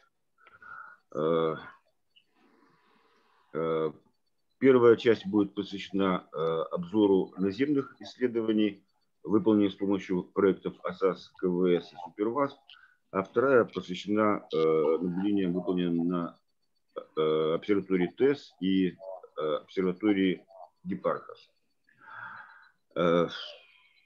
Отмечу сразу, что Данная работа выполняется в том числе и с целью анализа возможной циклической активности звезд. Поэтому в некоторых случаях мы используем наземные наблюдения, э, которые имеют не очень э, высокую точность для того, чтобы исключить возможные импульсные отклонения блеска звезд для более точного поиска периода вращения собственного и исследования цикла.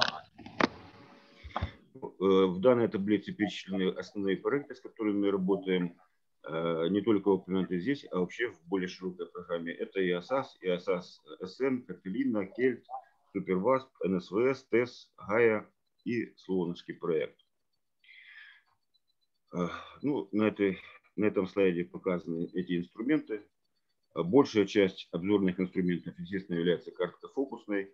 Это создают определенные проблемы как при идентификации объектов, так и получаемой точности. Но более крупные инструменты, э, включая Слоновский проект с великолепной спектроскопией, конечно, дают гораздо больше полезной информации при анализе фотосферной активности. В данной таблице указаны объекты, для которых произвелся поиск возможных оптических вспышек. Спектральный класс был выбран от F9 до K25, звездные величины в пределах от 5 до 8, ну и периоды вращения до 44 дней с тем, чтобы приблизиться к периоду вращения Солнца. Отмечу, что звезды которые указаны в данной таблице, они э, в какой-то мере пересекаются с, э, звездами H и K проекта, для которого в свое время были опубликованы великолепные результаты по циклической активности. Ну, публикации э, приведены внизу слайда, я думаю, это не очень актуально. Ну вот, собственно говоря, тот материал, с которым мы на сегодняшний день работаем. Значит, это данные ОСАС, КВС, Суперваску. Э, на левом верхнем слайде э, представлено наблюдение В-869 Моносеротис. По данным АСАС это наблюдение за 9 лет. На э, правом слайде тот же объект по наблюдениям КВС. И нижний слайд – это уже звезда 833 Тау. Значит, наблюдения получены за один год. Ну, как видно из этих графиков, особенно хорошо на нижнем рисунке, то в некоторых случаях э, во время сетов наблюдений наблюдался, э, наблюдалось э, увеличение блеска объекта. Далее мы рассматриваем более детальный анализ обнаруженных увеличений блеска. Я бы не стал называть в данном случае это вспышками – а некими импульсными событиями, поскольку мы не можем э, на сегодняшний день э, разложить эту вспышку, скажем так, э, в наблюдаемый ряд. Ну, кроме анализа изменения блеска звезды на протяжении наблюдаемого периода, значит, мы строим хистограммы, и вот, к сожалению, на нижнем рисунке это не очень хорошо видно – гистограмму изменения блеска звезды за наблюдаемый ряд. Вот э, на нижнем рисунке, учитывая, на нижнем правом рисунке, учитывая, что имеют место события, похожие на вспышки, э, в самом нижнем, э, в самой нижней части гистограммы видно, видны э, точки, которые демонстрируют увеличение блеска. Ну, здесь э, приведены уже в некоторых случаях фазовые свертки для объектов, в частности, э, поскольку представляют интерес определенный, на какой фазе изменения блеска могла произойти вспышка. Так, в частности, для BCT по данным КВС э, верхний левый рисунок – это, собственно, кривая блеска, э, уровень выделения сигнала, который мог бы быть интерпретирован как увеличение яркости, блеска, извиняюсь, и на правом верхнем рисунке, собственно, свертка э, наблюдаемого ряда с известным для э, периодом. Э, нижняя пару рисунков – это 833 Таури. Значит, тоже приведена свертка с известным периодом. И на правом рисунке некое событие импульсное, которое могло быть интерпретировано как вспышка. Ну и похожие похожие, как говорится, рисунки э, приведены в нижней части слайда. Отмечу, что на левом нижнем рисунке э, представлена не только звезда 833 Таури, но на нижнем э, графике приведен блеск звезды сравнения. Поэтому, в принципе, можно интерпретировать наблюдаемое увеличение блеска и по профилю в какой-то мере как проявление вспышки. Ну, аналогичная ситуация на среднем слайде. И э, интересный слайд, э, крайний нижний правый, э, интересен прежде всего тем, что наблюдается какое-то кратковременное увеличение э, блеска звезды довольно значительной протяженности во времени. Ну, а в этой таблице, в общем-то, изложены, скажем так, основные результаты, которые были получены при проведении данной работы. Ну, приведены не все объекты, а только три с наиболее Э, ярко выраженными эффектами. Значит, э, ну, во-первых, видно, что довольно длительные интервалы времени использовались. Вот. В некоторых случаях наблюдалось по две вспышки. Вот. Ну, в некоторых случаях просто имело место увеличение амплитуды переменности звезды на, ну, скажем так, не очень значительную величину. Ну и в нижней части слайда указаны объекты, у которых не было обнаружено вспышек по базам данных наблюдения АСАС и КВС. Э, ну, в общем-то, я уже оговорил э, некоторые результаты, которые приведены на этом слайде с большей детализацией э, при описании таблицы предыдущего слайда. Космические обзоры, которые мы используем в своей работе, это данные Росата, Хипархаса, Гай, Тесса. Ну, наряду с Росатом, в принципе, используются данные и XMM Ньютона, и телескопа Чандра, вот, но в меньшей мере, учитывая, что они проводили обзор не всего неба целиком, а лишь э, отдельных, хоть и большого числа э, небесных площадок. Э, звезды, которые были изучены по данным космических обзоров. Ну, здесь приведены их координаты, э, название по Симбаду, по э, входному котлу Тесса. Э, в основном из списка выбирались э, звезды, которые имеют наиболее длительные ряды наблюдений. Один из проектов, который мы реализовывали, это был проект по исследованию звезд э, южного полюса неба. Дело в том, что поскольку проект ТЭС начал э, свои наблюдения именно с южного полюса, то для э, перечисленных звезд э, имеется по 13-18 сетов наблюдений. Это довольно длительные ряды, которые позволяют э, детально исследовать их кривые блеска. Особенно если учесть, что э, очень высокое временное разрешение. Ну и, собственно говоря, вот несколько примеров э, звезд из предыдущей таблицы. Значит, здесь указаны их э, обозначения по Симбаду, а также по входному котлу Звездная величина. Ну и, собственно говоря, интересны сами графики – Значит, э, поскольку был бы слишком большой объем указывать все сеты наблюдения, то я выборочно взял по три. Ну и такие характерные, в общем-то, для каждого объекта э, наблюдаемые явления, ну, в частности, на правой тройке, на левой извиняюсь, тройке слайдов видны одноимпульсные события, они имеют очень маленькую амплитуду, э, это порядка тысячной звездной величины, то есть, естественно, никакой вспышки говорить не приходится. Правда, отмечу сразу, что эти звезды все, как было показано в таблице, близки по спектральному типу к Солнцу. На э, правой части тройки рисунков э, тоже одна из звезд. Она не была ранее заподозрена в переменности, но в данном случае мы видим явную переменность, которая, возможно, связана с модуляцией вращения данной звезды пятнами, которые наблюдаются на поверхности. Опять же, отмечу, что в данном случае амплитуда э, находится на уровне сотых звездной величины. Ну и еще один пример одноимпульсных событий по данным ТЭСа. Вот здесь, э, опять же, три слайда, они идут в цепочку, ну а всего для данного объекта 18 сетов наблюдений.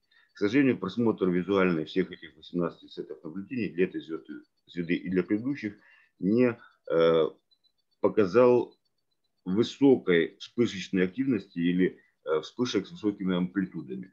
Две минуты, Алексей. Да-да, спасибо, я уже заканчиваю. ну и такой дискуссионный момент, э, значит, это наблюдение Гипархаса. Значит, э, ну, если так бегло посмотреть на эти картинки, вот, то видно, что зеленым цветом здесь указаны наблюдения в полосе В, синим в полосе Б. Ну, имеется в виду БТ, БВ тиховские полосы, вот, то если бегло даже взглянуть на эти рисунки, то создается впечатление, что в каждом сете наблюдения, каждая вертикальная полоска – это сет наблюдений, выполненных э, спутником Гепархас э, конкретной звезды.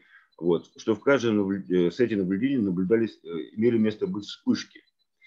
Вот, но вот уж больно они все друг на друга похожи. Ну и, в принципе, к фотометрии Гепархаса было очень много претензий в свое время, поэтому на сегодняшний день, как и в некоторых случаях, связанных с наземными обзорами,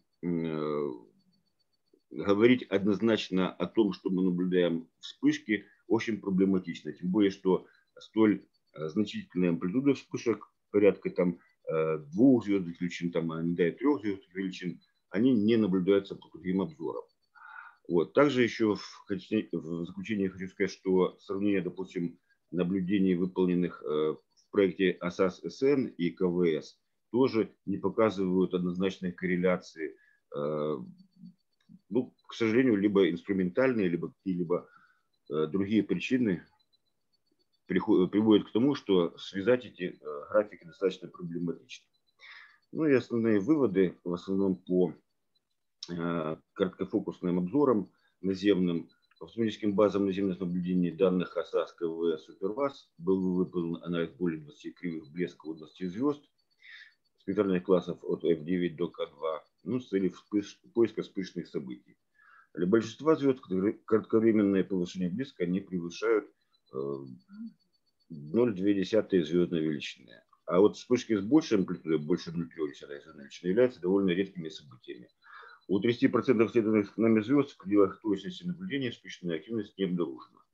Ну и частота малоамплитудных повышений блеска э, возрастает по мере того, как мы продвигаемся к более поздним, поздним спектральным типам. У меня все. Большое спасибо за внимание. К сожалению, Алексей, вы время съели. Э, вот, так что на вопросы времени у нас не остается. Я только хочу вам одно сказать. Ни в каких массовых обзорах верить одной точке нельзя. Вот нельзя и все. Николай Николаевич, я с вами целиком полностью согласен. И, насколько я понимаю, Э, речь иногда идет не, одной, не об одной точке, а поскольку приводит точность, то это все-таки сумма нескольких наблюдений.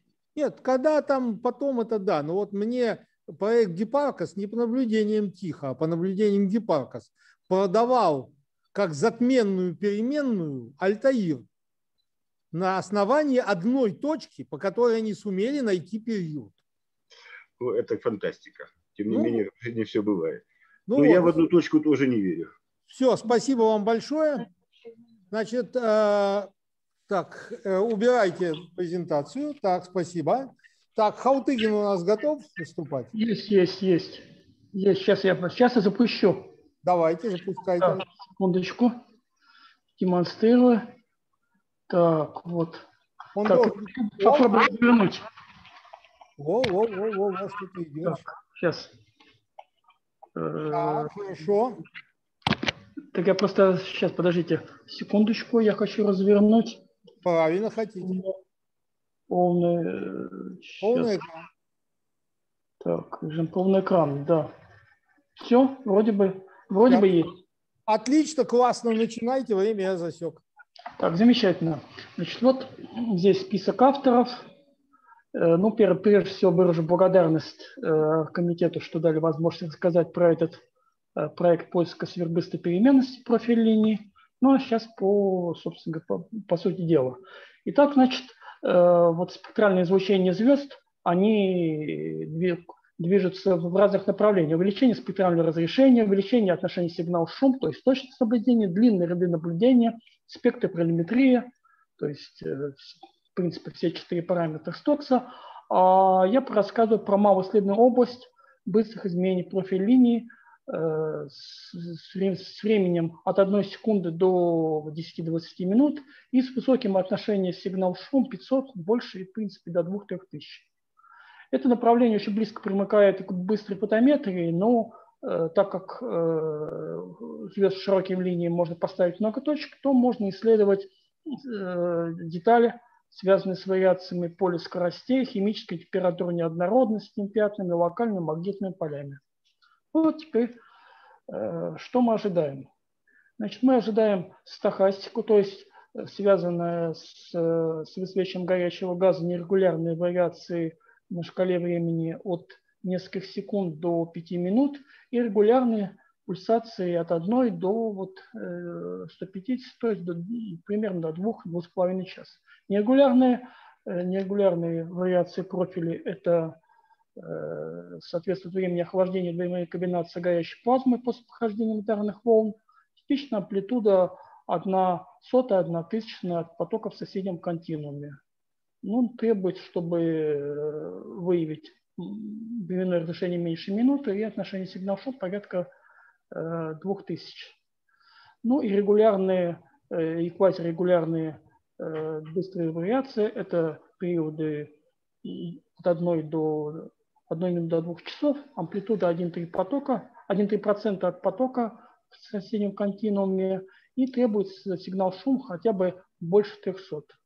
Значит, для того, чтобы все это увидеть на телескоп э, размера от 1 до 10 метров, спектрограф и спектрополиметр низкого умеренного разрешения. При высоком разрешении мы ничего не увидим. Объекты тоже должны быть яркие, яркие оба звезды э, э, средней величиной от до 10, до 10 звездных величин. Ну, теперь здесь кратко, что уже было получено. Было получено свыше 10 тысяч спектров. Значит, э, инструменты это ВСАУ на БТА, спектрограф Скорпио, больше 4000 спектров. Опять же, ВСАУ на БТА спектров умеренного разрешения УЗСП, 274 спектров, которые получены в 2019-2020 году. Э, в Терскольном двухметровом телескопе э, спектрограф тоже умеренное разрешение 12 тысяч, сигнал шум порядка 500, 164 спектра, звезды перечислены, это все это все Б и, Б, Б и О.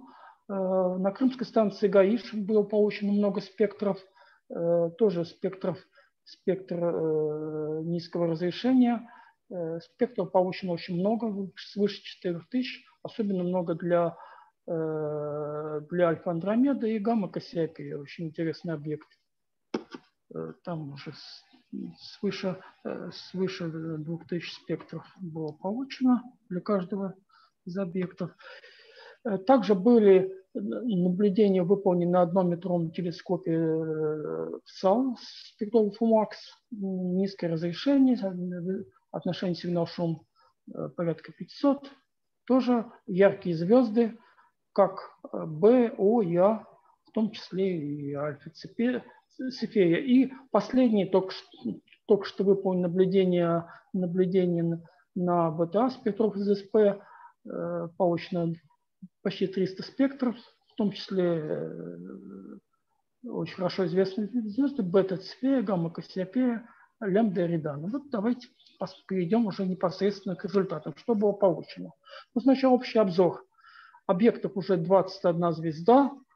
О звезды, 8 О звезд больше 1000 спектров, Б звезды 680 спектров, 4 А звезды, ну, это в основном ранних спектральных подклассов, больше 2000 спектров.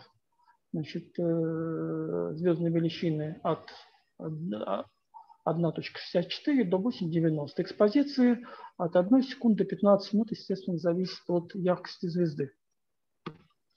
Так, ну вот э, я э, про все, естественно, рассказать невозможно, но некоторые, некоторые объекты, которые очень интересны. Альфа, э, Альфа-2 гонщик псов, интересная звезда, переменная звезда типа бета-цефея, звезда с химическим магнитный стандарт – с химическими аномалиями, очень запятненная, но ее переменность на короткий масштаб абсолютно не исследована. Что Александр, э, эта звезда не типа бета-цефея, это звезда своего собственного типа. Да, да, да, альфа, альфа-2 это самое гончество, согласен, я самое. Э, значит, для того, чтобы э, исследовать детали переменности, было, было использовано оконное Фурье преобразование с окном Хамминга – вот здесь соответствующие формулы, так как, так как оконное преобразование функции четырех переменных, то было сделано следующее. По профилю были, было преобразование просуммировано, а ширина, ширина окна фиксируется. Поэтому у нас функция двух переменных начало, начало или середина окна и, соответственно, частоты. Давайте посмотрим, что получилось. Это оконный Фурье спектр. По оси x это начальное время, то есть, то есть э, начальное время для окна и частота. Частота в обратных минутах видно, что появляются, появляются э, карди, значит, э, компоненты, переменные компоненты. Вот э, здесь Эти компоненты оказались короткоживущими, времена жизни от 10 до примерно 100 минут. Эти, эти компоненты с довольно быстрыми, высокими частотами, периодами 5 минут и 3 минуты. Периоды, оказалось, что эти периоды э, слегка перемены, периоды меняются за э, время, время жизни примерно на 10-20%. Раньше таких, таких, таких транзиентных компонентов было не обнаружено. Естественно, что такие, такие э, исследования были для других звезд, у них тоже, тоже были найдены такие компоненты. Общая, общая закономерность такова, чем более ранний спектральный класс, тем более э, быстрые компоненты, то есть периоды вплоть до 1 минут, находятся. Э, опять же, кроме того, что были выполнены быстрые поиск, поиск быстрых изменений спектра, был выполнен обычная спектрополиметрия. Это наблюдение на ОЗСПС, среднетоковой поляризации значит, показан, показан модельный спектр, полный спектр и как накладывается э, наше измерение э, эффективного магнитного поля на стандартную кривую. Видно, очень хорошо э, совпадает. При этом мы уточнили по данным, по данным ТЭС, мы уточнили период вращения звезды, по крайней мере, с нашим периодом Э, лучше описываются магнитные данные. Было найдено много компонент периода для того, чтобы э, быть уверенным, что это э, компоненты реальные, мы еще сравнили с тем, что было найдено на, наблюдением со спектров низкорешения Скорпио, и там в той области, которая перекрывается, периоды, периоды совпадают. Очень большой большой свобод смотреть на звезды э, в Орионе. Они яркие, э, ранних спектральных классов. Здесь я расскажу про зета Ориона и гамма Ориона, э, ясно, яркие звезды. Вот давайте посмотрим. Фотометрия, фотометрия зета Ориона. Значит, вот профили. Профили изменений малы, малы, поэтому требуется высокое отношение сигнал-шот. Разный спектр, то есть средний минус, минус индивидуальный. Соответственно, э, только 1% э, вариации профилей. Э, мы нашли регулярные вариации периодом от 90 до 300 минут, более быстрых пока не найдено. При этом мы одновременно выполнили фри-анализ кривой блеска тест, вот она, собственно говоря, фурье спектр, и там в той области, где они пересекаются, тоже, тоже найдено совпадение. Было измерено магнитное поле звезды, вот здесь, здесь индивидуальное наблюдение, юлианский день, и э, среднее среднеквадратичное магнитное поле порядка 50, 50 гаусс. Ну вот пока еще не точно известно, э, насколько это все, то есть требуется еще дополнительное подтверждение. Звезда гамма Ориона, звезда B2, профили получены два дня на достаточно Э, очень близки. Вариации, вариации профиля, то есть э, тоже индивидуальный минус средний, всего лишь 2-3% э, от уровня континуума, это наблюдение, наблюдение выполнено в терскольном двухметровом телескопе. Амплитуда вариаций профилей 1-3%. Вот это динамический спектр, то есть развертка отклонений от профилей шкале доплерских смещений по времени. Время Э, здесь, э, извините, там не минуты, а дни, э, это доли дня. И видно, что видны регулярные, регулярные вариации профилей. Справа, справа Фурье спектр, использовался стандартный метод Клин. Здесь частоты, частоты от 0,5 до полутора обратных дней. И были найдены вот табличка, небольшая табличка, надеюсь, она видна, э, частоты в обратных днях и периоды от э, 4 э, дней до, до 3, 3 минут. Дальше посмотрим, что у нас дают наблюдения на, на телескопе, на Ильярском телескопе 1,25 метра на крымской станции Гаиш. Это звезда Рольва. Видно, что, что профили от ночи к ночи слабо меняются. Это же видно на, справа на динамических спектрах очень короткое время наблюдения, но тем не менее видно, что характер, характер переменности, полученный в три дня, это 20, 20, 26, 27 октября и 1 ноября, они очень похожи. Естественно, мы выполнили фурье анализ и получили, получили частоты э, те же самые, которые мы получили для рольва, для используя, используя наблюдения на, э, на БТА. Кроме того, было выполнен, выявляет анализ, выявляет анализ, э, вот приведены амплитуды, амплитуды выявляет преобразование разностных профилей. Две э, минуты, Александр Федорович. Да, если я кончаю. С, э, с,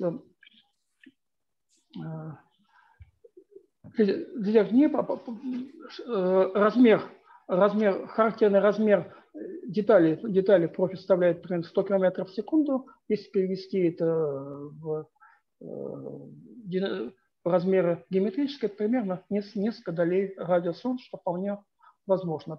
Периоды вариации порядка, порядка 20, 20 минут. Ну и последний, последний слайд. Это наблюдение вот тоже на телескопе в Крымской станции ГАИШ звезда гамма Кассиопея, очень необычный источник с жестким спектром, быстрые вариации эмиссионной линии H-альфа, те же такие же самые вариации в линии H-бета. Эти вариации показаны на динамическом спектре, и, кроме того, было зарегистрировано магнитное поле в среднем 138 плюс-минус 42, примерно соответствует, если примерно соответствует где-то около 700 Э, если дипольное поле 700 гаусом на полюсе, и периоды от 3 до 42 минут. Ну и, собственно говоря, э, результаты показывают, вот здесь небольшая табличка, показывает, что в основном звезды, у которых найдены, найдены перемены, являются, являются магнитными звездами. Очень важный результат, который надо еще осмыслить. И выводы. Значит, 21 звезда наблюдалась, обнаружены вариации профиля во всех звезд, во всех исследованных звездах, но, но у всех, естественно, разные. Э, мы объясняем вот эти транзиентные компоненты вариации профилей это высокими модами нерадиальных пульсаций, типа солнечных пятиминутных колебаний. И эти э, высокие моды, по всей видимости, нестабильны, что объясняет их транзиентный характер. Э, большинство программных звезд магнитные, сверхбыстрые, вариация может обнаруженных э, на телескопах умеренных размеров, что, что у нас показано, а для того, чтобы мы исследовали, определяли магнитные поля, нужны большие телескопы, то есть программа вот, э, будет продолжаться. Я думаю, очень много новых результатов получим. Все, спасибо. Спасибо, Александр Федорович. Ну, время на вопросы вообще скушали, но если кто хочет задать один вопрос по ему.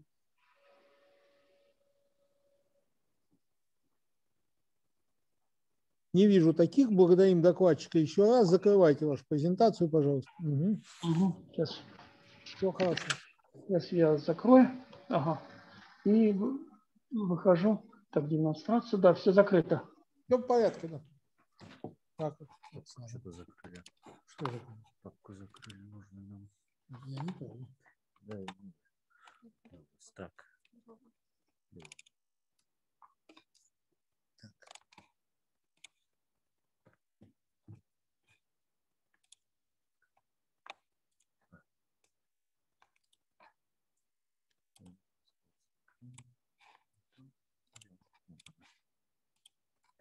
Так, ну все вроде хорошо. Добрый день. Тема доклада излучения гелеза фронтом ударной волны в условиях звездных атмосфер. В ходе нынешней работы решена задача...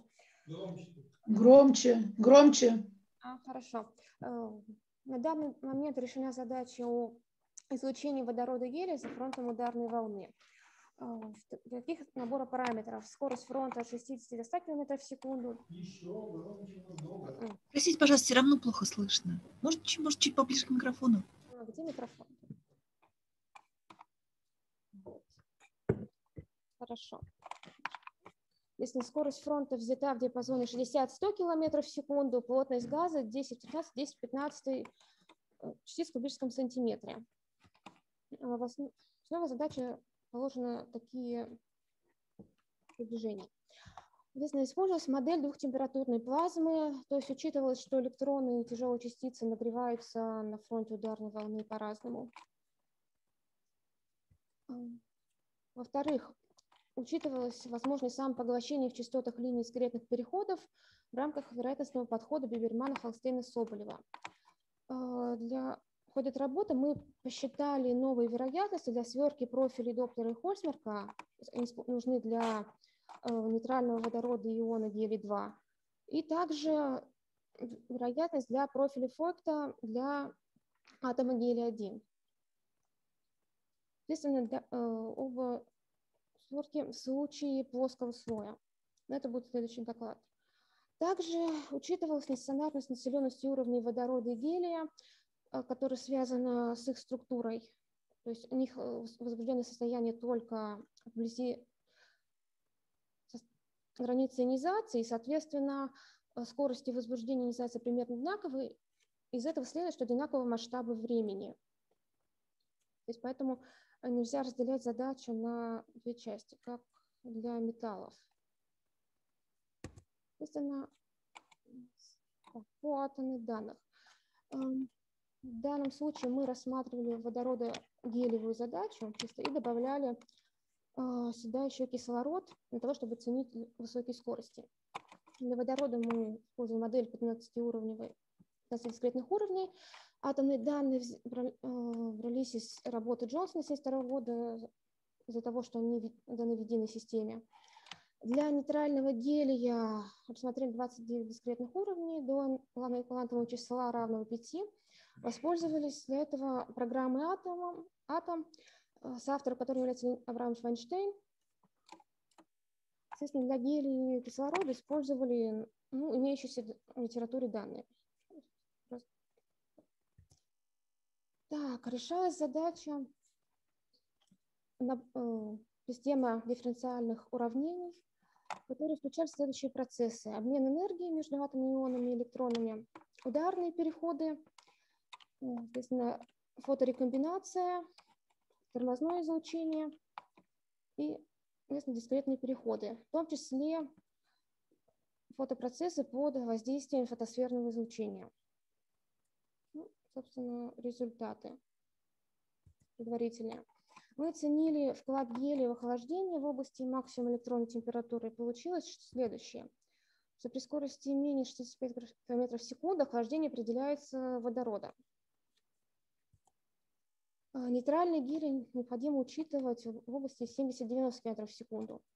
При скоростях более высоких включается ион гелий-2, но кроме того одновременно с ним включается кислород, э, первый, два, первый и второй ион кислорода.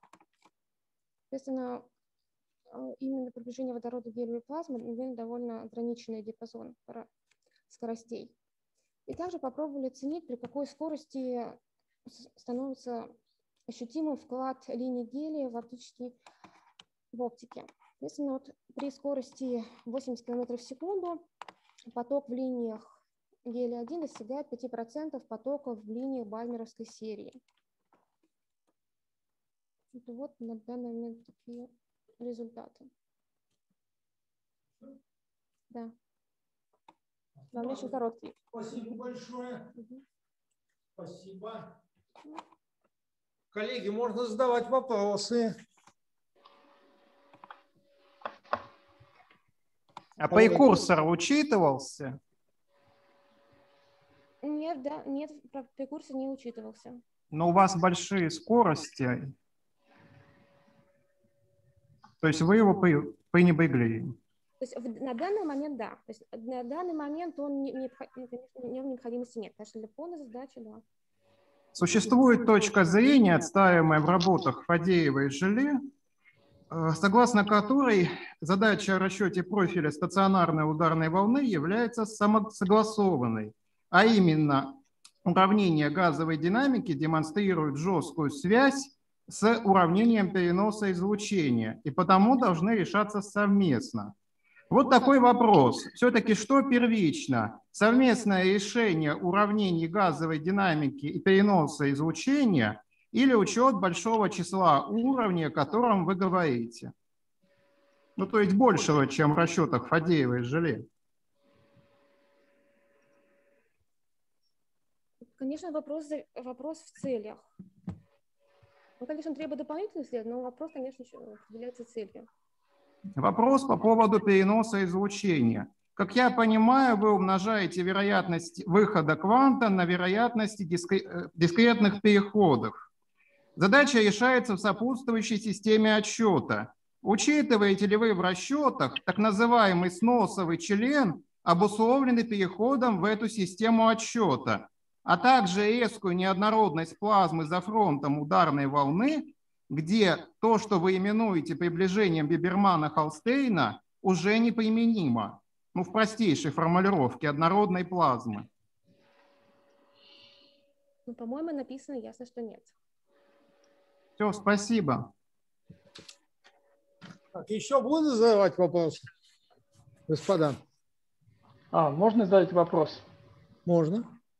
А вопрос такой, там говорилось о нестационарном населении уровня, а какие там характерные времена селения, опустошения уровня и как это зависит от э, для водородных, для гелевых от номера уровня? Ну, конечно, чем выше уровень, тем э, время достижения равновесия быстрее. Это, конечно, зависит от определяется ударными скоростями. До... А какие, какие времена конкретно? Ох, честно, прямо сейчас не могу сказать. Потому что это определяется плотностью. Поэтому прямо сейчас у меня данных нету. Надо, конечно, если вам интересно, могу сообщить. Ну, да, да, да. Хорошо, спасибо. Да, вот этот момент я... Так, если вопросы все, коллеги, то тогда я предоставляю слово кому? Вам, Константин Вениаминович? Для второго сообщения у нас для него написано, э, что оно имеет характер постера, но я не буду особо настаивать, поскольку на первом докладе время сэкономим.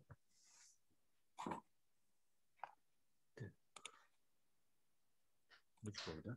Бычков.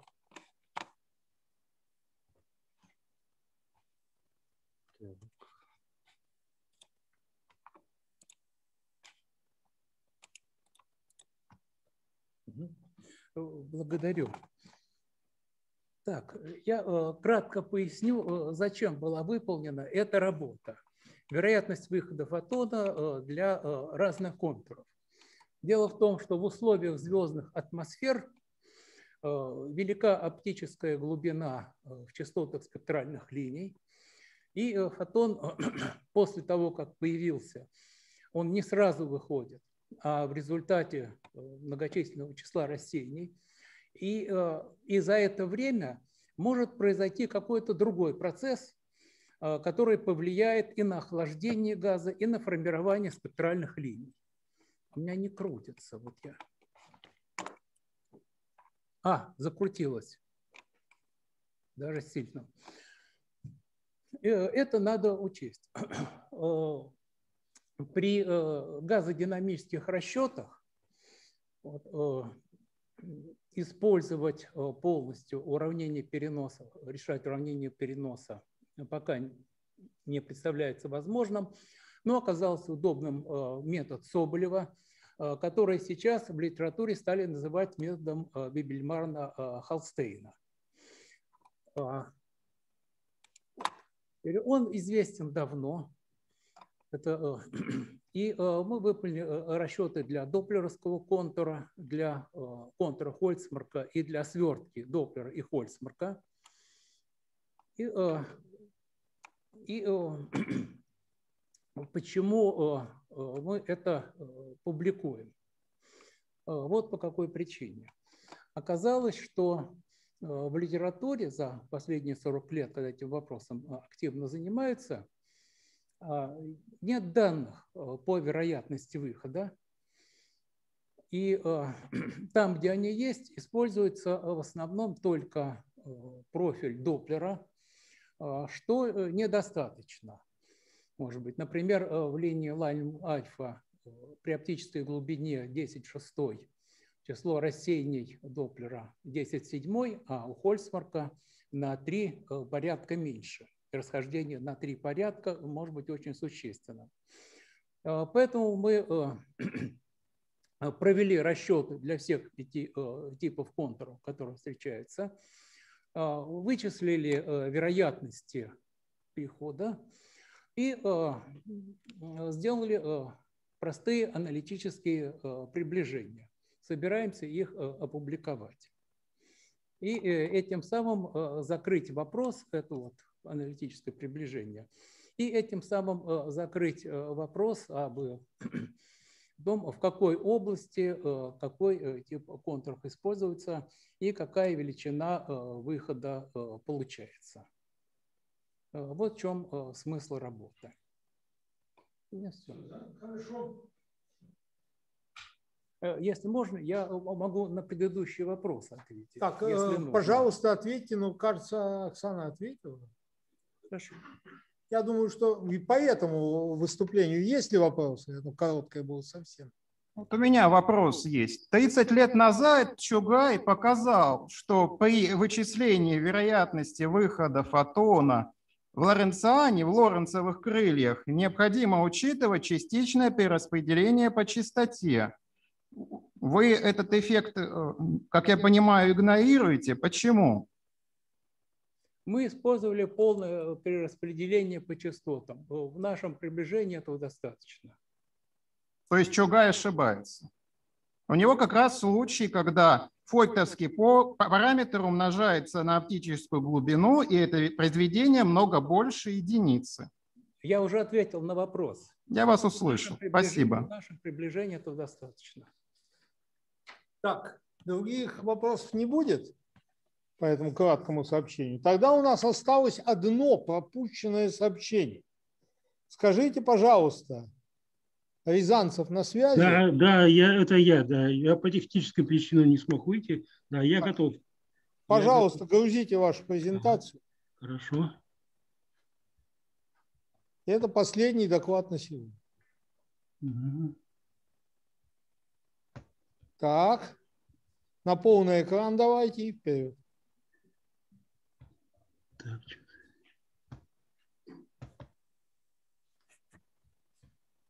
Отлично. Так, видно? Ага. Все видно, все слышно. Вперед. Все хорошо. Так, э, образование нейтронного вещества и гипертяжелых ядер. Так, рассмотрим возможности, возможные механизмы создания гипертяжелых ядер методом электронно-ядерного коллапса и нейтронного вещества конденсации ультрахолодных нейтронов. Принципиальная возможность создания таких объектов была ранее обоснована Мигдалом, который предположил, что за пределами хорошо известного множества протон-нейтронных ядер с массовыми числами от 0 до 30 существует другая область, описывающая возможность состояния ядерной материи – стабилизируемые за счет пионного конденсата. Нейтронное вещество может быть реализовано при определенных условиях, а его систематизация может быть осуществлена в виде дополнения к периодической системе. Моноneйтронное вещество, ультрахолодные нейтроны, полученные в России уже в 1968 году. Полинейтронное вещество существует пока только на нейтронных звездах, но вскоре вероятно его получение и в лаборатории. Полинейтронное веществу придает стабильность уже на микроуровне там взаимодействия и бета-равновесием Хунда. И оно, и оно устойчиво не только на макроуровне нейтронной звезды за счет гравитационного взаимодействия. Возможна нейтронизация не только из-за гравитационного взаимодействия, но и посредством других механизмов. Так, необходимо учитывать воз, э, возможность образования фрагментов полинейтронного вещества в качестве темного вещества. Не только, э, уже в начальные моменты рождения Вселенной, что является доминирующим процессом, а не только термоядерный синтез и первоначально незначительного количества протонов. История вопроса. Дело в том, что исходная и первоначальная система Дмитрия Ивановича Менделеева предполагала наличие нулевого, нулевого элемента. Это было изложено в его знаменитых основах химии. И если рассматривать нейтронное вещество с позиции общей химии, формально оно может быть отнесено химически простым. То есть не может быть разложено еще на более простые другими путями.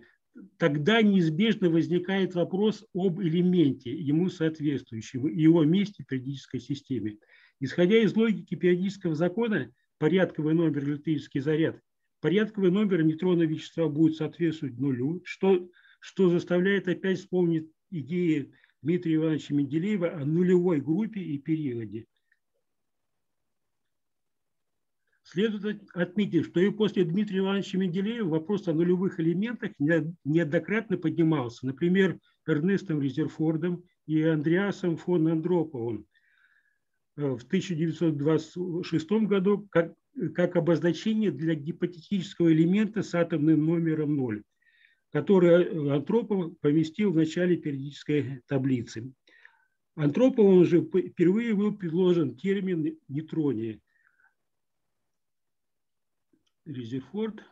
О конденсации холодных нейтронов впервые заговорил Георгий Гамов.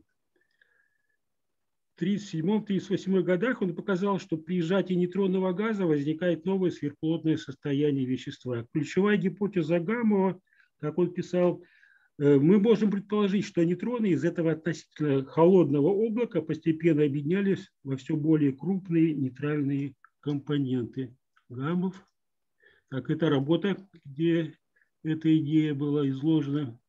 Процесс превращения обычного вещества в нейтронное под воздействием гравитационных сил в процессе эволюции некоторых звезд получил название нейтронизация.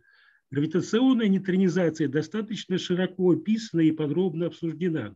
Однако возможны и другие механизмы нейтронизации, например, конденсация ультрахолодных нейтронов и нейтронизация за счет критического увеличения порядкового номера элементов.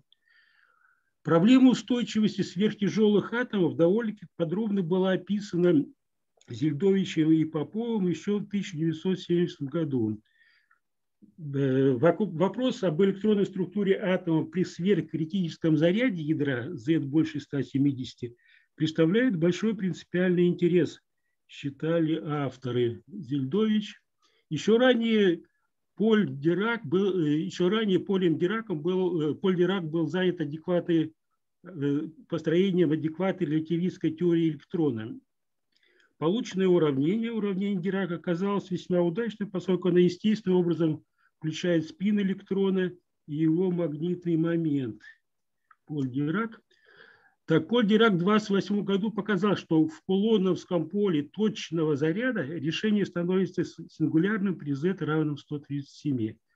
Введя в рассмотрение конечные размеры ядра, Померанчук и Смородинский в 1945 году показали, что точный расчет приводит к критическому значению z равное 170.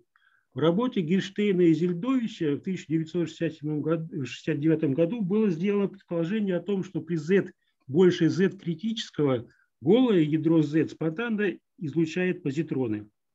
Атом, заполненный ЖК оболочкой при повышении заряда ядра Z больше критического, непосредственно переходит в сверхкритическое состояние, не излучая позитрон, а возможно путем захвата электронов. Ну, постепенная нейтрализация ядер элементов наблюдается еще задолго до достижения критических значений Z. Это из, ряда, э, из таблицы Менделеева видно. Качественный рост степени нейтронизации ядер можно хорошо наблюдать по ходу кривой на протон-нейтронной диаграмме.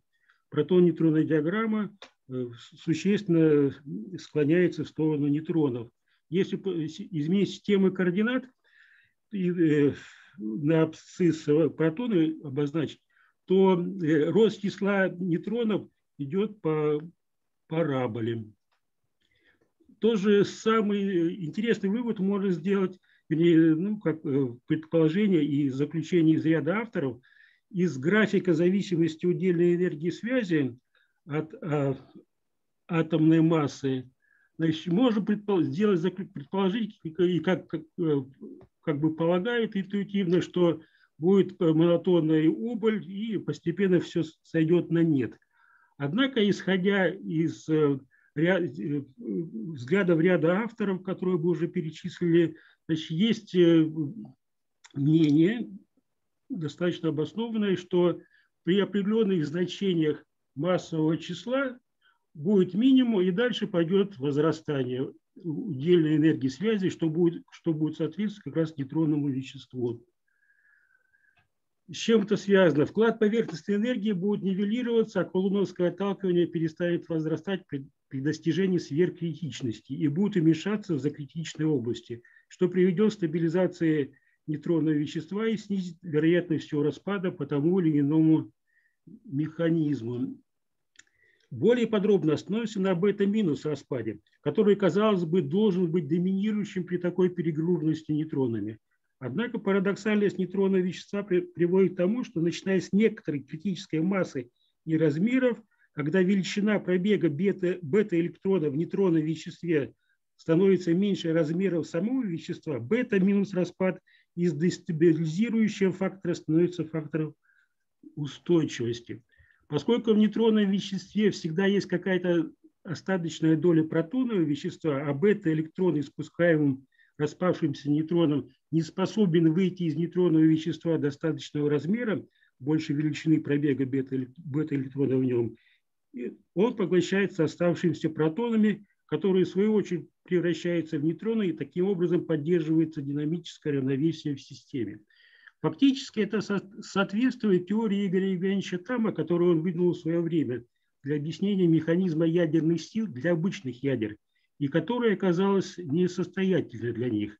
Однако сам там свою безуспешную в кавычках теорию ядерных сил ценил больше своей Нобелевской работы по черенковскому излучению. Но как раз возможность, что взаимодействие там может реализовываться именно для нейтронного вещества, соответствующие масштаба порядка 200, 300 и более фемтометров, придавая ему дополнительную устойчивость. Сильно взаимодействующих системах присутствует много виртуальных частиц и осуществляются все виды взаимодействия, разрешенные соображениями инвариантности.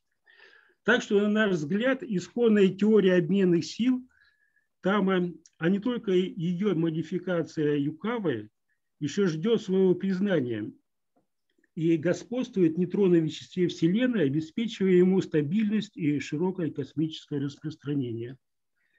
Там Юкава. Ну, потенциал э, Юкава известен, потенциал э, там качественно мало чем отличается. Единственное, что по, по оси абсцисс, если здесь единицы, то у Тама это будет сотни, две сотни, три сотни, то есть на два порядка больше. И при соответствующих размерах нейтронных ядер значит, это взаимодействие Тама будет работать и обеспечивать дополнительное взаимодействие. Именно там взаимодействие придает устойчивость нейтронному веществу уже на микроуровне, а не только на макроуровне за счет гравитационного взаимодействия, как сейчас считается в астрофизике. Так, ну и интересная работа еще в 1936 году, которую представил Хунт. Первое микроскопическое описание уравнения состояния ядерной материи при бета-равновесии. То есть э, идея Хунда об этой равновесии уже была высказана в 1936 году, и единственное отличие от там, если у там виртуальные электроны, то здесь, то здесь реальные. Хунд. Возможность существования сверхплотного нейтронного ядра рассматривал, как уже, как, рассматривалось, как уже мы отмечали, Мигдалом. В работе «Теория конечных ферми-систем и свойств атомных ядер». Мигдал считал, что нейтронные ядра могут быть стабильными относительно бета-распада и деления при z гораздо меньше n, при n больше 10 третьей, 10 пятой степени. Такие ядра э, можно было бы наблюдать в космических лучах в форме крупных фрагментов, как считал Мигдал. Мигдал. Таким образом, теория Тама, Хунда и Мигдала допускает устойчивое существование гипертяжелых нейтронных ядер при Z гораздо больше 175, при N больше 10 третьей, 10 в пятой степени и размерами 200, 300 и более фемтометров. Тем не менее, широкое распространение получило мнение, что минимальная масса для устойчивого существования нейтронного объекта равна 1 десятой массы Солнца. Но это связано с тем, что используя... две минуты остается. Все, да, постараюсь закончить. Так, э, были, э, они все дают очень большую ошибку. Таким образом, минимальная масса нейтронной звезды, считавшаяся равной 1 десятой массы Солнца, получ, получена из крайне приблизительных уравнений с ошибкой 100 и более процентов. А возможности существования нейтронных объектов гораздо меньших, меньших размеров при определенных условиях писал еще и автор концеп, самой концепции нейтронных звезд Фриц Цвикин. Так, из космоса спустимся на Землю. И еще раз отметим, что в 1968 году Шапира получил ультрахолодные нейтроны, и которые представляют собой Шапира. И самая главная особенность ультрахолодных нейтронов, что они ведут себя не как излучение, а как вещество, и работать с ним можно как с веществом, подобно разряженному инертному газу. Так, ну и увеличение плотности ультрахолодных нейтронов неизбежно приведет к постановке вопроса об их возможной конденсации и получении конденсированного нейтронного вещества в лабораторных условиях, подобных, подобных космических. Надо, ну так, это можно пропустить. Возможно ли, нейтрон, возможно ли нейтронные конденсации, подобные базе Эйнштейновским конденсатам? Конденсаты и плотность, плотность и прочность, которая будет сравнима с плотностью и прочностью атомных ядер. Иначе говоря, насколько близко сегодня подошли к рубежу создания в лаборатории космического нейтронного вещества, вещества. Так, ну, в отличие от атомарных базей конденсатов, естественному сжатию, которое при базе конденсации ставит непреодолимое препятствие их электронной оболочки, сжатию нейтронного э, газа не мешает ничто. В этом случае ультрахолодные нейтроны образуют пары. При достижении критической плотности температуры сожмутся до почти ядерной плотности. Когда вступит в дело ядерной силы, образовал устойчивое состояние конденсированного нейтронного вещества. Ну, еще раз напоминаю, о конденсации холодных нейтронов говорил еще Георгий Гамов. Так, ну и, и опять же вернемся к космосу. Так, известно, что э, для времен 10 минус 5 э, секунды при температуре 10-12 э, Кельвина начинает, начинает образование протонов и нейтронов начинается. Но обычно на схемах, как правило, говорят о образовании протонов. И дальше переходит уже их термоядерному синтезу элементов. Но дело в том, что если рассмотреть условия э, на этот момент, то э, на самом деле момент образования нуклонов, опять же по формуле Гамова, можно рассчитать плотность, и плотность оказывается выше, чем плотность нейтронной звезды. То есть реально в, этих, в это время реализуется состояние э, условий нейтронизации. То есть большинство, большая часть электронов будет, э, нейтронов, протонов будет э, в форме нейтронов. То есть первоначальной стадии процессом возможна конденсация, конденсация нейтронов, а потом лишь из остаточного количества уже нейтронов и протоны ведут уже обычный, ну, по обычный, процесс по обычной схеме. Заключение. Таким образом, нейтронное вещество в наше время – это вполне конкретная физическая реальность, требующая, настоятельно требующая своего законного места в периодической системе. Нейтронным веществом, вернее элементом ему соответствующим, начинается нулевой период и заканчивается за критические атомы периодической системы. Так, нейтронному веществу придается устойчивость уже на микроуровне за счет там взаимодействия. Так, возможно нейтронизация не только за счет гравитационного взаимодействия, но и по другим механизмам. Таким образом, существует принципиальная возможность получения нейтронного вещества в земных условиях. Ну и последнее. Нейтронное вещество не противоречиво вписывается в изначальную концепцию периодической системы Дмитрия Ивановича Менделеева – и вчера был день рождения Дмитрия Ивановича Менделеева. Благодарю за внимание. Я закончил. Есть ли желающие задавать вопросы?